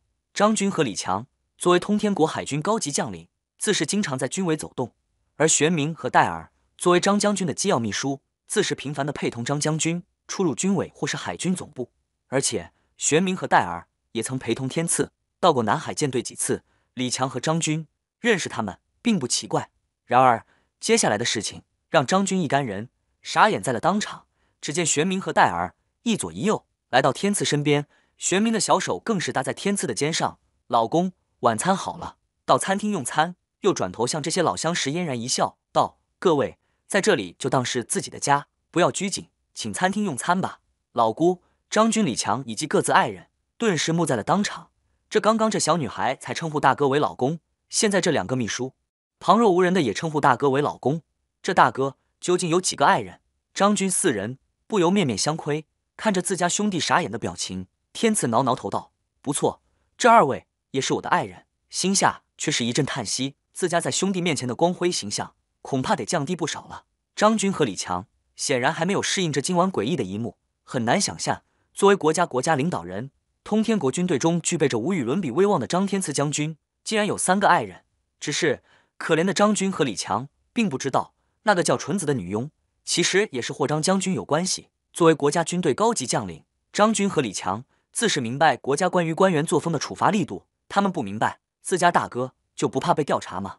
然而张军和李强很快就打消了这个想法，也是也不看看张将军是谁。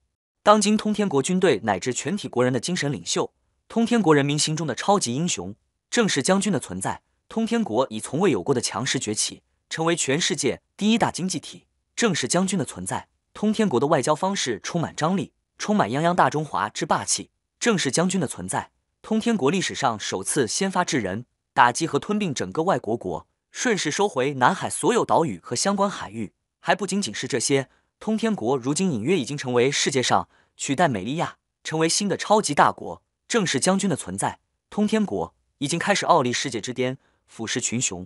而且还有种种迹象表明，通天国大有夺回在历史上丢失的土地，回复昔日大天朝之势。试问，通天国有史以来最伟大的将军，谁敢？谁又会介怀将军有几个爱人？几个情人，或许在某一种范围，将军的谚语，说不定还会是通天国人民代代传唱、经久不衰的佳话。至于是将军的作风问题，是否会被人民引以为佳话，这些就用今后的历史来验证。不过，首先在张军等人眼里，有几个爱人的大哥，国家的精神支柱，倒是更显得真实，更富于人情味。想通此处，张军和李强顿时轻松起来，嘴角露出一丝坏笑。李强在这些女人看不见的角度。偷偷向天赐伸出大拇指，天赐一见，又是一阵哀叹，自己这光辉的形象算是彻底毁了。餐厅内，在纯子的操持下，宾主落座，看着大圆桌上满满当当的各式美味佳肴，张军四人又是傻眼。一向清廉如水的他们，平日里的生活水平比之一般的工薪阶层还要清苦几分。张军和李强一律拒绝赴各种饭局，更是明令禁止下属主持和参与类似场合。看着兄弟们的表情。天赐的心里一阵柔意流动，一阵疼惜。这些年，他们吃了不少苦，却是没有享受到本应享受的物质生活。但随之而来的是对他们的操守的欣慰和钦佩。自己拥有这样的兄弟，是自己的福气。想当初，自己拉他们一把，其实也就是看看他们究竟是不是好的材料。却是没有想到，这两个兄弟如今在各自系统折腾出如此天地。自己当年没有看错人，而兄弟们也没有令自己失望。他们。用自己的方式和能力证明了各自的价值。看来自己当初想的不错。通天国海军如今正是他们的天下。天赐从纯子手中接过醒过的红酒，说道：“这瓶红酒是我访问雅利安时，雅利安总理因施贝因赠送给我的红酒，高卢国最顶级的红酒，路易十六这种品牌的红酒市场上没有得卖，是珍藏品。若是论市场价的话，应该是一瓶在一百万美金左右。当时因施贝因总理一共就送了我一件。”十二瓶，一件被爱人们解馋，喝了三瓶，还剩九瓶，今晚再消灭五瓶，剩下四瓶，等你们回去时带回去。一瓶红酒一百万美金，张军四人又是面面相窥。这酒难道是金子做的？开玩笑，一百万的东西送我们，这不是受贿吗？但张军、李强随即就为自己的念头感到好笑。张将军贿赂自己，清虚子和逍遥喝不惯红酒，而是钟爱茅台。张军和李强就凭大大咧咧的男子气概，自是也不会文绉绉的半文雅品红酒，自是加入白酒的行列。倒是周慧和胡丽珍，虽然百万美金的红酒下肚，心疼不已，但随即也喜欢上了绝品红酒的绵柔顺滑。男人喝白酒，女人们喝红酒，而天赐则是喝茶。这些年，喝茶是天赐多年养成的习惯，滴酒不沾是天赐将军多年以来所坚守的理念。喝酒误事，全世界有多少人为杯中物走了麦城？甚至连性命都搭上。品着茶，抽着香烟的天赐，看着这一大家子，心里满是温馨。家，精神的港湾，爱的巢穴，多好！如大嫂所言，大哥家就是自己的家，就不要客气什么。周慧和胡丽珍倒是还有些放不开，而张军和李强则是大碗喝酒，大块吃肉。也是这么多年了，自己的肚子跟着自己尽受委屈了，今晚在大哥这里，就当是好好补偿补偿。张军和李强不由得面露凶相。恶狠狠地消灭起桌上的酒菜，看自己那风卷残云、恶鬼投胎的吃相。周慧和胡丽珍恨不得找个地缝钻进去，瞪着眉眼，小心思里只埋汰，羞死人了！丢人都丢到大哥家里来了。周慧和胡丽珍要不是碍于大哥，碍于各自老公的颜面，恨不得将各自老公拧着耳朵回去好好修理一番。吃过晚饭，张军、李强和天赐来到天赐私人密室休息。这间屋子是天赐一个人的地方，就是爱人们都不能进来。这里也是天赐闭关修炼之处，任何人都不得来打搅。张军和李强是天赐第一次邀请进来，而周慧和胡丽珍则被那帮女人缠住，都他们的闺房去了。他们的老公是兄弟，却是第一次见面，当然有说不完的话，叙不完旧。即使是慵懒的玄冥，也是破天荒的和姐妹们一起招呼着两位弟媳，抽着香烟，喝着茶，打着饱嗝儿。李强和张军这才坏笑着看向自家大哥。李强笑道：“我说老大。”你还真有一套，不但三个爱人，而且看来他们之间的关系还相处得很是融洽。我说老大，教教我和张军呗，你是怎样做到的？天赐摸着鼻子，还未及说话，张军却是丢了一眼李强，道：要学你学，我有慧慧就够了。还有李强，我可告诉你，丽珍要是知道了，看他不扒你的皮。李强讪讪道：我不过是随便说说。看来这李强在外虽然无尽风光，在人后却是怕极了自家爱人。张军却是有些担忧的问天赐大哥。你就不怕上头找你的茬儿？说着话，张军的手指向天一指。第六十五章珍珠岛事件。喝口茶，天赐淡然道：“我和玄冥带儿的事情，在中央不是什么秘密，通天国高层大都知道这件事，他们是不会为这种事情说什么。他们关注更多的是通天国将来的路要走向何方。”天赐说的这个问题，张军和李强也不止一次想过，他们也有一些迷茫，自己的民族最终将会是何种姿态展现在世人面前。通天国的天国之路会走多远？最终会走向哪里？天赐顿了顿，说道：“在这里，我向你们透个底。通天国的天国光复之路将会收回所有曾经失去的土地，重新控制曾经通天国的传统势力范围。”张军和李强就是一呆。天赐的这个目标可谓是何其宏大，何其高远。如果是这样，将来的通天国不就是和全世界为敌吗？但张军和李强随即就是热血澎湃，意气风发。是啊，通天国的强大。不就是为了完成多少代人的夙愿，恢复曾经的泱泱大天朝，百余年的民族复兴之梦，在不久后的将来就正式开启。幸运的是，自己兄弟却是赶上了将来那风起云涌的时代。受尽凌辱的民族，东方雄狮，睁开你的眼睛，发出你的怒吼吧！你将以王者的气势征服世界。这是来自张军李强发自内心的呐喊。此时的国家主义、民族主义使他们激动得热泪盈眶。民族曾经的苦难和耻辱。早就受够了，风水轮流转，也是时候让曾经欺负民族的列强尝尝被羞辱的滋味。次日凌晨，张军和李强从天赐的密室出来，从他俩那发黑的眼圈上来看，他们和天赐昨晚畅聊通宵，彻夜未眠。自从海岛一别，兄弟三人再也没有像昨晚那样通宵聊天。的早餐是西瑶和纯子共同弄的桂花皮蛋瘦肉粥。昨晚虽然不住的喝酒喝茶，张军和李强此时的喉咙很是干涩，清香扑鼻的稀粥。早就勾起他们的食指大动。燕京丰台军用机场，飞海南的专机已经在跑道上发着轰鸣。和李强一个系统的，还有海南军分区的军官已经走向飞机，整整军服。李强再次庄重地向大哥和张军行了一个军礼，道：“大哥，张军，我这就回南海。”天赐点点头道：“去吧，做好去东海舰队的准备。虽然还没有最后确定，但该准备的还是要准备。还有，李强，昨晚咱兄弟之间所说的话，你要当做最高机密来执行，明白吗？”李强郑重的点点头道：“放心，大哥。”李强明白。说完又看看张军道：“兄弟，你也保重。”说完便和妻子一起。转身走向飞机。六个月后，如今的地球最令全世界最瞩目的是通天国军事体制的改革。通天国摒弃了沿用几十年的旧有体制，全方位改革。而通天国最为瞩目的是对通天国军方高层的改制，取消三军司令，建立三军部长。通天国新一轮的军事变革，使通天国军事力量向真正意义上的现代化迈出了最为坚实的一步。通天国首次将海空军的地位放在了和陆军一样的地位。通天国海空军。从此不再是陆军的陪衬，而成为独立的体系。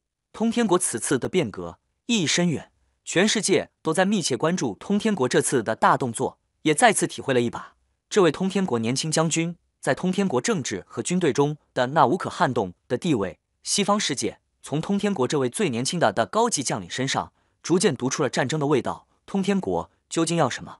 这是西方世界此时的疑问。通天国选举换届，李强。如愿以偿的担任东海舰队的司令，率领数百艘战舰、数百架舰载机和陆基海军战机，和东方的东洋国和美利亚海军隔洋对峙。就如如今通天国强硬的态势，这位新上任的通天国海军将领，比之前任更加的张扬跋扈，更加令第一岛链的美东联军感受到无穷的压力。由于资历的问题，张军却是没有顺利担任通天国海军史上第一任海军部长，而是担任海军第一副部长。但尽管如此，这对于年仅四十多一点的张军，已经是极大的进步。本来在通天国政治局会议上，有委员就提议由天赐将军担任通天国第一任海军部长，却被天赐婉拒。天赐继续中央军委第一副骁汉，政治局七常委之一，现在在兼任海军部长，倒是像西方媒体说的那样，自己还真成了大权独揽、独裁者了。不过令天赐欣慰的是，菲菲和文心在本次换届之际，再进一步，刚刚年满三十七岁的文心。担任通天国首任女性外交部长，国家历史上最年轻的外交部长，也是通天国历史上最年轻的的副国级领导，成为通天国最年轻的国家领导人。菲菲萧逸飞则顺利接班，升任新一届通天国直辖市 YES 市市市委书记、政治局委员、中央委员。萧逸飞也是通天国历史上最年轻的省部级干部。看着这两个在海岛和自己有过交集的女人的就职仪式，天赐摇摇头笑了。这两个女人。能力还不是一般的大，通天国干部的年轻化也是全世界媒体津津乐道的话题。在通天国此时刮起的年轻化旋风中，全世界感受到了这个五千年文明的古老国度焕发出青春的靓丽和生机活泼。古老的通天国向世人展现出无尽的生命气息。看网络视频的不仅仅是天赐一人，玄冥对天赐道：“老公，那位叫文心何菲菲的女人很漂亮呢。”天赐愕然看向玄冥，他可是从玄冥对文心霍菲菲的夸赞中。闻到一丝酸酸的味道，天赐有些哭笑不得。生性慵懒孤傲的玄冥也会吃醋。也许在玄冥等爱人看来，文心和菲菲这火箭般的升职之路，和自己有着千丝万缕的关系。嗯，另一边的戴尔也是认同的，点点头。戴尔却是没有玄冥那样含蓄，吃个醋都不会表露出来，趴在天赐背上。戴尔有些小幽怨道：“老公，当初你为啥没有娶他们呢？”堂堂将军的机要秘书，一个坐在天赐的办公桌上，这样的场景。要是被那些八卦记者碰到，天知道在通天国会引发怎样的风波。天赐的手指正要弹戴尔暴力时，桌上红色的电话却是急促的响了起来。这个电话只有在突发紧急事件时才会响。天赐眉头一拧，深色凝重地接通了电话：“张将军吗？我是国防部长陈子华。刚刚同时收到空间和海监局紧急情报，我幺五六六号和幺五七四号海监船和几艘渔船在珍珠岛海域被东洋国日岛号导弹驱逐舰击沉。张将军。”我已经紧急通知了上面，你看看，这是电话里陈自强没有再往下说，而是等待天赐的态度。出了这么大的事件，他一个国防部长是无法拿主意的。陈自强能做的就是将这个震惊世界的情报迅速传给国家的最高层。陈自强还知道，在对这次突发事件的处理上，最后拿主意的就是张将军。今天中午，三艘通天国渔船在两艘渔政船的护卫下，在珍珠岛附近海域正常作业。却突然遭到了东洋国海上自卫队日岛号导弹驱逐舰的攻击，三艘渔船和护航的两艘海监执法船沉没，无一人生还。天赐的眉头更加紧锁。东洋国这是在干什么？难道他不知道对一个主权国家的政府公务船在有争议的海域发动主战武器攻击，这等同于向通天国宣战？谁给了他这样的胆子？东洋国真的疯了吗？通天国政治局会议室，戚常委如数在场，在烟雾缭绕的会议室里，气氛是相当的凝重。对于通天国建国以来所面临的最严重事件，遭到的最严重的挑衅，他们深知一旦处理不好，会在国内国外引发怎样的风波。看来之前已经进行了很长时间的讨论，现在是到了下决心的时候了。所有人的目光看向了现任华共总书记、国家萧汉、军委萧汉傅兴全身上。总书记。又是看看天赐将军道，对于此次事件，张将军是行家，张将军拿主意吧。总书记征询张将军的意见，在场的人眼中金光便是一闪，他们明白总书记其实已经表明了态度。天赐将烟头摁在烟灰缸，一字一句道：“其实东洋国已经在某一种意义上向我国宣战。既然这样，立即召开外交部新闻发布会，同时以通天国政府的名义向全世界宣布，从即日起，通天国对东洋国宣战。”由此，自二战以来，地球在和平了近百年之后，再次面临全面战争的危机。众所周知，东洋国和美利亚国是军事同盟，两国曾签订安保条约。通天国此次对东洋宣战，等同于对美利亚宣战。而随着西方世界之首的美利亚卷入战争，西方整个社会会立即卷入战争。同样，作为通天国的盟友，欧罗巴的雅利安帝国自然也会响应通天国，借身战争。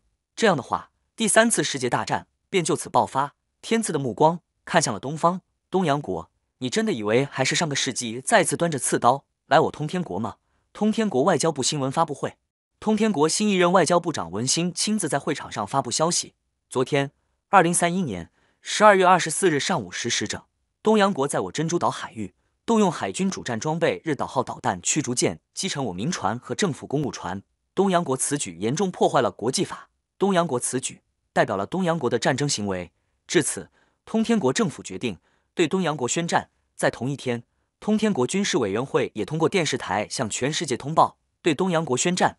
通天国在历史上继对前外国宣战后，时隔九年后再次发出了战争的宣言。全世界在对于即将爆发的战争感到惊慌之时，更是对东洋国的失心疯感到不解和愤慨。在全世界的关注下，通天国海军率先迅速做出反应，东海舰队四艘航母立即开到东海中间线海域。并进入一级战备，通天国北海舰队和南海舰队的两支航母战斗群立即开往东海，通天国六大航母战斗群全都聚集在东海，大战一触即发。第六十六章战争前夜，将军在访雅利安，中央军委扩大会议，通天国三总部头头、七大军区司令、空军、海军和陆军新任部长以及各兵种司令齐聚一堂。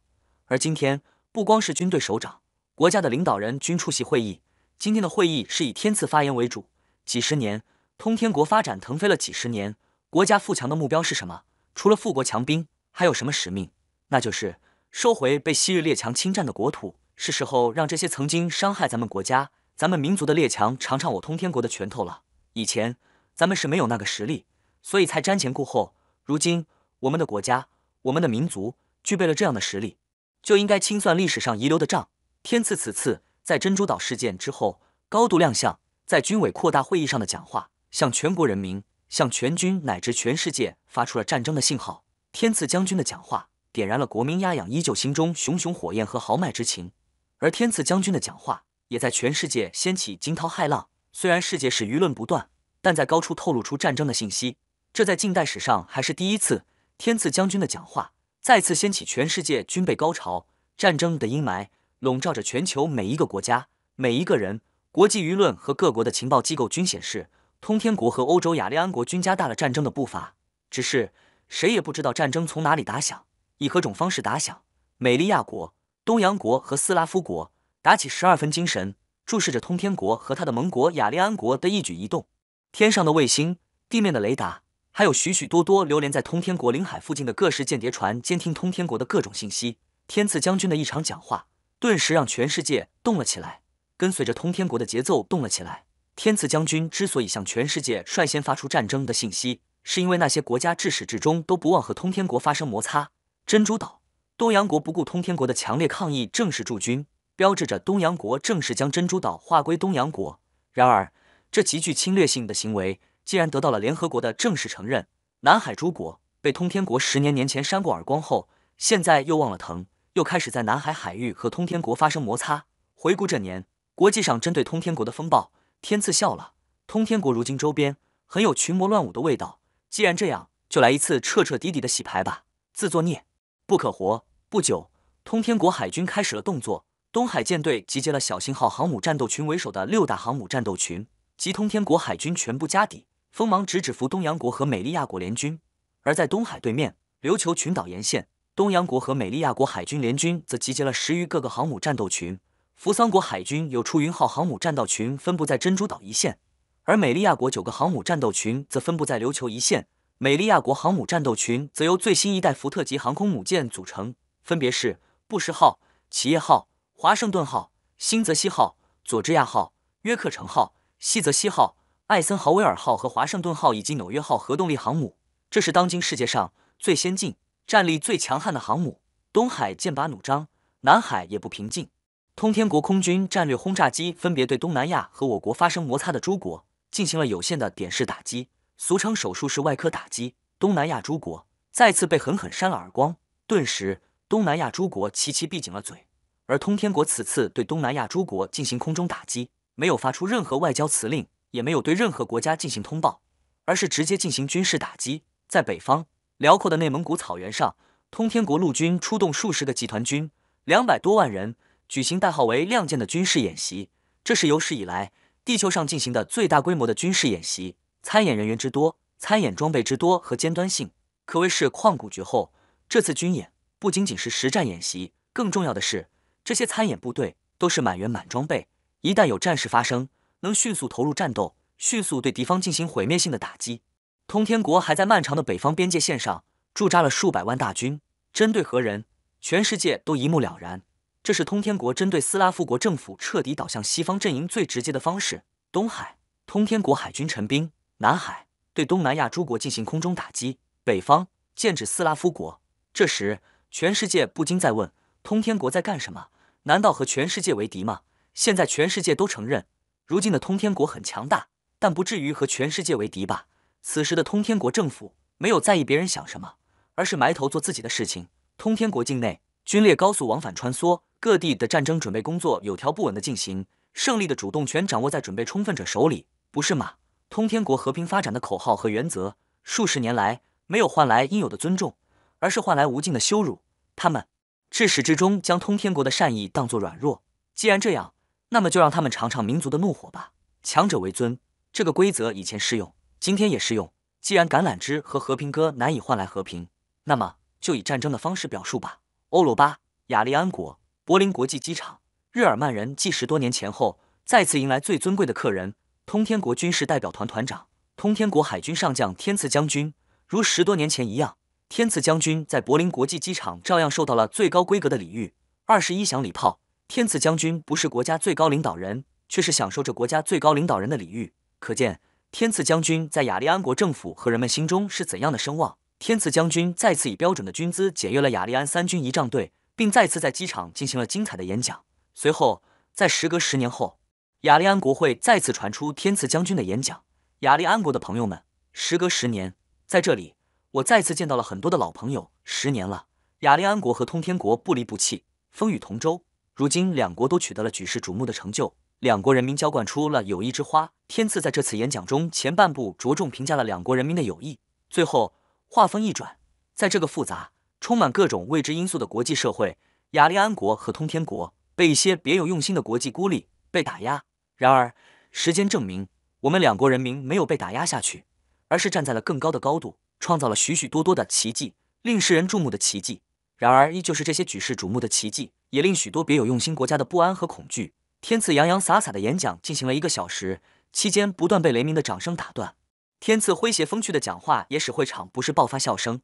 较之通常领导人的讲话，天赐将军的演讲没有通常的古板冠冕，而是生动富有情趣。就如十年前，天赐将军给世人的印象是彬彬有礼、温文尔雅的青年将军。天赐在雅利安国现任国防部长的陪同下，访问和视察了雅利安国各地军事基地。天赐将军见证了雅利安国武装力量的发展和雅利安国持续几十年的飞速发展。对于这个通天国唯一的强有力盟友，天赐将军很是欣慰。亚洲的巴基斯坦当然也是通天国雷打不动的铁杆盟友，但无论从哪方面来说，巴基斯坦都显得太弱小，难以起到像雅利安国这个盟友这样的效应。日耳曼国拥有近一亿多人口，是欧洲第一大、世界第二的经济体，更拥有令全世界胆寒的庞大武装力量。正是雅利安国这样强势的崛起，分担了许多全世界对通天国不怀好意的关注。更何况，通天国和雅利安在国际社会上步调一致，彼此配合。在事关彼此国际切身利益时，相互支持，共同应对国际社会的敌意。风雨同舟这句话用在这两个之间最是贴切不过。如果没有雅利安国的遥相呼应，通天国在国际上就太孤独了。而巴基斯坦就没有这样的实力和影响力，为通天国分担什么，只能是在所谓的联合国为通天国摇旗呐喊。不过，巴基斯坦的国际声望很是羸弱，但作为通天国坚定的盟友，也赢得了通天国的友谊。而通天国的友谊对巴基斯坦这个贫穷，而且国内政治极度复杂的国家来说，是极其的弥足珍贵。巴基斯坦从通天国获得了规模庞大的援助，从经济到军事，从政治到安全，巴基斯坦对通天国的友谊换来的是全方位、成系统的援助。巴基斯坦在不久前，经济总量和军事力量全面逼平宿敌印度，在处于守势百余年后，巴基斯坦终于以强者的姿态面对宿敌印度，而印度。则早已察觉到和通天国作对的后果。通天国超强的经济和军事力量，特别是高科技手段，使印度寝食难安。为此，避免冲突，成为通天国正常邻居，已经成为印度的国策。他们明白和通天国早这样的邻居交恶意味着什么，也就是这样的心态。早在十年前的南海之战，在通天国以掩耳不及迅雷之势灭掉外国之时，一向和通天国尿不到一处的印度，罕见的保持沉默。当然，对于印度抛来的媚眼。通天国心神领会，印度同样从通天国获得了丰厚的汇报。在通天国重建前外国地区时，印度获得的工程和相关的订单是以数千亿美元计的。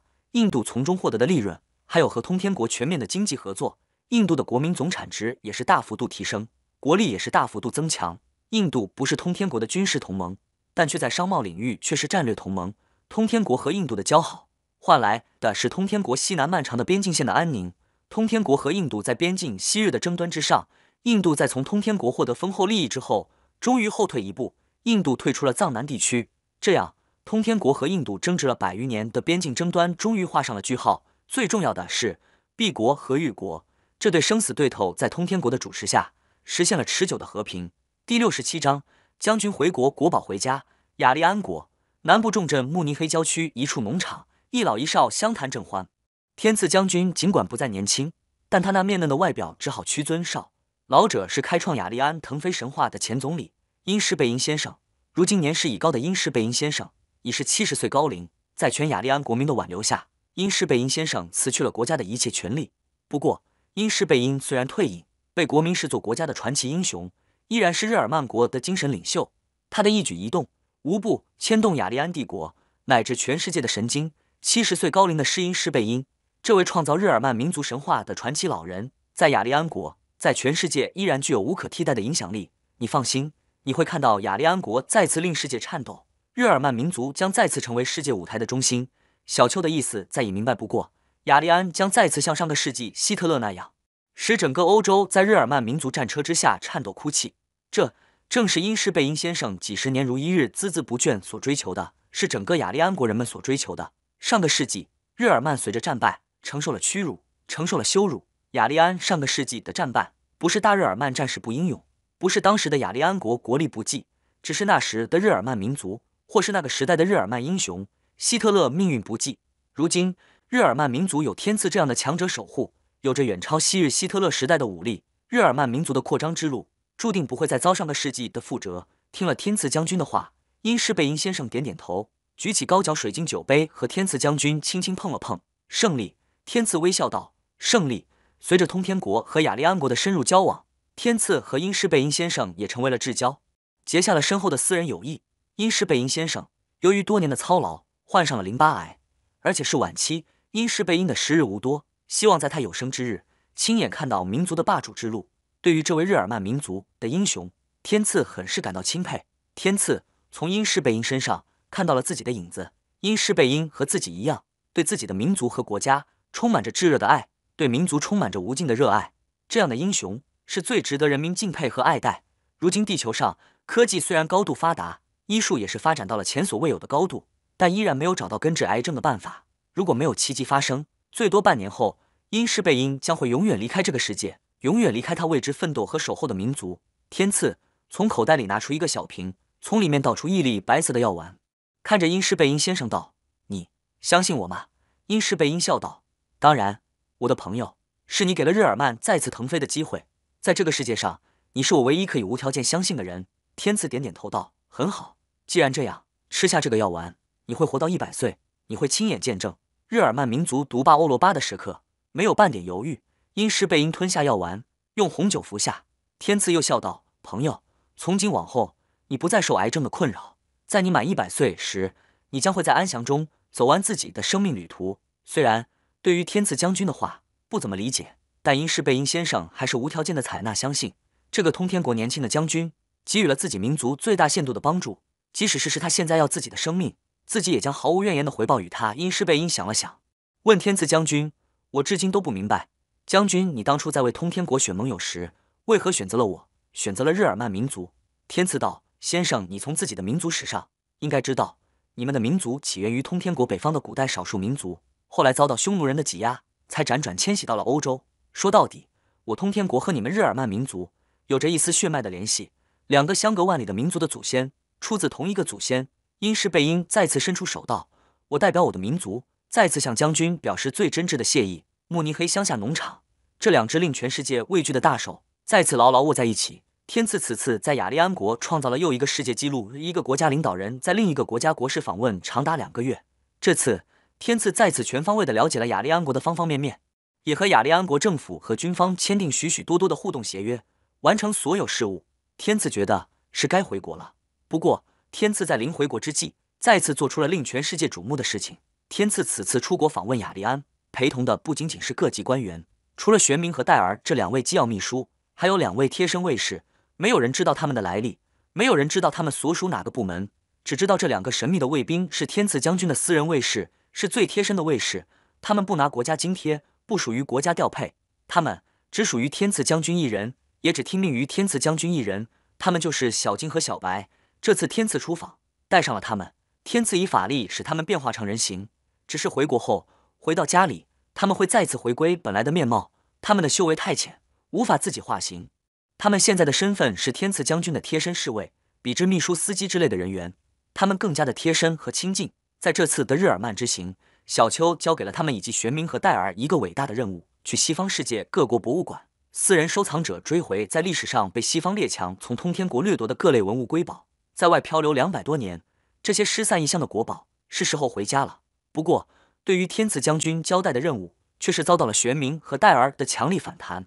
而两个爱人抵触的原因，则是他们是堂堂的将军夫人，自是不能掉价的去做梁上君子。然而天赐的强势下，玄冥和戴尔不得不委委屈屈、破天荒的做了一回贼。相对于爱人们的不情不愿，小金和小白则是热烈响应，也忠诚的执行着主人的任务，兵分两路路扑向大不列颠、高卢、美利亚国等西方诸国。一路之上，犹如蝗虫过境，鬼子进村。一夜之间，大不列颠、大英博物馆、伦敦博物馆。高卢、凡尔赛博物馆、法兰西博物馆以及西方各国博物馆和私人收藏的通天国各类文物，一夜之间不翼而飞。小金和小白对西方世界各博物馆和私人收藏家进行了地毯式的洗劫，漂流在异乡的无数国宝均被他们偷回，而那些各大博物馆也被一场大火化为灰烬。而前往东洋国偷回国宝的玄冥和戴尔，不但拿回通天国各类文物珍宝，一把火烧了几家东京在全世界都很有名的博物馆。还将东洋国金库倒出一万吨黄金。用玄冥的话说，在上古世纪，东洋国在通天国掠夺了价值六千吨黄金的财富，一万吨黄金就当是在六千吨的基础上加一些利息罢了。而玄冥还意犹未尽，还一把火烧了东京靖国神社，将东洋国大和民族的精神中心烧了个精光。在回国的飞机上，在天赐将军的专机上，天赐笑着问这些满载而归的梁上君子：“怎么样，收获不少吧？”小金依然无法说话。小白则是笑嘻嘻道：“当然，这下子那些人欲哭无泪了。由于对于主人前世的记忆中，小白对西方神界的鸟人记忆深刻，即使在地球，小白也不忘将耶和华的血脉称之为鸟人。”天赐点点头：“这是通天国人们历史上创造的精粹，是该回到自己的家了。”燕京、某处不知名的巨大地下室，通天国现任领导人李霄汉看着眼前如山一般的无数古通天国文物，不由热泪盈眶。这些国宝在异乡漂流了三百年了，如今终于回家了。穿着无尘衣、戴着手套和氧气瓶的通天国高层，抚摸着封存于真空密室的国宝，就像抚摸自己的孩子一样，久久呢喃不止。由于这些国宝年代久远，最怕氧气的侵袭，所以通天国文物局将这些回归的国宝密封在真空的环境。这些都是祖先遗留下来的文化精粹，得好好珍藏。相对于通天国的欣喜若狂，全世界却是炸了锅。特别是西方世界，均在本次的掠夺下无不损失惨重。自西方工业革命开始积累的那些宝物，在一夜之间不翼而飞，只留下遍地的瓦砾和刺鼻的黑烟。被天赐弄回来的不仅仅是通天国的历代文物，甚至包括玛雅文化、古埃及文化、伊斯兰文化和希腊文化相关的文物，都被天赐这次的行动一锅端。此次事件，除了雅利安和通天国，全世界发达国家均损失惨重，尤其是东洋国，损失的不仅仅是财富，国家和民族的精神中心也在此次的事件中化为灰烬。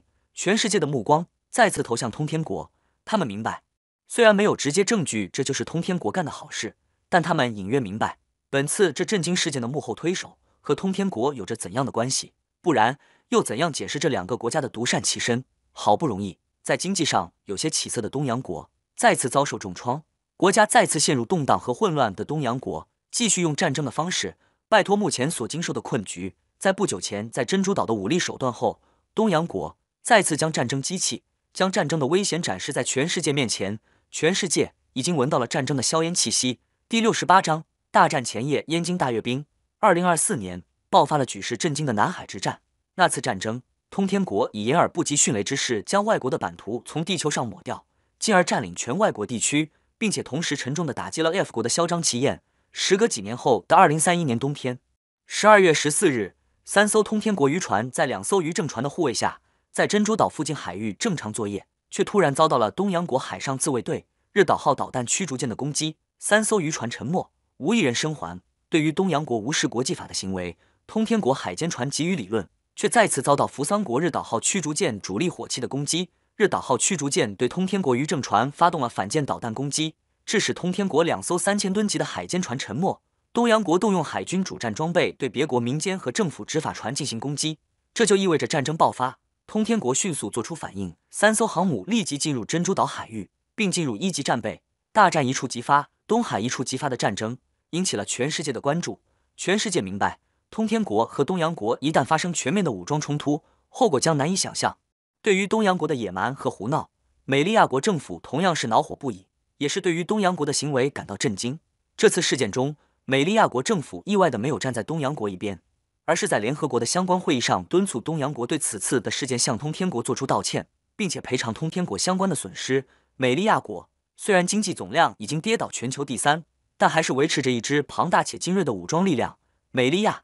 虽然丢掉了超级经济大国，但还维持着军事超级大国，其庞大的规模和先进性依旧是全世界范围内无人可以比肩，至少在明面上是这样的。但尽管如此，作为曾经的超级大国，美利亚还是具备超级大国的素质和智慧。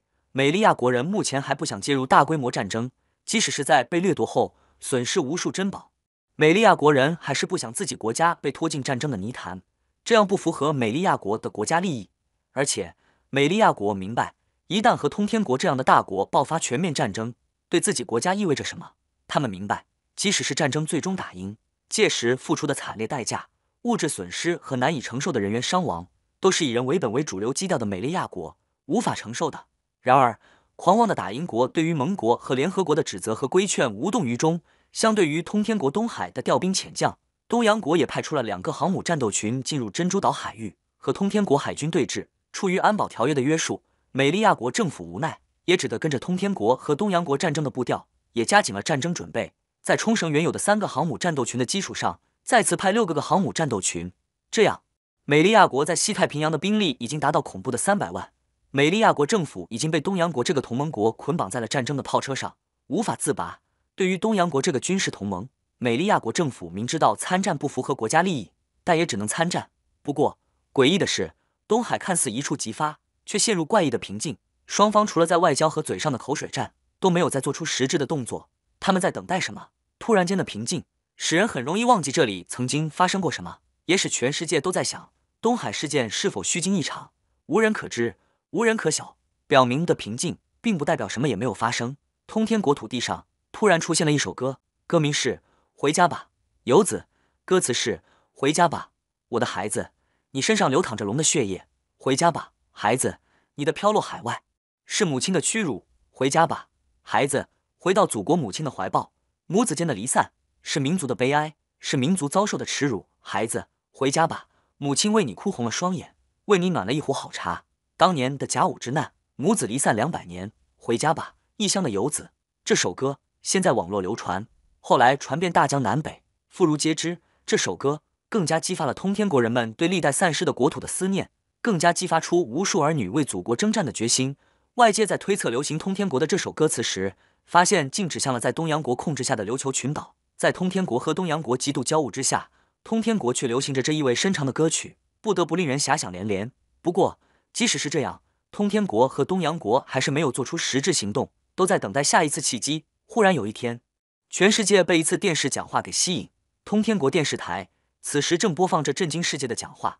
通天国海军上将天赐向全国人民发表电视演讲，这在历史是在世界史上。还是第一次由现役高级军官在电视台讲话。二零二四年十二月十四日，东洋国不顾国际法，对我通天国在东海珍珠岛附近海域进行正常作业的渔船和护卫的海监船进行主力武器攻击，造成了我通天国公民和公务员大量伤亡。对此，通天国政府和军方对东洋国如此恶劣行径作出最严正的谴责，并要求东洋国方面对我通天国进行道歉和相关赔偿。然而，时间已经过去半年。通天国政府至今未收到东洋国任何形式的道歉以及赔偿。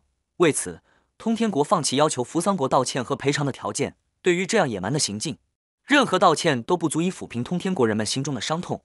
唯一的条件就是对这次事件做出抉择的人乃至国家做出最严厉的惩罚。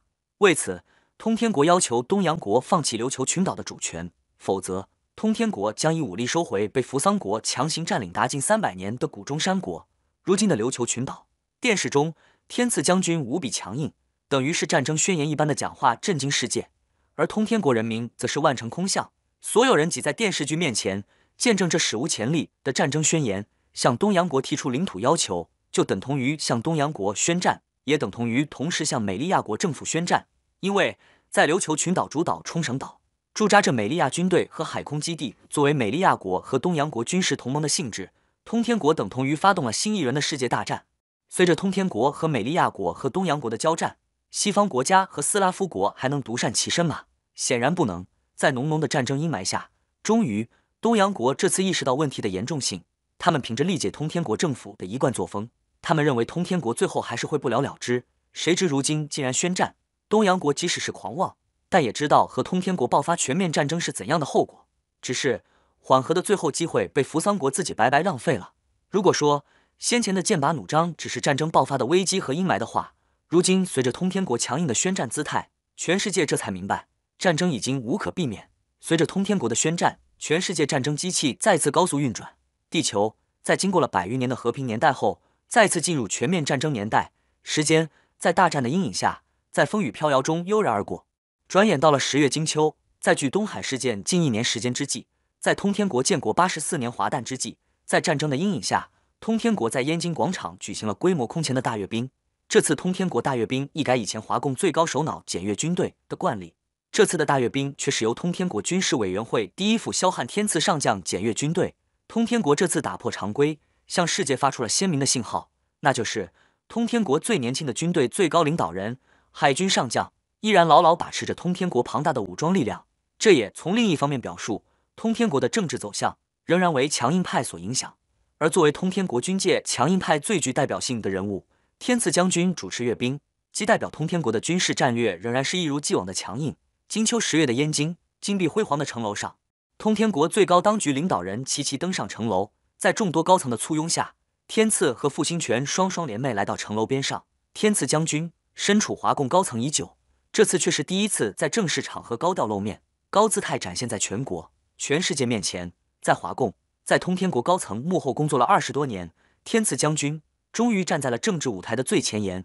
阅兵式上，当傅兴权演讲完毕，阅兵式主持人燕京军区司令张雪华上将亲历的声音宣读到：阅兵式第三项，有请傅兴权同志、海军上将张天赐同志检阅三军部队。这时，天赐才和总书记联袂缓步走下天安门城楼，又一起上了红旗轿车，在庄严浑厚的军乐声中，开始检阅人民解放军三军部队和相关装备。本来，在华共政治局会议上，早就对这次大阅兵的阅兵人做出了决定。在傅兴全总书记的提议下，政治局会议一致通过天赐将军随即检阅部队。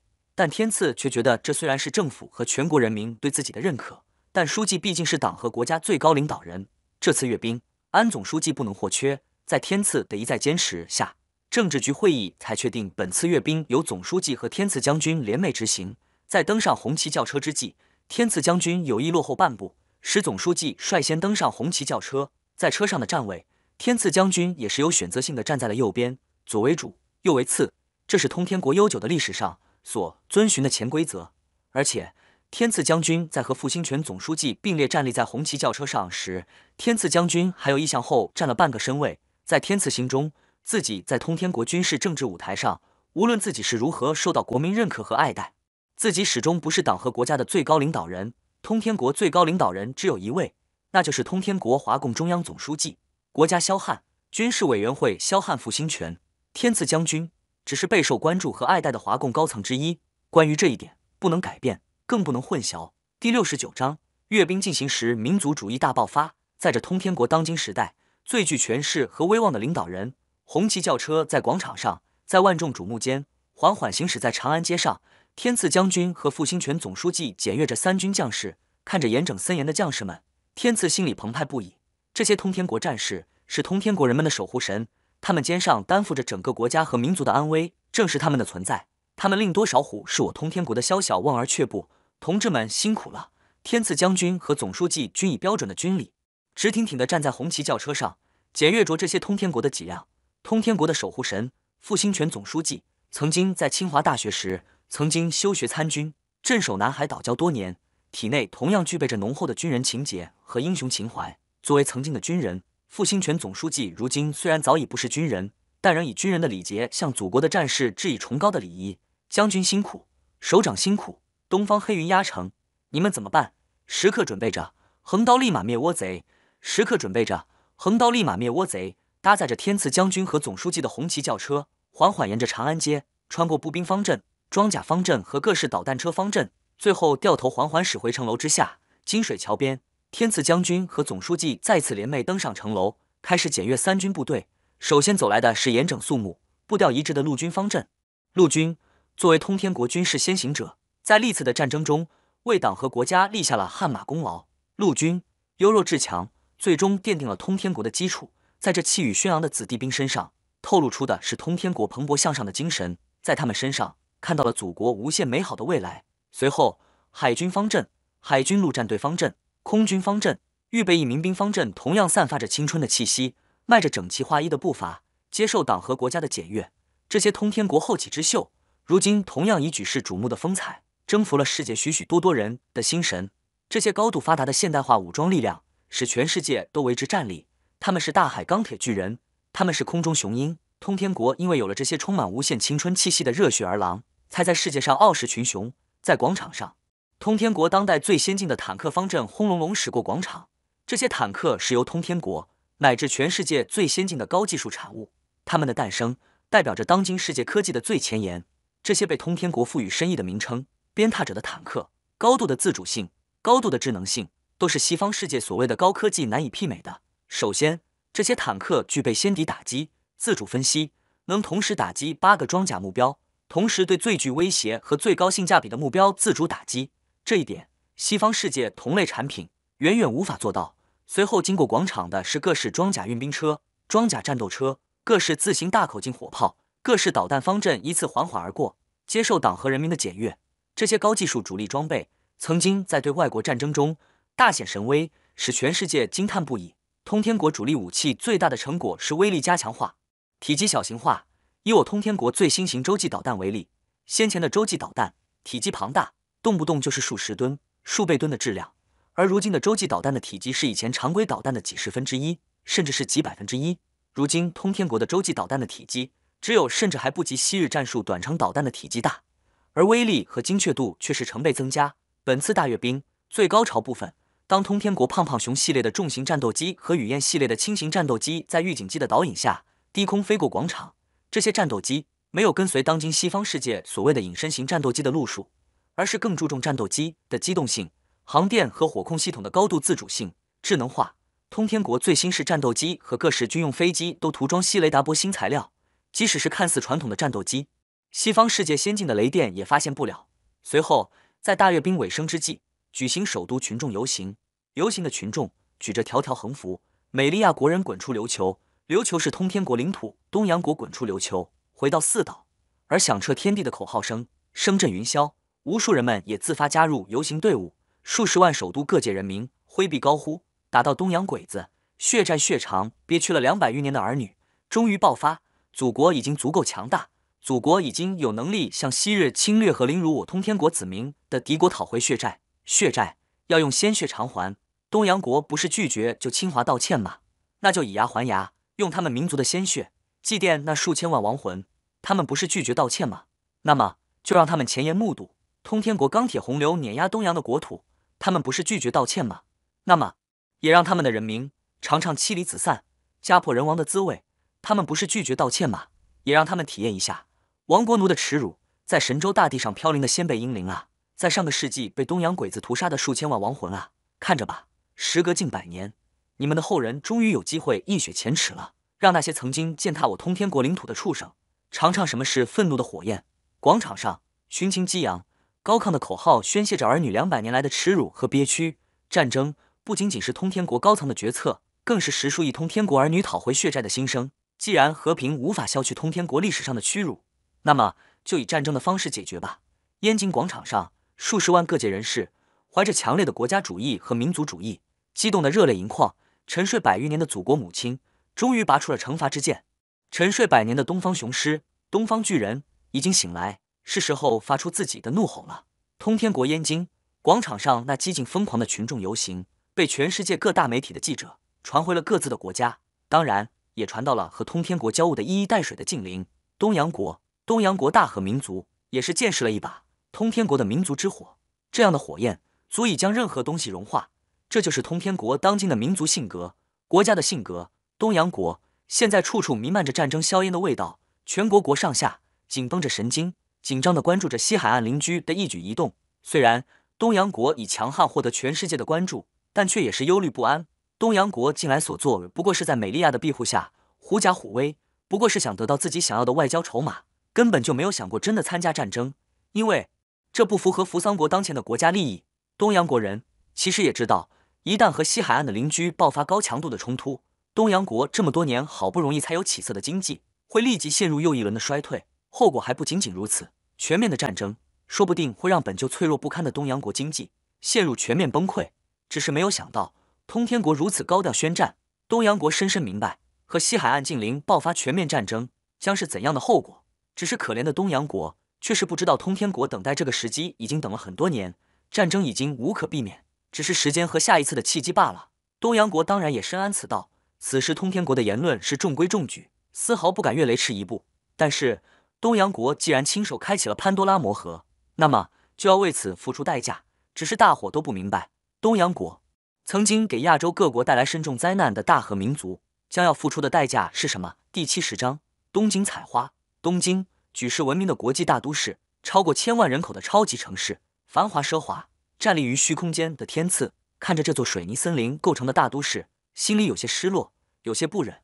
如此规模的国际都市，即将在战火中被化作瓦砾，实在是太可惜了。但是又一想，说过世纪，当东洋国战车碾压通天国国土时，当无数城市被战争摧毁时，那时谁又会为通天国感到惋惜和难过？更何况，伴随着的是更多的财产和巨大的人员损失。通天国街头有句俗语：“出来混，总是要还的。”东洋民族欠下通天国的血债，一样要偿还。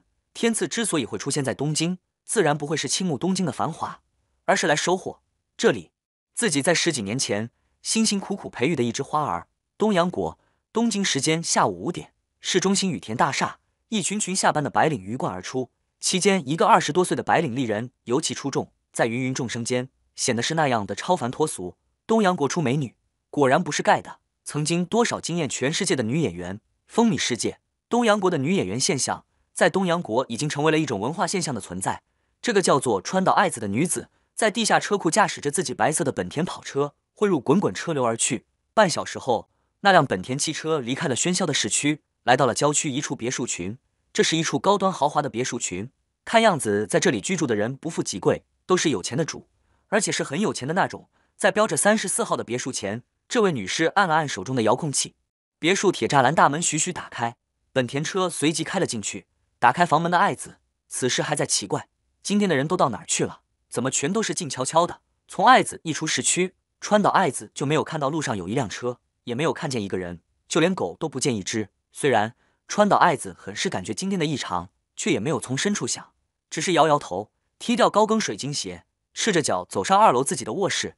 可怜的川岛爱子并不知道自己已经走上了一条不归路，自己的直觉没有错，他已经进入了另一个空间，不属于爱子熟悉的世界。在此时，爱子眼前的景象只是他自己曾经熟悉的影像而已。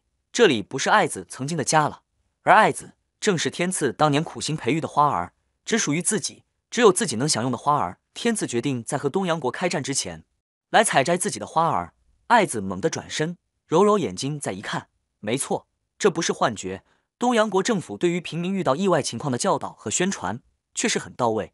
川岛爱子在经过了短暂的惊慌后，反倒是冷静下来。冷冷地打量着面前这个玩制服装逼的家伙，这一打量不要紧，爱子越看越觉得这家伙面熟。川岛爱子猛然醒悟，这家伙可不就是在电视里向东洋国宣战的通天国什么将军吗？对于他的长相，已经深深铭刻在所有东洋国人心里。当然，这绝对不是什么崇拜，而是对于威胁到自己国家敌人的仇恨。只是他怎么会在这里？貌似如今通天国和东洋国的交恶，想必自己国家也不会邀请他吧？更何况，即使是东洋国邀请。也不能私自闯入私人住宅吧？况且还是女人的住宅，难道他不知道这样做不礼貌吗？川岛爱子充分的发挥着自己的形象，爱子愣住了，报警。天赐一愣，反而老神在在的一屁股坐在沙发室，一耸肩，哦，那你自便，我不打扰你报警。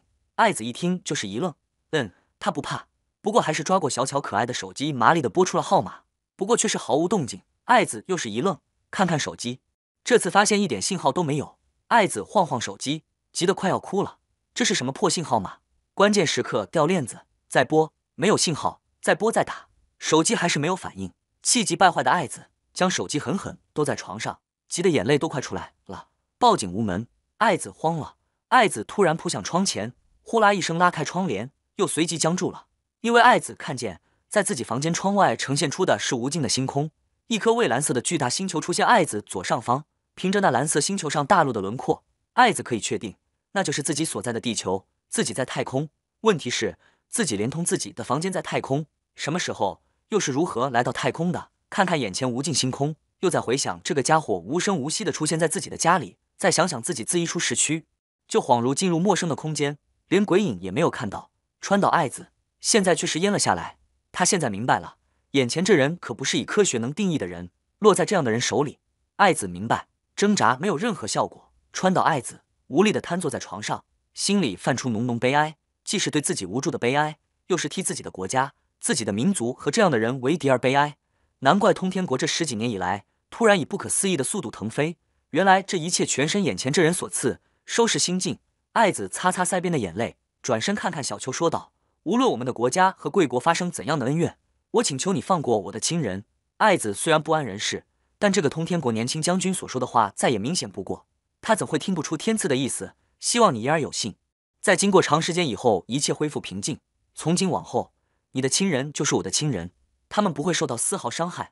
天赐说道：“作为我的女人，跟我走。”那话说的是那样的霸道，那样的不容置疑。然而，这恰恰激发出女人惯有的逆反心态。谁是你的女人？希望你信守承诺。现在给我滚出去！马上！天赐笑道：“给你一段时间考虑。”好自为之。说完，在爱子又一阵的目瞪口呆之下，天赐一点一点慢慢消失，爱子这才扑倒床上，伤伤心心的大哭起来。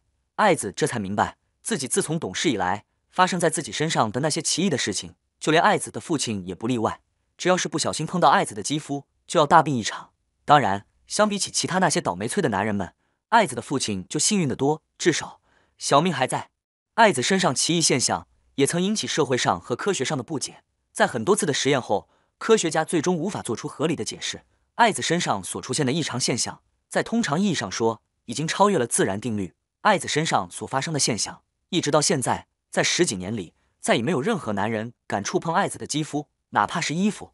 如今，在床上抽抽搭搭哭泣的爱子，这才明白自己身上所谓的异象，全都是拜他所赐。看了看那个霸道的家伙消失的地方，爱子捶打着枕头，更加伤心的哭泣起来。在他潜意识里，一种不受控制的念头说好带我走，却自己一个人走了。自己已经在国内，已经没有任何男人敢要不跟他，难道要孤老终身吗？第七十一章大战开启。东京都千代田区永田町，东洋国首相官邸内阁会议室，宫本首相和一干阁僚大臣一片死寂。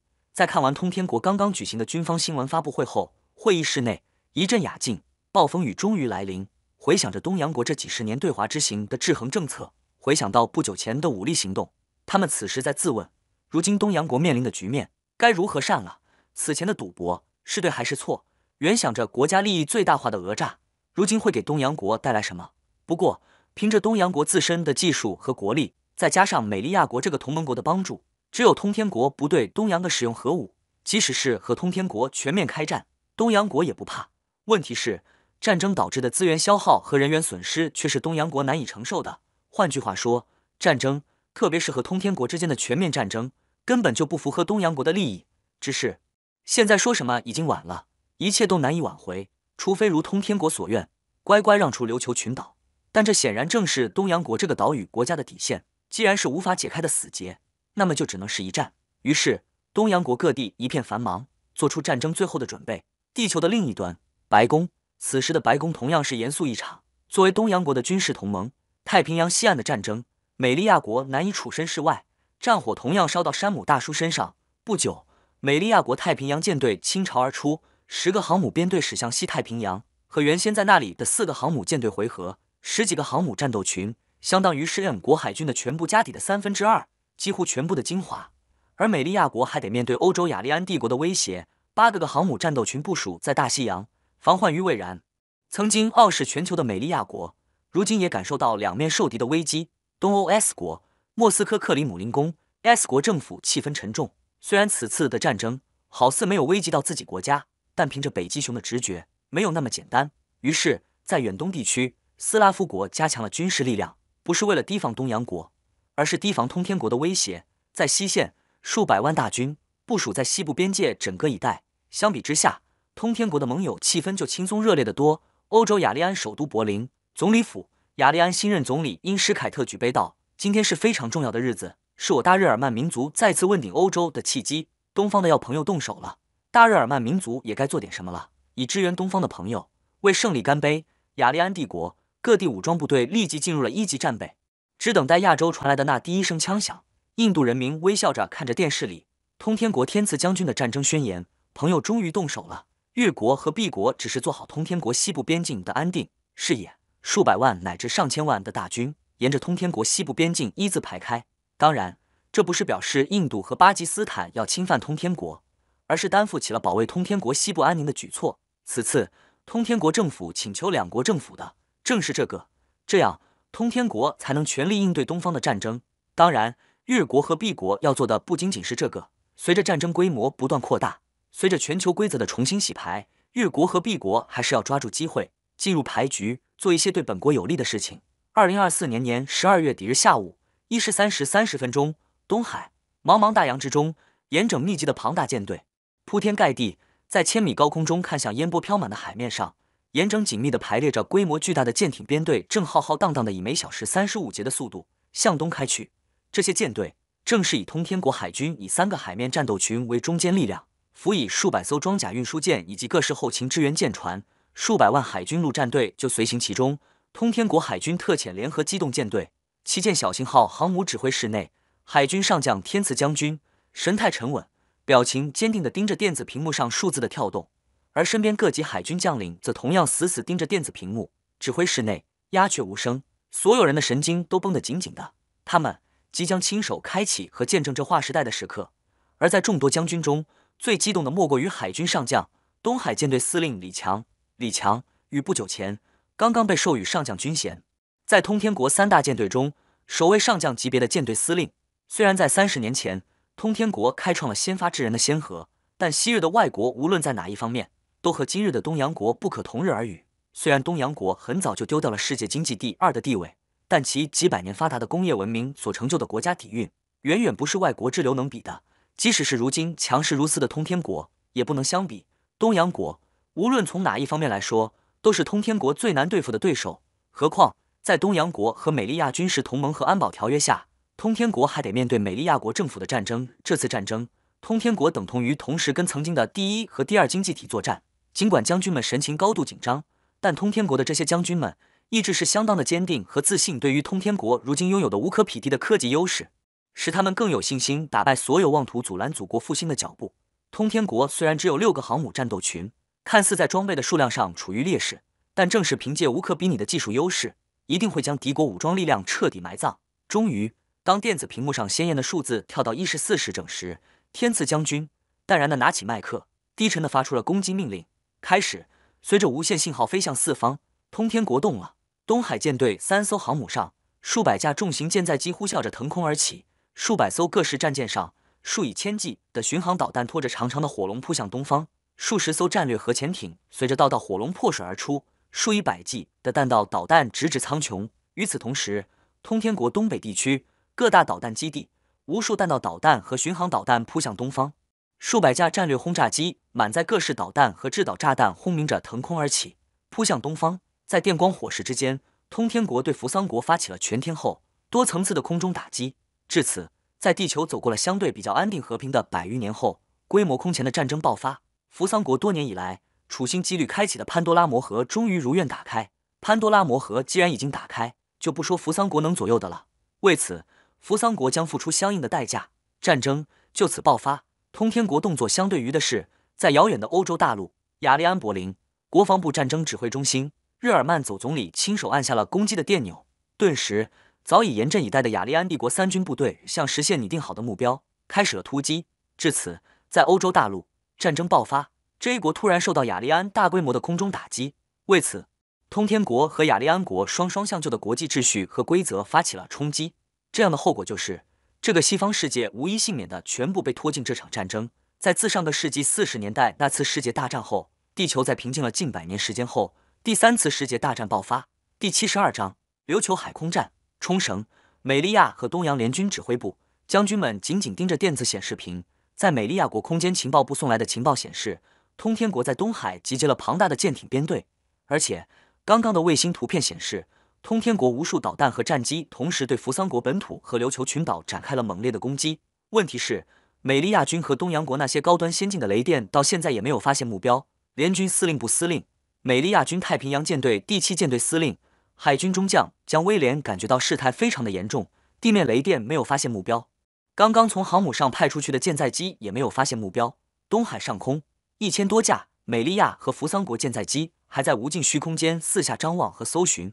忽然，领头的战斗机飞行员一声惊呼，导弹随之声音便消失在联军飞行员的耳机里面。联军飞行员忙向西方看去，无数道火龙直奔而来，来不及做任何反应。即使是做出反应，但美利亚和东洋国那些当今最先进的战机，始终无法摆脱通天国空空导弹的绝杀。东海天空上演了一出璀璨的烟火表演，仅仅是在弹指间，千余架联军最高端的隐身型战斗机化作烟尘和无数碎片。飘飘洒洒掉进东海之中，这一切是那样的突兀，是那样的不可思议。信息化技术武装到牙齿的美利亚国和扶桑联军战机，连通天国战机影子都没有看见，就化作养分。为了东海的鱼，就连无比尖端的预警机也没能幸免。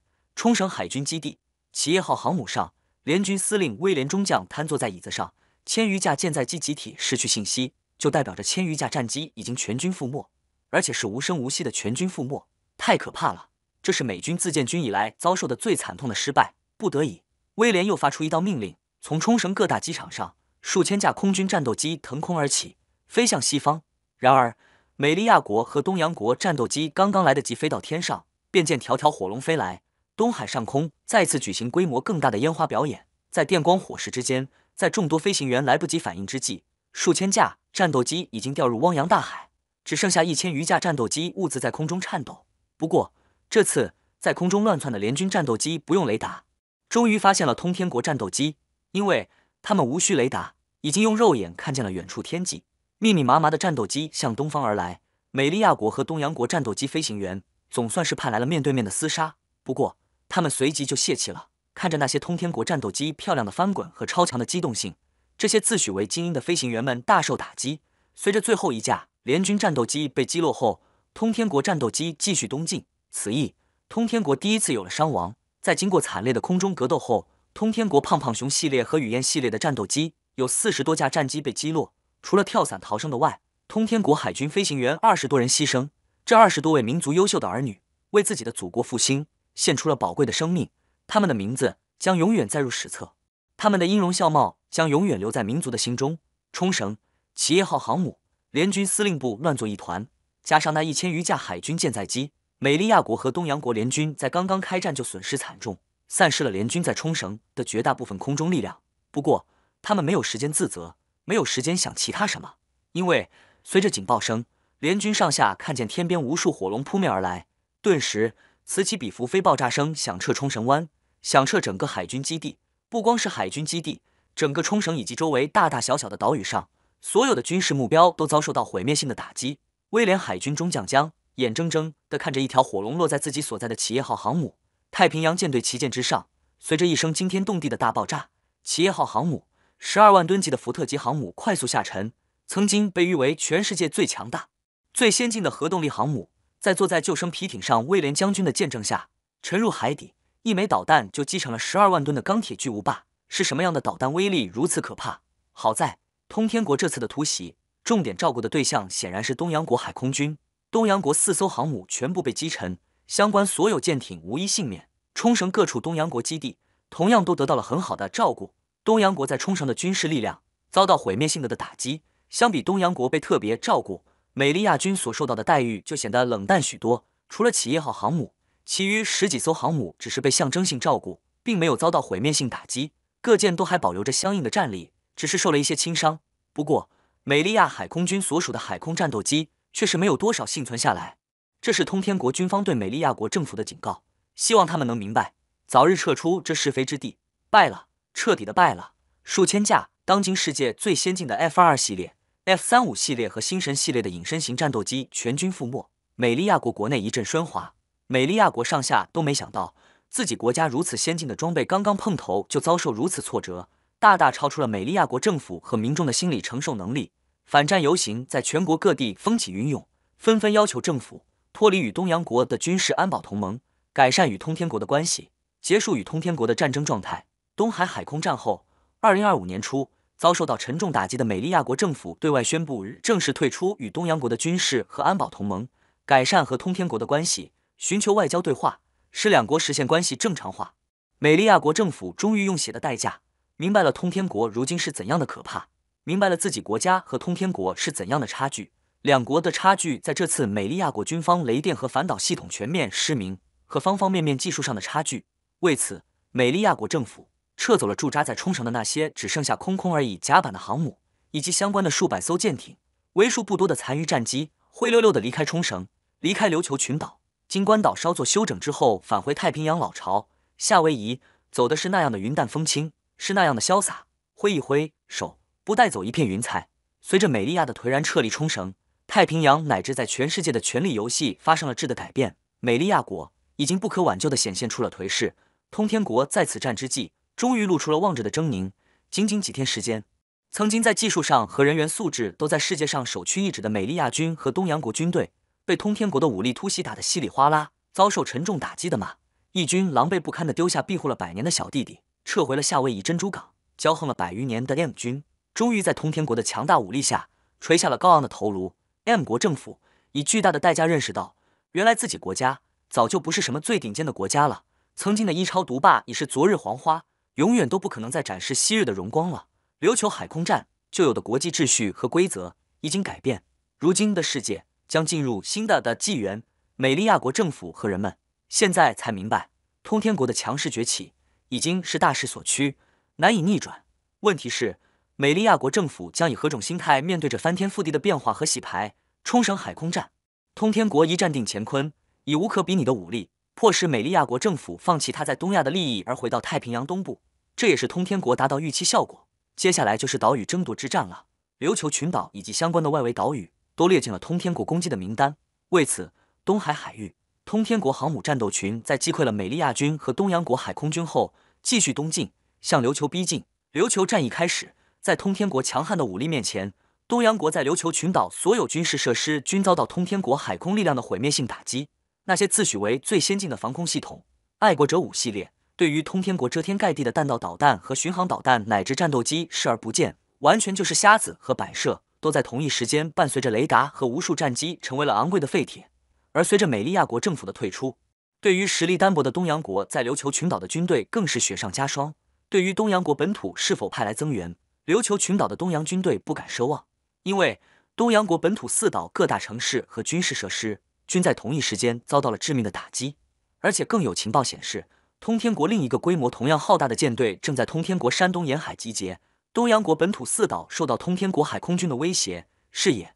东洋国将全部兵力沿着九州岛和本州岛一字排开，以防通天国的登陆。东洋国对于琉球群岛的危机，只能是爱莫能助，自求多福。两百万琉球群岛的岛国陆海空三军部队，只能靠现有的力量和装备抵抗通天国军队对琉球的登陆作战。问题是，他们能坚持多少时间？欧洲日耳曼再次展现昔日的闪电战的经典重现，在一个礼拜之内。以摧枯拉朽之势，迅速占领 J 国全境，并向 S 国挺进。同时，强大的日耳曼现代化装甲部队沿着高度发达的现代交通网，兵分几路，同时出击，向 A O 国、B L 国和二国 B L S D M 国同时攻击。